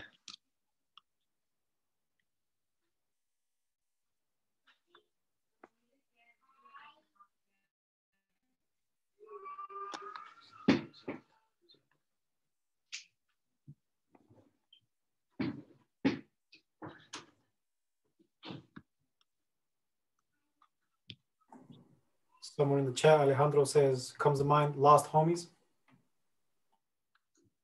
Okay. Gracias, gracias. So, Someone else says, it sounds like living on the edge. good, good, good. All those are all those are good examples. And so, um, with that said, I'm going to transition to the next slide. And so, this is a poem I wrote in connection to this this project, the Campesino project. And so, to me, this poem is, is the birth of the Campesino project. That is what comes to mind. An act of resistance uh, to what has been happening in our barrios, right? Um, a voice of hope to not forget all the vidas that we, we lost up and down our barrios. An example from all the coca, the crank, las pedas, las balas, you know, camaradas like el Cisco, el Dilbert, Roger, Gilbert, Rene, you know, I remember of uh, Sporty, you know, real beautiful carnalismo that we, that some of us grew up with, right? Um, who do you remember? Anyone in the audience uh, would like to share? Who, who do you remember? Maybe a lost camarada or, or carnala?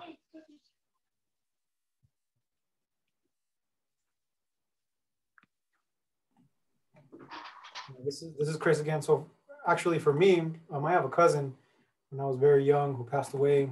Uh, he, he, was he fell into that gang life, and uh, it was a rival gang member who took his life. And so, he, but he was the first one to introduce me to this concept of you know cholos and cars and lowriders and whatnot. So I want to remember him. Uh, Peggy Gracias, gracias. So, um, the chat says she remembers Frankie and go John. sorry. Um, Gloria says some cousins, Frankie Benavides, David de la Cruz, Johnny de la Cruz. Okay.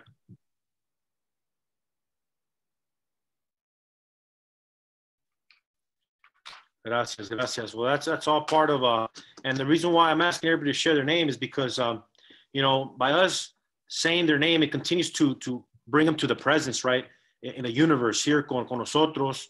Uh, it gives us hope, you know, for the se- next seven generations, right? Making sure to not forget about the carnalismo, you know, that that we had and that we that we that we need to have.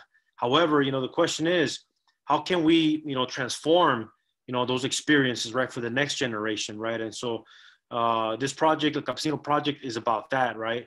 It is about it's an art tool to counter a destructive narrative that portrays violence in the barrios, right? That that influence my encounters, friends, enemies, vecinos, maybe other encounters that we had, right? uh, throughout our, our, our uh, you know upbringing or childhood right it's a counter narrative to provide youth with a different causa right that, that is not taught in our schools as many have shared already here in, in, these presentations throughout the day and, and it's and, and it's uh, and, and at least you know until now you know it's, it's very far from our history you know what i mean and we got to keep pushing for that right for our daughters right here a picture of my, my daughter at her elementary school with her friends, right? How do we how do we you know, make sure that they have dreams to to uh, benefit you know from another causa, positive causa, right? Um, the Campesino project was influenced by artists, maestros, campesinos, campesinas, mujeres y hombres X, right? To provide youth with that opportunity to imagine their own cause. On the far left, uh, there's an image here of uh, my, my father, passed away, you know, working in the fields back when I was 13 years old. And, um, you know, he gave it all. He gave it all his, his all, right? By working all our, not only my, my father, but all the campesinos, right? That had really been out there on the front lines, you know, uh, with pesticides, you know, down, you know, a couple of yards away, uh, and, and, doing it because they, they, they, they were trying to sacrifice, right, to, you know, help us to go to college or, or to get a better job or, or just have more rights, right? In the, in the middle, we have uh, my compañera and, and other teachers like her that are mentoring other future maestros and maestras, right, to uh, enter education and inspire the next generation, right? Uh, to on the far right, uh, we have uh, another uh, educator here, um, you know, Luis Genaro Garcia. My wife's name is Karina Figueroa. On the right hand side is what's Luis Genaro Garcia. He's another prof, prof, you know, out of LA that works in Sacramento. And also the goal here is right to counter the culture of the of the lowriders, you know, as these gangster cars or or a bunch of criminals, and and how women need to be sexualized, right, as part of this this cultura, right. So uh, these are just some examples on how how this this this project was influenced. Um, I started asking, you know, um, the different artists that, that supported this this project in Campesinos, you know, to uh, to share an artwork that reflected La Causa. You know, how, how would you represent La Causa I asked in one image, portrait or object, right? Whether it was a piece of woodwork that they, they put together, a self-portrait, uh, and so forth, right? From the Olmeca to the, you know, la cultura madre, right? You know, to of Mexico, to the Chicano Chicana movement today, right? And, and the current struggles that we have still, right? Uh, on the far left, uh, top, top left here, uh, you have a piece by Tomas Montoya, a, a, a maestro here in the Sacramento uh, uh, Valley. Uh, he, he, shared this piece, right? It's called éramos, somos, seremos. And, and, when, and to him, this piece uh, it reaffirms, right, that we're from these lands. And the next one on the right, top, top right, uh, is a piece by Enrique Soltero uh, from Jalisco, Campesino in the, in the Salinas Valley. Uh, he titled this one Raza Cósmica. And he talks about how the fact that we, we can't forget where we come from. We have, uh, you know, indigenous roots, we have African roots, we have European roots, right? And so somos la mezcla, right? Uh, and so we, we have to be proud of that and not forget that. Uh, but at the bottom, uh, to me, uh, my causa here is to empower youth, right? With, with their history, with their her story. You know, a space for them to develop a critical conciencia through lowriding, right? At the bottom here, you have an image of, of El Campesino Project with uh, an altar uh, kind of trying to mirror, you know, the efforts by Cesar Chavez and Dolores Huerta out there on the, in the picket lines, right? they would bring an, an altar to the to the campo and and hold you know mass uh, to to in a way of trying to you know uh, uh, you know have hope eh, eh, you know in, in, the movement in the struggle in la causa right uh, it also if you notice on the left and right you have the, the display for the campesino project uh, tries to also honor um, you know all the campesinos and campesinas that have passed away right with their their bolsas de lonche el termo los guantes uh, la pica, uh, el asadón, el cortito, uh, bolsas, you know, different bolsas, you know, para, you know, también las tijeras para poder la, la, la, las uvas. So all of that, you know, is part of this project and trying to honor not only, you know, our youth, but also our, our, our ancestors, right? And so now I ask everybody else here uh, that's on the call, you know, do you have a causa? Well, what is it? Can we share some of those, por favor? Any volunteers?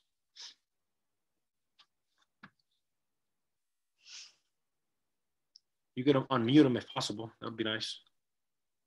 Yeah, again, I can take your comments on the on the chat, or if you want to unmute, you can talk as well. Uh, Liz Ramos says her causa is to educate and empower.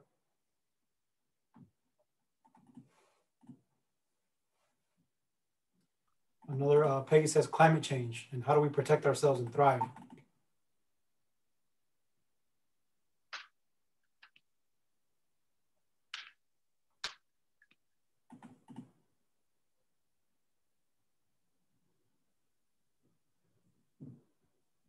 Anyone else? We're good.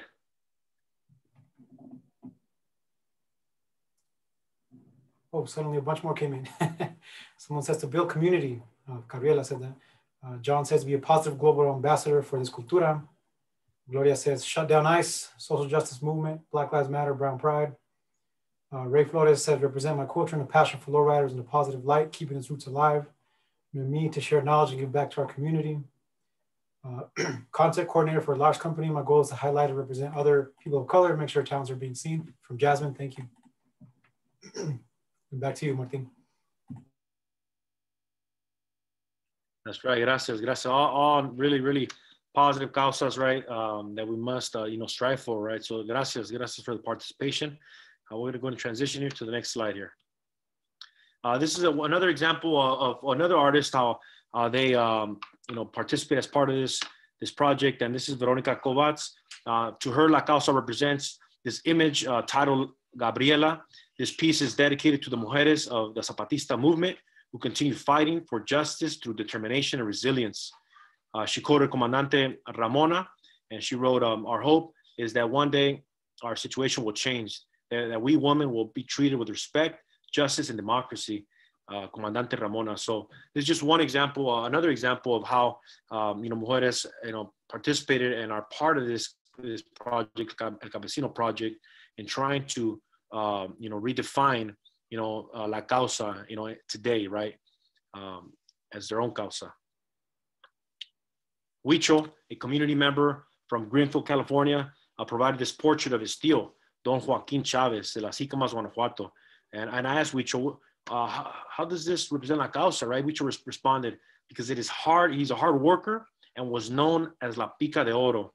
So, um, and I, I had to, you know, you know, ask him, you know, what do you mean by that? Well, he said that this deal was not only a hard worker, but he was considered a pica de oro, uh, similar to how we consider, you know, uh, a football player that, that has won the, the, the, Heisman Trophy, right?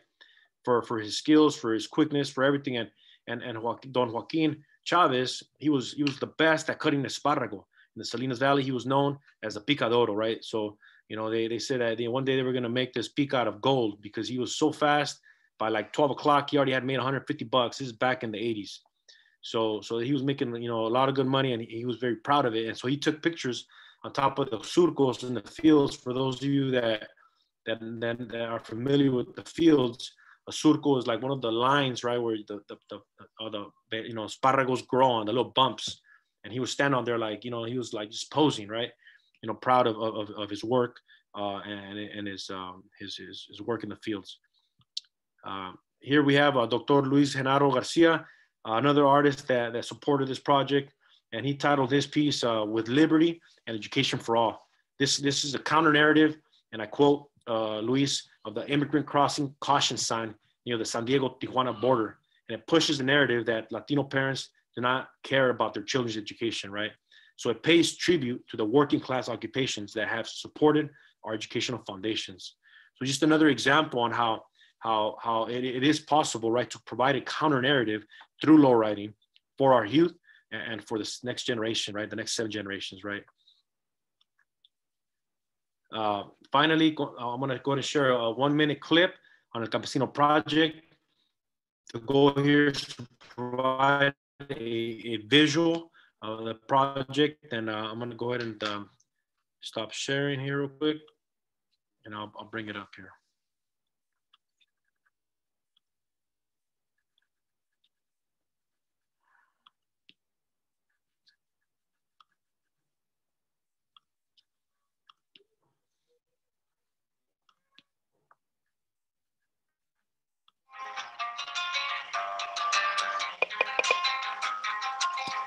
My name is Martin Ramirez, and uh, I'm an educator, maestro.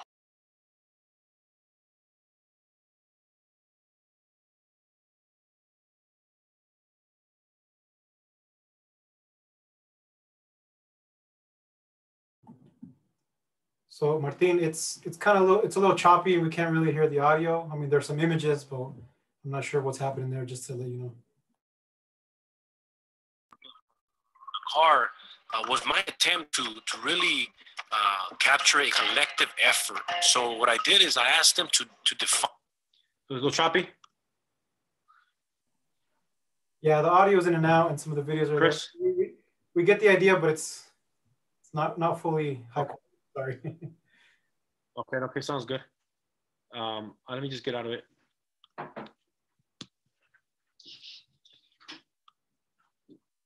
All right, so I'm gonna go ahead and um, let me. Um, Perhaps Martin, you can share that link to YouTube, and then people can access it. You can throw it in the chat. okay, that's a good.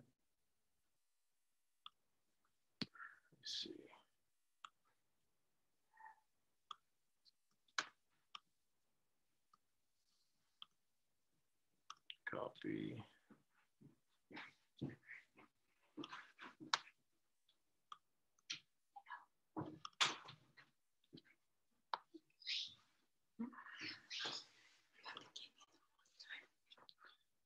Okay, can you see, can you see the screen still? You can, yes. Okay, so uh, anyhow, I'll go and put that link on the chat. And then just finally to, uh, in closing, um, this is um, the next step in this project is going to be to uh, finish up a, a, a book, a children's book for uh, kids from like, you know, first grade to third grade that, that focused on, it's not a, a coloring book, it's more of a conciencia book that takes them through a, a very, uh, you know, first to, to, to third grade narrative around La Causa, uh, its development, and then also uh, strategically asking students to brainstorm, you know, get to know El Campesino project, and then and then also have them reflect on on maybe their relatives that have maybe worked in the fields, um, you know, acknowledging them, and then also in that process, uh, identifying, you know, their own causa, right, uh, by drawing and by uh, connecting with, uh, you know, narratives from within their own community. Uh, with that said, uh, gracias. Uh, I know that, uh, you know, that some technical difficulties, pero I'll open up for, for any preguntas. Palabra.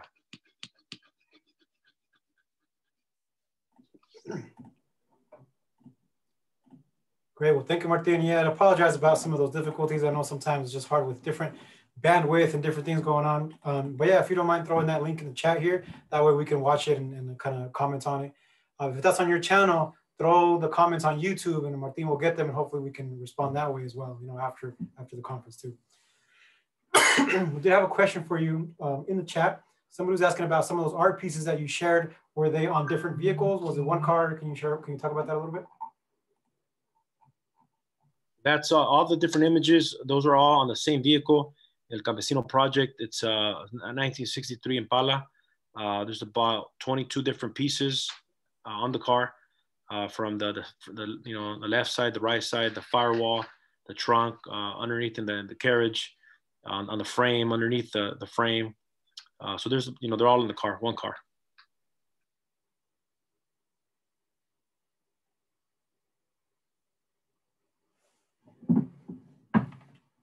For that. Are there any other questions for Martin?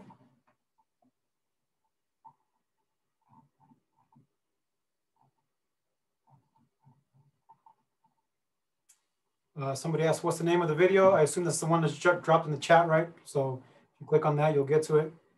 Um, someone asked, Peggy Carreras asking, Martin, what do your students think about the car? You know, um, the initially the, the students, um, you know, are um, they, they initially believe that it's uh, a different causa. You know, they think it's another causa uh, that they're very familiar with, um, and so they identify with it, right? And, and, sometimes they want to take pictures in front of it, uh, you know, um, claiming, uh, you know, uh, their neighborhood or, or, or things of that sort, right? So. Uh, at that point, it, that, that's the whole point I, why I made it this way, right? So I could hook in, hook in, hook in those students and really start that conversation, right, about the different causas that do exist and um, and then break down you know what, what they believe it is right? Um, because some of our, our youth uh, are convinced that that only, there's only one causa. And uh, unfortunately it's not always the the healthiest you know? Thank you. There's another question from gloria. It says how did you get all those pieces for the car and did you draw? Uh, all those different pieces were were uh, donated by uh, different artists uh, up and down from from here to uh, um, from here to Mexico. Different artistas, uh, campesinos, uh, tattoo artists, muralists, poets, people that do water work. so um, I, I, simply just from different conferences that I attended from back in 2004 to the present, I, I began to collect, um, you know, contacts and and then I invited them to be part of this project. And they got they were airbrushed on there by Sergio uh, Sergio Chavez out of uh, Walden, California, con Safo's tattoo.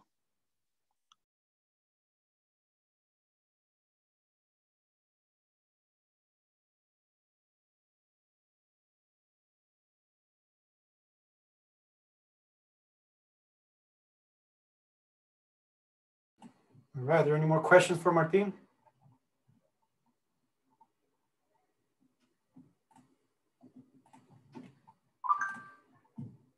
Someone, uh, Veronica is asking, can the car be seen in person? Yes, usually uh, the car can, can be seen in person. Um, we, we've taken it to several shows. Um, you know, the plan is to, um, to um, take it out, you know, to different, to uh, different middle schools, elementary schools, high schools, and uh, share it uh, with uh, with the kids, with the students when um, when especially when this uh, the, the Conciencia book, the children book is is done. It's going to be it's available online. Uh, it's going to be available online as a PDF, and then also if, if anybody wants one like a, a color copy, that's that's going to be the goal. But if, if you're in town in Sacramento area, uh, you know, I think um, if you look up lascausas.org, um, my email's there. You could give me a call and we could um, set something up so you could come on check it out.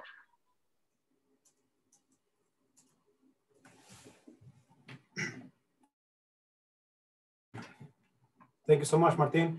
Really appreciate your perspective as well and, and, and your art and your, your approach to talking about resistance through through this lens, right?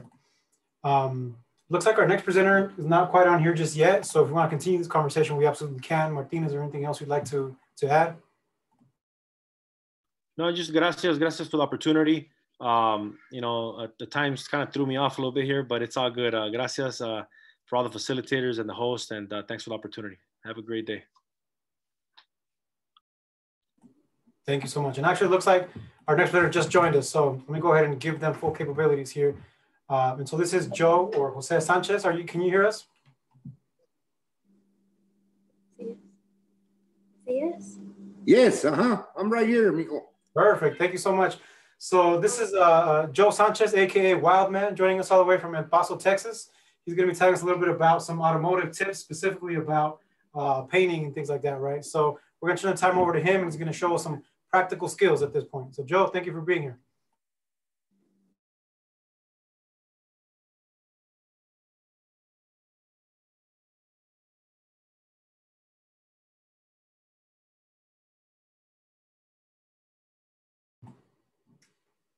Joe, we heard you a second ago. Can you hear us?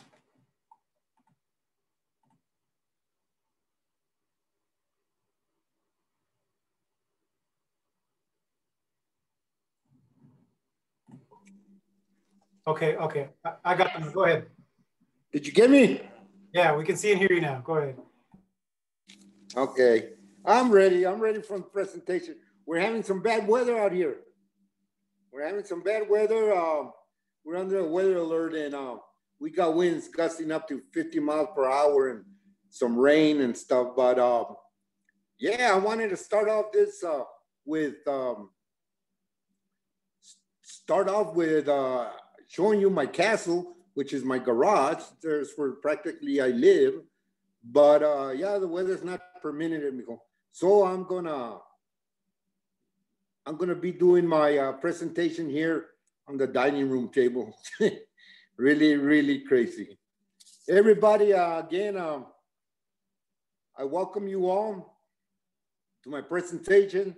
And um, let me start by saying, uh, I, I've been hearing all the presentations going on, and you guys have done an awesome, awesome job. I was, um, they call me a Wild Man, and uh, I was backtracking to the, from 75 to 85, 1975 to 1985, I was, with all these presentations, I was bringing back some memories that uh, I, uh, that I have and that I cherish because we did, my brothers and I, um, we had an annual car show for those 10 years. And those 10 years, we were able to, uh, the car show would come around once a year, but throughout the year, uh, everybody uh, that we met throughout uh, the car shows, uh, little children uh, that the guys building their vehicles had grew up to be 10 years old. It was just a big family gathering. In fact, the name of it was uh, El Paso's uh, Low Rider Happening and Custom Car Show. And memories come just by the mention of that name. Uh, so, as far as uh, low riding, yes. Uh, biking, yes. Uh, all these are family, uh, what can I say, uh, projects. Once you start a project, uh, you start getting your families involved. Uh, once you start going and attending these car shows, you start getting all kinds of ideas and and um, and you start meeting new people, raza nueva, um, and you guys start sharing, uh, comparing uh, to what you're building, talking about what you're building, what they built, ideas they have. So, uh, yeah, this lowrider scene is very, very much alive. Uh, and like I say, it's family. Um, so uh, thank you very much for your invitation to this. What I wanted to do is uh, maybe go off just a little bit.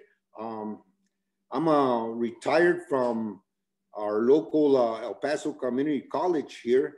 I was an automotive instructor there for automotive technology. I also uh, I also do body and paint.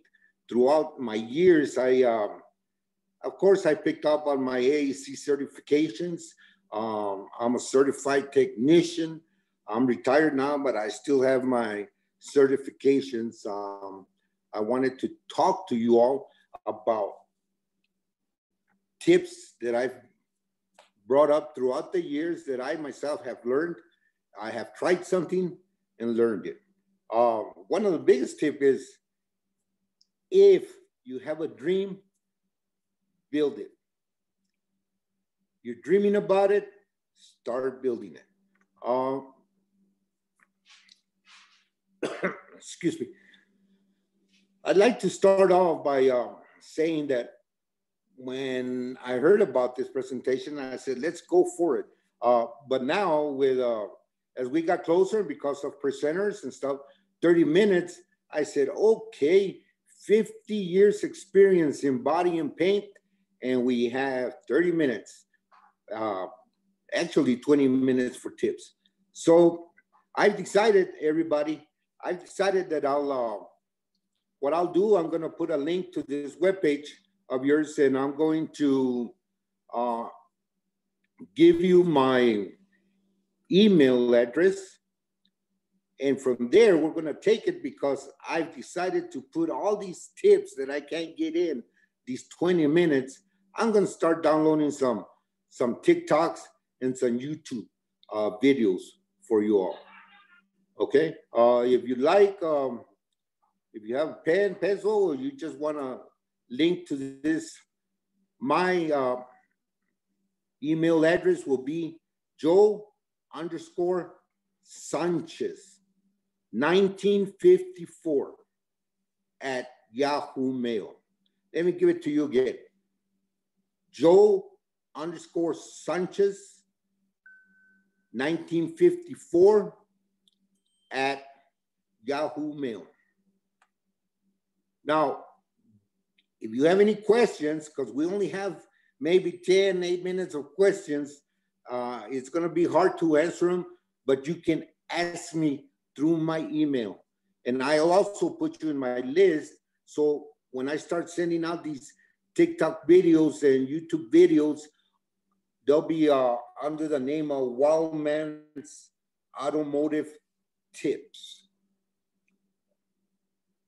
So getting back to our presentation, everybody, Ooh, what tip do I have? Okay, let me get you the tools. Uh, I'm gonna ask my uh, granddaughter here who's assisting me to go ahead and pull out uh, some pictures. I'm working on a I'm working right now on a 55 Chevy that they sent to me from uh, Phoenix, Arizona. And I'm restoring that one. Yeah, this is the way it came in. Uh, can you all see that? They brought it in a trailer. They brought it in a trailer and they want it to look like this when it's done. Oh my gosh. So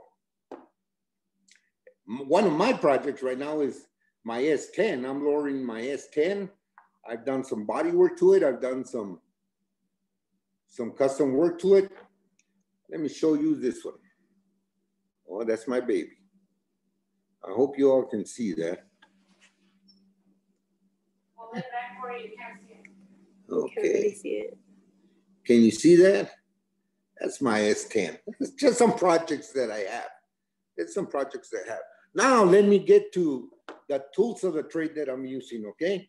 You're gonna be surprised because I'm uh, taking a 1955 Chevy from nothing to that pretty uh, uh, 55 they wanted that I showed you. I'm taking it and uh, let me show you my tools, okay?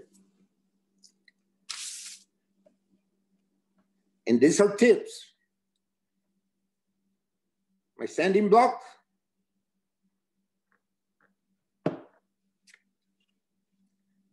My inline sander.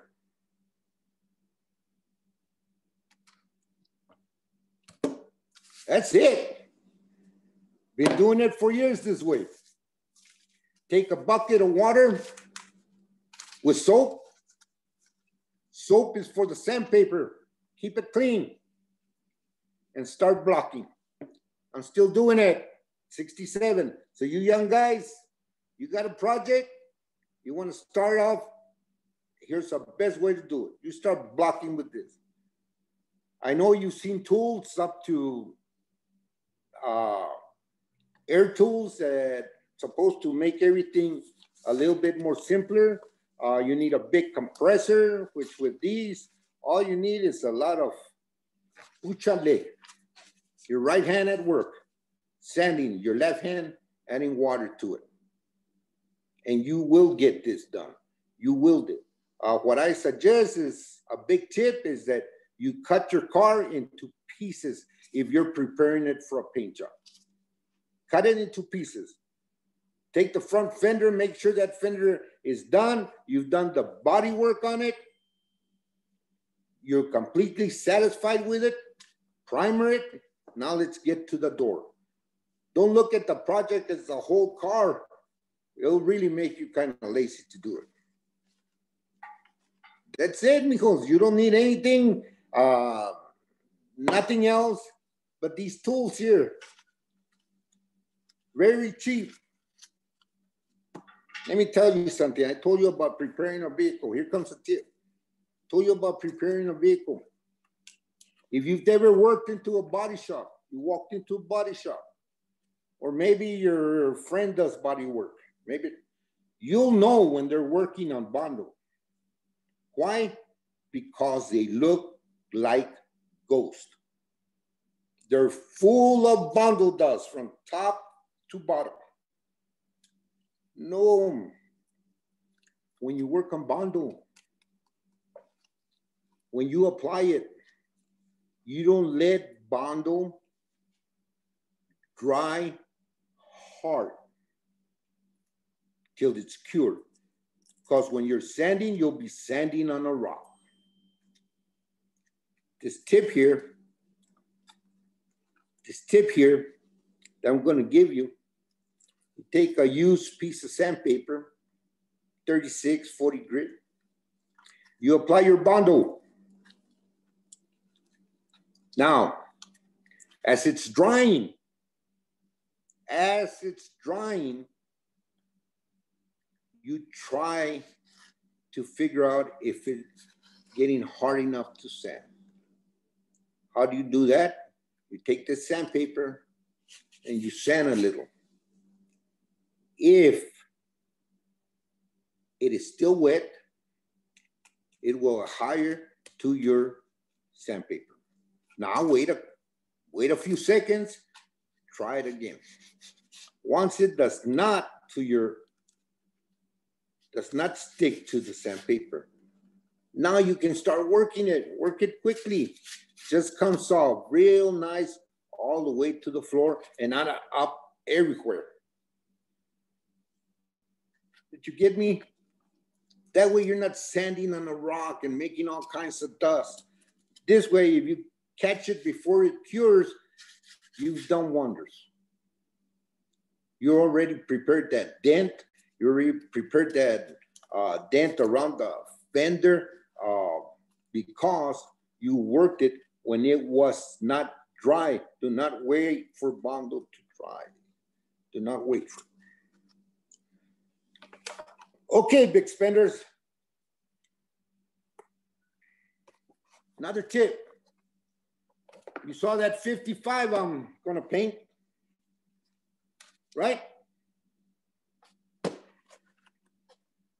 I'm gonna paint it with this gun. Harbor Freight. $800 gun? No. $400 gun? No. I'm gonna paint it with a $100 gun? no, I'm not. I'm gonna paint it with a $20 gun. You can find these guns at Harbor Freight online, Harbor Freight, $20. Or if you have a Harbor Freight there locally, 20 bucks.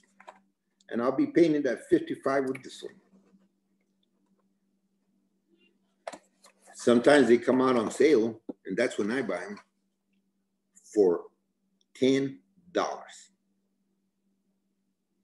I buy these. These guns will do the job for five to six paint jumps. You buy an $800 gun, you'll be cleaning it, cleaning it, and cleaning it, and you'll be wasting on thinners to clean the gun and trying to keep it clean. These things won't hurt. You do, even if you wanted to do one per paint job, you do the paint job, you throw this thing away. But it really spreads paint great. It really does. And when you're ready to buy a compressor, if you have a compressor, you don't need a five gallon, 20 gallon compressor. All you need is a compressor that will push 125 PSI. That's a small compressor. That will paint your car. 125 PSI. That will paint your car. So, just a couple of small tips that I have. Um, I say 125 PSI because this gun is a gravity feed gun. So all you need from the compressor, these guns are supposed to shoot higher volume with less air. That's why 125 PSI compressor will do great. Okay. Now, when you get into big jobs uh, where they're required to, then you're talking about expensive tools. Uh, as a technician, when I was, I did 20 years as a senior technician. Uh, yes, I bought my tools at, I bought my tools at Snap-on, uh, Matco, but I'm talking about beginners. I'm talking about beginning your project. I'm talking about practice. Um, get into it. It's nothing there nothing out of this world. A lot of common sense only. Now, I did go to college and I have my degree in automotive technology, but as far in body and paint, I have my certifications, but I had never taken a class in. I did it all by trial and error.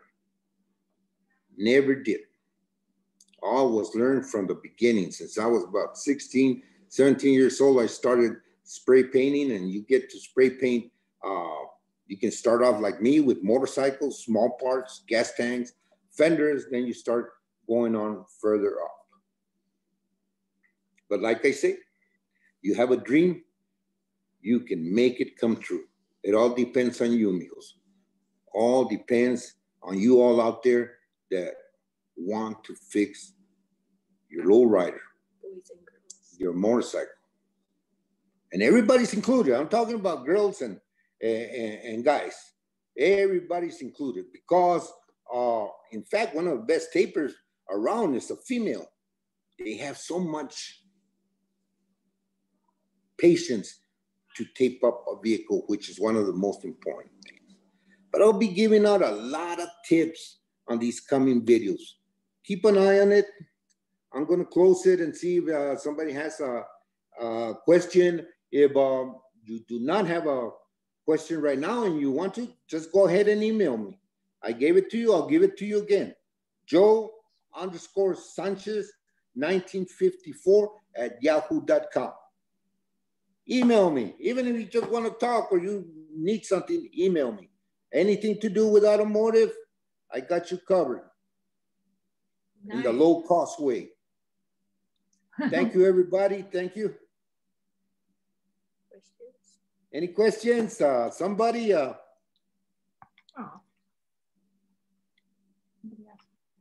Man, that was great. Thank you so much, Joe. That was awesome. Hey, thank you so much. Really appreciate yeah. it. So I have a question for you. If I could just kind of break the ice and hopefully some other people will jump in.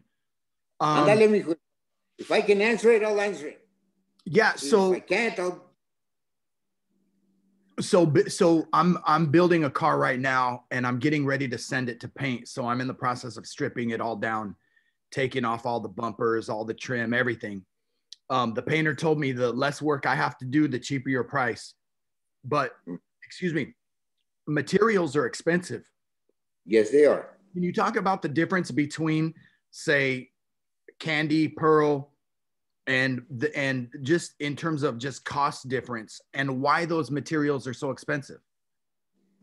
Okay, well, the reason they're expensive is because they're considered custom colors and they're either they're considered three stage colors.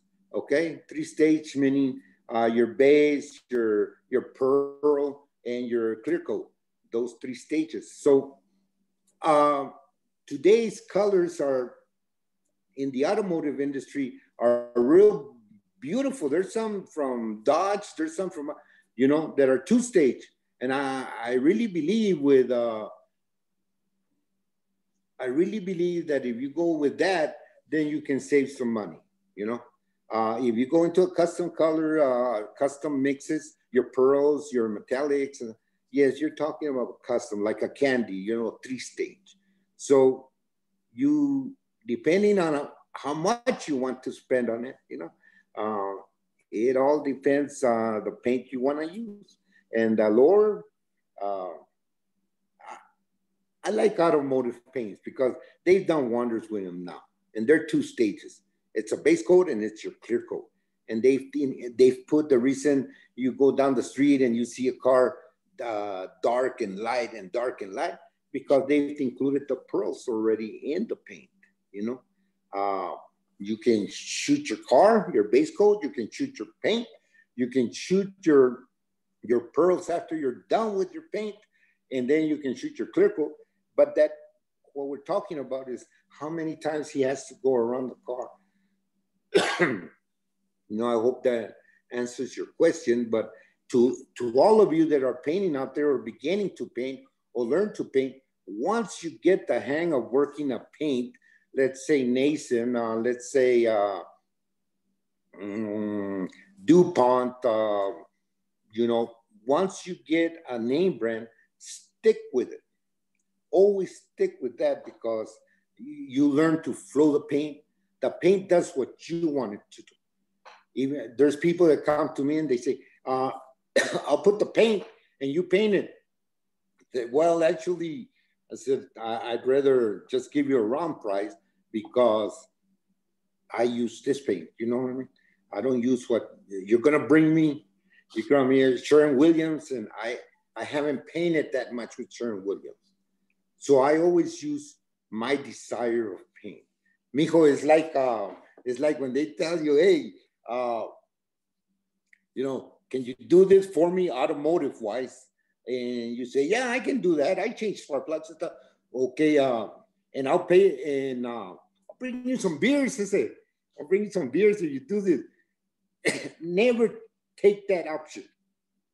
Okay, because they're gonna end up coming with old Milwaukee, or they're gonna come up with something. Yeah, you know, no, no, no. You tell me, give me 20 bucks, 25 bucks for what I just did.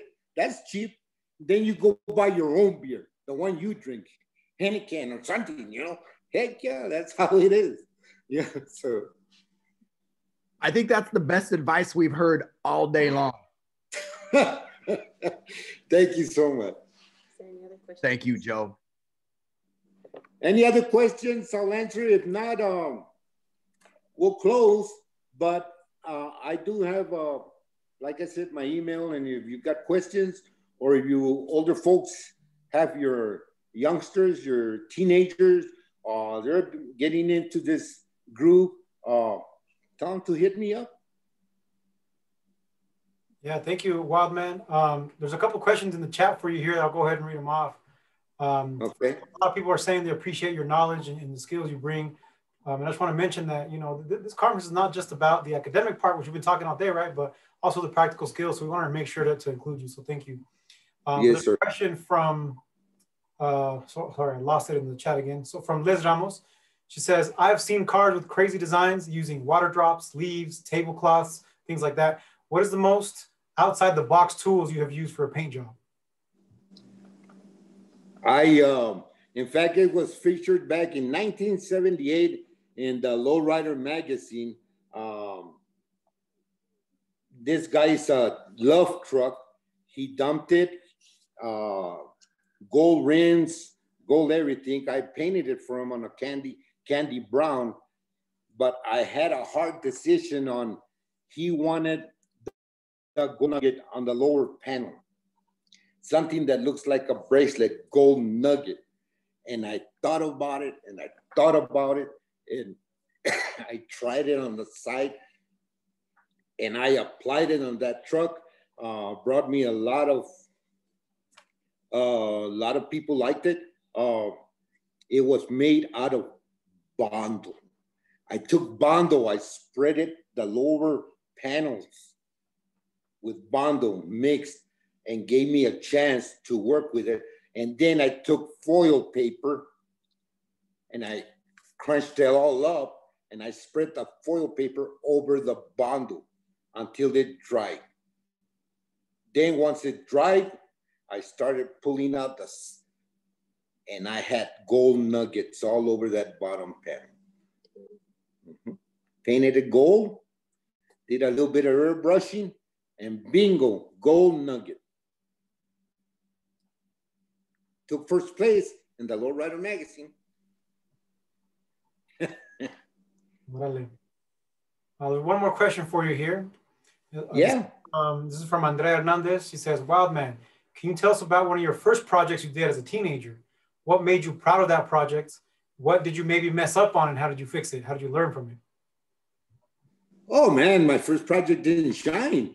That's what happened. Uh, I painted and so it just did not shine. I'm telling everybody, uh, it takes time, but it's so self-satisfying.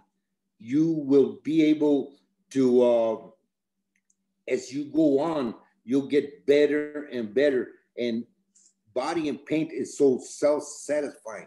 You pat your own back, you stand back and you say, wow, you know?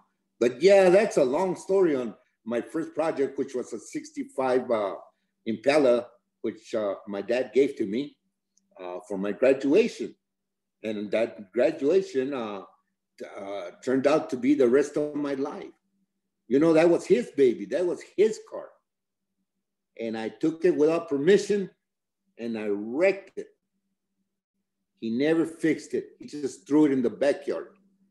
And when I asked for my graduation card, just like my older brother, which got a Mustang, he said, I have yours. I said, Where, Dad? He said, I have yours in the backyard. That's yours. You want to drive it? Fix it. The whole front end was smashed in. And uh, there's where it started, man. There's where my life of my body and pain started right there.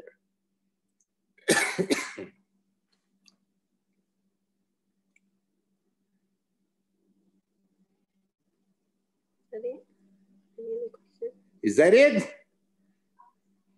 I think that's it, Joe. Um, thank, you, thank you so much. We really appreciate your presence today. It was it was very very informative, and I think that we all got a lot out of it. So we really appreciate you being Great. here so much. Wonderful. And if you guys ever need me or need some information, give me a call or email me, and I got you guys covered, man. I I love this. You know, I don't even feel good here at the dining table because I never eat here. You know, I eat in my garage. That's my life. I'm 67 now. And like I told all the youngsters, I'm still standing with water and, and a sanding block. No DAs, no nothing. This is what makes. Thank you very much. Thank you.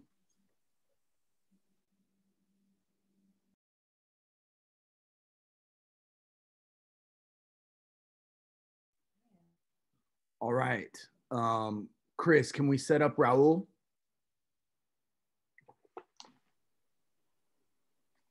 Yeah, Raul is here. Okay. All right, everybody. Um, there you go. Raul, you're unmuted. Yeah, yeah, yeah. Can you hear me okay? Yeah. So everybody, it's uh it's my honor and pleasure to introduce Raul Garcia, who is a member of Los Supreme Car Club in Los Angeles. Um, you know, he's he's rolling a, a, a really sick boat tail Riviera. Does a lot of work with uh with uh counseling, substance counseling. Yeah, Raul. Yeah, yeah, yeah. Substance abuse, mental health, um, mental health, uh, mental health wellness services. Yeah. Right on. And um and you know, and I'm gonna plug the podcast because it's it's it, he's the host of the only podcast on low riding called Drifting on Memories. So if you guys can check that out on Spotify, Thank it's you. He really, really significant work that he's got going on. So Raul, thanks for being here. I'm gonna let you take it away. And uh thanks for closing this out. Thank you so much, John. Um, just maybe just some quick housekeeping for me. Um, I want to acknowledge, you know, the original people of the state of Utah, the original people of the state of California, and where I'm at in Los Angeles. So, you know, recognizing all the Utes, the uh, Dene, Paiute over there, um, Shoshone tribes out there in Utah, and all the other tribes, and then also here in Los Angeles area, Southern California, with the Yagnava, Tongva, Gabrielino, Acjachemen people.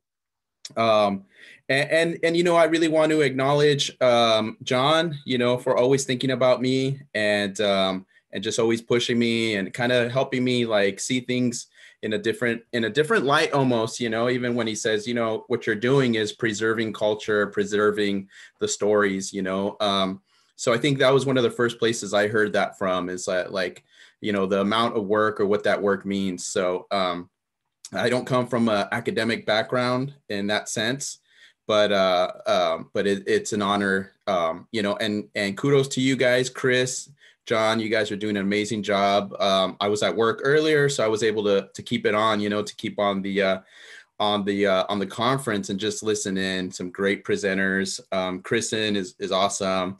Uh, Liz Ramos did an amazing job of covering the personal growth of individuals um, with mental health wellness.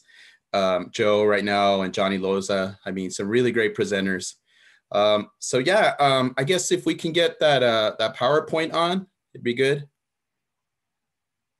I don't know if uh, Chris, if you can get that PowerPoint that I sent over. Yeah. So mental health and lowriders. Um, I don't know who would ever think of that. Mental health and lowriders, lowriding in social work. Um, so as I mentioned, I'm Raul Garcia. Um, on my dad's side, he's uh, we're Huichol, uh, Santa Catarina, Jalisco area, state of Jalisco in Mexico. On my mom's side, she's Baja Kumeyaay um, and uh, Purepeche. So um, yeah, and I've been doing this work as far as like uh, I'm a certified substance abuse counselor. Also, um, I've been doing the work for almost 20 years um, as a counselor, case manager, community health worker, case um, you know, uh, gang rehabilitation. I had a, a couple years over at Homeboy Industries working as a case manager there as well. Uh, mental health and lowriders. So I guess what we're saying, or I guess what you know, what what we're starting to think of like. Why we need mental health and lowriders or why lowriders uh, support you know healthy minds almost. Um, so i guess the, the question is what what is it that we're healing from? So what is it that we're healing from as far as lowriders as far as men and women lowriders you know as far as raza as far as natives as far as you know um, marginalized communities? Um, so so really what it is is is that you know it's it's really that um that uh forced assimilation the violence the gang violence the um the systematic racism you know the for you know um everything that we go through you know and i was thinking earlier when an, another speaker or presenter was talking about it about what the lowriding owning a lowrider means you know and and what it means to to the individual and how much pride and how much uh, hard work goes into it and how much family um, you know um, goes into it. It's a family affair. So I, I started thinking you know just us as as uh, these marginalized communities you know um, as i mentioned you know raza communities native american communities black communities.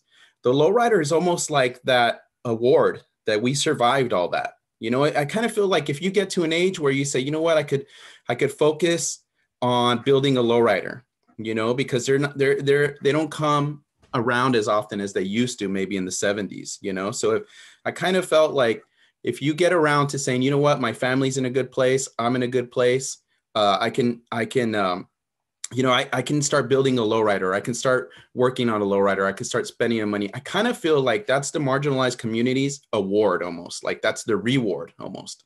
Um, and, and, that's that's an awesome thing, you know, and that's what that's everything having to do with mental health and lowriders, you know, because when the process of building, having a lowrider, it just builds full on mental health, you know. And when I talk about mental health wellness, I mean it brings on um, and if we can get to that next slide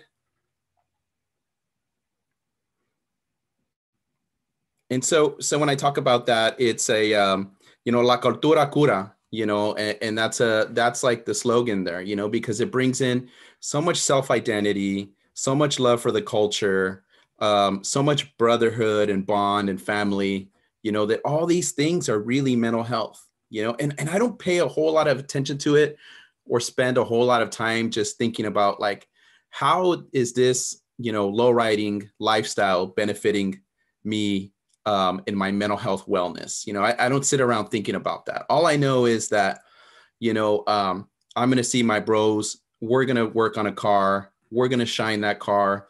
We're going to uh, represent our community. We're going to represent our art, um, you know, our craftsmanship, you know, our knowledge in these cars or knowledge in the um, in the culture of lowriding. You know, that's really what I think about but in turn what it's really doing at least for me is building that um, that mental health you know and it's really building my self identity to my eh, you know to my roots. Um, and, so we think about low riding and and we won't get into basically where did it start you know because that's a whole other maybe that's a whole other conference about did it start in east la did it start in south la did it start in in san ho or uh, española? You know what what we will do is understand that it really started from these these cultural communities you know? And I, and I mentioned that on the podcast often because i think that i want to make sure that it doesn't get exploited. Our story doesn't get exploited and it doesn't get used um, for entertainment but that we actually have our own narrative and we're able to share that. Um, and i spoke about like the family traditions behind it. I spoke about you know the car clubs um, and then also like the subcultures of it too you know like you know what what what does low riding you know uh, and, and it is you know it's our story to tell you know it's our story. And not only is it our story to tell but we're almost at least for me obligated to tell it you know? I'm i feel obligated to tell it because i feel that um you know my parents lived it. You know my parents lived it the suit suitors before them lived it. And if we don't tell it and if we don't document it then we lose it you know um, and that's another reason why i kind of even started the podcast it was just really to record stories you know in no way shape or form and not am i a um, a professional podcaster you know and if you listen to it it's super grimy it's super rough it's bad you know bad audio and um, you know constantly cussing on it um, so you know those are the disclaimers but it really was to record the history of it and these stories because unfortunately uh, we we can lose those stories you know? Um, when i started building cars i was uh, you know hanging out with uh, people like fernando ruelas julio ruelas uh, jesse valadez um, and just kind of listening to those stories you know and listening to what they um, what they were talking about you know? Um, and then all of a sudden they weren't around anymore you know? They weren't around anymore to share those stories and i thought how sad that was you know? There's so many new lowriders or there's so many other lowriders that that never get to hear that. So i said well I, am not going to make it about myself but i'll make it about these traditions. I'll make it about these car clubs and i'll make it about how these subcultures started you know? Um, another thing I, I think that really brings that mental health that self-identity that community you know identity is really that beautification of our own communities you know? Because again we're the uh, the forgotten communities we're the marginalized communities. But but when we pull out those lowriders and you fully shining candy paint you know um, drop to the ground you know shiny chrome the community all takes notice. And that's what it's about you know? It's about the community sharing our love for these cars sharing our culture for these cars with the community you know? And and kind of almost showing the community of what's possible you know or or again how beautiful our culture is you know? Um, i think somebody mentioned it earlier and they said you know before the lowrider cars and their beauty it was the charros you know their charros and their and their horses and their outfits. And before that it was the war bonnets the eagle feathers or it was the it was the uh, the shields you know? It, it, we've always taken so much pride in our surroundings so much pride in in our people you know that we put these things together you know and and we show them off in a way you know? Um so uh you know um you know um it, it, it's it you know the, the the next thing is like where do we go? I think we have another slide after this one. Thank you so much. So it's where do we go you know low riding into the future um and the past you know because i think for me it's about really honoring the predecessors you know honoring the people that had to uh you know people that that uh, had a hard time keeping low riding low riding around you know my dad has stories about getting pulled over by chp in a low rider and they would walk up to the car and just start breaking out tail lights and say hey you got a tail light busted or they would just start you know hitting the car you know and these are or or they would get jumped or whatever. So i really think that acknowledging acknowledging that you know is, is very important you know and acknowledging our predecessors what they went through uh, so that we can you know we can uh, enjoy our cars today you know. Uh, so what's next? Preserving the culture. Again I, I really think it's this.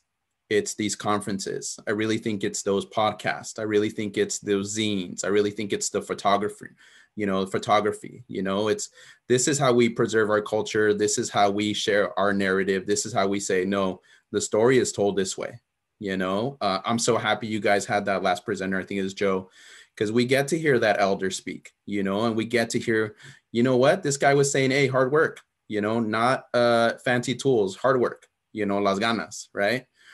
Um so so that's a good that's a really good thing. If we continue this i'm so excited to be a part of this first annual you know lowrider conference this way. Um, uh, looking forward to everything else looking forward to other presenters. Um, and then we have the acceptance of the new school and how difficult it is that for us you know like the price of cars right now the you know how people don't you know. It's funny because i think this next generation the older cars are like the G bodies, you know, and they're like, uh, I have a younger brother, and that's all he's about. He's like, oh yeah, G bodies, three wheeling, and I'm over here trying to explain, no man, four, you know, 520s and 14s, and you know, 70s old school. But um, we need to do that, um, you know, and open the doors for them as well, you know. And I was sitting here thinking about like, well, actually, before this, I was thinking about how cool would it be to do a sort of conference for that new generation you know, because not all of them have those old school guys that we had around to tell us, like, no, this is how you lift the car.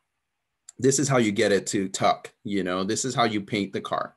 So I, I would really think about like a youth led um, conference that we get to share some of that experience and we get to talk to these youngsters about like this is where you find a car. Don't get burned trying to buy like a, a eighty thousand dollar Impala. You know what I mean? Don't don't fall for it. You know, or don't you know this is what you you need to do. This is how you this is how we do it. You know, but I think I really think it's it's the youth. You know, it's the youth that um that's gonna keep it going. You know, um, um, but yeah, you know, um, I, I guess the last thing I wanted to mention is that you know um and I mentioned it on the podcast, you know, one of the last episodes that we had with uh, Doctora Denise Sandoval. Um, you know, how difficult it is for us um, during this time of COVID because we're social people, you know. And we talked about, you know, the lowriders that we, the predecessors that I talked about, about them being gone now, you know, passing on.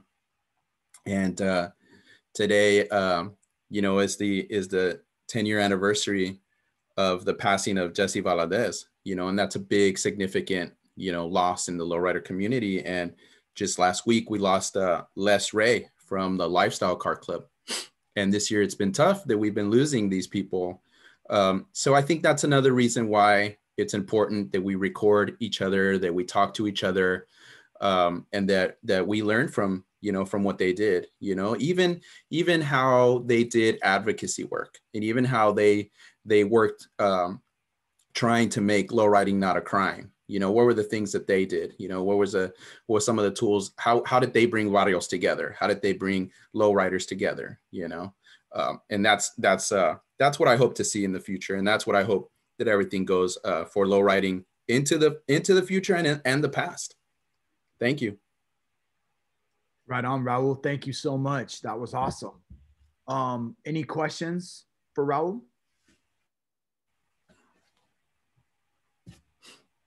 So there's a comment here from uh, Ricardo Cortez. He says the the knowledge is getting lost. Your documentation is key.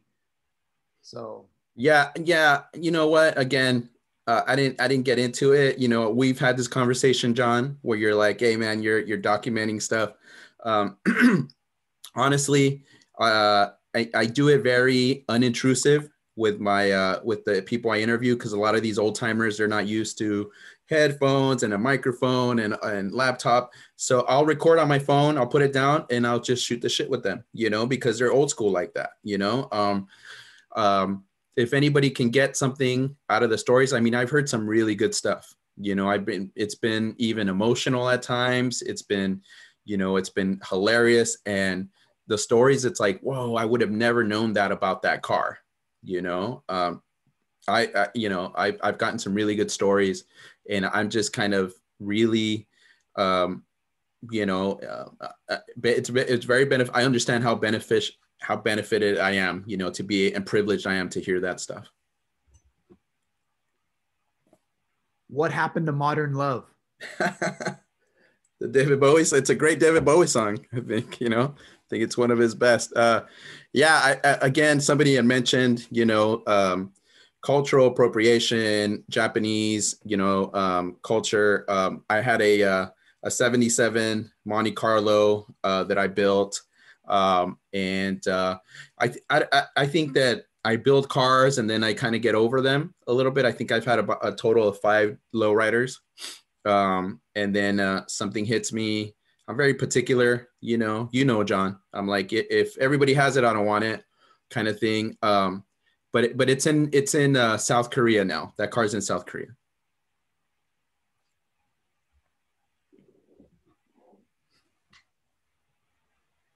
The question is, I saw that you interviewed some mujeres. Can you tell us a little bit about what you've seen, uh, what you have seen, the role of mujeres in car clubs and building lowriders nowadays?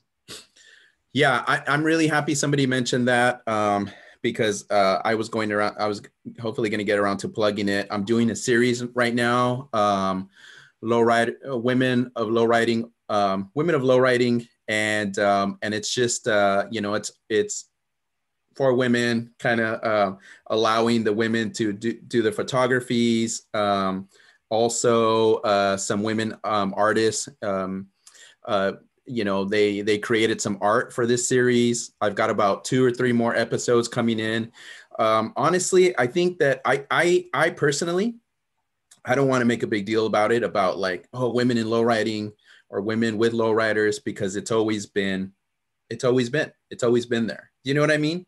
Um, so I, I, I think if anything, I just wanted to highlight these women and what they're doing now. But as far as like women in lowriding, it's always been, it's always been a part of it, you know? Um, and I don't want to make it seem like, I, I really don't want to make it seem like, wow, check this out. This is a new thing that's happening right now because it, it's not. but I, I think though, just to piggyback on that point, Raul, if I may, Mhm. is that, you know, I think I think what you're doing is important clearly, but I think that so much, you know, women and objectification of women and eye candy and you know the photo op in the bikini and the you know stiletto heels or whatever has really really overshadowed Mhm. women who are lowriders and car owners and you know bike builders and you know the the women that are really down for it in the streets Mhm. have have been swept under the rug Mhm. and overshadowed by you know Yeah.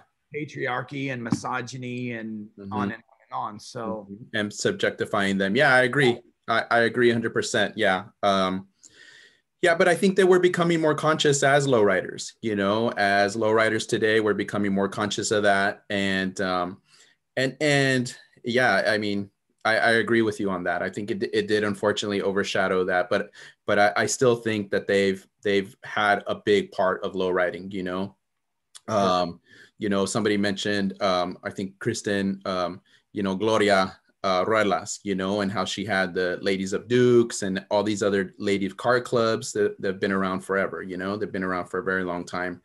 Uh, we see old footage of uh, Whittier Boulevard with women driving lowriders or driving, you know, lowered cars or whatever. Um, so it's always been a part of, at at least to me, I believe it's always been there. Sure. You have a question here that says, um, can you talk about the connection between lowriders and native roots?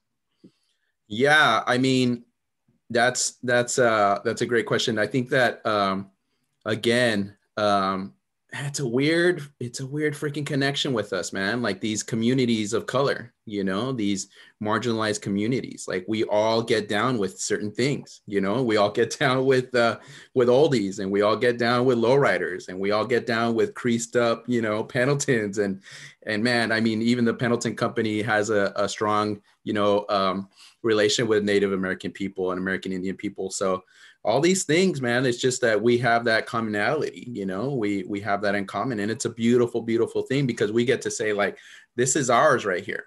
Like you're not allowed to take this.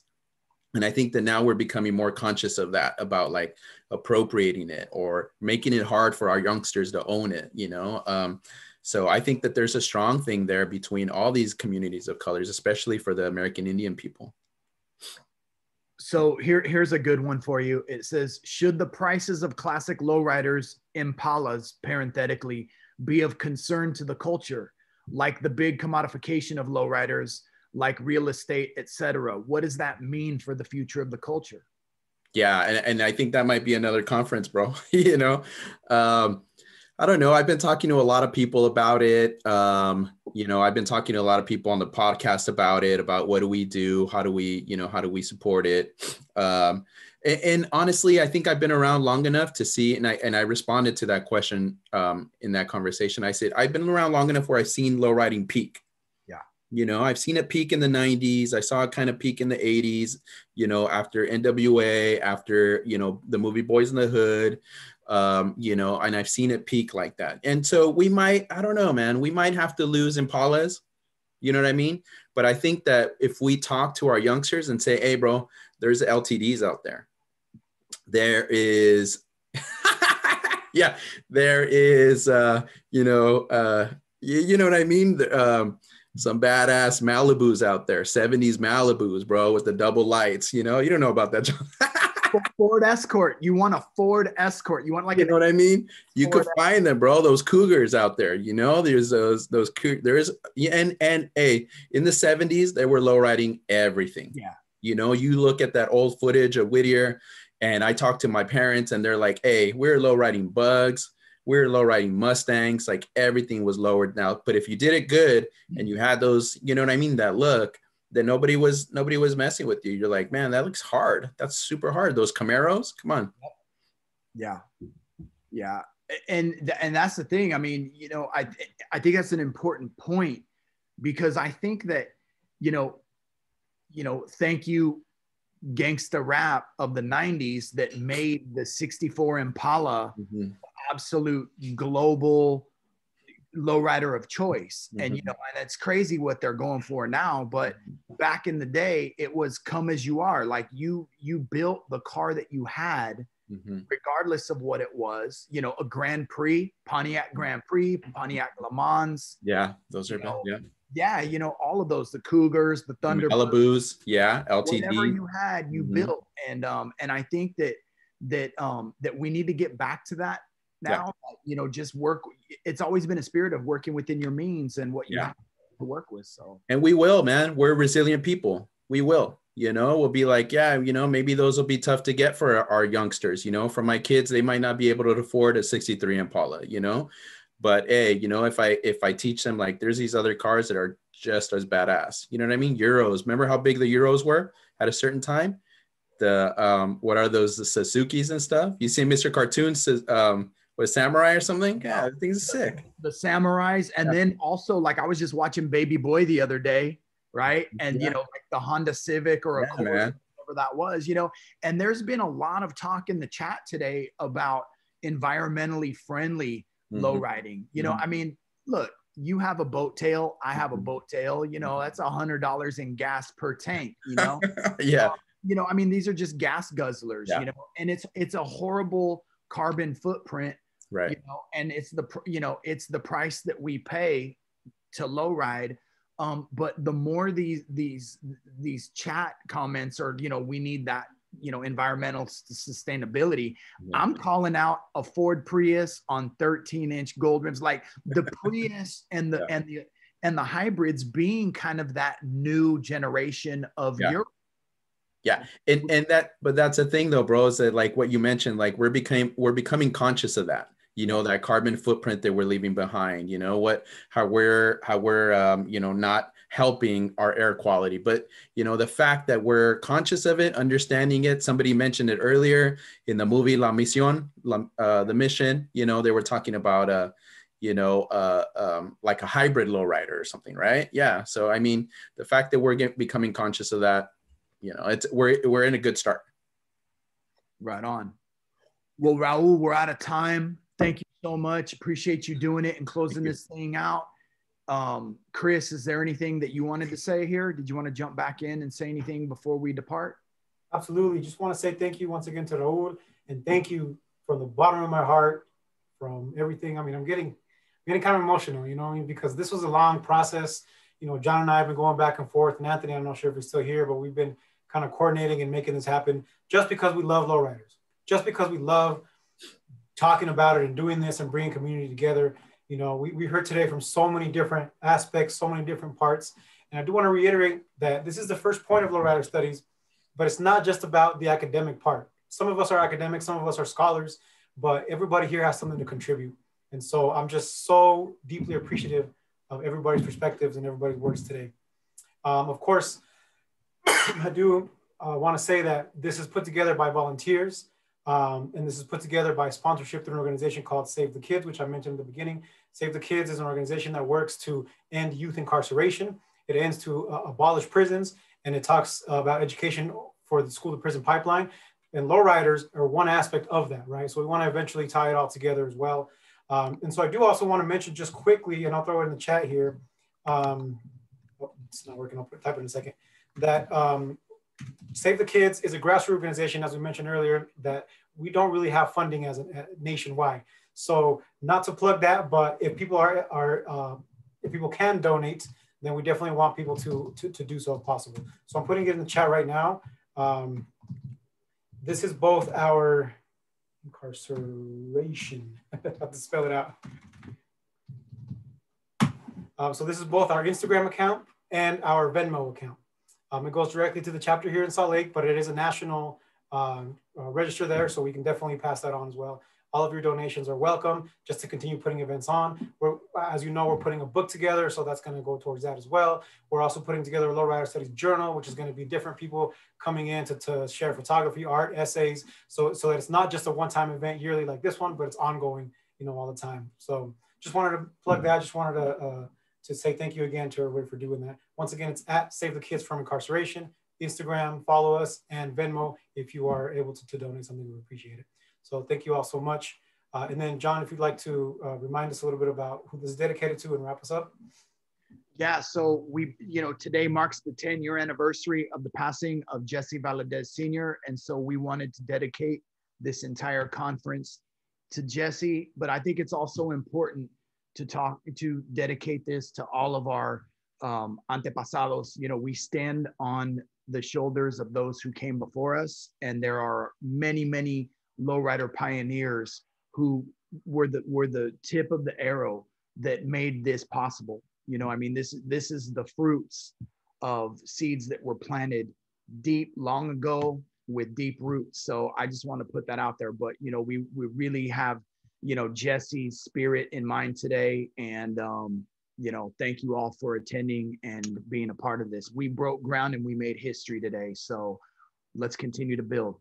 Thank you.